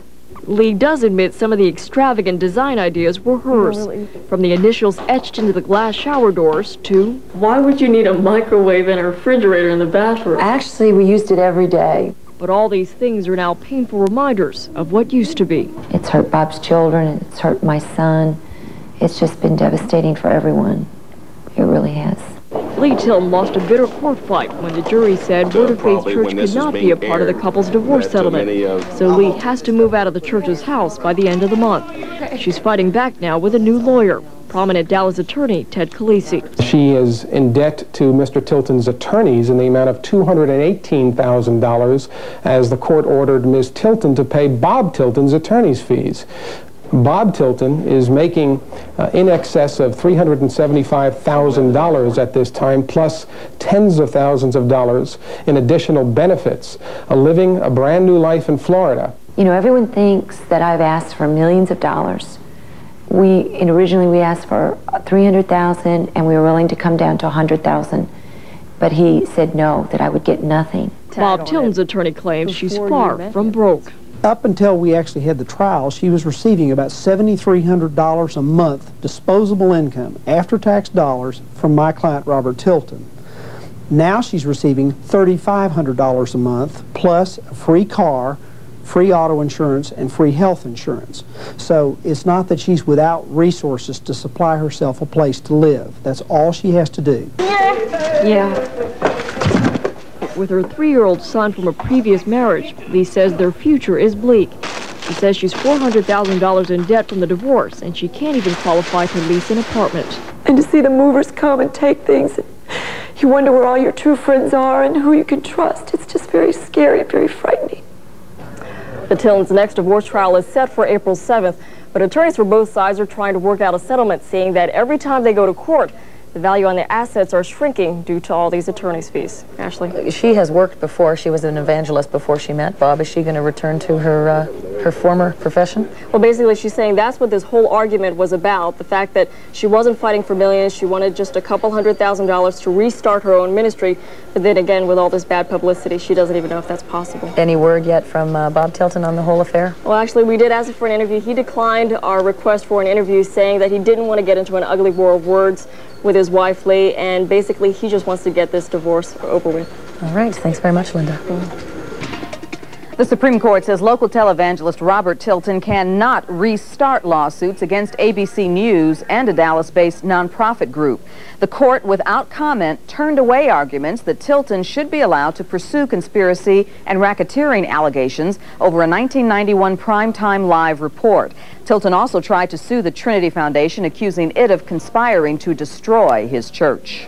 A Dallas divorce court judge has found the second wife of former televangelist Robert Tilton in contempt. The dispute had involved items missing from the former parsonage of Tilton's Word of Faith Church. Both sides had clashed over items including toasters, a toy box, even custom clothes hangers. Leigh Valentine Tilton also was ordered yesterday to pay more than $30,000 in attorney's fees. The estranged wife of television evangelist Robert Tilton took the stand today in divorce court. Leigh Tilton accused her husband of abusive behavior, heavy drinking, and adultery. 41-year-old Leigh Tilton is 50-year-old Robert Tilton's second wife. And other news today.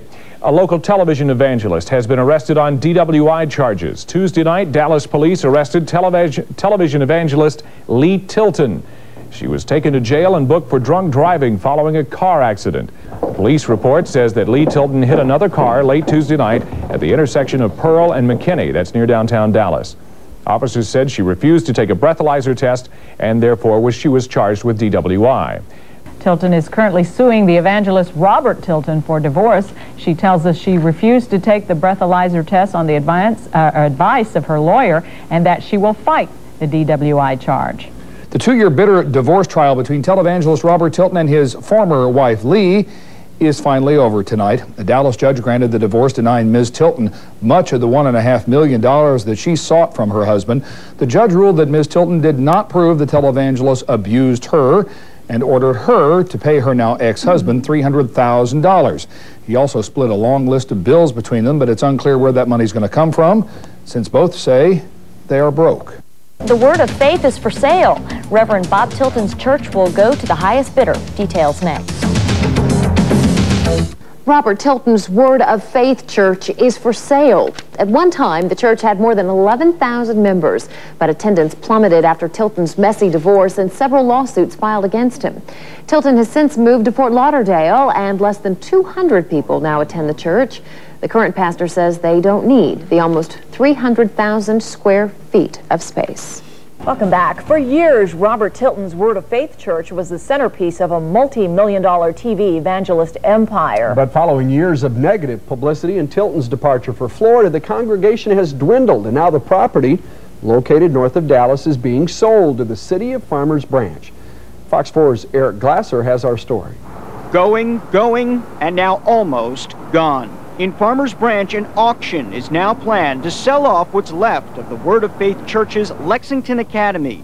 The three-acre property was sold to the Carrollton Farmers Branch ISD last month. And now what was the cornerstone of the controversial Reverend Robert Tilton's empire will be sold as well. Farmers Branch is buying the 13-acre Word of Faith property off I-35 for just over $6 million, with plans to convert it to a convention center. We have a whole lot of victims of Tilton that are living in our community. Ole Anthony, whose Trinity Foundation helps expose TV evangelists, believes most of the money from the sale will still find its way to the flamboyant Tilton. From the Bible! Who had the only jury verdict against him overturned. Praise the Lord. Some of the proceeds may also pay off lawsuits settled this week involving Tilton's former wife, Marte. Despite the sale of the property, Anthony believes Tilton will keep his title as the head of the Word of Faith Church and maintain a small presence in Dallas, if for no other reason than because the church provides them a prime shelter from the IRS. It's just a way in which they can continue their television operation without having to report any of the proceeds to the government. There's a miracle in your mouth. For now, Tilton does maintain a TV presence, living in South Florida, appearing late nights on cable's BET. He's lost credibility, gained some weight.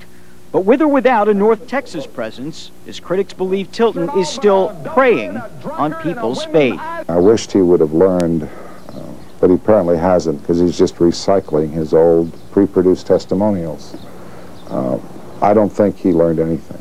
I got a lot of attorneys, and we, this church got a lot of money. In Farmers Branch, Eric Glasser, Fox 4 News. An embroiled televangelist is back, and he's spreading his word in a very unusual way. More on Robert Tilton. Well, the ministry of fallen televangelist Bob Tilton has resurfaced through the mail, and there are concerns about promises of faith he is making to North Texans. If you need a miracle, jump and shout hallelujah. In the 90s, Bob Tilton was a popular televangelist through his Word of Faith Outreach Center church in Farmers Branch with a reportedly $7 million monthly income.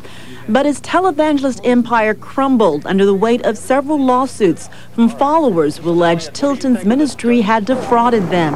Tilton successfully appealed the cases but was never able to rebuild his massive following.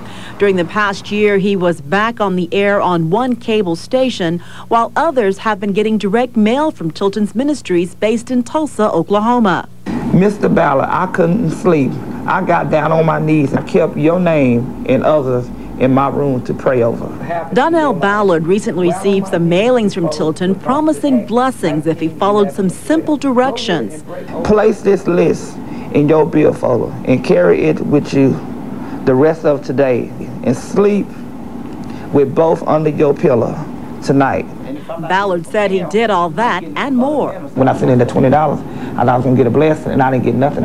Other North Texans have received mailings from Tilton containing a holy wishbone, a holy sackcloth key, even a Holy Ghost glove. You put this glove on and, and, uh, and, and pray with Brother P Tilton in a prayer of agreement, you'll get all of your wishes. Ole Anthony heads the Trinity Foundation, a religious watchdog group. He sends out the letters to the poorest, most desperate people in our society, making outlandish promises. We were unable to get a comment from Mr. Tilton, who is still listed as the head pastor of this Word of Faith Church and Farmers Branch. A church spokesperson did fax us a written response. It says that the courts at all levels have upheld a church's First Amendment right to express its religious beliefs. It adds that Tilton's request for seeds of faith or vows are protected expressions of religious beliefs, that encouraging his viewers to put their faith in God would bring them blessings. Meanwhile, Ballard says he won't send Tilton another dime and will rely on God for his blessings. For Focus on Faith, Ramona Logan, NBC5, Fort Worth.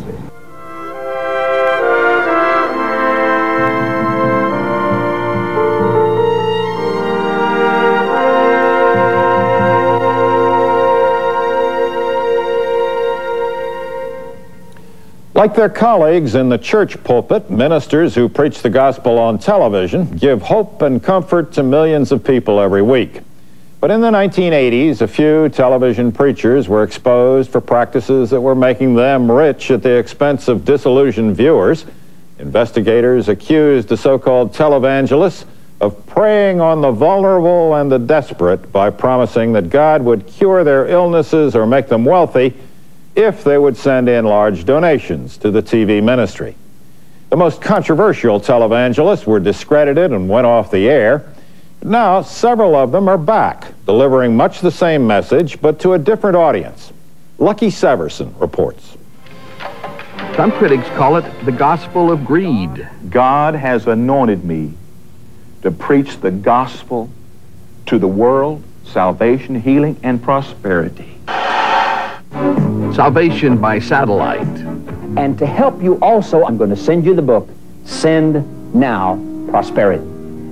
Promised miracles of money. Himself, God Almighty, guarantees you a house. The message hasn't changed, but the location of the pulpit has. Robert Tilton and a handful of other TV ministers, discredited for preaching and promising prosperity, have now repackaged themselves for African American audiences. They're buying time on the Black Entertainment Television Network. And they say, well, it's because that's where the need is. No, it's not. It's that's where the people who are desperate are, who will believe this garbage that they're putting on in the name of God. Television watchdog and licensed private investigator Ole Anthony has been closely monitoring TV evangelists for 10 years. Through his nonprofit Trinity Foundation, Anthony maintains daily logs of what he considers to be outrageous claims and keeps files on the mail-out come-ons of more than 130 TV preachers. The saddest thing we see is when people watch these pre-produced testimonials and they give money and they think they're healed and they stop taking their medicine. And you've seen that? Oh, yeah. It happened to the mother of Dallas elementary school teacher Vicki Crenshaw. She felt like you could trust someone who said that they were a minister of God. Crenshaw's mother had colon cancer and, according to her daughter, was convinced by Tilton in his broadcasts that she would receive a miracle. And she was watching television, and there was Robert Tilton. And he convinced her that if she sent him money, he could get her healed? Robert Tilton tells his viewers that they must send in a seed of faith to show that they do have the faith for their miracle, and that means money. And you would try to get her to go to a doctor, and she'd say, No, I'm going to be healed by, by Robert Tilton. She did not seek medical care after that point because she felt like it would be a breach of faith that she would not receive the miracle. By the time I got my mother to a doctor, to a medical doctor, her cancer had metastasized and um, there was no hope. And then she passed away. God's speaking to your heart to make a thousand dollar vow of faith. Maybe it's 500, maybe it's 100, I don't know, but it's got to take faith or it doesn't please God. Ole Anthony started looking into unscrupulous televangelists during his work with the homeless. We did an a in-depth study of, a, of, a, of an evangelist in Southern California whose take was about 12 million a year, and he gave $686 to charity for charitable purposes. Out of $12 million? Yeah. Anthony also uncovered strategies fraudulent televangelists used to amass their fortune, using a church as a front, an attorney as their business manager, and a team of data collection, telemarketing, and mail-out firms that together keep the cash coming. I've often said that if, if you call a prayer line and the minister asks for you anything for more than your first name, you should hang up on him because God knows where you live. I want you to call me right now and tell my prayer minister, I want you to open your mouth and say it. We wanted to talk directly to Tilton and two other TV ministers who make wild claims in the name of God, Peter Popoff and Don Stewart. what I want you to do. I want you to go to the telephone. But, but I, am I'm, I'm calling uh, from a, a public television program called Religion and Ethics, and I wanted to arrange for an interview with uh, Mr. Tilton. Hello? Hello? They hung up. So I've talked to three ministries, Robert Tilton, Peter Popoff, Don Stewart. One I was hung up on. The other I was told uh, they were simply too busy. And the third, uh, Don Stewart has a policy of not speaking to reporters. We took our questions to the Black Entertainment Television Network. According to program executive Marita Colley, the BET network has a hands-off relationship with the preachers, selling their time to a middleman TV broker, who then parcels it out to the televangelists. What about some of these preachers that have been kicked off most every other station in the country and they're on BET? We have spoken to our media buyer as to whether or not there's any, um, you know, fraudulent practices on the parts of any of the ministers, and we'll deal with that accordingly. So if you discover there is fraud out Right, there, exactly. it'll go off your air. That's right. At a recent conference on religious broadcasters held by state attorneys general, officials heard about the practical difficulties in regulating televangelists. No matter how preposterous their claims, they are effectively shielded from prosecution by the constitutional guarantee of freedom of religion. If it's not a promise that comes out of a religious faith, or if it's insincere, then it can be prosecuted. It's not protected by the First Amendment. The prosecution, in fact, rarely happens. You'll make that thousand dollar vow or five, and just pay on it as God provides the seed. Vicki Crenshaw says she dreads the day that her mother's tragedy will be repeated. He's moved on somewhere else, and somewhere there is a sweet little mother or a grandmother or there's an aunt or an uncle or someone who is desperate in need, and their family is going to lose them because they are going to be persuaded to follow after someone who is not concerned about them, about the victim. He is concerned about how much money they will give him. That is it. In the world of televangelism, praise the Lord. One group watches out for you. Meet the dumpster diving disciples digging for truth in religious broadcasting. God's detectives. Well, they are small in number without much money. But they have become a pretty powerful force in an ongoing war against televangelists. Fox 4's Richard Ray joins us now with a special report, this time on a small church in East Dallas. It's known as the Trinity Foundation. Rich? Hi, Stephen Ashley. The first thing you'll notice about Trinity is there is no church building, just a row of houses in East Dallas where members live. It's been said that you can judge a man by his enemies. Well, Trinity's leader, Ole Anthony, can count among his Robert Tilton and many other TV preachers. Anthony and his followers certainly employ some rather unusual weapons in their ongoing holy war, but they believe they have a unique role to play as God's detectives. All of you Nothing gets TV preacher Bob Tilton more worked up than a little chat about his longtime nemesis, Ole Anthony. That's not at all, not a minister at all, but an adulterer and a drunkard and a womanizer that's been caught in the clubs having the audacity to touch a prophet of God. Televangelist W.V. Grant was another target of Anthony, but unlike Tilton, who won his major legal battles, Grant ended up serving a prison sentence for tax evasion after media exposés inspired by the Trinity Foundation's work. Hey ABC, hey CBS, hey NBC and CNN and Slime Time and Stephen Blowhard and Old Man Anthony and Old Slewfoot Devil, we're not going to bow. We're just going to set the record straight. I would desire very much to work myself out of a job. I don't like what we're doing, but nobody else will do it. I mean, I get tired of being called the Antichrist and Satan incarnate. And I mean, that's, you ought to hear some of our answering machine tapes. What is it exactly that Anthony and his little church do? Well, that takes some explaining. It's a ministry unlike any other. One national news magazine called them Detectives for Christ, a merry band that takes on the televangelists. That one bag was no good. Among other things, Trinity Foundation members spend time in trash dumpsters. They call it dumpster diving, looking for evidence of fraudulent okay. activities. Maybe not. Information, financial information, uh, incriminating stuff. In this case, they're looking for records from an accountant's office. Several different businesses use that same dumpster. An accountant who works for a TV preacher people give them money in good faith, and uh, then you actually see what the money goes to. They're even licensed private investigators now. What happened was we, we, I was caught in a dumpster in Muskogee, Oklahoma. They, they, they are so isolated, so walled from all information that you have to go to extraordinary measures to, to find out what's happening with them. And so that's why the, the uh, private investigative license. The foundation also publishes a religious humor magazine called The Door. The Washington Post called us gleefully irreverent. Too irreverent for some taste, The Door has largely disappeared from religious bookstores. Do you like religious TV? We propelled, birds propel, eagles And then there's God Stuff, hosted by John Bloom, alias Joe Bob Briggs. I love religious TV. God Stuff is a direct outgrowth of Trinity's efforts to monitor TV preachers. Because they were collecting these tapes from all over the country of all these evangelists. You know, they were watching them for a different purpose, and uh, they kept a lot of them just because they were funny. Bloom, a longtime Trinity member, made the pilot.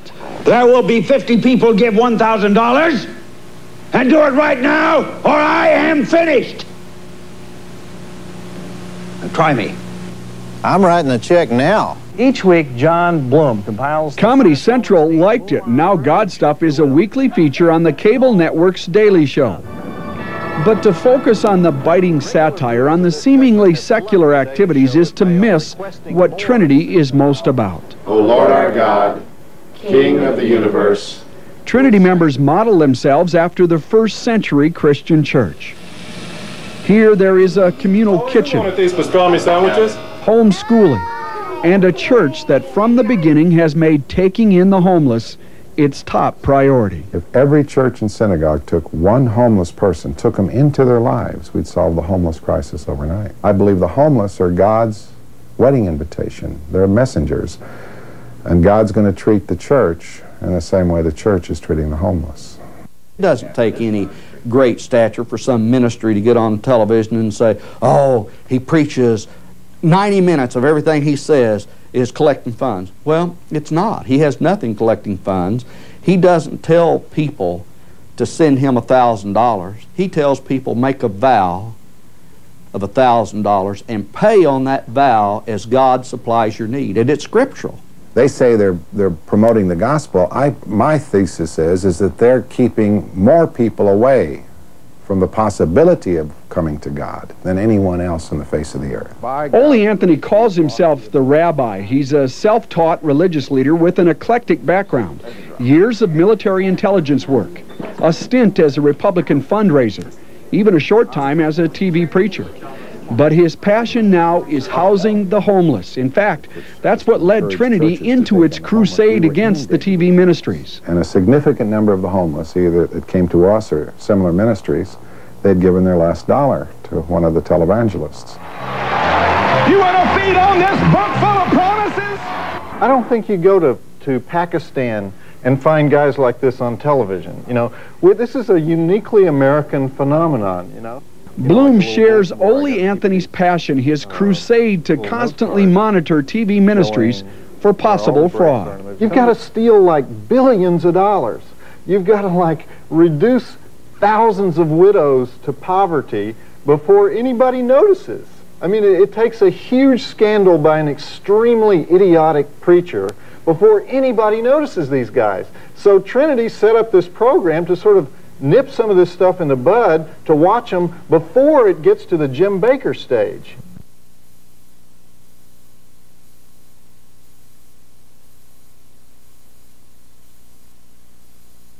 Are the storms of financial adversity looming over your life?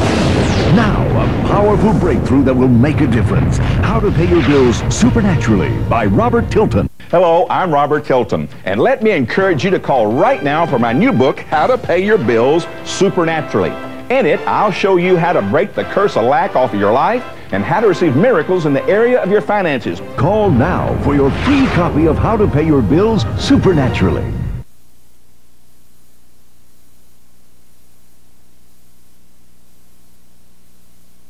Vision. Vision. If you can see it, if you can hear it, it's vision. A vision. I want you to get a vision for your new home. I want you to see the living room with beautiful designer furniture.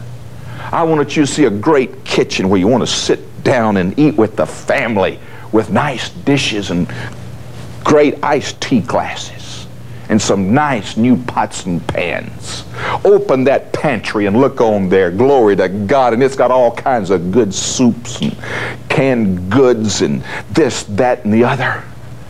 Open that refrigerator and you got some good old smoked turkey sandwich meat in there and pickles and all kinds of mustards and you just got to decide on what kind of sandwich you want. Fresh lettuce and tomatoes. I'm getting hungry, are you? I want you to see garage door goes up. That means you got to have a garage. Garage door goes up and there's a new car in there. Amen. Amen. yep, I'm prophesying to you. I got to hand it to Tilton, Robert Tilton. I want to tell the world one thing I admire about Tilton. He looks like he's breaking wind royally on every word. Results happen. Once I begin to see this for entertainment, I've watched him. Just sense the anointing flowing out of me. What got my attention the first time was that. I mean, I thought, uh, this man has got things going on below the screen. Hallelujah. And he's enjoying it, man. Thank you. Oh, I'm enjoying this. Now, what I want to commend him worldwide about is he's still enjoying it with the same vim and vigor as the first time I saw him. I mean, he still gets that look on his face. I mean, you can be spinning those channels, he'll stop you dead, man. His face absolutely can contort better than any face I've ever seen, but he never seems to tire in the contorting. The first thing that happens, that's it. Woo! He contorts with spazam. And it will not stop, it will happen, saith the Lord. I believe if I could know everything that's going on in that studio, world records are set every night. I got sunshine on a rainy day.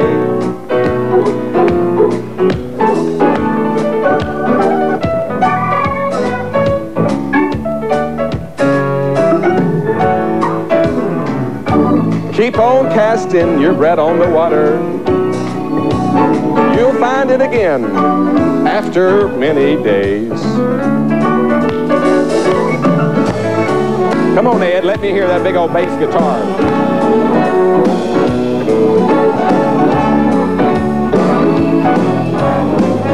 Now let me hear that Hammond organ get going.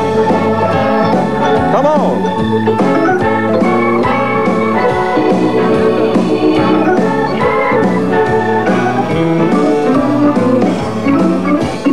Oh,